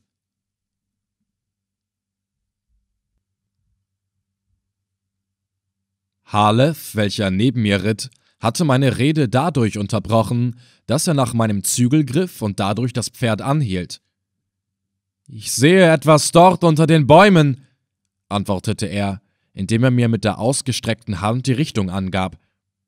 Es hat sich bewegt, aber was es ist, ein Mensch oder ein Tier, das weiß ich noch nicht. Wir müssen es erfahren. Komm schnell hier herüber unter die Bäume. Im Schutze der Bäume angelangt, stieg ich ab, gab Halef mein Pferd zum Halten und sagte: Bleib hier und rühre dich nicht. Ich werde mich hinschleichen, um zu sehen, mit wem oder was wir es zu tun haben. Nimm dich in Acht, Sidi, warnte er. Es kann der Bär sein, und es ist auch möglich, dass die Kurden dort stecken. Keine Sorge, verhalte nur dich ganz still. Das Messer stichfertig in der Hand, schlich ich von Baum zu Baum, bis ich in der Nähe der betreffenden Stelle anlangte. Da sah ich, dass es kein Tier, sondern ein Mensch war. Er stand an einer tiefästigen Buche und langte mit beiden Armen in die Höhe. Weshalb und wozu, das konnte ich nicht erkennen. Er hatte das Gesicht von mir abgewendet, kam mir aber trotzdem bekannt vor. Diese Gestalt, diese schmutzstarrenden Beine, die zerfranste Hose, die zerrissene Jacke, deren Ärmel teilweise fehlten, wenn das nicht der trunkselige Wirt des Kahnes von Koi war, so konnte ich mich auf meine Augen niemals wieder verlassen. Aber was wollte er hier? Wie kam er so allein in diese Gegend und was tat er dort am Baume? Jetzt drehte er sich um, hob sich auf den Zehen und schob sich eine von dem Aste herunterhängende Schnur unter die Kehle, welche er soeben oben festgebunden hatte. Herrgott, der Kerl wollte sich hängen. Katera Chode, um Gottes Willen! rief ich ihm zu, indem ich hinrannte und die Schnur wegriss. Halt ein, du willst dich ermorden! Er starrte mich wie abwesend an und antwortete in einem Tone, als ob er sich im Traume befinde. Morden? Nein, sondern nur aufhängen. Das ist doch ganz dasselbe. Was hast du denn für einen Grund, diese große, ungeheure Sünde zu begehen? Grund? Warum fragst du mich? Wer bist du denn? Sein Auge war bei diesen Fragen noch immer gedankenleer. Wer ich bin? Du kennst mich doch. Ich bin Kara Benemsi Effendi, der in Koi bei dir wohnt. Der Klang meines Namens schien ihn zu sich zu bringen. Es kam Ausdruck in seinen Blick, aber seine Stimme war immer noch klanglos wie vorher, als er antwortete Ich muss mich hängen, ich muss mir das Leben nehmen, denn ich bekomme mein Geld nicht wieder. Woher weißt du das? Von Shir Samurek. Von dem? Von ihm selbst. Hast du denn mit ihm gesprochen? Ja. Wann? Vor einer Stunde. Wo? Droben unter der Musala el Amwat. Ah, die Kapelle ist also doch hier. Lagern die Kelur dort? Ja. Ist einer von ihnen hier in der Nähe? Kann man uns vielleicht hören oder sehen? Nein, ich wurde von ihnen fortgepeitscht und keiner ist ein Stück mit mir gegangen. Die Erinnerung an die Peitsche brachte ihn vollends zu sich selbst zurück. Er warf sich nieder, legte das Gesicht in die Hände und fing an, bitterlich zu weinen. Die Tränen sind ein heilsames Wasser, wenn sie rinnen können. Darum ließ ich ihn weinen und störte ihn nicht, sondern rief Halef herbei, welcher die Pferde anband und sich dann mit mir neben den Wirt niedersetzte. Als der Letztere nach einiger Zeit ruhiger geworden war, richtete ich ihm den Kopf auf und sagte der Selbstmord ist eine grässliche Sünde, weil man sie weder bereuen noch gar gut machen kann. Am allerwenigsten soll man seine Seele um des Geldes willen in die Hölle senden. Deine Piaster sind ja auch noch gar nicht verloren.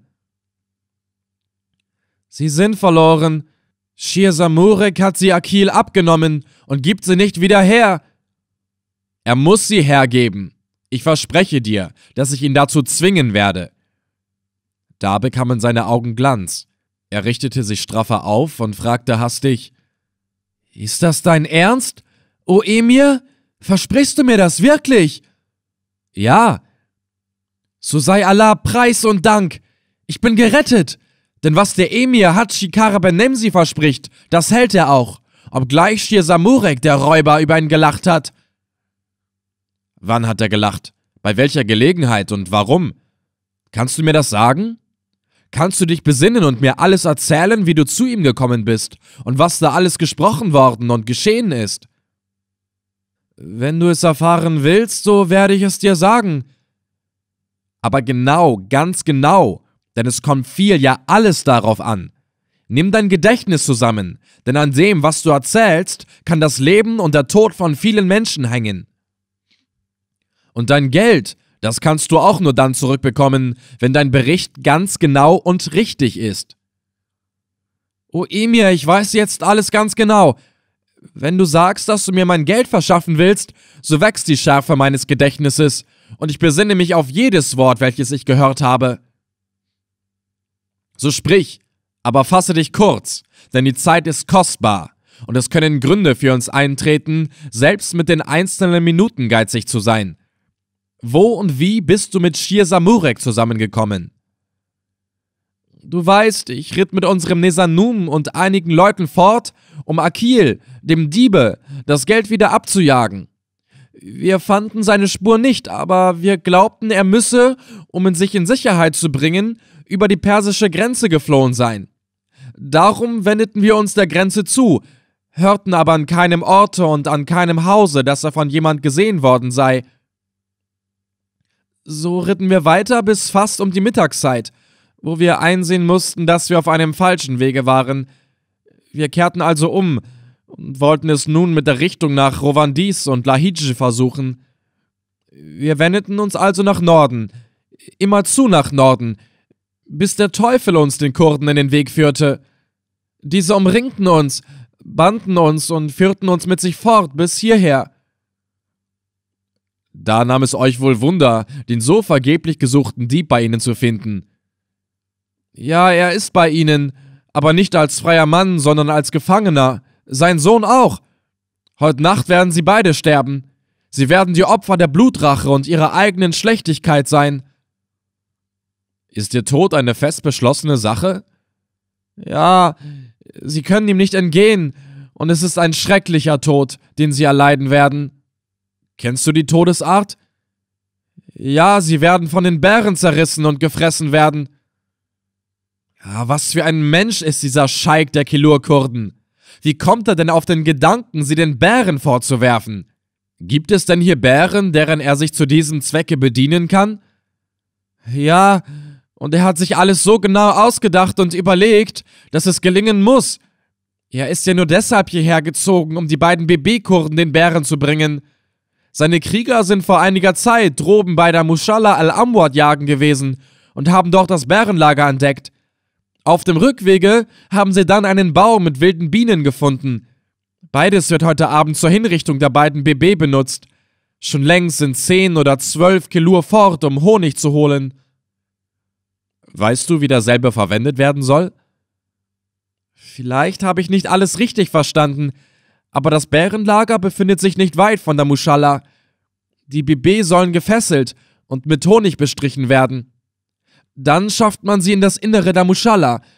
Von da aus bis zum Bärenlager sollen Wabenstücke mit Honig gelegt werden, um die Bären nach der Muschalla zu locken. Dort werden sie die Gefesselten erst ablecken und dann fressen. Allah, Allah! ließ sich da Halef schaudernd hören. Sind diese Kelur Menschen zu nennen? Sidi, wollen wir die BB retten, obgleich sie unsere Todfeinde sind und an ihrer Stelle diesen Shir Samurik den Bären vorwerfen? So war der kleine, liebe, brave Kerl. Er wollte die beiden BB von dem qualvollen Tode befreien, obgleich Akil die Kilur auf uns gehetzt und sein Sohn uns sogar noch in der letzten Nacht nach dem Leben getrachtet hatte. Er trug sich zwar äußerlich als Moslem, war aber innerlich ein besserer Christ als Hunderttausende, welche sich zwar mit Christi Namen brüsten, aber nicht eine Spur von der wahren Nächsten oder gar Feindesliebe im Herzen tragen. Der Wirt setzte seinen Bericht fort, und ich erfuhr noch Folgendes. Die Kilur hätten schon meinetwegen heute ihr Lager verlassen. Der Umstand, dass die BB in ihre Hände gefallen waren, trieb sie noch rascher fort, um diese so bald wie möglich dem Tode entgegenzuführen. Es war das für die 300 Krieger ein Freudenritt, der keine Minute aufgeschoben werden sollte. Jetzt lagen sie oben unterhalb der Muschalla im Walde und hatten Gericht über die der Blutrache Geweihten gehalten. Shir Samurik hatte diesen mit den heiligsten Schwüren versichert, dass es für sie keine Rettung gebe. Nach gewöhnlichem Ermessen gab es allerdings keine, aber Salih ben Akil hatte sich, sonst an allem verzweifelnd, an einen Gedanken geklammert, der ihm plötzlich gekommen war, als er vernahm, dass wir höchstwahrscheinlich nach unseren gestohlenen Pferden suchen würden. Noch sind wir nicht tot, hatte er gesagt. Wenn Kara Ben Nemsi kommt und euch findet, wird er uns befreien. Euch seine Todfeinde? hatte der Scheikönig gerufen. Er würde mich vielmehr bitten, euch noch mehr zu martern, als ich mir vorgenommen habe. Das wird er nicht, denn er ist ein Christ. Ein Christ? Ein Christ ist ein Hund, und ein Hund riecht gern Blut. Diese Hunde, welche einen Menschen aus Nasira ihren Gott nennen, haben sich von ihm sagen lassen, dass man sogar die Feinde lieben soll. Aber sie gehorchen ihm nicht, denn da sie sich untereinander bestehlen, betrügen, belügen und alle Fremden bedrängen, übervorteilen und bekriegen, können sie unmöglich imstande sein, diejenigen zu lieben und ihnen Gutes zu erweisen, die ihnen nicht bloß fremd, sondern wirkliche Feinde sind. Dieser Karabenemsi würde mit Vergnügen zusehen, dass die Bären euch zerreißen. Nein, denn er ist ein wahrer Christ und hat schon oft und vielen seiner Feinde Gutes erwiesen. So rufe ihn doch herbei.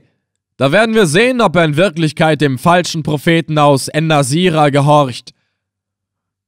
Ja, ich werde ihn rufen. Ich werde Allah bitten, ihm den Weg hierher zu zeigen. Ich gebe dir einen besseren Rat. Kara Benemsi mag als Christ von unserem Allah nichts wissen. Du musst also zu seinem Gekreuzigten beten, wenn du Erhörung finden willst. In dieser Weise hatte er weitergehöhnt und dann hinzugefügt: Wie wenig ich diesen Christenhund fürchte, und ob er euch retten könnte, sollst du gleich erfahren.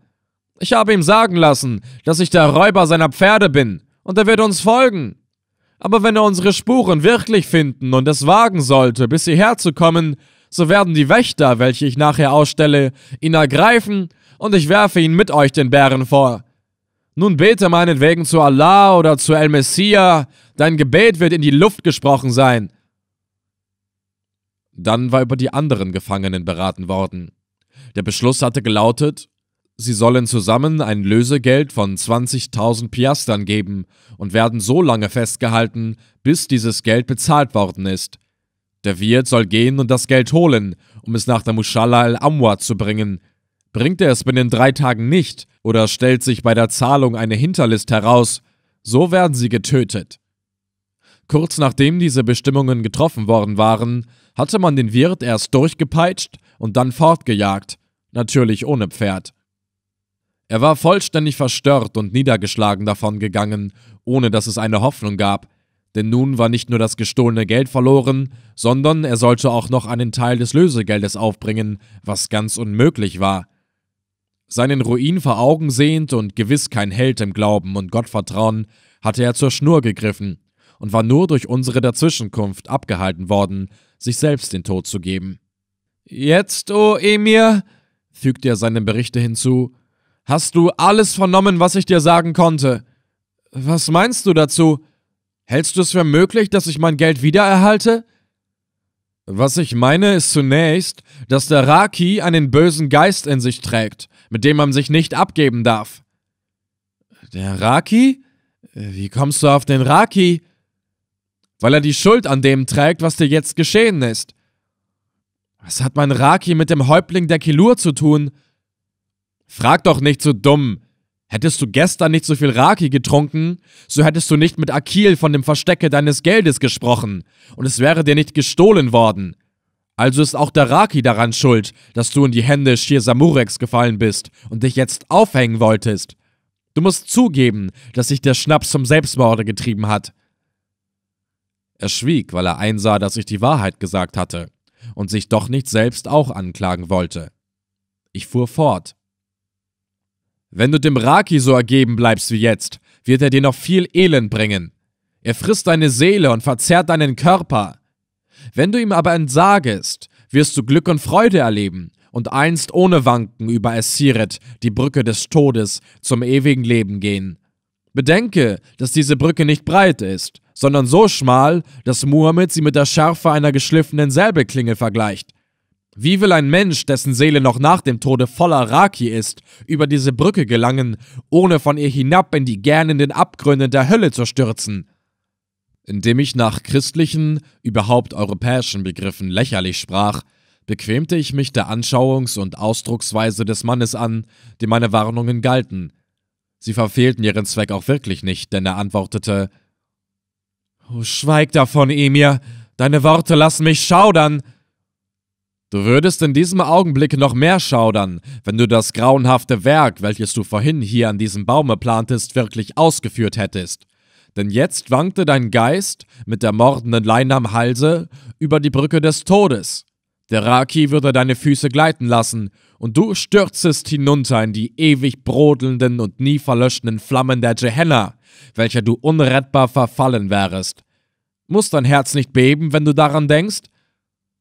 O Emir, deine Worte treiben mir den Schweiß der Angst und des Entsetzens aus dem Leibe, antwortete er, sein Gesicht verhüllend. So rate ich dir, von jetzt an das Getränk zu meiden, welches dich und jeden, der sich dem Trunk ergibt, verderben muss. Ich werde es tun. Ja, Herr, ich werde es ganz gewiss tun. Das ist aber doch nicht so leicht, wie du vielleicht denkst. Wen diese Geister des Schnapses einmal ergriffen haben, den wollen sie nicht loslassen den halten sie fest mit ihren Schlangenarmen. Es gibt einen Kampf, einen schweren Kampf, aber der Sieg ist dann auch umso größer und beglückender. Willst du diesen Kampf versuchen? Ich will es, Emir. Ich verspreche dir, dass ich tapfer kämpfen werde. Und ich nehme dein Versprechen an. Du wirst schon viele Betrunkene gesehen haben, aber ohne sie mit den richtigen Augen zu betrachten und ohne sie in der rechten Weise zu beurteilen. Der Sukri ist kein Mensch mehr, sondern nichts weiter als ein wandelndes Fass, welches täglich vollgegossen wird, bis es, vom Raki ganz und gar zerfressend, elend auseinanderfällt. Auch dich hat er schon sehr angenagt und angefressen, dass dein Zusammenbruch in kurzer Zeit erfolgen muss, wenn du dich nicht heute mit aller Kraft zusammenraffst. Ich werde nicht mehr trinken. Hier hast du meine Hand darauf. Er hielt mir die Hand hin. Ich nahm sie jetzt noch nicht, sondern sprach weiter. Schau den Trunkenbold an, wenn er sich früh vom Lager erhebt. Sein Kopf schmerzt ihm, seine Hände und Füße zittern, sein Angesicht ist verstört, und er sieht mit glasigen Augen in die Welt hinein. Sein Weib und seine Kinder haben keinen freundlichen Gruß für ihn, weil sie ihn verachten und weil sie wissen, dass er sie nicht liebt, dass ihm der Schnaps höher steht als ihr Glück und ihr Wohlergehen. Freunde hat er nicht, denn die Bekannten, die mit ihm den Raki frönen, sind keine Freunde, sondern ebenso wandelnde Fässer ohne Herz und ohne Seele, gerade wie er. Die Verwandten bemitleiden oder hassen ihn, und die Nachbarn lachen alle über ihn. Es ist öde in seinem Inneren und öde rings um ihn her. Er denkt nicht an Allah und an seine Pflichten. Er vergisst die fünf Gebete des Tages und die Feier der heiligen Zeiten. Sein Bauch ist wie mit brennendem Pech gefüllt und sein Magen ausgebrannt wie das Gemäuer einer Hütte, welche die Feuersbrunst verzehrte. Darum verlangt sein trockener Schlund immer wieder und schon in der Frühe nach dem Getränk des Teufels. Aber wenn er es verschlungen hat, liegt es ihm wie Blei in den Gliedern. Er verliert die armseligen Reste des Verstandes, den Allah ihm verliehen hat. Er kann seine Füße nicht mehr beherrschen und bewegt sich wie ein junger, noch blinder Hund, der nicht laufen kann und, so oft er sich erhebt, immer wieder niederfällt. Dabei ist die Seele aus seinen Augen gewichen. Seine Lippen fallen herunter, und wenn er sprechen will, kommt nur ein Lallen über seine Zunge, welches das Gelächter der Zuhörer erregt. Sein armes Weib, das ihn früher wohl liebte und ihm eine freundliche Gefährtin war, hat ihm ihr Herz wieder entrissen. Sie steht scheu in der Ecke und schämt sich seiner. Ja, sie fürchtet sich sogar vor ihm, denn sie ist von der Hand, die eine Stütze auf dem Weg durch das Leben sein sollte, geschlagen und misshandelt worden. Die Kinder meiden seine Nähe. Wenn er mit ihnen spricht, so zittern oder lachen sie, denn sie wissen nicht, ob sie über ihn lachen oder weinen sollen. Das Gesinde, welches ihn achten und ehren und ihm gehorchen sollte, sieht seine Würde im Schmutze liegen und verhöhnt ihn, so oft er seinen Rücken wendet. Die Mitbürger und Ehrenmänner, zu denen er gehören sollte, mögen nichts mehr von ihm wissen. Sie meiden ihn, und wenn er ihnen dennoch in die Nähe kommt, so wenden sie sich von ihm ab wie man zurückfährt, wenn man beim Pflücken der Chilek unter dem Laube den kalten Leib einer hässlichen Kara Korbatscha berührt. Die Obrigkeit, die ihn einst wertschätzte und ihm vielleicht gar ein ehrenvolles Amt anvertraute, wird vorsichtig gegen ihn. Sie beobachtet seine Schritte und alles, was er tut, denn sie weiß, dass der Geist des Raki ihn nach und nach unfähig machen wird, dieses Amt zu verwalten. Also, halt ein! unterbrach er mich da. Sprich nicht weiter! Alles, alles, was du jetzt gesagt hast, passt so genau auf mich, als ob du mich seit Jahren gekannt und beobachtet hättest. Habe ich doch erst noch in voriger Woche hören müssen, dass ich in nächster Zeit nicht mehr Karachi sein werde, weil es zu gewagt sei, mir das Einsammeln der Steuern länger anzuvertrauen. Darum wich die Betrunkenheit sofort von mir, und der Schreck warf mich fast zur Erde, als ich entdeckte, dass die 10.000 Piaster verschwunden waren. So gibst du also zu, dass der Raki dich an den Rand des Verderbens gebracht hat. Ja, Effendi, ja! So wirst du auch einsehen, dass du ihn von jetzt an meiden musst, wenn du nicht in dieses Verderben stürzen willst. Ich bin ein Christ, dessen Pflicht es ist, jeden strauchelnden Menschen, auch wenn derselbe einen anderen Glauben hat, zur Besserung und zum Glück zu führen. Darum will ich dir jetzt, obgleich du Moslem bist und dein Wohl mir eigentlich vollständig gleichgültig sein könnte, die Hand zur Rettung bieten. Ich verspreche dir, alles aufzubieten und selbst mein Leben daran zu wagen, dass du das gestohlene Geld wiederbekommst. Dafür aber musst du mir heilig versprechen, dass du von jetzt an den Raki meiden willst. Da sprang er auf und rief vor Freude fast überlaut, gar nicht daran denken, dass er durch seine Stimme unsere Anwesenheit verraten könne. Ich werde ihn meiden. Ja, ich werde ihn meiden, das verspreche ich dir. Nicht so laut. Ich glaube, dass du dieses Versprechen gerne gibst, aber du denkst in diesem Augenblicke nicht daran, wie schwer es zu halten ist. Nimm dir nicht vor, von heute an gar keinen Raki mehr zu trinken. Das würdest du nicht fertigbringen, sondern der Trunksucht ganz im Gegenteil nur noch mehr verfallen. Trinke von heute an nur noch die Hälfte von dem, was du bisher täglich getrunken hast. Nach einem Monate nur das Viertel, nach drei Monaten nur den achten Teil und so alle drei Monate halb so viel wie vorher, bis du so weit gekommen bist, dass du täglich nur so viel genießest, wie du mit drei kleinen Schlucken nehmen kannst. Diese drei Schlucke darfst du dann täglich bis an dein Ende trinken. Das erlaube ich dir.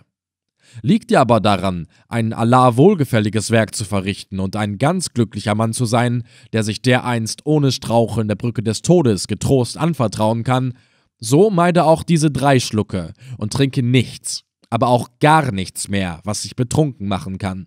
Denn Muhammad, dein Prophet, hat gesagt, Kulu muskurin haram, alles, was trunken macht, sei verboten, sei verflucht. Da streckte er mir die Hand wieder hin, ja beide Hände zugleich, und sagte, Emir, ich höre, dass du von mir nicht mehr verlangst, als was ein schwacher Mensch zu leisten vermag. Ich werde deinem Gebote und dem Gebote Muhammeds Folge leisten, und Allah wird mir die Kraft geben, wieder ein guter Mensch zu werden und mein Weib und meine Kinder glücklich zu machen. Ich habe dann das verlorene Vertrauen und die verschwundene Achtung zurückerlangt, und so werde ich in Dankbarkeit deiner gedenken und es vor allen Leuten bekennen, dass die Liebe, welche die Menschen untereinander haben soll, wenn nicht bei uns Muslimin, so doch desto sicherer bei euch Christen zu finden ist. Ich habe dir vorhin meine Hände vergeblich angeboten. Willst du sie nun jetzt ergreifen? Ich schwöre dir bei keinen Schwur, unterbrach ich ihn. Ich bin ein Mensch, also auch nur Gottes Geschöpf, gerade so wie du, und darf keinen Schwur von dir fordern, welcher an den Namen des Allmächtigen und Allwissenden gebunden ist. Gib mir nur dein Versprechen. Gut, ich verspreche dir bei meiner Seele, bei den Geistern meiner Väter und bei den unberührten Bärten des Propheten und seiner Nachfolger, dass mich von jetzt an niemand mehr betrunken sehen soll. Allah hat es gehört, er wird es auch sehen, dass ich mein Wort halten werde. Hier, Nimm zur Bekräftigung dessen, was ich gesagt habe, meine Hände. Ich folgte seiner Aufforderung. Halef, der ganz gerührt über diesen Erfolg war, gab ihm auch die Hand und sagte: Allah sei mit dir, du Sohn der Trunkenheit, der sich von dieser seiner schlimmen Gosettel abscheiden lassen will. Wirf sie getrost zum Hause hinaus und lass sie ja nicht wieder herein, auch wenn sie nicht durch die Türe kommen, sondern durch das Fenster steigen will. Denn sie ist schlau, ungeheuer schlau, sage ich dir, wie alle Weiber sind, welche man hinausgeworfen hat und die doch gern wieder hereinkommen möchten. Und wenn du dereinst ein nüchterner Mann geworden bist und wir deinen Kahn wieder besuchen, so wird dann auch die Tiefe des Morastes, in welcher man jetzt in deinem Hofe zu warten hat, verschwunden sein, so dass man mit sauberen Schuhen darüber hinwegschreiten kann und dich nicht mehr in dem Loche des Schlammes liegen sieht, wie eine große Dabsakran, welche den Auswurf deiner Landwirtschaft für das Ruhebett der Königin von Sheba hält. Wasche also auch deinen Körper, wenn du deine Seele gereinigt hast. Denn wer das Wasser der Seife scheut, an dessen Gliedern sind alle Löcher der Haut verstopft, und er wird, auch wenn er nicht mehr trunken ist, an den Folgen der Djerab und anderer Amrat el-Jil zugrunde gehen. Der Wirt fühlte sich durch diese drastische Ermahnung des kleinen Hatschi nicht im geringsten beleidigt. Er antwortete: Du hast recht, o oh Hatschi Halef Omar. Früher, als ich den Raki noch nicht liebte, waren mein Haus und mein Hof so blank und freundlich wie das Angesicht einer Braut, welche die Wonne des Bräutigams und die Erwählte seines Herzens ist. Aber was sehe ich jetzt? Ich habe noch gar keine Zeit gefunden, eure Pferde zu beachten. Sind das nicht die Grauschimmel des Apothekers? Ja, sie sind es, antwortete ich. Welch ein großes Wunder, dass er sie euch geborgt hat. Er hat sie uns nicht geborgt, sondern wir haben sie uns ohne sein Wissen aus seinem Garten geholt. Wir mussten so schnell hinter den Kilur her, dass wir keine Zeit mit Fragen, Bitten und Verhandlungen verlieren durften. Er wird sehr erschrocken sein, als er bemerkte, dass sie fehlten, und umso mehr wird er sich freuen, wenn du sie ihm wiederbringst. Ich? Ich soll sie wiederbringen? Ja, du steigst jetzt in den Sattel und reitest heim. Mit Wonne, Emir, mit großer Wonne. Ich werde froh sein, wenn ich aus der Nähe dieser Räuber bin. Aber dann habt ihr ja keine Pferde mehr. Sorge dich nicht um uns. Wir werden nicht eher von hier fortgehen, als bis wir den Klur unsere beiden Pferde wieder abgenommen haben. Aber das ist gefährlich. Außerordentlich gefährlich. Noch gefährlicher ist es, ihnen deine 10.000 Piaster wieder zu entreißen. Was, wie ich hoffe, uns doch gelingen wird. Wenn alles glückt, sind wir morgen Abend in Koi und bringen dir das Geld. Siehst du uns bis übermorgen Abend nicht, oder bekommst du bis dahin keine Nachricht von mir, so sind wir tot. Das so, Effendi, möge Allah verhüten, denn es hängt ja auch mein Glück davon ab, dass ich euch gesund und wohl wiedersehe. Ich wollte dich nicht ängstigen, doch muss der Mensch an alle Fälle denken. Ich glaube, dir alle Hoffnung mitgeben zu können, dass unser Abenteuer einen guten Ausgang nimmt. Wir sind nicht unerfahren in solchen Sachen und brauchen jetzt nur noch zu erfahren, wie der Ort und seine Umgebung beschaffen ist, an welchem sich die Kilur gelagert haben. Ist es dir möglich, ihn mir zu beschreiben? Ja, dieses Wasserbett führt jetzt steiler an als bisher. Da, wo es sich teilt, folgt ihr dem Arme rechts, der auch viele Windungen macht und immer schmaler wird, bis ihr auf eine kleine ebene Wiese kommt, die auf drei Seiten vom Walde umgeben ist. Auf der vierten Seite steigt ein Fels fast senkrecht auf, von welchem die Quelle herunterstürzt, indem sie einen schmalen Chelal bildet. Da seht ihr oben die Mushal el-Amwad stehen, in welcher die Geister wohnen und in der heute in der Nacht Akil und sein Sohn von den Bären gefressen werden sollen. Hinter der Kapelle und etwas höher noch als sie ist einst eine Steinwand eingestürzt, die nun ganz wirr in vielen Trümmern liegt, in denen sich das Lager der Bären befindet. Bären? Es gibt also nicht nur einen, sondern mehrere dort? Ja. Hm, die Paarungszeit ist längst vorüber, und wenn die Bären geworfen hat, leidet sie den Bären nicht mehr bei sich, weil er kein guter Vater ist, sondern die lieblose Neigung hat, seine Kinder zu verzehren. Ich bin also der Meinung, dass es sich nicht um ein Bärenpaar, sondern um eine Bären und ihre Jungen handelt. Das weiß ich nicht, aber der Dub, den man dort oben gesehen hat, soll ein Dub el-Khulut sein, der seit der Ermordung der Christen bei der Muschalla wohnt und in dieser langen Zeit immer gewachsen und dadurch so groß geworden ist, dass er einen Menschen zweimal überragt. Es ist der Geist des Priesters dieser Christen, und sein Fell soll wegen dieses hohen Alters die Weiße des Schnees besitzen. Sein Magen muss so groß sein, dass Akil und sein Sohn in kurzer Zeit darin verschwinden werden. Effendi, wenn du dich nicht auch vor den Kilo fürchtest, so nimm dich wenigstens vor diesem Ungetüm in Acht. Mein Herz hegt den Wunsch, dich in Koi wiederzusehen, was aber nicht geschehen kann, wenn er dich zu den zwei BB auch mit hinunterschlingt.